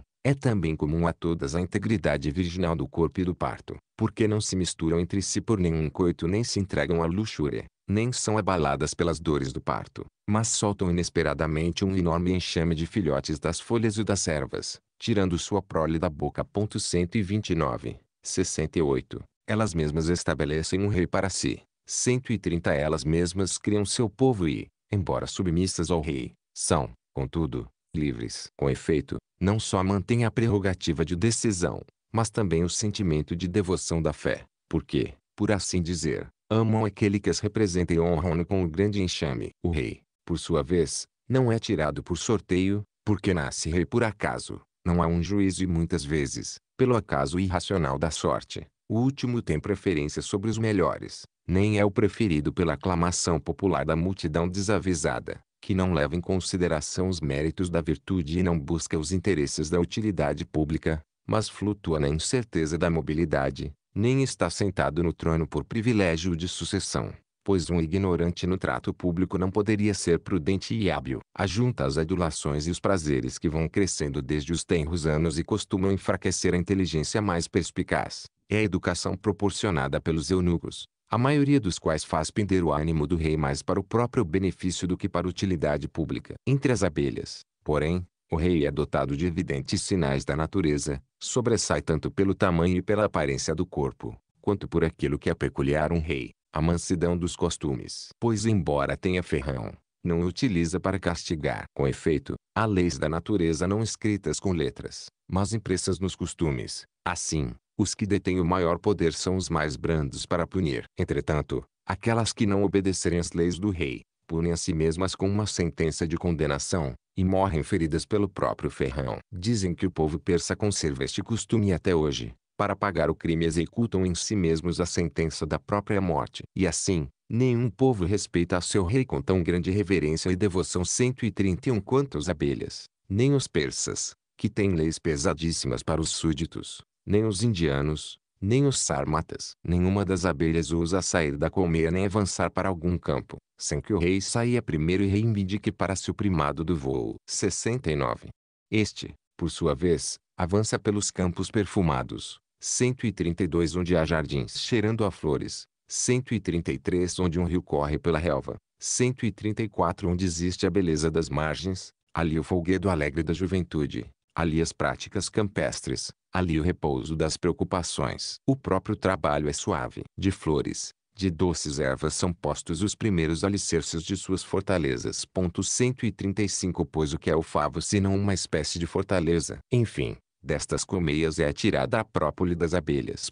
136 Que fortificações quadradas podem ter tanta arte e beleza quanto tem as grades dos favos, 137 nas quais células minúsculas e redondas se sustentam reciprocamente por suas conexões. Que arquiteto ensinou as abelhas a formarem os hexágonos destas células, perfeitamente unidos pela igualdade dos lados, e a pendurarem uma tênue camada de cera entre as grades das colmeias, acumularem o mel e a encherem colmeias cobertas de flores com uma espécie de néctar. Ponto de interrogação. 138 Poderias ver a todas elas pleiteando um trabalho, umas aplicadas em procurar alimento, 139 outras vigiando atentamente suas fortalezas, outras sondando futuras chuvas e observando o ajuntamento das nuvens, outras fazendo cera das flores, outras colhendo com a boca o orvalho que cai das flores. Nenhuma, porém, se aproveita do trabalho alheio e busca a vida no roubo.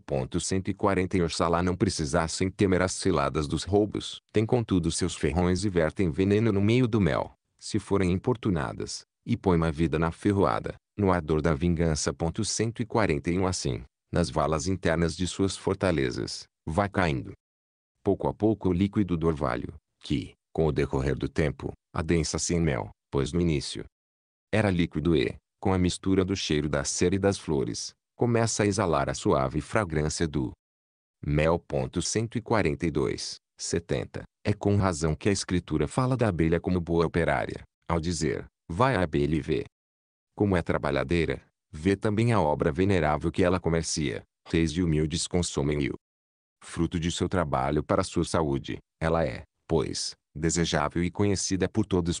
143 Ouves o que diz o profeta. Ele certamente te manda que sigas o exemplo da abelhinha, imitando o seu trabalho. Vês quão laboriosa, quão grata é ela. Seu fruto é desejado e procurado por todos e não se diferencia de acordo com a diversidade das pessoas mas sua graça indivisa doça com igual suavidade para os reis e para os humildes. Não serve apenas ao prazer, mas também à saúde. Adoça a boca e cura as feridas. Verte remédio também nas feridas internas. E assim, embora seja débil de força, a abelha é forte no vigor da sabedoria e no amor da virtude. 71. Enfim, elas defendem seu rei com a máxima proteção e julgam belo morrer por ele. Estando incólume o rei, não sabem mudar de decisão, 144 Desviar o pensamento. Morto o rei, abandonam totalmente a fidelidade em manter o cargo e roubam seu próprio mel, porque morreu aquele que tiver a primazia do cargo. 72. Finalmente, enquanto as outras aves dão à luz uma vez por ano um feto de cada vez, as abelhas criam gêmeos e levam sobre as outras a vantagem de uma dupla fecundidade. 145 22,73 Consideremos agora o que significa o que diz a Escritura produzam as águas répteis de almas viventes e aves que voem sobre a terra, segundo a espécie, e ao longo do firmamento do céu. 146 Que tenha dito sobre a terra, está certo, uma vez que tiram seu sustento da terra, como, porém, ao longo do firmamento do céu, se as águias voam mais longe do que as outras aves e contudo não voam ao longo do firmamento do céu. Mas é porque em grego se diz oran que chamamos kailum em latim, oran, por sua vez, deriva de petorskai, isto é, dividir, ver, como o ar é transparente e mais puro para se ver, a escritura está falando das espécies de seres vivos que voam no ar. Nem é de espantar que diga ao longo do firmamento do céu. Não colocou aqui firmamento no sentido próprio, mas metafórico. Por isso, por comparação com aquele corpo etéreo, também este ar que podemos perceber com os olhos, por assim dizer espesso e mais denso, faz às vezes de firmamento. 74. Agora, já que falamos de algumas aves, de sua natureza de graça, e falamos de poucas entre muitas, pois não há tempo para descrever todas, embora sejam semelhantes e da mesma espécie e traço, consideremos, contudo, as aves que tenham alguma diferença entre si. Com efeito, observamos os pés da gralha, separados e divididos como que por dedos afastados, do corvo, porém, e de seus filhotes. Os pés foram formados de outra maneira pela natureza, das aves que se alimentam de carne, os pés são um pouco curvos e sinuosos, como que preparados para a presa. Mas das aves que têm uso e costume de nadar, os pés são largos, com os dedos unidos e ligados entre si por uma espécie de membrana. Nisto está patente a admirável inteligência da natureza. Aquelas aves são ajudadas no uso apropriado para voar e para pilhar alimentos. E estas têm ajuda competente para nadar, para que possam melhor deslizar sobre as águas com uma espécie de remos. Empurram a corrente das águas com seus pés, que ficam mais largos ao distenderem aquela membrana. 75. O cisne, por sua vez, porque tem à disposição um pescoço mais alongado. Como ele é um pouco mais lento de corpo e não pode penetrar facilmente nas águas mais profundas, é para que estique para presa o pescoço que, como precursor do resto do corpo, pega o alimento que encontrou e tira do fundo. Além disso, por este pescoço alongado passa uma melodia muito suave e canora, que coa ao longe, purificada pelo exercício prolongado. 76. Quão doce é também a cantilena na estreita garganta das cigarras, cujos cantos irrompem dos arbustos no meio do verão. Ponto de exclamação 147 Com efeito, mais canuras no calor do meio-dia. Quanto mais puro é o ar que elas respiram durante este tempo, tanto mais brilhantes ressoam seus cantos. E as próprias abelhas não cantam uma melodia desagradável. Elas têm uma graciosa suavidade no rouco murmúrio de sua voz, que parecemos imitar primeiro mais lentamente com o clangor da trombeta 148, e nada é mais apropriado para incitar os ânimos à coragem do que este fragor.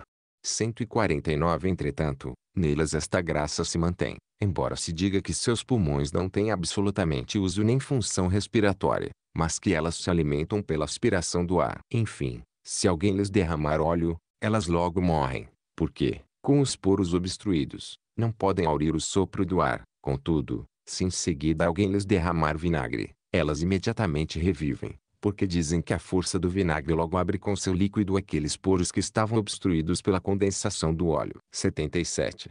E já que estamos tratando de aves, não julgamos inoportuno abranger aquelas que a história conhece como o verme do Indo, ou o relato dos que puderam vê-lo. Disse que este verme de cornos transforma-se primeiro em uma espécie de haste e assume a natureza dela. A partir de então, por um certo processo, transforma-se em bicho da seda. Não conserva, porém, esta forma e aparência, mas parece que toma para si asas de folhas soltas e mais largas. Destas folhas os chineses desfiam aqueles flocos delicados 150 que os ricos reivindicam para o seu próprio uso. Daí dizer o Senhor, por que sais para o deserto? Para veres um homem coberto com vestes delicadas. Eis que aqueles que se vestem de tecidos finos estão nas casas dos reis.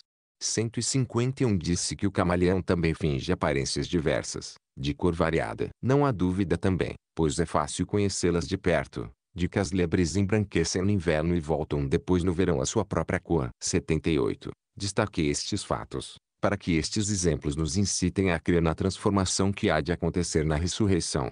Mas falamos daquela transformação tal como a entende evidentemente o apóstolo, ao dizer, todos certamente ressurgiremos, mas nem todos seremos transformados.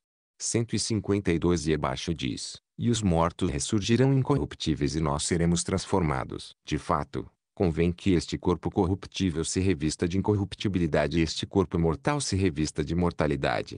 153 Com efeito, a maioria, interpretando espécies e formas de transformação que não entende, nunca se abstém do abuso inconveniente de uma presunção indevida. 79.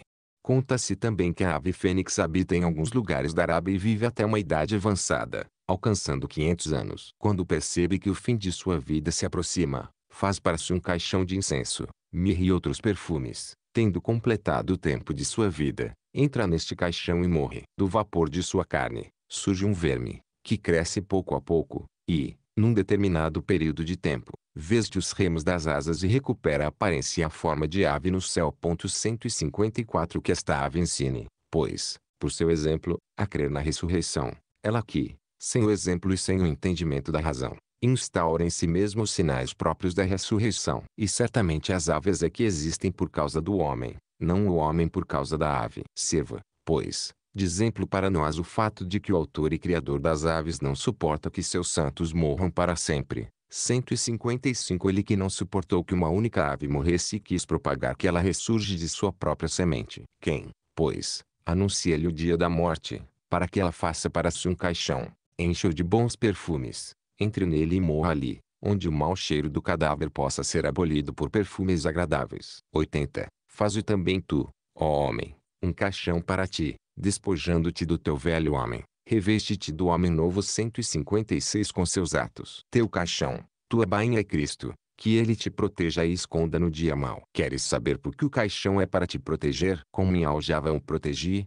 157 diz a Escritura. Teu caixão é, pois, a fé. Enche-o com os bons perfumes de tuas virtudes, isto é, da castidade, da misericórdia e da justiça, e entra completamente no mais recôndito da fé, que exala o suave perfume dos feitos notáveis. Que a saída desta vida te encontre vestido com a fé, para que teus ossos possam cobrir-se de gordura e sejam como um jardim inebriado. 158 Cujas plantas logo se levantam. Conhece, pois, o dia de tua morte, como também conheceu Paulo, que disse, combati o bom combate, terminei a corrida, guardei a fé. Está reservada para mim a coroa da justiça.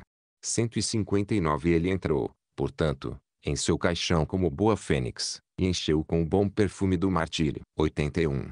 Pergunto-te, responde-me, onde os abutres aprenderam a anunciar a morte dos homens, por meio de certos sinais. Em que indícios são sábios e instruídos, para que, quando exércitos inimigos travam entre si uma guerra lamentável, 160 citadas aves o sigam em grande batalhão, indicando com isso que uma multidão de homens cairá pela guerra como futura presa dos abutres. Parecem perceber isto, por alguma razão, a partir do aspecto da ordenação dos homens. 82. Até no gafanhoto penetrou também a graça divina, quando, com seu batalhão reunido, ele ocupa um espaço de determinada região. Primeiramente descansa como em morada inofensiva e não devora os frutos em incursão inóspita, a não ser que recebe o sinal de um preceito divino. Com efeito, conforme lemos no livro do Êxodo, 161 ele executou a reparação da ofensa celeste, como ministro de piedosa vingança. 83. O gafanhoto, por sua vez, é devorado por uma ave chamada Celeustes.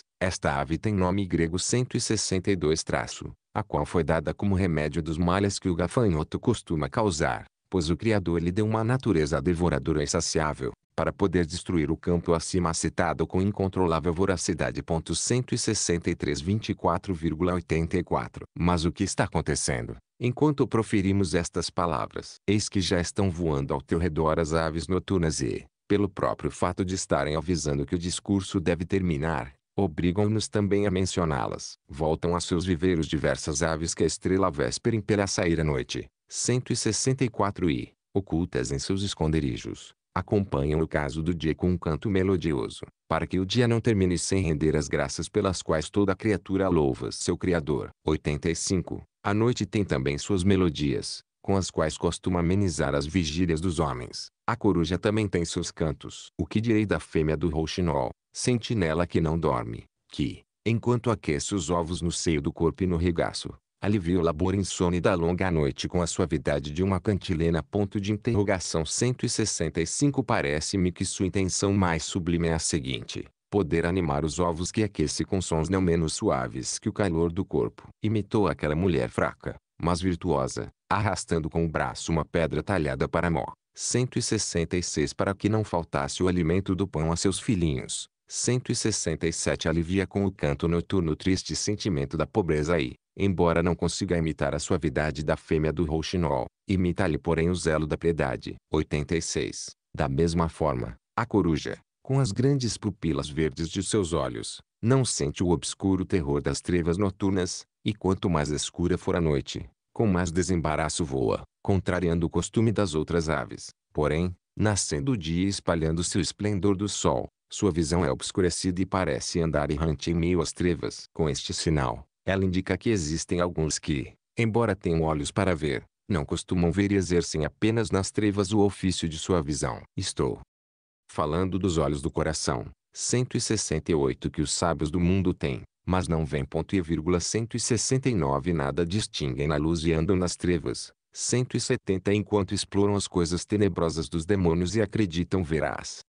Alturas do céu. Desenham o mundo com o compasso, 171 tomam a medida do próprio ar, mas, desviando-se da fé, são envolvidos pelas trevas de uma perpétua cegueira, têm como próximo o dia de Cristo e, não enxergando a luz da igreja nem nada, abrem a boca como se soubessem tudo, perspicazes para as coisas vãs e obtusos para as eternas, progredindo na cegueira de sua própria ciência pelo subterfúgio de longas discussões. E assim, querendo voletar em palavras sutis, esvaíram-se na luz, como corujas. 87. O morcego, vespertilio em latim, animal desprezível, recebeu seu nome da palavra vesper, tarde. É ao mesmo tempo ave quadrúpede, 172 e tem dentes, o que não costumas encontrar nas outras aves. Dá à luz como os quadrúpedes, não ovos, mas filhotes vivos. Voeja no ar, conforme o costume das aves, mas ao cair da tarde costuma estender-se. Não voa, porém, sustentado por tais ou quais penas,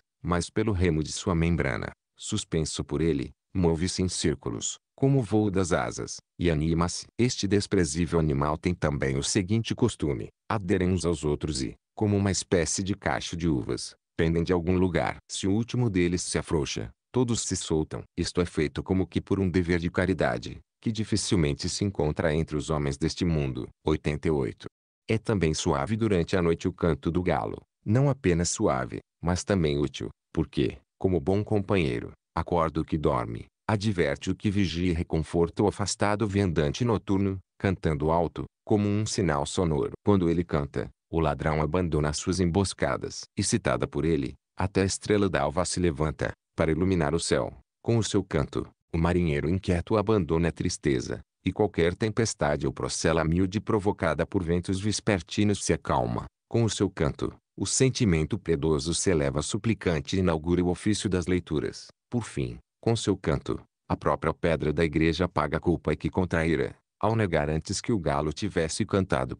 173 Com seu canto, a esperança volta a todos, o incômodo do doente é aliviado, a dor das feridas diminui, o calor das febres é mitigado, a fé volta aos que apostataram, Jesus olha para os titubeantes e corrige os errantes. Enfim, Jesus olhou para Pedro e imediatamente foi banido o erro, foi repelida a negação, seguindo-se a confissão. A lição do Evangelho ensina que isto não aconteceu por acaso, mas por uma sentença do Senhor. Pois está escrito que Jesus disse a Simão, não cantará o galo, antes de me negares três vezes.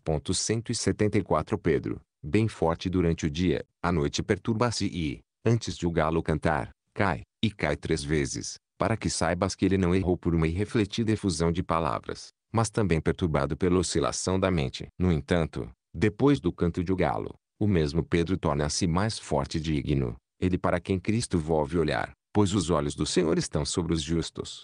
175 Ele soube que viria o remédio, depois do qual já não poderia errar, e passando do erro para a virtude, chorou com imensa amargura, de modo que, com suas lágrimas, lavou o erro. 176, 89 Olha para nós também, Senhor Jesus, para que reconheçamos nossos próprios erros, Espiemos a culpa com piedosas lágrimas, mereçamos a remissão dos pecados. Por isso, alongamos deliberadamente este sermão, de modo que também para nós que estamos falando o galo cantasse e ajudasse, e assim, se algum delito se tivesse insinuado na palavra, tu perdoasses a culpa, ó Cristo. Dá, eu te peço, as lágrimas de Pedro, não quero a alegria do pecador. Choraram os hebreus e foram libertados através do mar pelas ondas que se abriram. Alegrou-se o faraó porque mantinha presos os hebreus, e morreu com seu povo, submerso no mar. Exultou também Judas com a recompensa de sua traição, mas enforcou-se com o laço de sua própria recompensa. 177 Pedro chorou seu erro e mereceu abolir os erros dos outros. 90 Mas já é tempo de terminar o sermão e devemos calar-nos, tempo em que é melhor calar e chorar tempo de celebrar o perdão dos pecados. Que cante também para nós nas coisas santas este místico galo, porque o galo de Pedro cantou em nosso sermão. Chore Pedro por nós, ele que chorou muito por si mesmo, e faça evolver para nós o piedoso olhar de Cristo. Que se apresse a paixão do Senhor Jesus, que se de nossas faltas e opera a graça do perdão. 91. O bom Senhor não quer despedir-nos famintos, para que ninguém desfaleça no caminho. Se ele diz, tenho piedade desta multidão, porque já são três dias que perseveram comigo e não têm alimento e não quero despedi-los com fome, para que não desfaleçam no caminho 178. Embora Maria, atenta à palavra dele, negligenciasse o preparo da refeição 179. Quanto mais nós devemos considerar que não são muitos os que vivem da palavra de Deus 180 e por isso desejam a refeição do corpo. Certamente, do nosso trido, o dia de amanhã é o mais trabalhoso. 92. Por isso, nós que nos alegramos com as aves, cantamos com o galo, celebremos agora os mistérios do Senhor. 181 E junto ao corpo de Jesus reúnam-se as águias dos pecadores, em renovada purificação. Com efeito, aquela grande baleia já devolveu para nós o verdadeiro Jonas, e alegremos-nos porque se fez para nós uma tarde, e faça-se uma manhã, sexto dia. Uma começa aqui o sermo sétimo, pronunciado na tarde do quinto dia. Corresponde a Basílio, Esaim, 7 a 8,1. 2 cf. Virgílio, Eneadas, Vi, 724 a 726. 3 GN 1,20. 4 GN 1,20. 5 SL 104,25. 6 CF. Virgílio, Eneadas, V, 158. X, 197. 7 GN 1,20. 8 CF. Virgílio, Eneadas, V, 822. 9 CF. Plínio, Nat. Este, 9. 76 a 77. 10 FL 3,2. 11 CF. Plínio, Nat. Este, 9. 63. 32. 112. 12 Última luz é a latinização do grego quimalo, que provém de quimo igual de flores perfumadas, cf. Ausônio, mus, 97,115. 13 cf. Virgílio, Georg, 4. 169. 14 cf. Plínio, Nat. Ist, 32. 145. 15 65,25. 16 cf. Plínio, Nat. Ist, 32. 18 a 19. 17 cf. E 5,10. DT 28,56 SS. 2 Re 6,28 SS. José Flávio, de Beluilde, V. 40. 18 cf. Cícero, Diof, 1,97. 19 cf. Plínio, Nat. Este, 32. 151. 20 A informação reportada por Ambrósio, não justa, talvez deva-se ao fato de este escorpião marinho ser comestível. 21 Possível é referência à castração dos eunucos de corte, algo comum na corte milanesa nos tempos de Ambrósio. 22 cf. Plínio, Nat. Este, 9. 44 a 45, 23 cf. LC 16,22, 24 MT 13,47 a 50, 25 cf. MT 17,23 a 26, 26 MT 17,25 a 27, 27 cf. MT 26,31, 28 LC 5,4, 29 cf. JU 21,6, 30 LC 5,10, 31 AT 7,56, 32 CF, MT 14,25 a 30, 33 CF, MT 13,47, 34 CF, ES 14,21 a 30, 35 SL 24,2, 36 MT 10,16, 37 CF, Plínio, Nat. Este, 32, 14, Basílio, Esaim, 7,5, 38 CF, um TM 2,14, 39 CF, GN 2,7.21 a 22.24, MT 19,6, 40 CF, PR 23,32.41 PR 23,33, 42 CF, Basílio, Esaim, 7,3, 43 CF, Virgílio, Georg, 2, 458, 44 CF, PR 15,16, 45 CF, PR 15,17, 46 CF, Plínio, Nat. Este, 9, 100, 18, 361, Basílio, Esaim, 7,5, 47 CF, MT 6,30, LC 12,28, 48 CF, MT 6,26,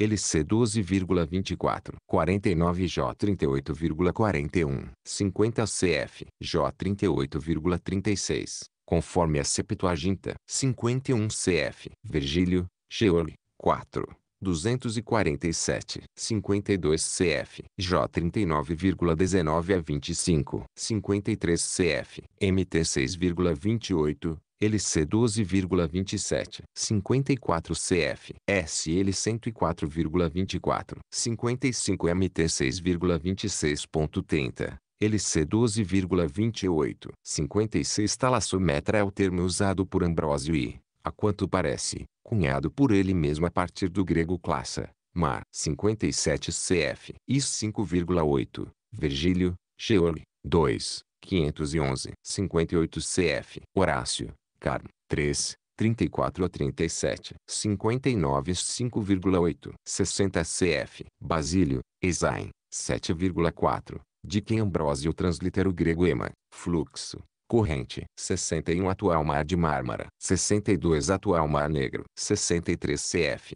Plínio, Nat. Este, 9. 49 a 53, 64 cf. Eco 3,2, 65 cf. Xenofontes, Apomonelmte, I, 4, 12, 66 cf. Plínio, Nat.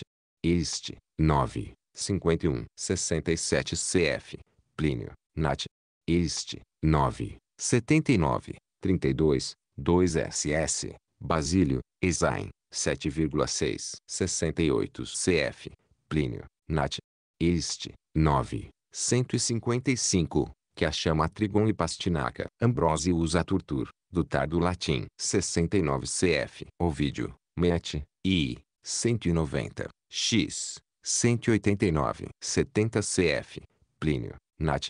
Este, 9, 155, 32, 8 a 9, 71 cf. Virgílio, Eneadas, 8, 691 a 693, 72 cf. Basílio, Esaim, 7,6, 73 cf. Virgílio, Sheol, I, 512, 74 cf. SL 33,17, 75 cf. JN 2,1 SS, 76 cf. MT 12,39, 77 A relação peixe-cristo peixinhos fiéis é antiga e bastante presente na literatura patrística e na arte figurativa paleocristã. A este respeito, vejam CJ Danielo, Les Symboles Retens Primitifs, seu Will, 1961, páginas 49 a 63 e Eligambassi, PC, em afibisconte.org, Temir de Iconografia Paleocristiana, Roma, 2000, páginas 252 a 258, 78 cf, MT 14,30, 79 cf, MT 26,69 a 74 80 cf, MT 14,31,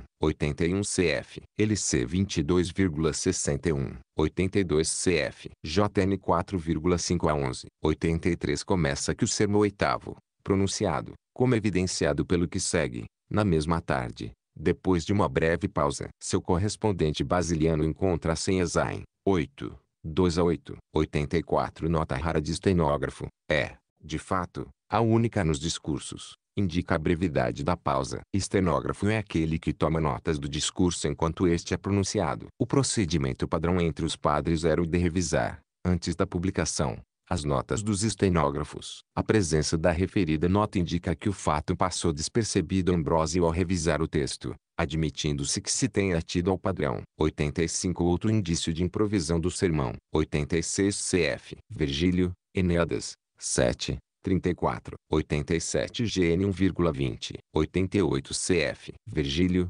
Sheol, 2, 328, 89 cf. Suetônio, Antologia Latina, 762, 90 cf. Virgílio, Sheol, I, 57 a 58, 91 cf. Virgílio, Sheol, I, 388, 92 cf.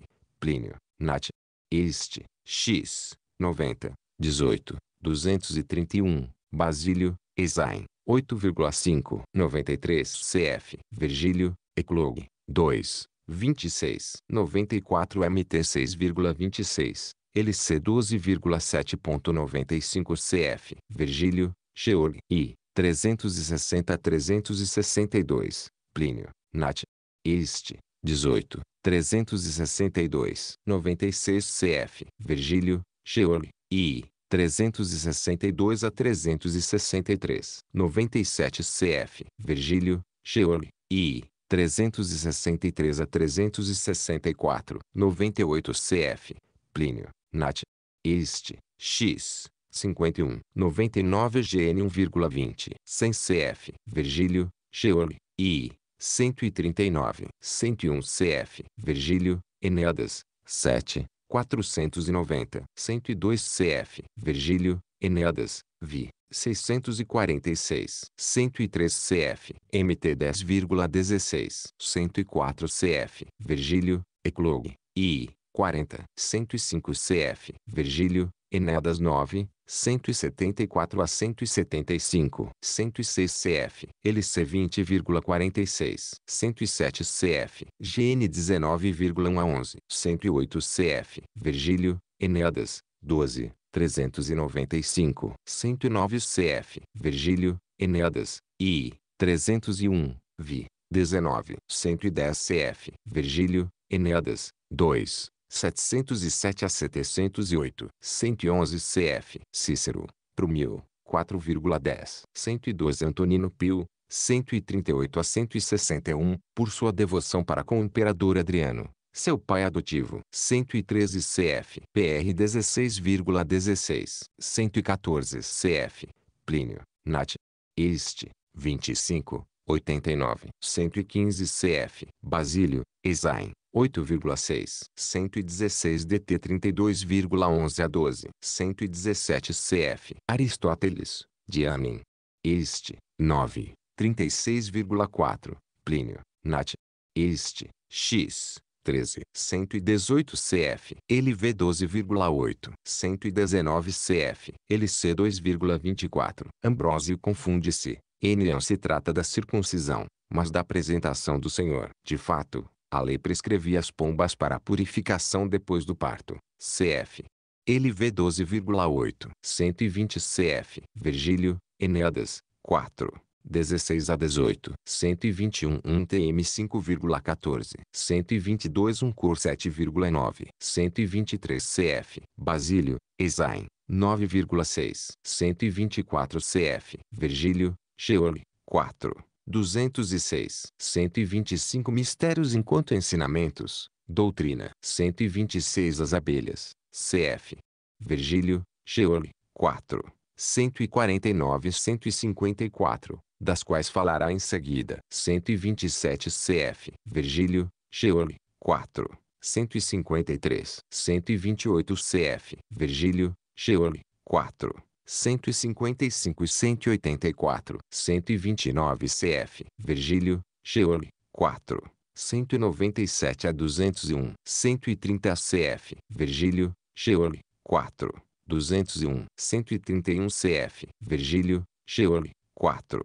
210 a 212, 132 CF, Virgílio, Sheol, 4, 169, 133 CF, Virgílio, Sheol, 4, 109, 134 CF, Virgílio, Sheol, 4, 19, 135 CF, Virgílio, Sheol, 4, 161, 136 CF, Virgílio, Sheol, 4, 168, 137 CF, Virgílio, Sheol, 4, 214, 138 CF, Virgílio, Sheol, 4, 159 a 164 e 250, 139 CF, Virgílio, Sheol, 4, 158 SS, 140 CF, Virgílio, Eneadas, 7, 749, 9, 613, 141 CF, Virgílio,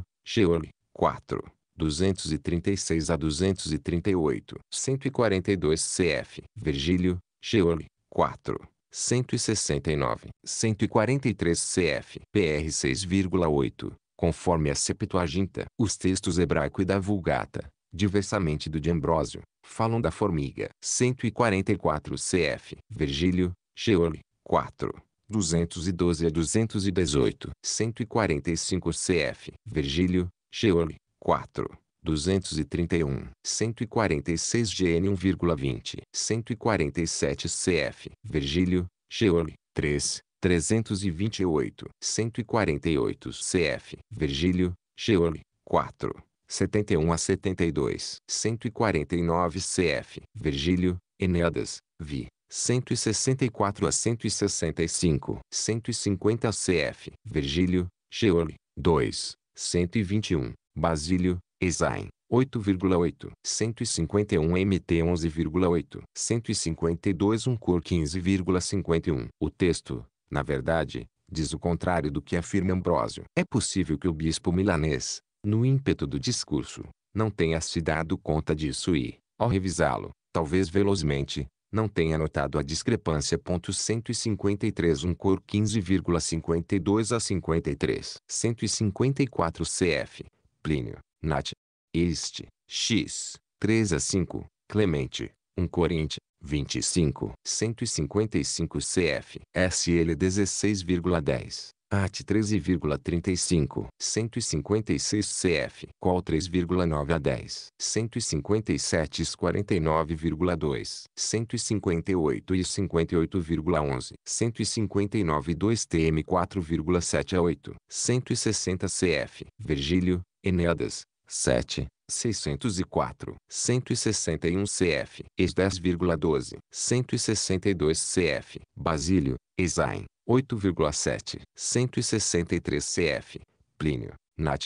Este, x, 75, 164 cf. Virgílio, Eclogue, 8, 88, Georg, 3, 467, 165 cf. Virgílio, Georg, I, 293, 166 cf. Virgílio, Georg, I, 274 a 275, 167 cf. Virgílio, Eneadas, 8, 411 a 413, 168 cf. Ef 1,18, 169 cf. Es 12,2, JR 5,21, IS 6,9, 170 cf. SL 82,5, 171 cf. Virgílio, Eneadas, Vi, 850, 172 isto é, mamífero, cf. Basílio, Esaim, 8,7, 173 cf. MT 26,30 a 35,69 a 74, 174 MT 26,34,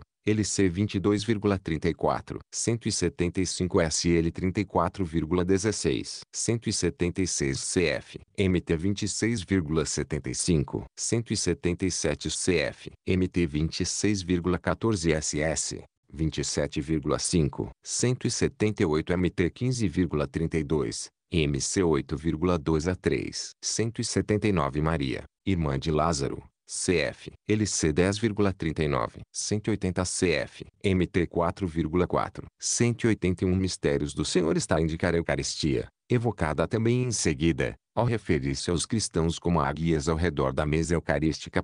Sexto dia 1,1.1 Eis o sexto dia, no qual termina a origem da criação do mundo, e por isso também está chegando ao fim nosso sermão que insetamos a respeito das origens das coisas. Esta narração, embora já se alongue por cinco dias, com um não pequeno esforço de nossa parte, no dia de hoje, contudo, envida maiores cuidados, porque há neste dia não só os perigos dos dias anteriores, mas também o ponto culminante de todo o certame. Com efeito, se os dias precedentes, nas cordas da lira, ou nos cantos e nas numerosas competições atléticas e nos jogos máximos, terminam sem entrega de nenhuma coroa, o último dia, contudo, tem a sorte da coroa, nele há o risco de decidir, o opróbrio de perder e o prêmio da vitória. Ainda mais neste grande combate da sabedoria e neste grande juízo, não de poucos, mas de todos. Por isso, hoje, quando nos aproximamos como que da coroa do certame, maior inquietação nos aflige, para não perdermos o trabalho dos dias anteriores e para podermos suportar o fardo deste que se nos apresenta. Com efeito, a condição de falar não é a mesma que a de cantar e lutar, porque nestas últimas uma derrota serve para divertir, e naquela, uma queda é mortal. Nestas últimas, se cometeres algum erro, enfadas os espectadores, naquela, causes dano aos ouvintes. 2. Assisti-me, pois, como árbitros da coroa, e entrai comigo neste grande e admirável teatro de toda a criação visível.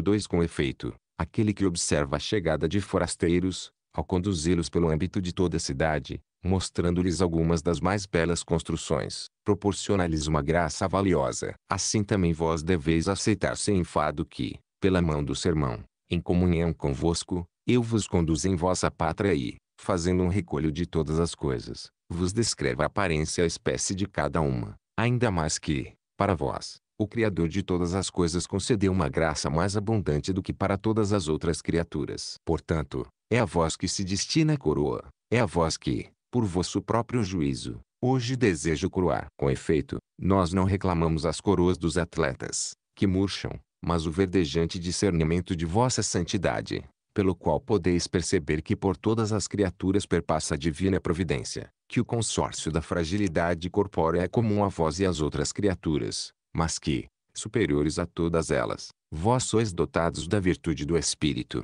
a única que nada tem em comum com as outras. 2,3 Agora vamos, falemos sobre a natureza dos animais e sobre a criação do homem. Ouço dizer, com efeito, que há muito tempo alguns já estão murmurando, dizendo, até quando vamos aprender coisas alheias e ignorar as nossas? Até quando vamos receber ensinamentos sobre os outros seres vivos e ignorar a nós mesmos? Que ele diga o que serve para mim, para que eu possa conhecer-me a mim mesmo. E é justa esta queixa, mas é preciso observar a ordem que a Escritura encerra, mesmo porque não podemos conhecer plenamente a nós mesmos sem antes conhecermos qual seja a natureza de todos os seres vivos. 4.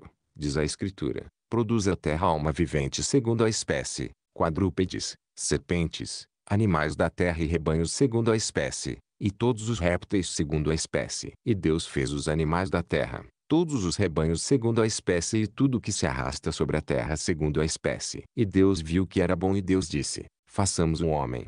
3 Nesta passagem, não ignoro que alguns enumeram as espécies de animais, de gado e de répteis da terra, para relacioná-los à crueldade dos crimes, à insensatez do pecado, a imoralidade do pensamento. Eu, porém, aí vejo apenas a natureza de cada espécie. 5. E não temo que alguém julgue que eu deva ser comparado à presunção do conviva pobre, que convida muitos para o estudo da humanidade e não lhe serve senão alimentos desprezíveis e comuns, de modo que mais se expõe à censura por enfadar os convidados com o preparo humilde de uma mesa pobre, do que granjeia reconhecimento pelo sentimento da hospitalidade. Com efeito, os amigos não repeliram nem a Eliseu como mal conviva. Quando lhe serviu legumes agrestes. 4 É semelhante às discussões inúteis àquele banquete requintado e fartamente preparado, no qual é servida a aparência de um fazão ou de uma role por dentro se come um frango, ou se traz um frango que está cheio de ostras ou de moluscos, ou se toma uma bebida que, mudando de cor e de cheiro, adquire outros sabores. As iguarias marítimas são recheadas com as terrestres, e as terrestres com as marítimas. Isto significa censurar a providência do Criador, que nos entregou todas as coisas como alimento, sem misturá-las. Mas estas iguarias primeiro parecem doces e depois se tornam amargas. Com efeito, quanto maior for a fartura, tanto mais perniciosa é a intemperança. Eliseu ofereceu ervas amargas, mas depois elas se tornaram doces. 5 Enfim, Aqueles que anteviam a morte naquele alimento, nele depois encontraram a graça da doçura e da vida. 6. Nem é de se temer, por outro lado, que eu pareça ter convidado mais pessoas do que posso alimentar, e venham a faltar-vos os pães das minhas palavras. Também Eliseu, que, apesar de inimitável, deve ser imitado por nós na fé, não ponderou quantos pães possuía, mas quis dividir com todos aqueles que tinha, e julgou-os serem suficientes para todos. Assim, ordenou ao servo que dividisse entre o povo dez pães de cevada. 6 E disse o servo, como darei isto, se vejo cem homens? Eliseu respondeu, dai comerão, porque assim diz o Senhor, comerão e sobrarão. 7 Portanto, vossa fé fará abundante o banquete de minhas pobres palavras. Nem temo que o jejum vos torne mais vorazes e que, tendo sido saciados, torneis a voltar famintos e vazios, porque está escrito, o Senhor fortifica os justos e nos dias da fome serão saciados. 8 É muito melhor não te envergonhares dos pães de cevada e ofereceres o que tens, do que negar. Eliseu, que nada deixou para si mesmo, saciou a multidão. Eliseu, portanto, não se envergonhou de oferecer pães de cevada. Nós nos envergonhamos de entender com simplicidade as criaturas, as quais são designadas com seus nomes simples. Lemos céu, entendamos céu, lemos terra, Entendamos a terra fértil. 7. Porque me perguntas qual é a medida de seu círculo, se os geômetras já o calcularam em 180 mil estádios. Ponto de interrogação 9 De bom grado confesso não saber o que não sei, e ainda mais, confesso saber o que não serve para nada. É melhor conhecer as espécies das terras do que seus espaços, cercados pelo mar, circundados por países estrangeiros, com o solo inundado e inacessível por causa dos pântanos, como poderemos abarcá-los? A Escritura mostra a ser impossível para os homens. Quando Deus diz, Quem mediu a água com a mão e o céu com o palmo, e toda a terra com a mão fechada? Quem colocou os montes na balança, os rochedos na balança e os bosques nos pratos da balança? 10 e abaixo, aquele que mantém o círculo da terra, e seus habitantes como gafanhotos, aquele que estendeu o céu como uma abóbada. 11 Qual é, pois, o homem que ousa reivindicar para si uma sabedoria igual à de Deus e presume que esteja à sua disposição o conhecimento das coisas que Deus, com seu próprio oráculo, determinou serem de sua majestade. 8. Moisés era certamente instruído em toda a sabedoria dos egípcios. E 12 Contudo, ao receber o Espírito de Deus, como ministro de Deus, desprezou aquela doutrina vã para sua razão usurpadora da filosofia da verdade, e narrou para mim as coisas que julgou apropriadas à nossa esperança, isto é, que Deus fez a terra, que a terra produziu rebentos do solo e toda alma vivente, segundo a espécie, conforme a ordem do Deus onipotente a obra do Senhor Jesus. Não julgou, porém, que deveria dizer quanto espaço do ar ocupa a sombra da terra, quando o sol se afasta de nós e nos tira o dia, para iluminar as partes inferiores da abóbada celeste, e de que maneira o globo da lua faz o eclipse, ao incidir sobre uma região deste mundo, porque deixou de lado as coisas que nenhum ou quase nenhum proveito nos trariam. Com efeito, viu no Espírito Santo que não devia seguir as vaidades de uma ciência já decrépita, que ocupa nossa mente com coisas inexplicáveis e simula trabalho, mas devia descrever de preferência aquelas coisas que visam ao proveito da virtude. 3,9 Atenhamo-nos, portanto, ao que disseram os profetas e não julguemos desprezíveis as palavras do Espírito Santo. Diz a Escritura, produz a terra alma vivente dos rebanhos e dos animais e répteis.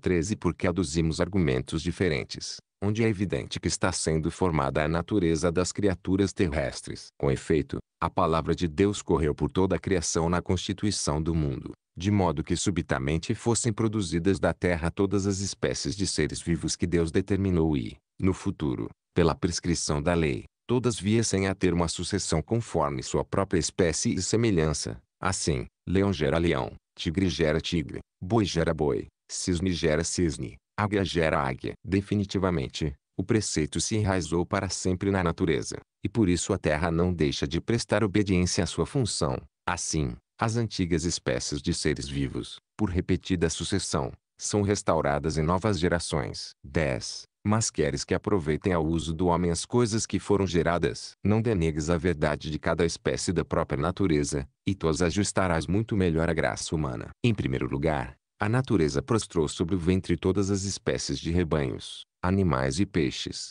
Umas se arrastam sobre o ventre, outras, que se sustentam com os pés, pelo andar quadrúpede do corpo. Podes ver que estão mais rebaixadas, quase fixas à terra, do que livres, pois, como não têm capacidade de se erguer, retiram alimento da terra e buscam somente os prazeres do ventre, para o qual se curvam. Cuidado, ó homem, para não te curvares como os rebanhos, cuidado para não te curvares sobre o ventre, tanto no corpo quanto nas paixões. Observa a forma de teu corpo e assume uma aparência conveniente a teu alto vigor. Deixa que apenas os animais se alimentem curvados para o chão, porque tu mesmo te deitas para comer, se a natureza não te deitou, por que te deleitas com aquilo que ofende a natureza? Por que te alimentas de coisas terrenas, noites e dias deitado para comer, como os rebanhos? Por que te entregas às seduções do corpo, desonrando-te a ti mesmo, ao servires ao ventre e suas paixões? Por que te privas da inteligência que o Criador te atribuiu? Por que te assemelhas aos jumentos, dos quais Deus quis separar-te, ao dizer, não te tornes como o cavalo e o burro, nos quais não existe inteligência. 14 ou se te agrada a voracidade e a intemperança do cavalo e te deleitas em relinchar para as fêmeas, agrade-te também que tua queixada seja apertada no freio e no cabresto. Se se alimenta a crueldade, esta raiva das feras, que se trucidam por violência, cuidado para que a desumanidade de tua crueldade não se volte também contra ti. 11.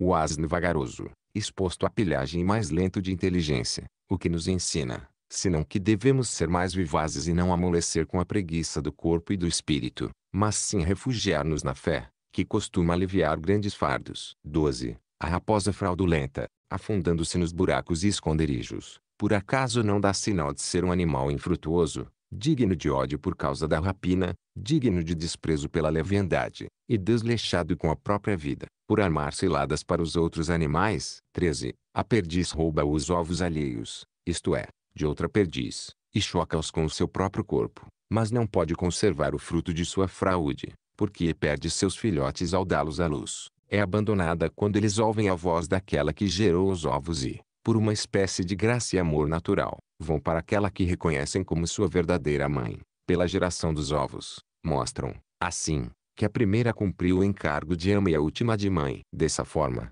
a perdiz despende os próprios esforços em vão e paga o preço de sua fraude. Daí dizer Jeremias, clamou a perdiz e juntou os que não pariu, 15 isto é, recolheu ovos e clamou, como que rejubilando pelo resultado de sua fraude, mas perde o serviço, porque, com um trabalho custoso, dá luz para outros filhotes que ela própria animara com o calor de ininterrupto cuidado. Imita o diabo, que se esforça por roubar as criaturas geradas pelo Criador eterno, e ainda que possa reunir com sua força alguns insensatos e desprovidos de sentimento próprio, aquecendo-os com as seduções carnais, logo que a voz de Cristo é infundida nos pequeninos, eles afastam-se e vão para aquela mãe, que, como uma ave, abraça seus filhos 16 com materno amor. Com efeito, o diabo congregou os gentios, que ele não criara, mas quando Cristo fez ouvir sua voz no Evangelho, estes imediatamente se voltaram para ele. Ele próprio os recebeu à sombra de suas asas 17 deu à mãe igreja para serem alimentados. 14.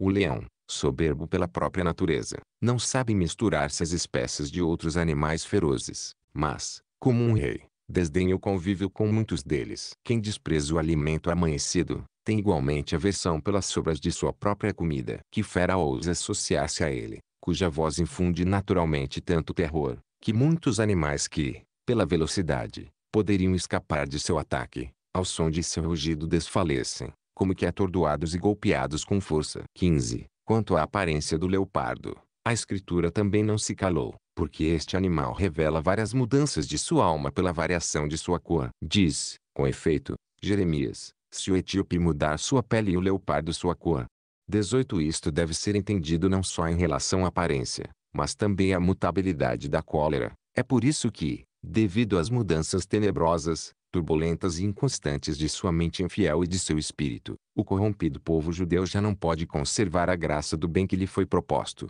nem voltar-se para nenhuma emenda ou correção, porque se revestiu irrevogavelmente de fera crueldade. 4,16 Há também na natureza dos quadrúpedes algo que as palavras do profeta nos exortam a imitar, pelo exemplo seguinte. Tomemos cuidado com a preguiça e não abandonemos o zelo pela virtude por causa da pequenez e da fraqueza do corpo, nem nos afastemos da grandeza do que nos foi proposto. A formiga é, de fato, pequena, mas surpreende os animais maiores por sua força e não trabalha obrigada como escrava, espontaneamente, por previdência, prepara de antemão recursos para alimentar-se no futuro. A escritura te aconselha a imitar a arte dela, dizendo, compara-te com a formiga, ó preguiçoso, imita seus caminhos e sê mais sábio do que ela.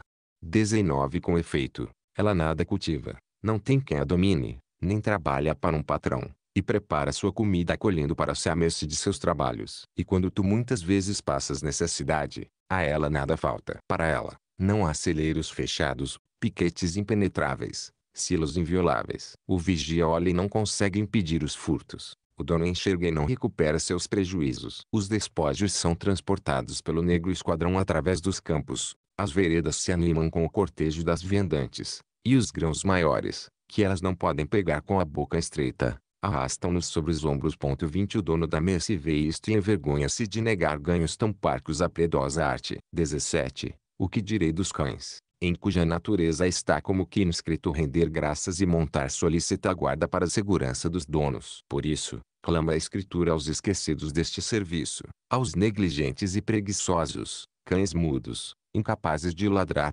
21 Portanto, são cães os que sabem latir pelos donos, os que sabem defender suas casas. Por isso, aprende tu também a fazer ouvir tua voz por Cristo, quando grandes lobos invadem o aprisco de Cristo, aprende a ter a palavra em tua boca, para não parecer que negligenciaste com o silêncio da prevaricação a guarda da fé que te foi confiada, como se fosses um cão mudo. Tal qual um cão é o viajante companheiro do anjo, que no livro profético Rafael julgou oportuno juntar-se ao filho de Tobias, quando prosseguia no caminho. 22 para pôr Asmodeu 23 em fuga e consolidar o casamento. Ponto e vírgula 24 com efeito por ter sido lembrado o sentimento, foi expulso o demônio e consumou-se o casamento 25. E assim, pela figura de um animal mudo, São Rafael, O anjo que recebera o jovem Tobias para proteger, ensinava-lhe o sentimento de render graças. Com efeito, quem não se envergonharia de não render graças aos que lhe prestaram um grande serviço, quando vê que até os animais refugam a acusação de ingratidão. Eles guardam a memória do alimento repartido, e tu não te recordas da salvação que recebeste. 18. A ursa é certamente traiçoeira. 26 Como diz a Escritura, de fato, é um animal cheio de manhas. Conta-se, entretanto, que dá à luz de seu ventre filhotes disformes, mas lambe os recém-nascidos com a língua, até formá-los à sua imagem e semelhança. Em uma fera, não te admiras de serviços de boca tão piedosa. A piedade manifesta sua natureza. A ursa, pois, forma seus filhotes à sua semelhança, e tu não podes tornar teus filhos semelhantes a ti. 19. O que dizer ainda da arte de curar, que ela não negligencia. Com efeito, quando atingida por grande massacre e machucada por ferimentos, sabe medicar-se com uma erva de nome Flamus 27, verbasco, como é chamada pelos gregos, passando-a sobre suas feridas. 28 que ficam curadas ao simples toque. 29 A serpente também repele uma eventual cegueira comendo funcho. Assim, quando sente a vista escurecer, procura remédios conhecidos e não se decepciona com o resultado. 30 A tartaruga que comeu carne de serpente, ao perceber o veneno serpeando dentro de si, para salvar sua vida exerce a medicina com orégano e, embora se afunde nos pântanos lamacentos, sabe curar-se com um antídoto apropriado e prova que conhece também os poderes das ervas como auxílio certo para a saúde. Podes ver ainda a raposa medicando-se com a resina do pinheiro e retardando o momento da morte iminente com tal remédio. 20 e 31 Clama o próprio Senhor no livro de Jeremias, a rola e a andorinha, pássaros do campo, guardam os tempos de sua migração, mas meu povo não conheceu os juízos do Senhor. 32 A andorinha sabe quando deve vir e também quando deve voltar. A piedosa ave sabe ainda dar um sinal de sua vinda pelo testemunho da primavera. Até a formiga sabe reconhecer os tempos de serenidade, pois quando percebe que os frutos de sua colheita estão úmidos, molhados de chuva, depois de observar cuidadosamente quando é que o ar pode manter uma temperatura constante, abre os formigueiros e transporta os grãos para fora das tocas em seus ombros, para que sequem ao sol constante. De fato, em todos aqueles dias absolutamente não vês chuvas caírem das nuvens. 33 A não ser que a formiga recoloque seus mantimentos nos próprios celeiros. Os bois sabem permanecer nos estábulos quando ameaça chover. Mas, quando, pelo senso natural, percebem mudança no céu, olham para fora e todos de uma vez esticam o pescoço para fora do estábulo, indicando que querem sair. A ovelha, premida pela chegada inexorável do inverno, arranca capim insaciavelmente para alimentar-se porque pressente que no rigor do inverno vai faltar comida. Assim, farta-se de pastar, antes que acabe todo o capim, queimado pelo gelo. O ouriço da terra, vulgarmente chamado ouriço, se pressentir alguma armadilha, fecha-se em seus espinhos, recolhendo-se em sua armadura. Ponto e vírgula 34 Assim, qualquer um que tente atingi-lo fica ferido. E o mesmo ouriço, prevendo o futuro, prepara para si duas vias respiratórias, quando percebe que vai soprar o vento do norte, fecha a via do norte. Quando percebe que as nuvens do céu são varridas pelo vento do sul, volta-se para o norte, desviando-se assim dos ventos contrários e prejudiciais da região. 21. Por isso, o profeta elevou digno louvor ao Senhor, dizendo, Quão imensas são tuas obras, ó Senhor. Fizeste todas com sabedoria.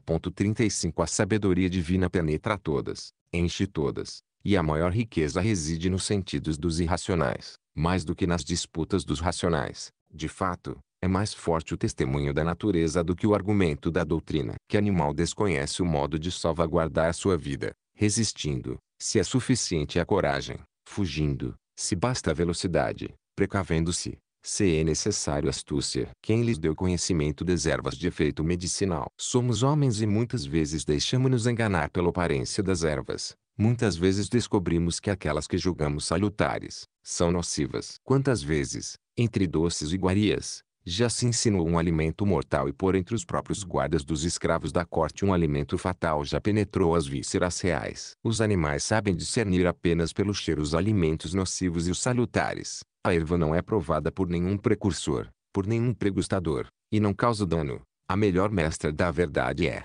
pois, a natureza. Sem o magistério de ninguém, ela infunde em nossos sentidos a suavidade da saúde. Ela mesma ensina que é preciso fugir da aspereza da dor. Por um lado, é mais doce a vida, por outro e mais amarga a morte. A natureza confia a leoa seus leõezinhos e amolece a fera cruel com o sentimento materno. Interpela a ferocidade da fêmea do tigre, fazendo-a voltar-se ameaçadora para a presa. Com efeito, quando ela encontra a toca roubada, sem o filhote, imediatamente segue os rastros do raptor. Este, embora montado em cavalo rápido, mas vendo que pode ser ultrapassado pela velocidade da fera e que não pode dispor de nenhuma ajuda para escapar, prepara com má fé o seguinte ardil. Ao perceber que será apanhado, joga uma bola de vidro. A fera é iludida por sua própria imagem e pensa que é o filhote. Refreia o ímpeto, querendo pegá-lo. Retardada pela aparência vã, novamente junta todas as forças para agarrar o cavaleiro e, estimulada pela ira, ameaça o fugitivo com maior velocidade. Pela segunda vez,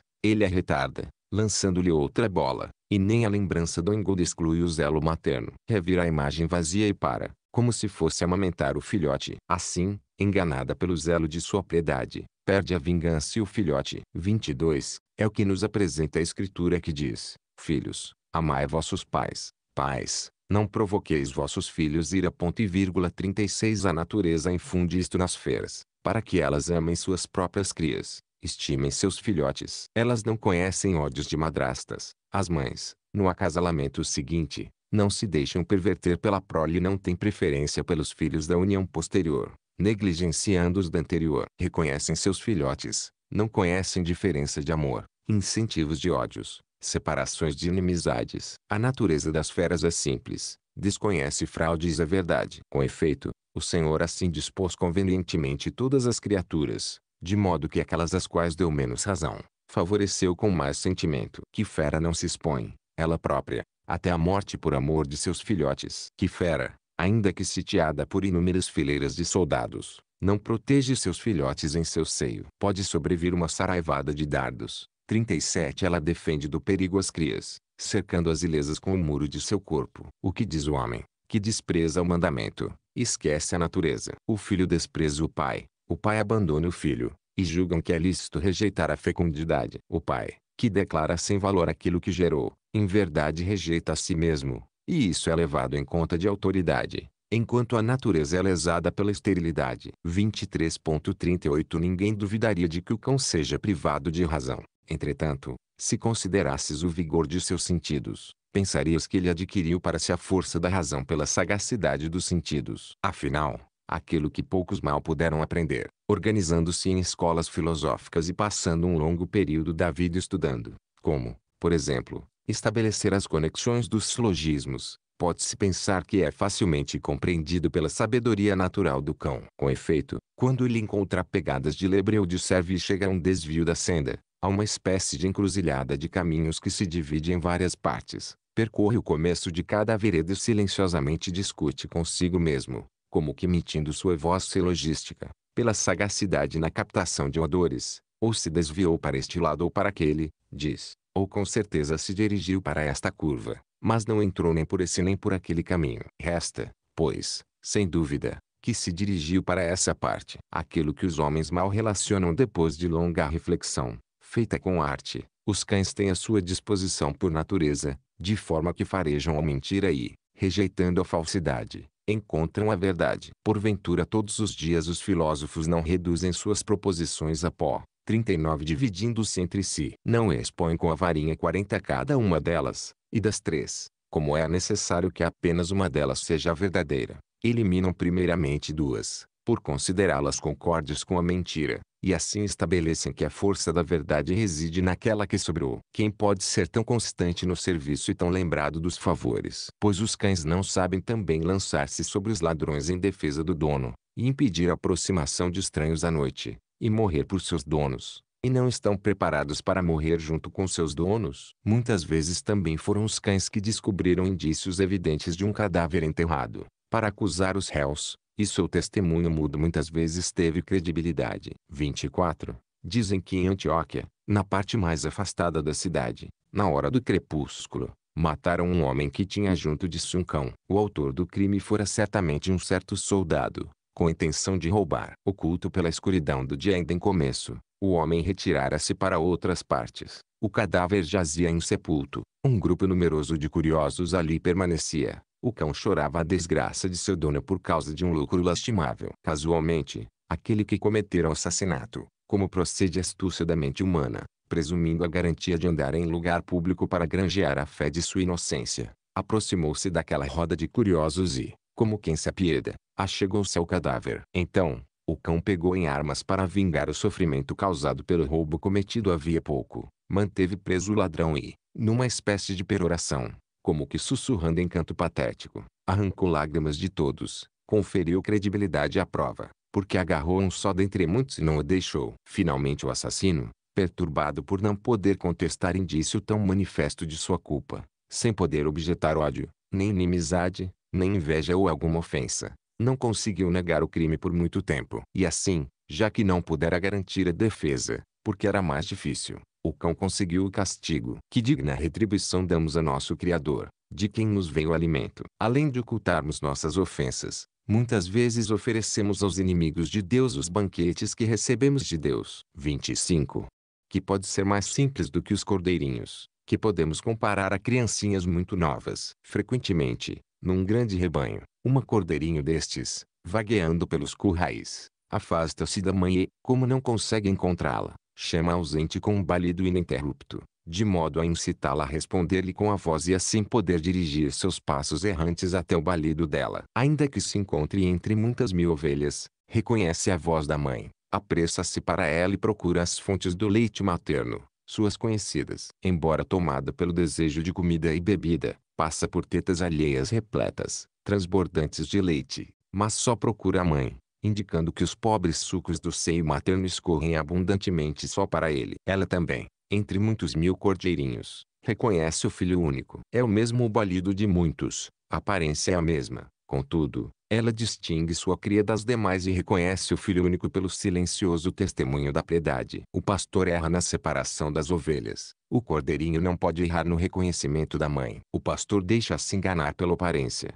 mas a piedade não deixa a ovelha enganar-se. É o mesmo cheiro de todos, mas a natureza tem o seu próprio cheiro, do qual parecem impregnados os filhotes, por uma especial propriedade amorosa. 26. A natureza tem seus usos e sentimentos familiares. Mal começam a romper os dentes de um menino, ele já sabe experimentar suas armas. O cachorrinho ainda não tem dentes, e como se já os tivesse, quer tirar vingança com sua boca. O cervo ainda não tem chifres, e contudo investe com a testa e faz ameaças com armas que ainda não conhece. 41 O lobo, se vê o homem antes, solta a voz e despreza-o, como se fosse vencedor porque grita mais alto. 42 Entretanto, se perceber que foi visto antes, perde a ferocidade, não pode correr. O leão tem medo do galo, 43 principalmente do branco. A cabra ferida procura uma planta chamada de quitano 44 e tira as flechas da ferida. Até os animais conhecem seus remédios. O leão doente procura uma macaca para comer e poder sarar. O leopardo bebe o sangue da cabra selvagem e espanta a força da doença. Toda fera doente se cura bebendo sangue de cachorro 45 O urso doente come formigas. 46 O cervo come pequenos ramos de oliveira. 27. Portanto, os animais sabem procurar as coisas que lhes são proveitosas. Tu, ó homem, não conheces teus remédios. Tu não sabes como tirar a força do adversário, para que, tal qual lobo passado para trás, ele não possa fugir de ti, e assim, com o olho de tua mente, possas surpreender sua perfídia, ser o primeiro a impedir o curso de suas palavras, a enfraquecer sua impudência e a sagacidade de sua argumentação. Porque, se ele te preceder, vai tirar-te a voz. E se emudeceres, entrega teu manto para soltar a fala. E se o lobo se levantar contra ti, pega uma pedra e foge. Tua pedra é Cristo. Se correres para Cristo, o lobo fugirá e não poderá atemorizar-te. Foi esta a pedra que Pedro, ao titubear nas ondas, procurou e encontrou, porque segurou a mão direita de Cristo. 47, 28 que direi dos homens que se deliciam com alho e consomem como alimento aquilo que o leopardo evita? Pois se alguém decidir esfregar alho em algum lugar, o leopardo pula fora e não fica ali. Aquilo cujo odor a fera venenosa não pode suportar, tu consomes como alimento, vertendo-o no interior de tuas vísceras. Mas ele cura algumas dores, que seja então consumido como remédio, não como alimento que seja consumido pelos que estão doentes, não pelos que se banqueteiam. Buscas o medicamento e deixas o jejum, como se pudesses encontrar outro remédio maior. Se a serpente provasse o escarro de um homem que jejua, morreria. Vês quanta força tem o jejum, a ponto de o homem que jejua matar com seu escarro a serpente terrena, e com mais razão a espiritual. 29. Quanta prudência o Senhor infunde até nos animais mais pequenos. A rola cobre seu ninho com folhas de cebola, para que o lobo não ataque seus filhotes. Ela sabe que os lobos costumam refugar este tipo de folhas. A raposa sabe como aquecer sua prole e tu ignoras. Tu negligencias o modo de manter mais seguros teus descendentes nesta vida, contra os lobos da maldade espiritual. Ponto de interrogação 485,30. Mas voltemos à sequência da criação e consideremos por que razão o Senhor fez mais curto o pescoço de uns animais, como os leões e os tigres, os ursos também, e mais longo de outros, como os elefantes e camelos. Porventura a causa evidente não é que para os animais que se alimentam de carne não seria necessário um pescoço tão longo. Com efeito, não abaixam o pescoço e a boca até a terra para pastar, mas ou se lançam sobre um servo ou despedaçam um boi ou uma ovelha. O camelo, porém, por ser mais alto, como poderia alimentar-se de ervas pequeníssimas, a não ser que abaixasse o longo pescoço até a terra, para pastar. Assim o camelo, em virtude de sua altura, obteve por sorte um pescoço mais longo, o cavalo, pela mesma razão, e o boi igualmente, todos eles, com efeito, se alimentam de ervas. 3149 O elefante, além disso, tem uma tromba saliente, porque, como é o mais alto de todos, não pode inclinar-se para pastar. Assim, serve-se dela para pegar o alimento. Ela derrama no enorme animal grandes golfadas de água e por isso é côncava, a fim de esvaziar lagos cheios para matar a sede de bicho tão grande. Recolhe um rio para inundar o sedento. Com razão seu pescoço é menor do que exigiria a massa de um corpo tão grande. É também para não ser mais pesado do que útil. Por isso ele não dobra os joelhos, porque lhe foram necessárias pernas mais duras, para poderem sustentar, como colunas, tão grande máquina de membros. Curva levemente o casco. O restante das patas é rijo desde cima até embaixo. Um animal tão grande não pode curvar-se como nós, que nos abaixamos dobrando os joelhos, e não pode certamente ter em comum com os outros animais o costume de rolar nem de curvar-se. Apoia-se de um lado e de outro nas maiores árvores, para poder curvar-se um pouco sem perigo enquanto dorme porque sua pata absolutamente não se separa na junção das articulações. Assim, para os elefantes domesticados, que têm este costume, prepara-se engenhosamente esta espécie de leitos, mas para os selvagens e agrestes, aos quais ninguém submete e que podem opor resistência a estes leitos, este costume pode tornar-se um perigo. 32. Com efeito, apoiados à árvore, ou encostam os flancos 50 ou relaxam-se, adormecidos. Esta, algumas vezes, vencida e curvada por um corpo tão grande, quebra-se, e aquele que se esparramara sobre ela, cai e não pode erguer-se nem levantar-se, jazendo ali, morre ou fica estendido, soltando gemidos e expondo-se a ferimentos no ventre e nas outras partes mais moles, pois nenhum dardo pode penetrar com facilidade seu dorso e suas outras partes externas. Contudo, a quem lhes prepare esta armadilha, por causa do marfim, em grande quantidade das árvores nas quais eles costumam encostar-se, fazem um corte do lado oposto, onde eles se encostam com menos frequência, de modo que, quando o elefante se apoia, as árvores não conseguem suster o peso de seus membros e provocam sua queda. 33. Mas se alguém é capaz de deter estas quedas, detenha também os altos edifícios, porque estão sujeitos a uma queda maior e muito dificilmente os que caem são reconstruídos. Em verdade, se construímos com frequência altos edifícios, ou pela beleza, ou como postos de observação, devemos prová-los com os elefantes, porque estes prestam um grande serviço nas operações bélicas. É por isso que os persas, valentes na guerra e muito bons em qualquer arremesso de setas e dardos, porque, sustentados por apoio tão forte, lançam os dardos de cima para baixo, tem um exército que avança como que é cercado por torres ambulantes.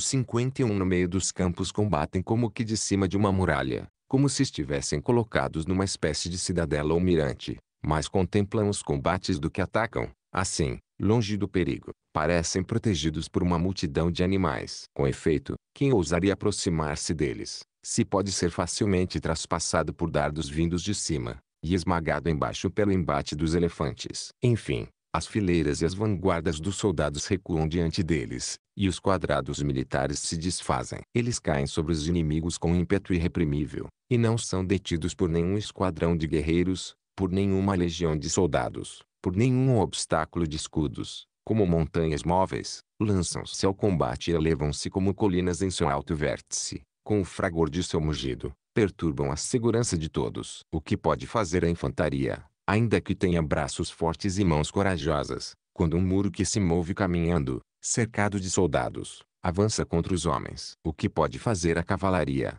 quando o cavalo foge, espantado pela ferocidade de um animal tão grande? O que pode fazer o flecheiro, quando, em cima, os corpos dos soldados, com armadura de ferro, não podem sentir o golpe dos dardos? E quando o animal, mesmo despido, impenetrável pelo ferro, ainda mais protegido por uma couraça, rompe as fileiras contrárias sem expor-se ao perigo, esmagando os esquadrões. 34. Assim como grandes edifícios, assim também os elefantes são sustentados por alicerces muito resistentes. Por outro lado, se fossem sustentados por pés deficientes, dentro de pouco tempo cairiam. Dizem que eles vivem mais de 300 anos, porque todos os seus membros são adequados a seu tamanho. É por isso que não têm membros articulados como nós, mas compactos, para serem mais fortes. Se os homens permanecem de pé por muito tempo, ou se correm mais velozmente, ou andam sem parar, como ficam logo maltratados seus joelhos e seus pés. Com efeito, os membros unidos por articulações são mais facilmente acometidos pela dor ou pelos choques. 35.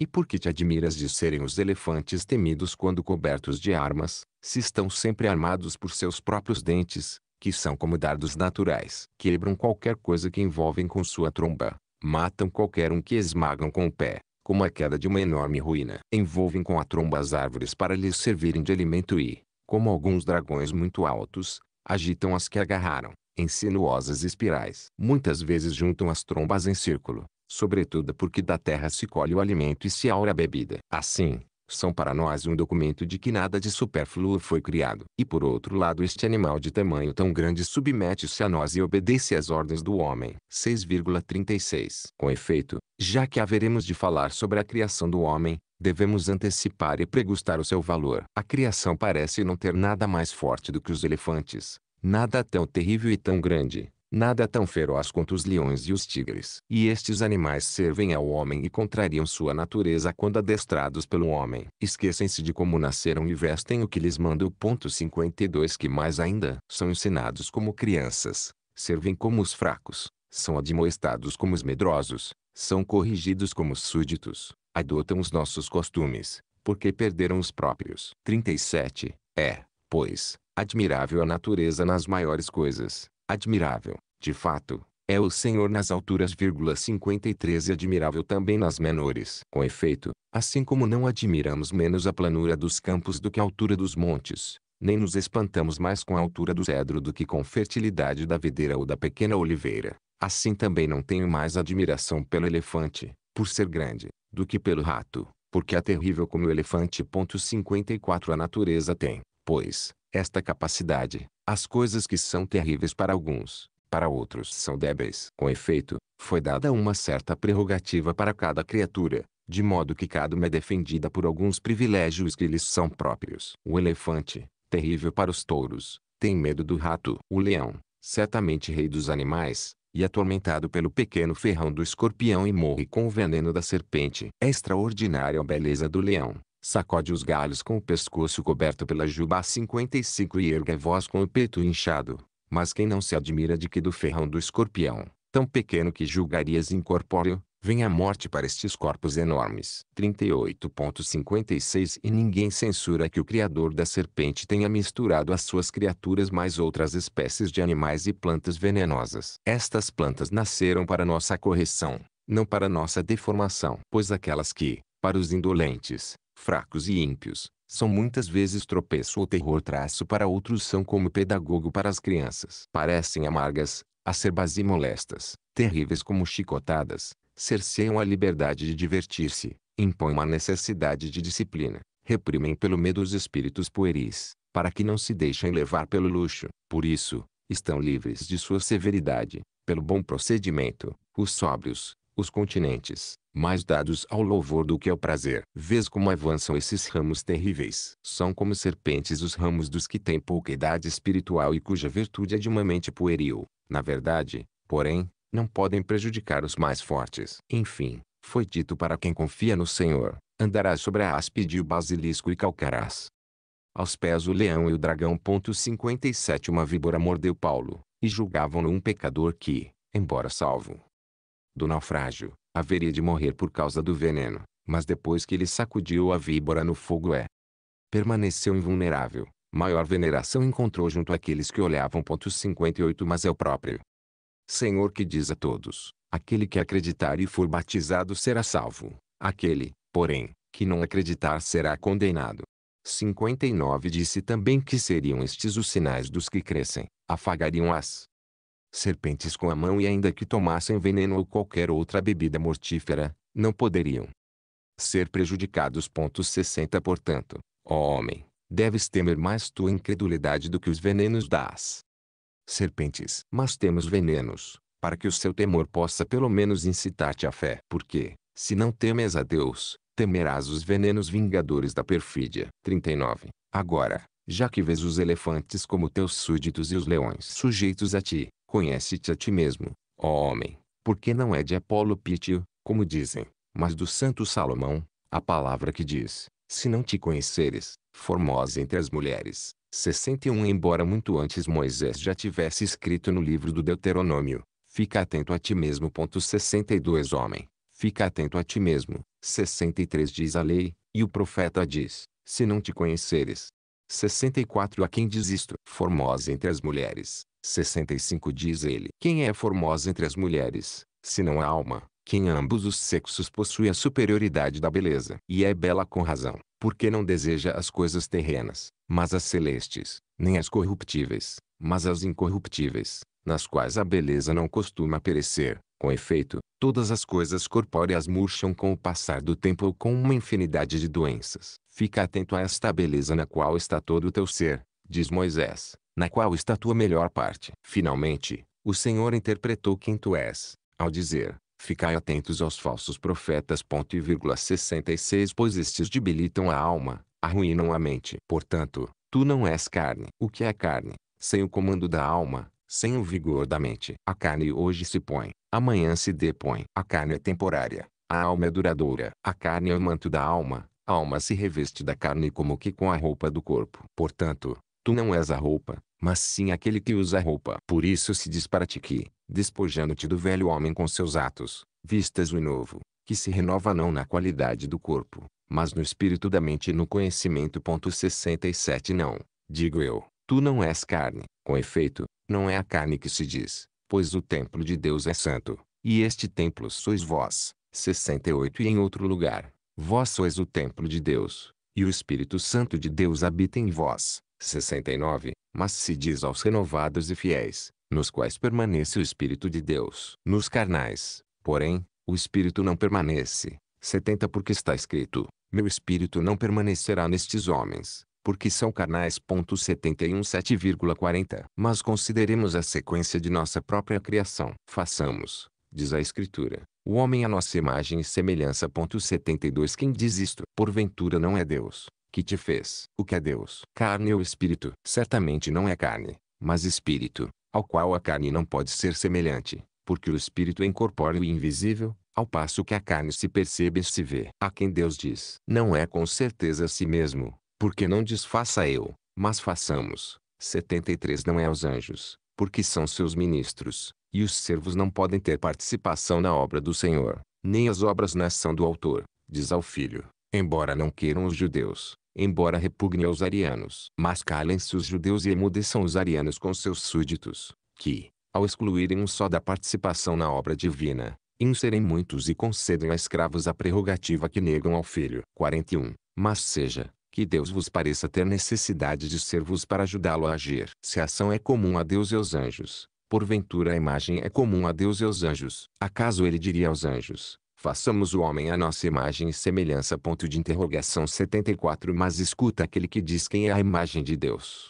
Aquele que nos arrebatou do poder das trevas, diz, e nos transportou para o reino do Filho, claridade sua, no qual temos a redenção e a remissão dos pecados, aquele que é a imagem do Deus invisível e o primogênito de toda a criatura. Ponto 75 Ele próprio é a imagem do Pai, que sempre e era no princípio. Enfim, a imagem é aquele que diz, Filipe, quem me vê, Vê o Pai.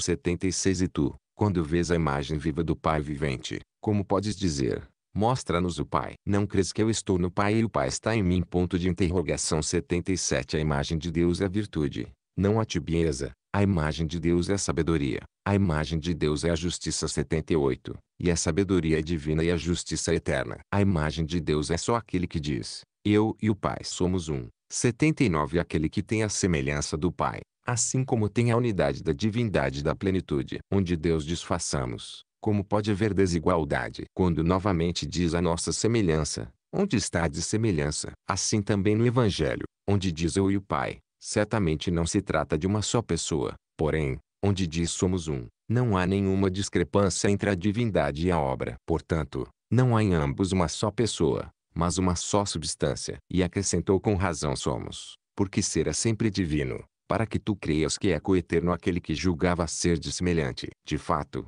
é eterno aquele de quem fala Moisés, aquele que é me enviou. 80 E o Evangelho, também com muita propriedade, antepôs eu e o Pai. Pois se tivesse anteposto o Pai, tu julgarias o filho menor, mas antepôs o filho, que não convém crer que é superior ao Pai, e acrescentou o Pai, para que percebas que Deus Pai e Filho não se sujeitam ao preconceito desta ordem. 42. Fica atento apenas a ti. 81 Diz a Escritura. De fato, nós somos uma coisa, nossas coisas são outras, as coisas que nos cercam são outras. O que nós somos é a alma e a mente, nossas coisas são os membros do corpo e seus sentidos. Ao nosso redor está o dinheiro, estão os servos e os aparatos desta vida. Portanto, fica atento a ti, conhece-te a ti mesmo, isto é, não os braços que tens, não quanta força tem teu corpo, não quantas posses, quanto poder, mas como é tua alma e tua mente, de onde saem todas as decisões e a qual se refere o fruto de tuas obras. Ela é, pois, plena de sabedoria, plena de piedade e de justiça, porque toda a virtude vem de Deus. A ela Deus diz, Eis, Jerusalém, pintei teus muros. 82 Esta é a alma pintada por Deus, que tem em si a graça das virtudes e o resistente esplendor da piedade. Esta alma está bem pintada, nela brilha a imagem da obra divina. Esta alma está bem pintada, Nela está o esplendor da glória e a imagem da substância do Pai. 83 Conforme esta imagem que refugie, a pintura é preciosa. Conforme esta imagem era Adão antes do pecado, mas quando caiu, depois a imagem do homem celeste, tomou a imagem do terrestre. 84 Mas fujamos desta imagem, que não pode entrar na cidade de Deus, porque está escrito, Senhor, em tua cidade reduzes a nada a imagem deles. 85 E não entra a imagem indigna e aquela que entrar é excluída, porque nela não entrará, diz a Escritura, tudo que é comum e quem pratica a execração e a mentira. 86 Mas nela entrará aquele em cuja fronte está escrito o nome do Cordeiro. 87, 43 Nossa alma é, pois, a imagem de Deus. Nela estás inteiro, ó homem, porque sem ela nada existe. Mas tu és terra e em terra te dissolverás. 88 Enfim, para que saibas que sem a alma carne nada é, diz a Escritura. Não mais aqueles que podem matar o corpo, mas não podem matar a alma. 89 Porque então te glorias na carne, tu que nada perdes, se perderes a carne. Mas teme o seguinte, seres privado do socorro de tua alma. Com efeito, o que dará o homem em troca de sua alma? 90 Na qual está não pequena parte de si mesmo, mas a substância completa da humanidade total. É por ela que o domina sobre os outros seres vivos, feras e aves, ela é a imagem de Deus ao passo que o corpo é a imagem dos animais. Nela um o sinal da imitação divina, nele um indigno consórcio com os animais selvagens e as feras. 8,44 Mas examinemos mais corretamente o que seja a imagem de Deus. A carne é porventura a imagem de Deus. Portanto, em Deus a terra, porque a carne é terra. Então Deus é corpóreo, então é fraco como a carne e sujeito às paixões. Mas talvez a cabeça te pareça a semelhança de Deus, porque está elevada, ou os olhos, porque veem, ou os ouvidos, porque ouvem. Se consideres altura, acaso não parecemos altos, porque nossa cabeça se eleva um pouco acima das terras. Mas será que não nos envergonhamos de dizer-nos semelhantes a Deus por isto, por sermos mais altos do que as serpentes e os outros répteis, ou do que as corças, ou as ovelhas, ou os lobos? E nesta parte, quanto os camelos e os elefantes são mais altos do que nós. Sem dúvida, é uma maravilha observar os elementos do mundo, conhecer as coisas que ninguém relata e tem o olhar percebe, mas quanto vale o que vemos, para que por isso digamos ser a semelhança a Deus, que tudo vê, contempla todas as coisas, conhece os sentimentos ocultos, Som dos segredos do coração. Ponto de interrogação 91 Será que não me envergonho de dizer isto, quando eu próprio não posso ver-me por inteiro? Vejo o que está diante de meus pés. O que está às minhas costas não posso ver. Não conheço minha cerviz. Não conheço a parte posterior de minha cabeça. Não posso ver meus rins. Ponto 92 Semelhantemente, o que vale aquilo que ouvimos, se não posso ver nem ouvir aquilo que está um pouco distante? Se no meio há paredes, é impossível a visão, é impossível a audição. Além disso, nosso corpo fica sempre no mesmo lugar, é limitado por um espaço estreito. Todos os animais selvagens são maiores que o homem, todos também são mais velozes. 45. Portanto, a carne não pode ser a imagem de Deus, mas sim a nossa alma, que é livre, e vagueia aqui e ali, por diversas cogitações e decisões, e que, pensando, tudo vê. Eis que agora estamos na Itália e nosso pensamento parece voltado para as regiões orientais ou ocidentais. Parece que estamos convivendo com os que estão estabelecidos na Pérsia e vemos os que vivem na África. Se esta terra receber alguns dos nossos conhecidos, continuamos a caminho. Juntamo-nos aos peregrinos, unimo-nos aos ausentes, falamos com os distantes, ressuscitamos até os defuntos para conversar e os abraçamos e apertamos como se estivessem vivos, deferindo-lhes os e os deveres da vida. Portanto, e a imagem de Deus aquela que não é avaliada pelo vigor do corpo, mas da mente, que vê os ausentes, percorre com a vista os países ultramarinos, atravessa-os rapidamente com o olhar, sonda-lhes os segredos. 93 Aqui e ali, num único momento, espraia seus sentidos pelos lugares secretos de todo o limite do orbe do mundo, que está unida a Deus, adere a Cristo, desce ao inferno e sobe, vive livre no céu. Enfim, escuta o que diz, porém nossa morada está no céu. 94 Ora, não é a imagem de Deus aquela em que Deus sempre está. Escuta então porque é a imagem de Deus. Com efeito, diz o apóstolo, e assim nós todos que, com a face descoberta, refletimos a glória de Deus, somos transfigurados nesta mesma imagem, da glória para a glória, como pelo Espírito do Senhor. 95-46. Portanto, já que sabemos que a alma é a imagem de Deus, consideremos agora se se pode dizer a respeito da alma, façamos um homem. Mas escuta também isto, porque a alma é designada pelo nome de homem. Está escrito no Gênesis, os filhos de José, que lhe nasceram no Egito, eram nove almas. Portanto, todas as almas, que entraram com Jacó no Egito, eram 75.96 e com muita propriedade alma significa homem latim onkeropo em grego, primeiro pela humanidade, segundo porque tem uma vivacidade para enxergar, que sem dúvida se adapta mais à alma do que ao corpo. Para este fato concorre justamente o que foi dito nas lamentações de Jeremias, o Senhor é bom para os que o sustentam, para a alma que o procura. 97 Falou a respeito dos homens e julgou que deveria acrescentar a alma, com efeito, esta procura a melhor parte, se está só, separada da lama do corpo e do desejo carnal. Ela própria é a imagem de Deus, conforme ao Senhor Jesus, e os que são conformes ao Filho de Deus são santos. Pois assim lemos quando diz Paulo, sabemos, porém, que para os que amam a Deus tudo concorre para o bem, para estes que segundo seu desígnio são chamados santos, os quais ele sabia de antemão e predestinou a se tornarem conformes à imagem de seu Filho para que ele próprio seja o primogênito entre muitos irmãos. Aos que predestinou, também os chamou, e aos que chamou, também os justificou, aos que justificou, também os glorificou.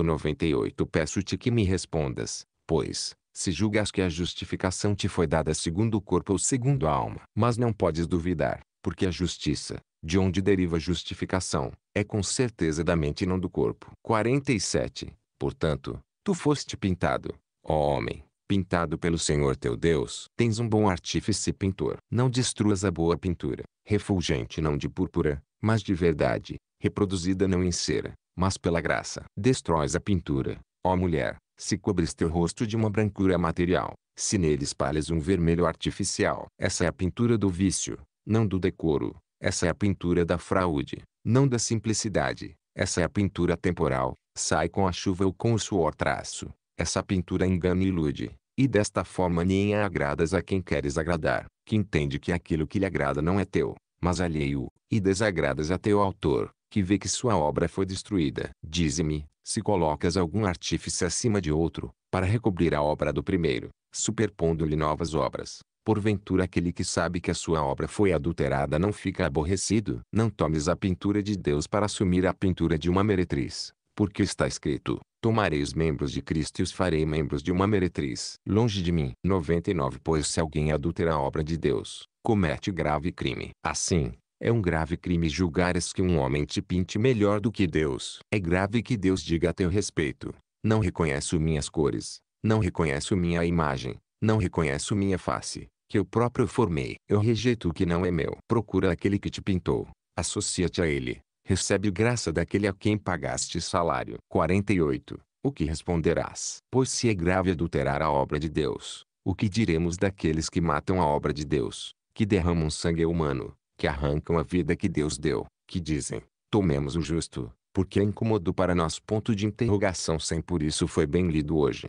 As raposas têm tocas e as aves do céu têm ninhos onde possam repousar, mas o filho do homem não tem onde reclinar sua cabeça. 101 Portanto, a raposa se esconde na toca, as aves se abrigam no ninho. O homem não é escondido na toca, mas apanhado. A toca na verdade é a boca do homem, toca profunda é o coração do homem, onde estão as decisões nocivas e fraudulentas, os maus pensamentos. Tu andas, e outro te prepara uma cova. Andas no meio dos laços 102 que teus inimigos te ocultaram no caminho. Portanto, olha para tudo à tua volta, para que possas fugir das redes como a corça e como a ave do laço. 103 A corça evita as redes pela vivacidade do olhar. A ave evita os laços se sob as alturas e voa sobre as coisas terrenas. Com efeito, no alto ninguém estende redes, ninguém esconde um laço. Por isso, quem tem sua morada no céu, não costuma ser apanhado como presa. Mas por que admirar-se de que o homem seja enganado pelo homem, quando o filho do homem não tinha onde descansar? E foi certamente ele quem fez o homem de tal forma que nele pudesse reclinar sua cabeça. Mas depois que em nosso peito começou a não existir repouso para o próximo, mas uma cova, depois que um começou a armar ciladas para o outro, a quem deveria ajudar, Cristo afastou sua cabeça de nós. Contudo, depois, decidiu oferecê-la à morte por nós. Não sejas, pois, fraudulento, cruel, sanguinário, para que em ti Cristo possa reclinar a cabeça. 49. Enfim, embora tivesse feito os peixes, embora tivesse feito as espécies de feras e animais selvagens, não descansou, só descansou depois que fez o homem à sua imagem. 104 Escuta o dizer em quem ele repousa, sobre quem repousarei, se não sobre o humilde e tranquilo, que treme diante de minhas palavras. Ponto de interrogação 105 C, pois, humilde e tranquilo, para que Deus repouse em teu espírito. Aquele que não repousou nos animais, com muito mais razão não repousa num coração bestial. Ah, com efeito, há ânimos bestiais, existem feras vestidas em forma de homens, sobre as quais diz o Senhor, estai atentos aos falsos profetas, que vêm a vós vestidos de ovelhas, mas por dentro são lobos devoradores. 106 Nestes não repousa Deus, mas repousa nos costumes humanos, que Deus fez a sua imagem e semelhança, quando fez o varão, o qual não deve cobrir sua cabeça, porque a imagem e glória de Deus. 107 Ele diz à alma deste varão, Jerusalém, eis que eu pintei teus muros. 108 Não disse, pintei teu ventre, não disse, pintei tuas partes inferiores, mas diz, pintei teus muros, para afirmar que deu ao homem a poderosa proteção dos muros, de modo que, se houver um guarda vigilante sobre os muros, poderá rechaçar o perigo de um cerco. Diz assim, não te dei prazeres, não te dei as seduções dos desejos, não te dei os estímulos da luxúria, não te dei a cobiça da beleza alheia, mas te dei os fundamentos dos muros, dei-te os altos cimos das torres, estabelecido nelas. Não temas ser expugnado pelo inimigo, nem podes ter medo das terríveis investidas das legiões de ataque. Enfim, tens em Isaías o que diz a alma do justo ou a igreja. Eu sou a cidade protegida, eu sou a cidade sitiada, 109 protegida por Cristo, sitiada pelo diabo. Mas quem tem Cristo como defensor, não deve temer um cerco, está protegido pela graça espiritual e assediado pelos perigos do mundo. Por isso também no Cântico dos Cânticos foi dito para ti, eu sou o muro, e meus seios são torres. 110 O muro é a igreja, suas torres são os sacerdotes, para os quais sobeja palavras sobre a natureza e a disciplina sobre os costumes. 50. Conhece-te, pois, bela alma, porque és a imagem de Deus. Conhece-te, homem, porque és a glória de Deus. 111 Escuta como és a glória. O profeta diz, teu conhecimento foi feito admirável por mim. 112 Isto é, em minha obra mais admirável é a tua majestade. No conselho do homem é proclamada a tua sabedoria. Ao olhar para dentro de mim, de quem tu percebes os pensamentos mais ocultos e os sentimentos interiores. Conheça os mistérios de tua ciência. Conhece-te, pois, ó homem, quanto vales, e fica atento a ti mesmo, para que, quando estiveres embaraçado nos laços do diabo, não te tornes presa do caçador, para que não caias nas falsas daquele odioso leão, que ruge e rodeia, procurando a quem devorar. 113 Fica atento a ti mesmo, para examinares o que entra em ti, o que sai de ti. 114 Não estou falando de alimento, que é ingerido e lançado fora, mas falo do pensamento, falo das palavras. Não entre dentro de ti o desejo do leito alheio, não se insinue em tua mente, que teu olho não devore a beleza de uma mulher que está passando, que teu pensamento não acerque, que tuas palavras não teçam artifícios de tentações, não exponham ao engano, não desonrem o próximo com o opróbrio da maledicência. Deus te fez caçador, não sedutor, quando disse, eis que enviou muitos caçadores, 115 caçadores não do crime, mas da absolvição, caçadores não da culpa, mas sobretudo da graça. Tu és pescador de Cristo, pois a ti se diz, agora serás vivificador de homens. 116 Lança tuas redes, lança teus olhos, lança tuas palavras, de modo que ninguém oprimas, mas ergas a quem flutua. Fica atento a ti mesmo. 117 diz: Fica de pé, para que não caias. Corre, para que alcances o prêmio. Luta, para que venças muitas vezes, porque ao legítimo combate está destinada a coroa. 118 É soldado. Observa cuidadosamente o inimigo, para que não te assalte durante a noite. És atleta. Aproxima do adversário mais tuas mãos do que teu rosto, para que ele não fira teu olho. Que tua vista seja livre, que teu passo seja ágil, para que derrubes o atacante, apanhes o vencido, evites os ferimentos com olhar vigilante. 119 Rechaces um forte combate. Mas se fores ferido, fica atento a ti, corre ao médico, procura o remédio da penitência, fica atento a ti, porque tens a carne, que logo enfraquece. Que venha para ti o bom médico dos espíritos, que a palavra divina derrame sobre ti oráculos do Senhor como remédios salutares. Fica atento a ti, para que a palavra oculta em teu coração não se torne iníqua, pois ela se espalha como um veneno e provoca contágios mortais. Fica atento a ti, para que não te esqueças de Deus, que te fez, e não tome o seu nome em vão. 120 51. Fica atento a ti, diz a lei, quando comeres e estiveres saciado, e edificares casas e começares a habitá-las, e estiveres repleto de teus rebanhos, e tiveres em abundância ouro e prata, e te vangloriares no coração, em meio a povo, por tudo quanto tens, para que não te esqueças do Senhor teu Deus. 121 Com efeito, o que tens, ó homem, que não tenhas recebido. 122 Acaso todas estas coisas não passam como sombra? Ponto de interrogação 123 Acaso esta tua casa não é pó e ruína? Acaso todas estas coisas não são falsas? Acaso o tesouro deste mundo não é vaidade? Acaso tu mesmo não és cinza? Olha para os sepulcros dos homens e vê o que restará de ti, se não cinza e ossos isto é, de teu corpo. Olha, repito, e diz para mim quem aí é o rico e o pobre. Separa os pobres dos ricos. Todos nós nascemos nus e nos morremos. Não há nenhuma diferença entre os cadáveres dos mortos, a não ser talvez que os corpos dos ricos fedem mais, inchados de comilança. Já ouviste dizer que algum pobre morreu de indigestão? Sua pobreza lhe traz proveito, movimenta-lhe o corpo, não o aniquila. E nem ouvimos dizer que o justo foi abandonado e sua descendência mendiga pão. 124 Porque aquele que faz o bem, sua terra produz alimentos em abundância. Portanto, fica atento a ti, ó rico, porque também tu, como o pobre, carregas a carne. 52 Fica atento a ti, ó pobre, porque tua alma é preciosa. Ainda que a carne seja mortal, a alma é imortal. Ainda que te falte dinheiro, não te falta graça. Ainda que tua casa não seja ampla, tua propriedade não seja extensa, o céu está à tua disposição. A terra é livre. Os elementos foram dados para todos em comum. As belezas do mundo estão à disposição dos ricos e dos pobres. Acaso os telhados de ouro das casas mais preciosas são mais belos do que o aspecto do céu, pontilhado de estrelas refulgentes? Acaso os campos dos ricos são mais amplos do que os espaços das terras? Por isso, aqueles que juntam casa a casa, campo a campo foi dito, porventura só vós habitais sobre a terra. Ponto de interrogação 125 Tu tens uma casa maior, ó pobre, no qual clamas e és ouvido. Ó Israel, diz o profeta, quão grande é a casa de Deus e amplo o lugar de sua posse. É grande e não tem fim, alto e imenso. 126 A casa de Deus é comum ao rico e ao pobre. Contudo, É difícil um rico entrar no reino dos céus.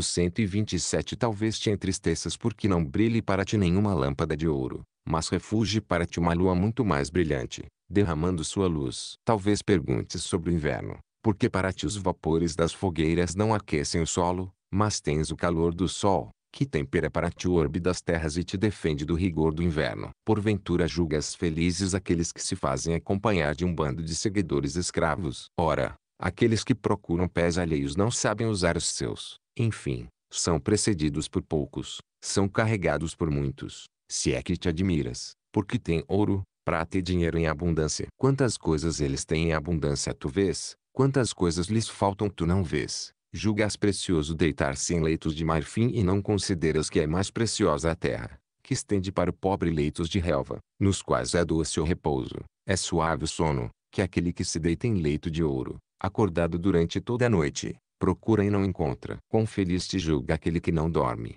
a ti que repousas. Além disso, o que é muito melhor, é que o justo que aqui viver na pobreza, lá terá abundância, e quem aqui suportar o sofrimento, lá terá consolação. Aquele, Porém, que receber bens aqui, lá não poderá esperar a recompensa deles.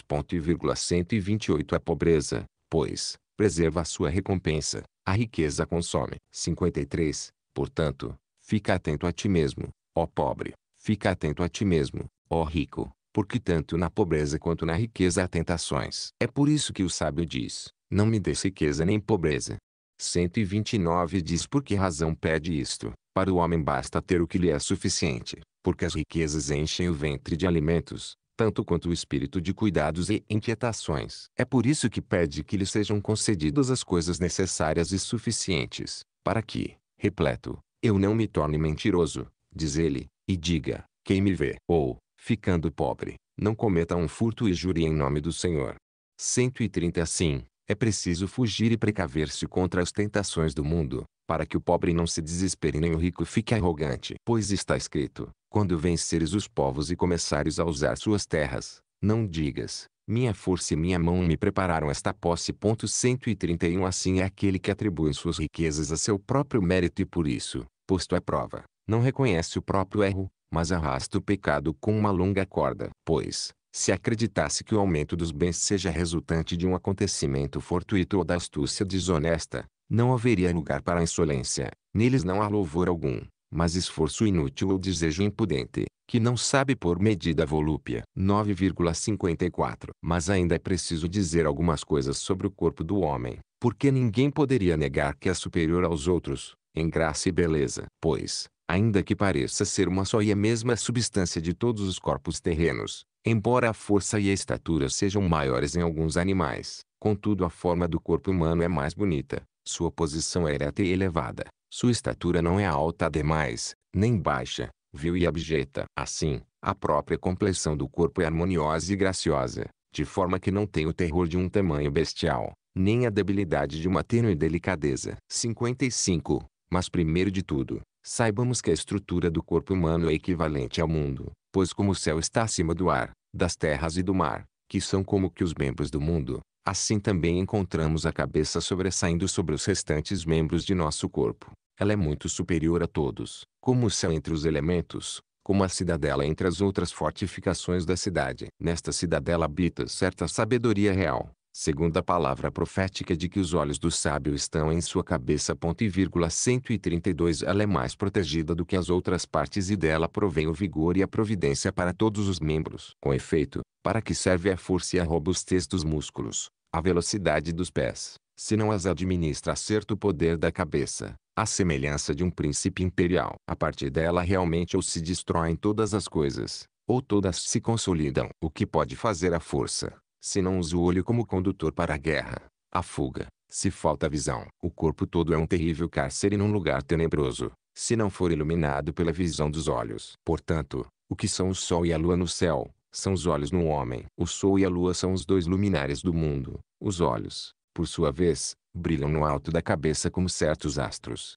Iluminam as partes inferiores com uma luz clara e não permitem que nós sejamos envolvidos pelas trevas da noite. Como nossos batedores, dia e noite estão de sentinela. Pois também são despertados do sono mais cedo do que os outros membros e, vigilantes, observam tudo em volta, com efeito, estão mais próximos do cérebro, de onde emana toda a faculdade de ver. Mas que ninguém creia que eu tenha descido aí precipitadamente, abandonando a cabeça para louvar os olhos, porque de certa forma está subentendido o louvor da parte superior, pois é certo que os olhos são uma porção da cabeça. Assim, a cabeça examina todas as coisas com os olhos, sonda as coisas ocultas com os ouvidos, conhece as coisas escondidas, escuta o que os outros fazem na terra. 56. O próprio cimo da cabeça, como é harmonioso e belo. Como são belos os cabelos, quão dignos de respeito nos anciãos, quão veneráveis nos sacerdotes, quão terríveis nos guerreiros, quão belos nos jovens, quão sedutores nas mulheres, quão delicados nas crianças. Para um sexo fica bem uma longa cabeleira, para o outro não fica. Ponto 133 Pode-se julgar pelas árvores qual é a graça da cabeça humana. Na cabeça de toda árvore está o fruto. Ali está toda a sua beleza. Sua folhagem nos cobre das chuvas ou nos protege do sol. Tira a folhagem da árvore, toda a árvore fica desgraciosa. 134 Por isso, quão importante é o ornato da cabeça humana, os cabelos, que protegem e revestem nosso cérebro, isto é, a sede e origem de nossos sentidos para que não seja abalado nem pelo frio, nem pelo calor. Ali está, com efeito, a fonte de todas as coisas e por isso, onde um dano causa prejuízo, aí a graça leva a vantagem. 57. Que é o homem sem a cabeça, se ele todo está na cabeça. Quando vês a cabeça, conheces o homem. Se falta a cabeça, não pode haver nenhum conhecimento. O tronco jaz desconhecido, sem honra, sem nome. 135 Apenas as cabeças dos príncipes, fundidas em bronze, e os rostos desenhados em bronze ou mármore 136 são adorados pelos homens. Não é, pois, sem razão, que a essa espécie de conselheiro os demais membros servem e carregam em carruagem servil como uma divindade, levando-o colocado no alto. Daí, com sua autoridade de censor, orienta para onde quer os serviços dos servos e decide os preceitos que devem ser obedecidos por cada um. Podes ver como todos os membros militam para seu comandante, sem receber soldo. Uns o transportam, outros o alimentam ou oferecem-lhe seus serviços, respeitam-no como a um príncipe, servem-no como a um senhor. Dele procede uma espécie de senha. Os pés devem ir para determinada região, as mãos executam alguns serviços obrigatórios para consumar as operações, o ventre deve manter alguma forma de disciplina imposta, para abster-se ou para comer. 58. A cabeça tem o rosto livre, descoberto nas têmporas nuas, para revelar em seu aspecto a disposição da mente, ora alegre, ora mais triste, ora alçada à severidade, ora mais inclinada à clemência, exprimindo a vontade interna pelos sinais de fora. Uma certa imagem do espírito fala nos olhos, a base da fé, nos quais todo dia se escreve e conserva o nome do Senhor. Acompanham-nos as duas cercas das sobrancelhas, que se estendem para defender os olhos e para ornamentá-los, de modo que seja agradável a beleza do ornamento e persista o zelo da proteção. Pois, se alguma sujeira cair da cabeça, ou pó de areia, ou orvalho de uma nuvem, ou suor úmido da cabeça, 137 será retida pela sobrancelha, para que uma agressão à vista não perturbe as tenras imagens dos olhos delicados. 59.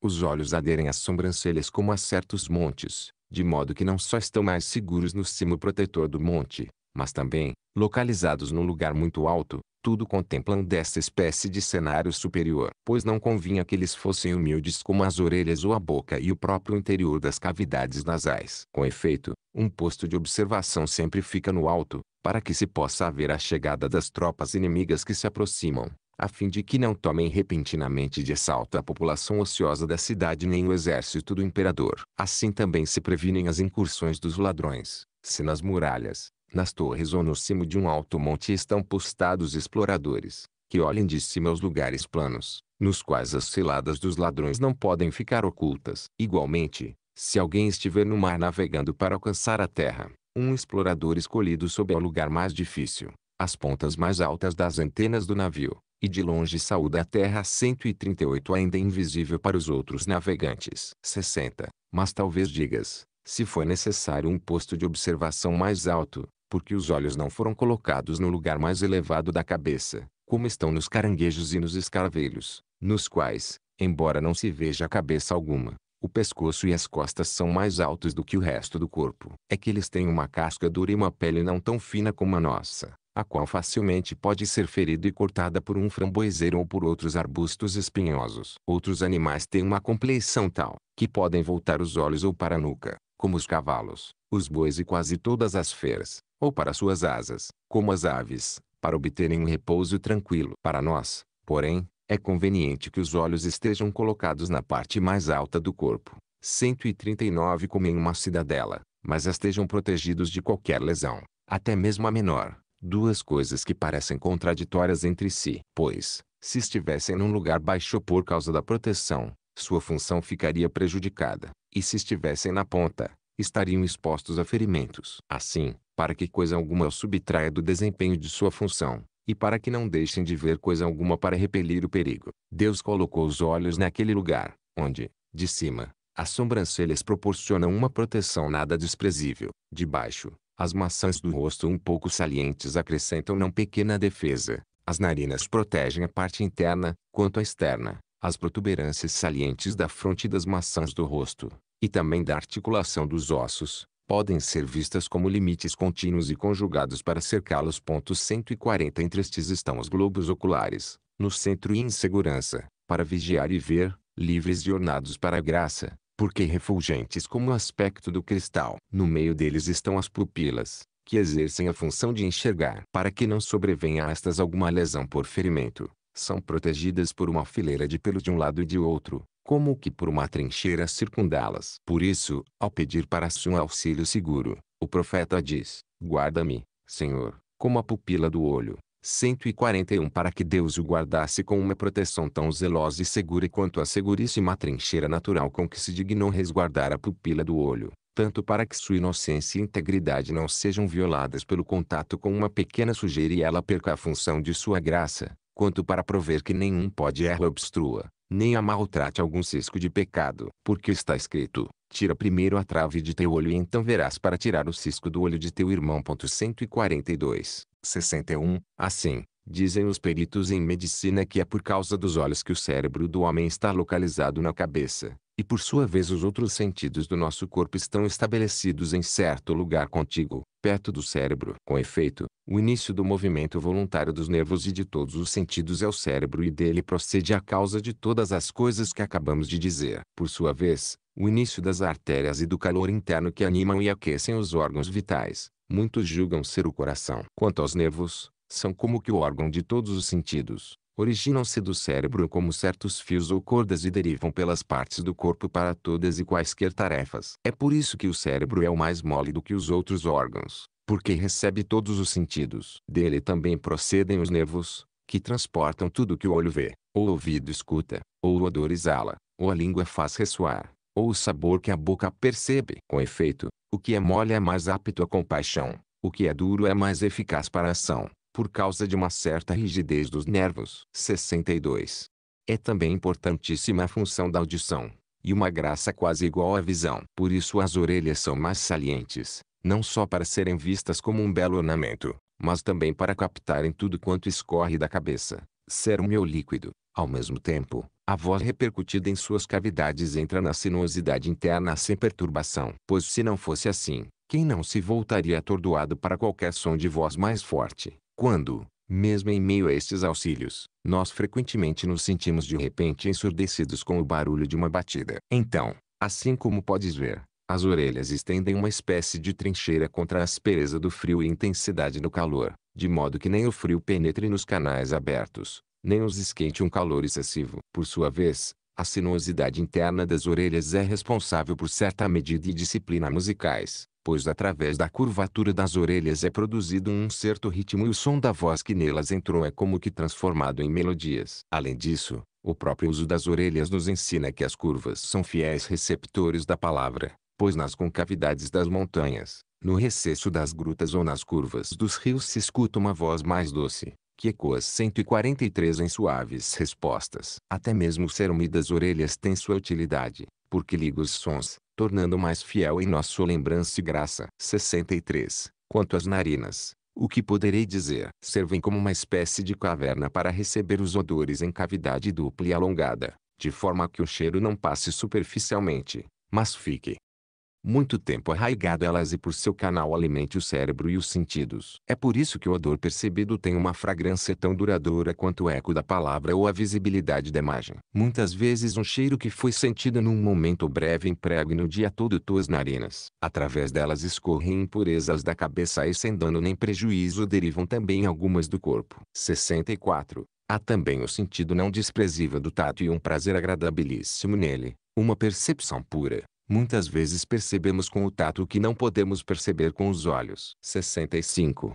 O último serviço é o da boca ou da língua, mas este dá forças para todos os outros sentidos. Pois nem os olhos teriam capacidade de ver, se não recebessem a força da substância corporal, que advém da comida e da bebida, nem as orelhas teriam capacidade de ouvir, ou as narinas de cheirar, ou as mãos de tocar. Se o corpo todo não fosse fortalecido pelos alimentos, perdemos as forças se não as recompomos assiduamente com o alimento adequado. Enfim, enfraquecidos pela fome, nossos sentidos não se deleitam com nenhum prazer sensível, mas praticamente privados deles, não sentem suas delícias. 66. Como descreverei o baluarte dos dentes, que trituram o alimento e completam a emissão da voz? Que alimento nos deleitaria sem os dentes? Enfim, muitas vezes reconhecemos que as pessoas idosas envelhecem mais depressa por isso mesmo, porque, tendo perdido os dentes, não podem assimilar a força de nenhum alimento mais sólido. Também por este motivo as crianças são mudas,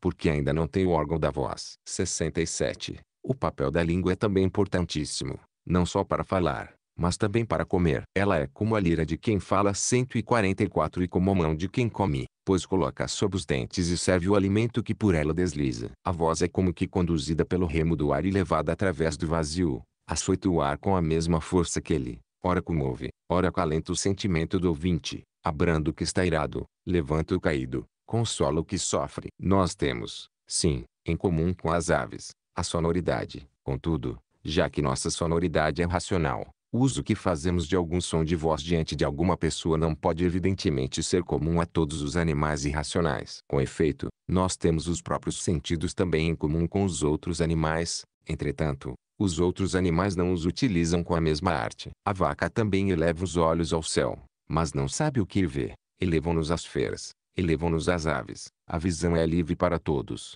mas só um homem tem capacidade de entender as coisas que vê. Vê com os olhos o aparecimento e o desaparecimento dos sinais. 145 Vê a beleza do céu, admira os orbes das estrelas, percebe ainda o brilho característico de cada um. Percebe quando surge Vésper, quando surge Vênus, porque aquela brilha à tarde, esta de manhã. Quais são os movimentos de Orion? Quais são as fases da Lua? Como o Sol conhece seu ocaso 146 e mantém solenemente as voltas de seu curso, os outros animais também escutam. Mas além do homem, qual deles adquire conhecimento ao ouvir os segredos da sabedoria? Apenas o homem, de todas as espécies que existem na Terra, compreende pela audição, pensamento e inteligência e pode dizer: Ouvirei o que o Senhor fala para mim. 147 É importantíssimo que o homem se torne o órgão da voz divina e expresse com os lábios o oráculo celeste, conforme está na Escritura. Clama. O que clamarei? Toda carne é feno.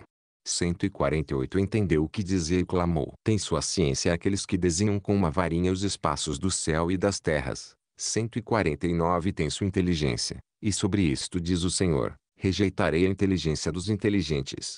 150 E não colocarei o ritmo e as regras da eloquência ou as melodias da música no lugar desta sabedoria. Mas refiro-me àquela sabedoria da qual diz o profeta, manifestaste-me as coisas desconhecidas e ocultas de tua sabedoria.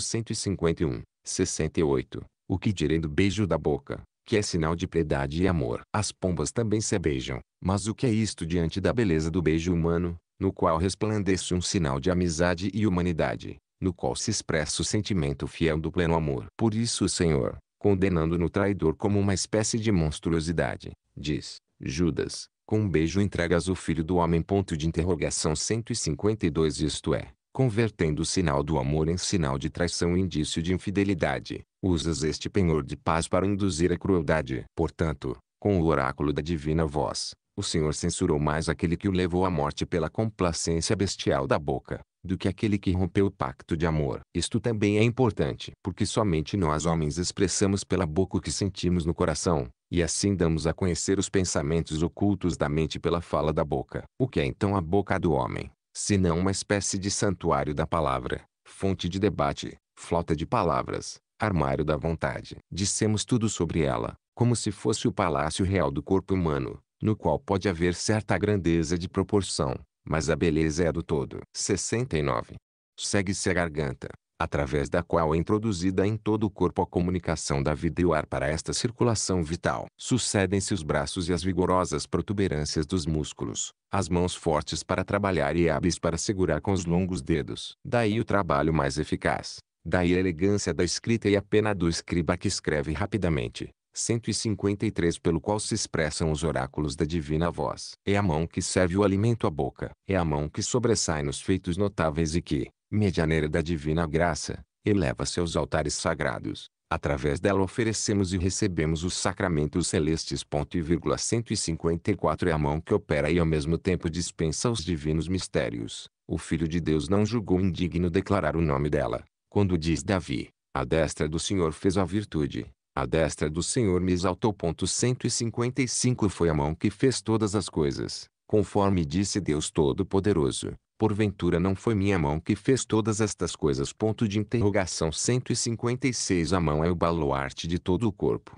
a defensora da cabeça. Embora esteja no lugar mais baixo, enfeite e embeleza toda a cabeça com honesto ornamento. 70. Quem poderia descrever dignamente o tórax e a flexibilidade do ventre? Com efeito, em outro lugar as vísceras mais moles não poderiam ser aquecidas e as alças dos intestinos seriam sem dúvida lesadas pelos ossos duros. O que pode ser tão salutar quanto o pulmão ter o limite confinante com o coração, de modo que, quando o coração está abrasado pela ira e pela indignação, é logo acalmado pelo sangue e pelo líquido do pulmão. É por isso que o pulmão também é mole, sempre está molhado e ao mesmo tempo é brando ao rigor da indignação. Mencionamos sucintamente todas estas coisas, como ignaros aflorando o óbvio, não como médicos em busca do pleno saber, perseguindo o que está oculto nos esconderijos da natureza. 71.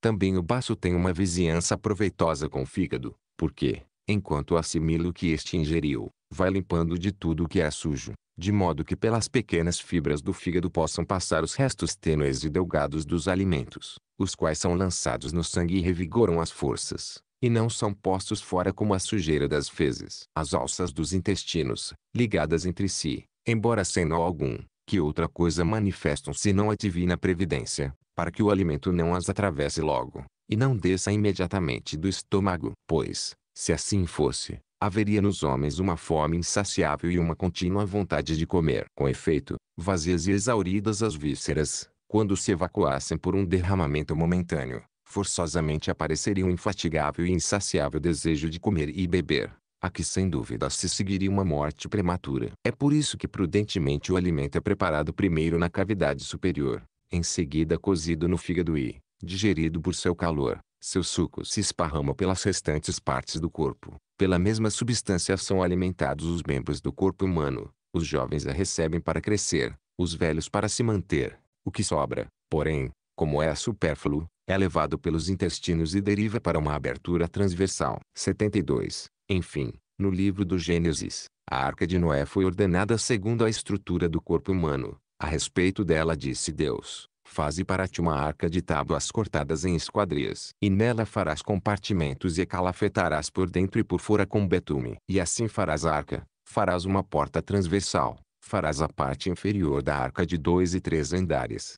157 Portanto, o Senhor quer dizer que a porta deve estar na parte posterior, por onde é posto fora o supérfluo dos alimentos. Com efeito, por decoro, nosso Criador ocultou da face do homem os condutos dos restos alimentares, para que, ao nos abaixarmos, não sujemos nossa aparência. Ao mesmo tempo deves considerar que as coisas que são cheias de pudor foram colocadas no lugar onde, cobertas pelas vestes, não possam causar vergonha. 73. A pulsação das veias é indício de doença ou de saúde. Embora elas estejam espalhadas por todo o corpo, não estão nuas e desprotegidas, mas são cobertas por tecidos tão leves que a oportunidade de explorá-las e facilidade de senti-las, quando os tecidos não têm espessura para encobrir a pulsação. Os ossos também são recobertos por um tecido tênue e ligados por nervos, sobretudo os da cabeça, são cobertos por um couro leve e, para que possam ter alguma proteção contra as chuvas e o frio, são revestidos por cabelos mais grossos. O que direi dos órgãos genitais, que recebem o sêmen genital para a função e graça da procriação das veias da região cervical, levadas através dos rins e da região lombar. 74. O que direi da função dos pés, que sustentam o corpo todo sem reclamar do peso. Pelo joelho flexível, que mais do que todos os membros mitiga as ofensas ao Senhor, a ira é suavizada, a graça é provocada. Com efeito, este é o dom do Pai Supremo para o Filho, para que em nome do Senhor todas as criaturas celestes, terrestres e as que vivem sob a terra dobrem o joelho e toda a língua confesse que o Senhor Jesus está na glória de Deus Pai. 158 São duas as coisas que agradam a Deus mais do que tudo, a humildade e a fé. Assim, o pé expressa o sentimento de humildade e a obediência da servidão solícita. A fé iguala o filho ao pai e confessa que ambos têm a mesma glória. Não é sem razão que o homem não tem muitos pés, mas apenas dois. As feras e os animais selvagens têm quatro, as aves têm dois, e por isso o homem é quase uma ave, pois procura as coisas altas com a vista e, como se tivesse uma espécie de asa, voa com a sagacidade dos sentimentos sublimes. Por isso foi dito a seu respeito, será renovada como a águia a tua juventude. 159 Porque está mais próximo das criaturas celestes e mais alto do que as águias aquele que pode dizer, mas a nossa morada está nos céus.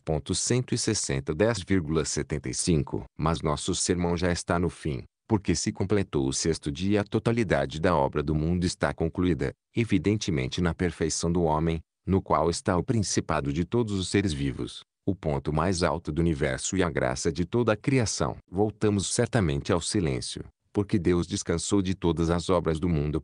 161 Descansou no recesso do homem, descansou em sua mente e propósito, fizera, de fato, o homem capaz de razão, seu imitador, émulo das virtudes, desejoso das graças celestes. Nele repousou Deus, que diz, sobre quem descansarei, se não sobre o humilde e tranquilo, que treme diante de minhas palavras. 162, 76. Dou graças ao Senhor nosso Deus, que fez esta obra na qual descansou. Fez o céu, não leio que descansou. Fez a terra, não leio que descansou. Fez o sol, a lua e as estrelas, nem aí leio que descansou. Mas leio que fez o homem e então descansou, porque tinha alguém a quem perdoar os pecados. Ou talvez já estivesse então prefigurado o mistério da futura paixão do Senhor, pelo qual foi revelado que Cristo repousaria no homem, pois ele predestinava em seu corpo um repouso para a redenção do homem, conforme ele mesmo disse: Eu dormi, repousei e despertei, porque o Senhor me levantou.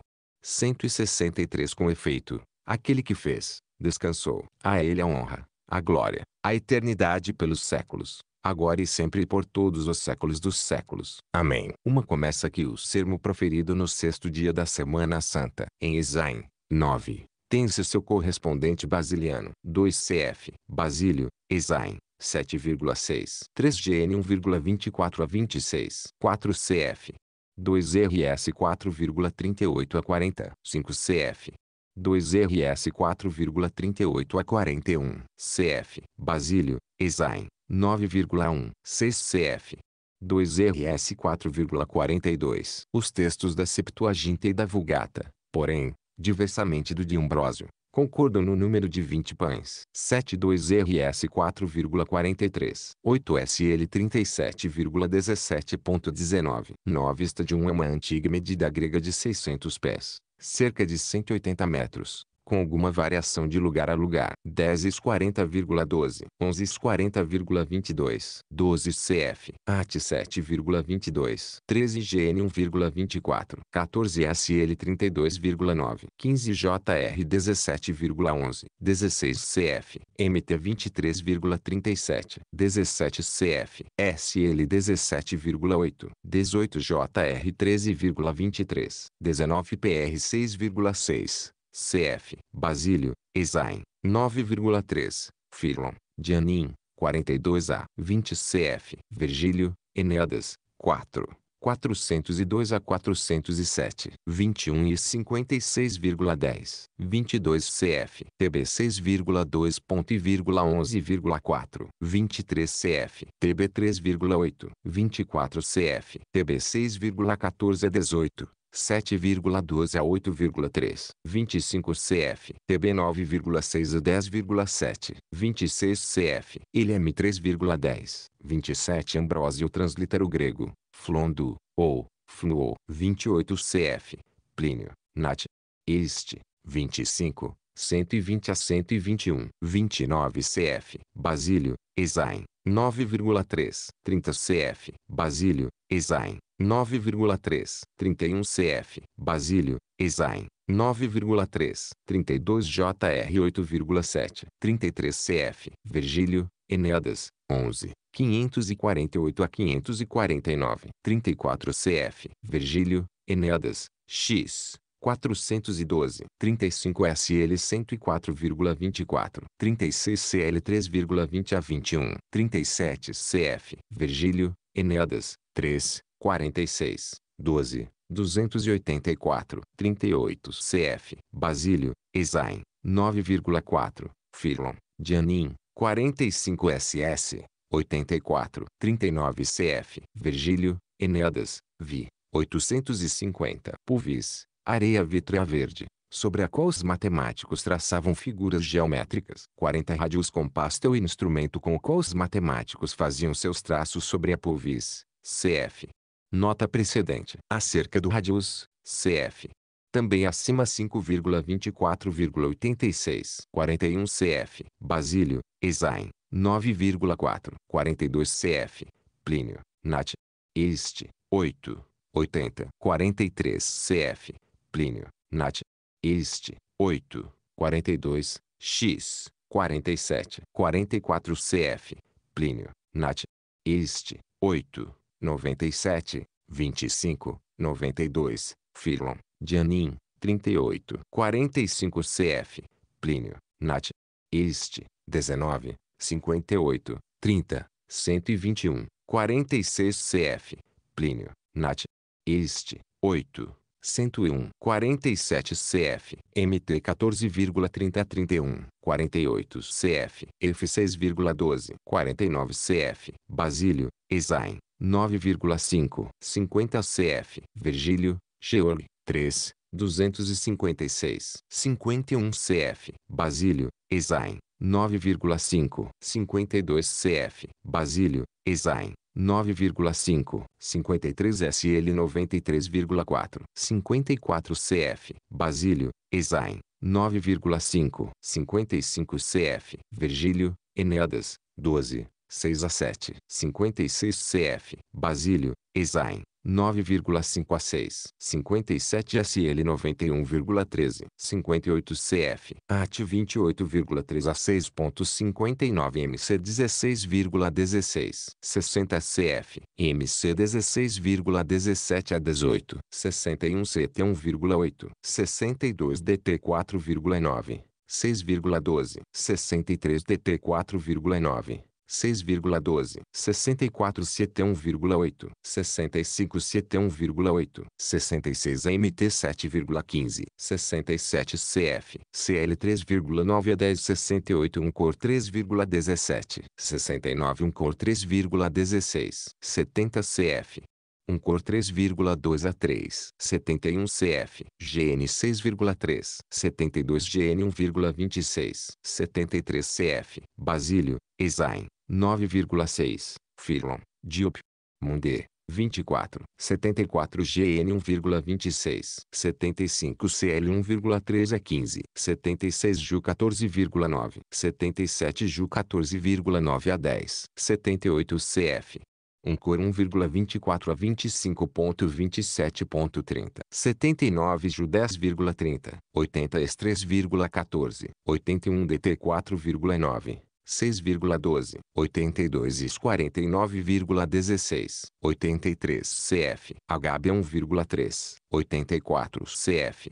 1 cor 15,47 a 48, 85 SL 73,20, 86 AP 21,27, 87 CF, AP 14,1, 88 CF, GN 3,19, 89 MT 10,28, 90 CF, MT 16,26, 91 CF, RM 8,27, um cor 14,25, 92 CF, AP 2,23, 93 CF, Salústio, de Belug, 12,5, 94 FL 3,20, 95 2 cor 3,18, 96 GN 46,27. A fonte de Ambrósio deve ter sido uma versão grega do referido texto, que acrescenta ao texto hebraico mais cinco descendentes de José, como consta em Atos 7,14, 97 LM 3,25, 98 RM 8,28 a 30, 99 1 Cor 6,15, 100 SB 2,12, 101 MT 8,20, LC 9,58, 102 CF, ECLO 9,20, 103 CF, SL 124,7, 104 CF,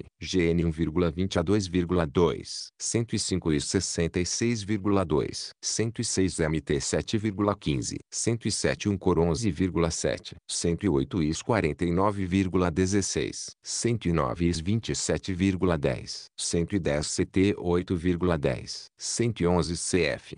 1 cor 11,7 112 SL 139,6 113 1 PD 5,8 114 CF MT 15,11.17 a 20 115 JR 16,16 116 LC 5,10 117 DT 4,9 6,12.118 119 120 121 122 123 124 125 126 127 128 129 130 131 132 133 134 135 136 137 138 139 140 141 142 143 144 145 146 147 148 149 150 151 152 153 154 155 156 157 158 159 160 161 162 163 CF 1 com 9,24 a 25 2 TM 2,5 CF Virgílio, Eneadas, V. 438 CF DT 8,11 5,11 CF DT 8,11 a 14 1 cor 4,7 CF ECO 6,12 Jó 8,9 SL 37,25 e 5,8 BR 3,24 a 25 CF MT 19,23 CF LC 16,19 a 25 PR 30,8 PR 30,9 DT 8,17 ECO 2,14 CF 1 cor 11,14 a 15 CF Ovídio Arzão 3 249 a 250. CF. Virgílio, Eneadas, 2. 557 a 558. CF. Virgílio, Eneadas, Vi. 848. CF. Cícero, Dinat. Deor. 2. 143. CF. Virgílio, Eneadas, 3. 524. CF. Cícero, Dinat. Deor. 2. 140, cf. Cícero, Dinat. Deor. 2. 143, SL 17,8, MT 7,5, LC 6,42, CF, Virgílio, Georg, 4, 50, CF, Cícero, Dinat. Deor. 2, 149, CF, Cícero, Dinat. Deor. 2, 153, CF, SL 104,19, SL 85,9, IS 40,6, CF, Virgílio, Eneadas, Vi. 849 a 850, 1 cor 1,19, SL 51,8, LC 22,48, CF, SL 45,2 A Eucaristia, SL 118,16, I 66,2 GN 6,14 a 16, FL 2,10 a 11, SL 103,5, FL 3,26, GN 2,2, I 66,2, SL 3,6. Coleção Patrística 1. Padres Apostólicos, Clemente Romano, Inácio de Antioquia, Policarpo de Esmirna, Pseudo Barnabé, Hermas, Papas-Didaqué 2. Padres Apologistas, Carta a Diogneto, Aristides, Tassiano, Atenágoras, Teófilo, Hermias 3. Apologias e Diálogo com Trifão, Justino de Roma 4. Contra as heresias, Ireneu de Leão 5. Explicação dos símbolos, da fé, sobre os sacramentos, sobre os mistérios, sobre a penitência, Ambrósio de Milão 6. Sermões, Leão Magno 7. A Trindade, S. Agostinho 8. O Livre-Arbítrio, S. Agostinho 9.1. Comentário aos Salmos, Salmos 1 a 50, S. Agostinho 9.2. Comentário aos Salmos, Salmos 51 a 100, S. Agostinho 9.3. Comentário aos Salmos, Salmos 101 a 150, S. Agostinho 10. Confissões, S. Agostinho 11. Solilóquios, A Vida Feliz, S. Agostinho 12. A Graça, E. S. Agostinho 13. A Graça, E. S. Agostinho 14. Homilia sobre Lucas 12. Homilias sobre a imagem do homem. Tratados sobre o Espírito Santo. Basílio de Cesareia 15. História eclesiástica. Eusébio de Cesareia 16. Os bens do matrimônio. A santa virgindade consagrada. Os bens da viuvez. Cartas a Probaia Juliana. S. Agostinho 17. A doutrina cristã. S. Agostinho 18. Contra os pagãos. A encarnação do Verbo. Apologia ao imperador Constâncio. Apologia de sua fuga. Vida e Conduta de S. Então, S. Atanásio 19. A verdadeira religião. O cuidado devido aos mortos. S. Agostinho 20. Contra Celso. Orígenes 21. Comentário ao Gênesis. S. Agostinho 22. Tratado sobre a Santíssima Trindade. S. Hilário de Poitiers 23. Da incompreensibilidade de Deus, da providência de Deus. Cartas Olímpia, São João Crisóstomo 24. Contra os acadêmicos, a ordem, a grandeza da alma, o mestre, S. Agostinho 25. Explicação de algumas proposições da Carta aos Romanos Explicação da Carta aos Gálatas Explicação quadro da Carta aos Romanos, S. Agostinho 26. Examirão, os seis dias da criação. S. Ambrósio 27.1. Comentário às cartas de São Paulo barra 1. Homilias sobre a carta aos Romanos. Comentários sobre a carta aos Gálatas. Homilias sobre a carta aos Efésios. São João Crisóstomo 27.2. Comentário às cartas de São Paulo barra 2. Homilias sobre a primeira carta aos Coríntios. Homilias sobre a segunda carta aos Coríntios. São João Crisóstomo 27.3. Comentário às cartas de São Paulo barra 3. Homilias sobre as cartas, 1 e 2 a Timóteo, a Tito, aos Filipenses, aos Colossenses, 1 e 2 aos Tessalonicenses, a Filemon, aos Hebreus, São João Crisóstomo 28. Regra Pastoral, S. Gregório Magno 29. A criação do homem a alma e a ressurreição a grande catequese, S. Gregório de Nissa 30. Tratado sobre os princípios, Orígenes a 31. Apologia contra os livros de Rufino, S. Jerônimo 32. A fé e o símbolo Primeira catequeses aos não cristãos A disciplina cristã A continência. S. Agostinho.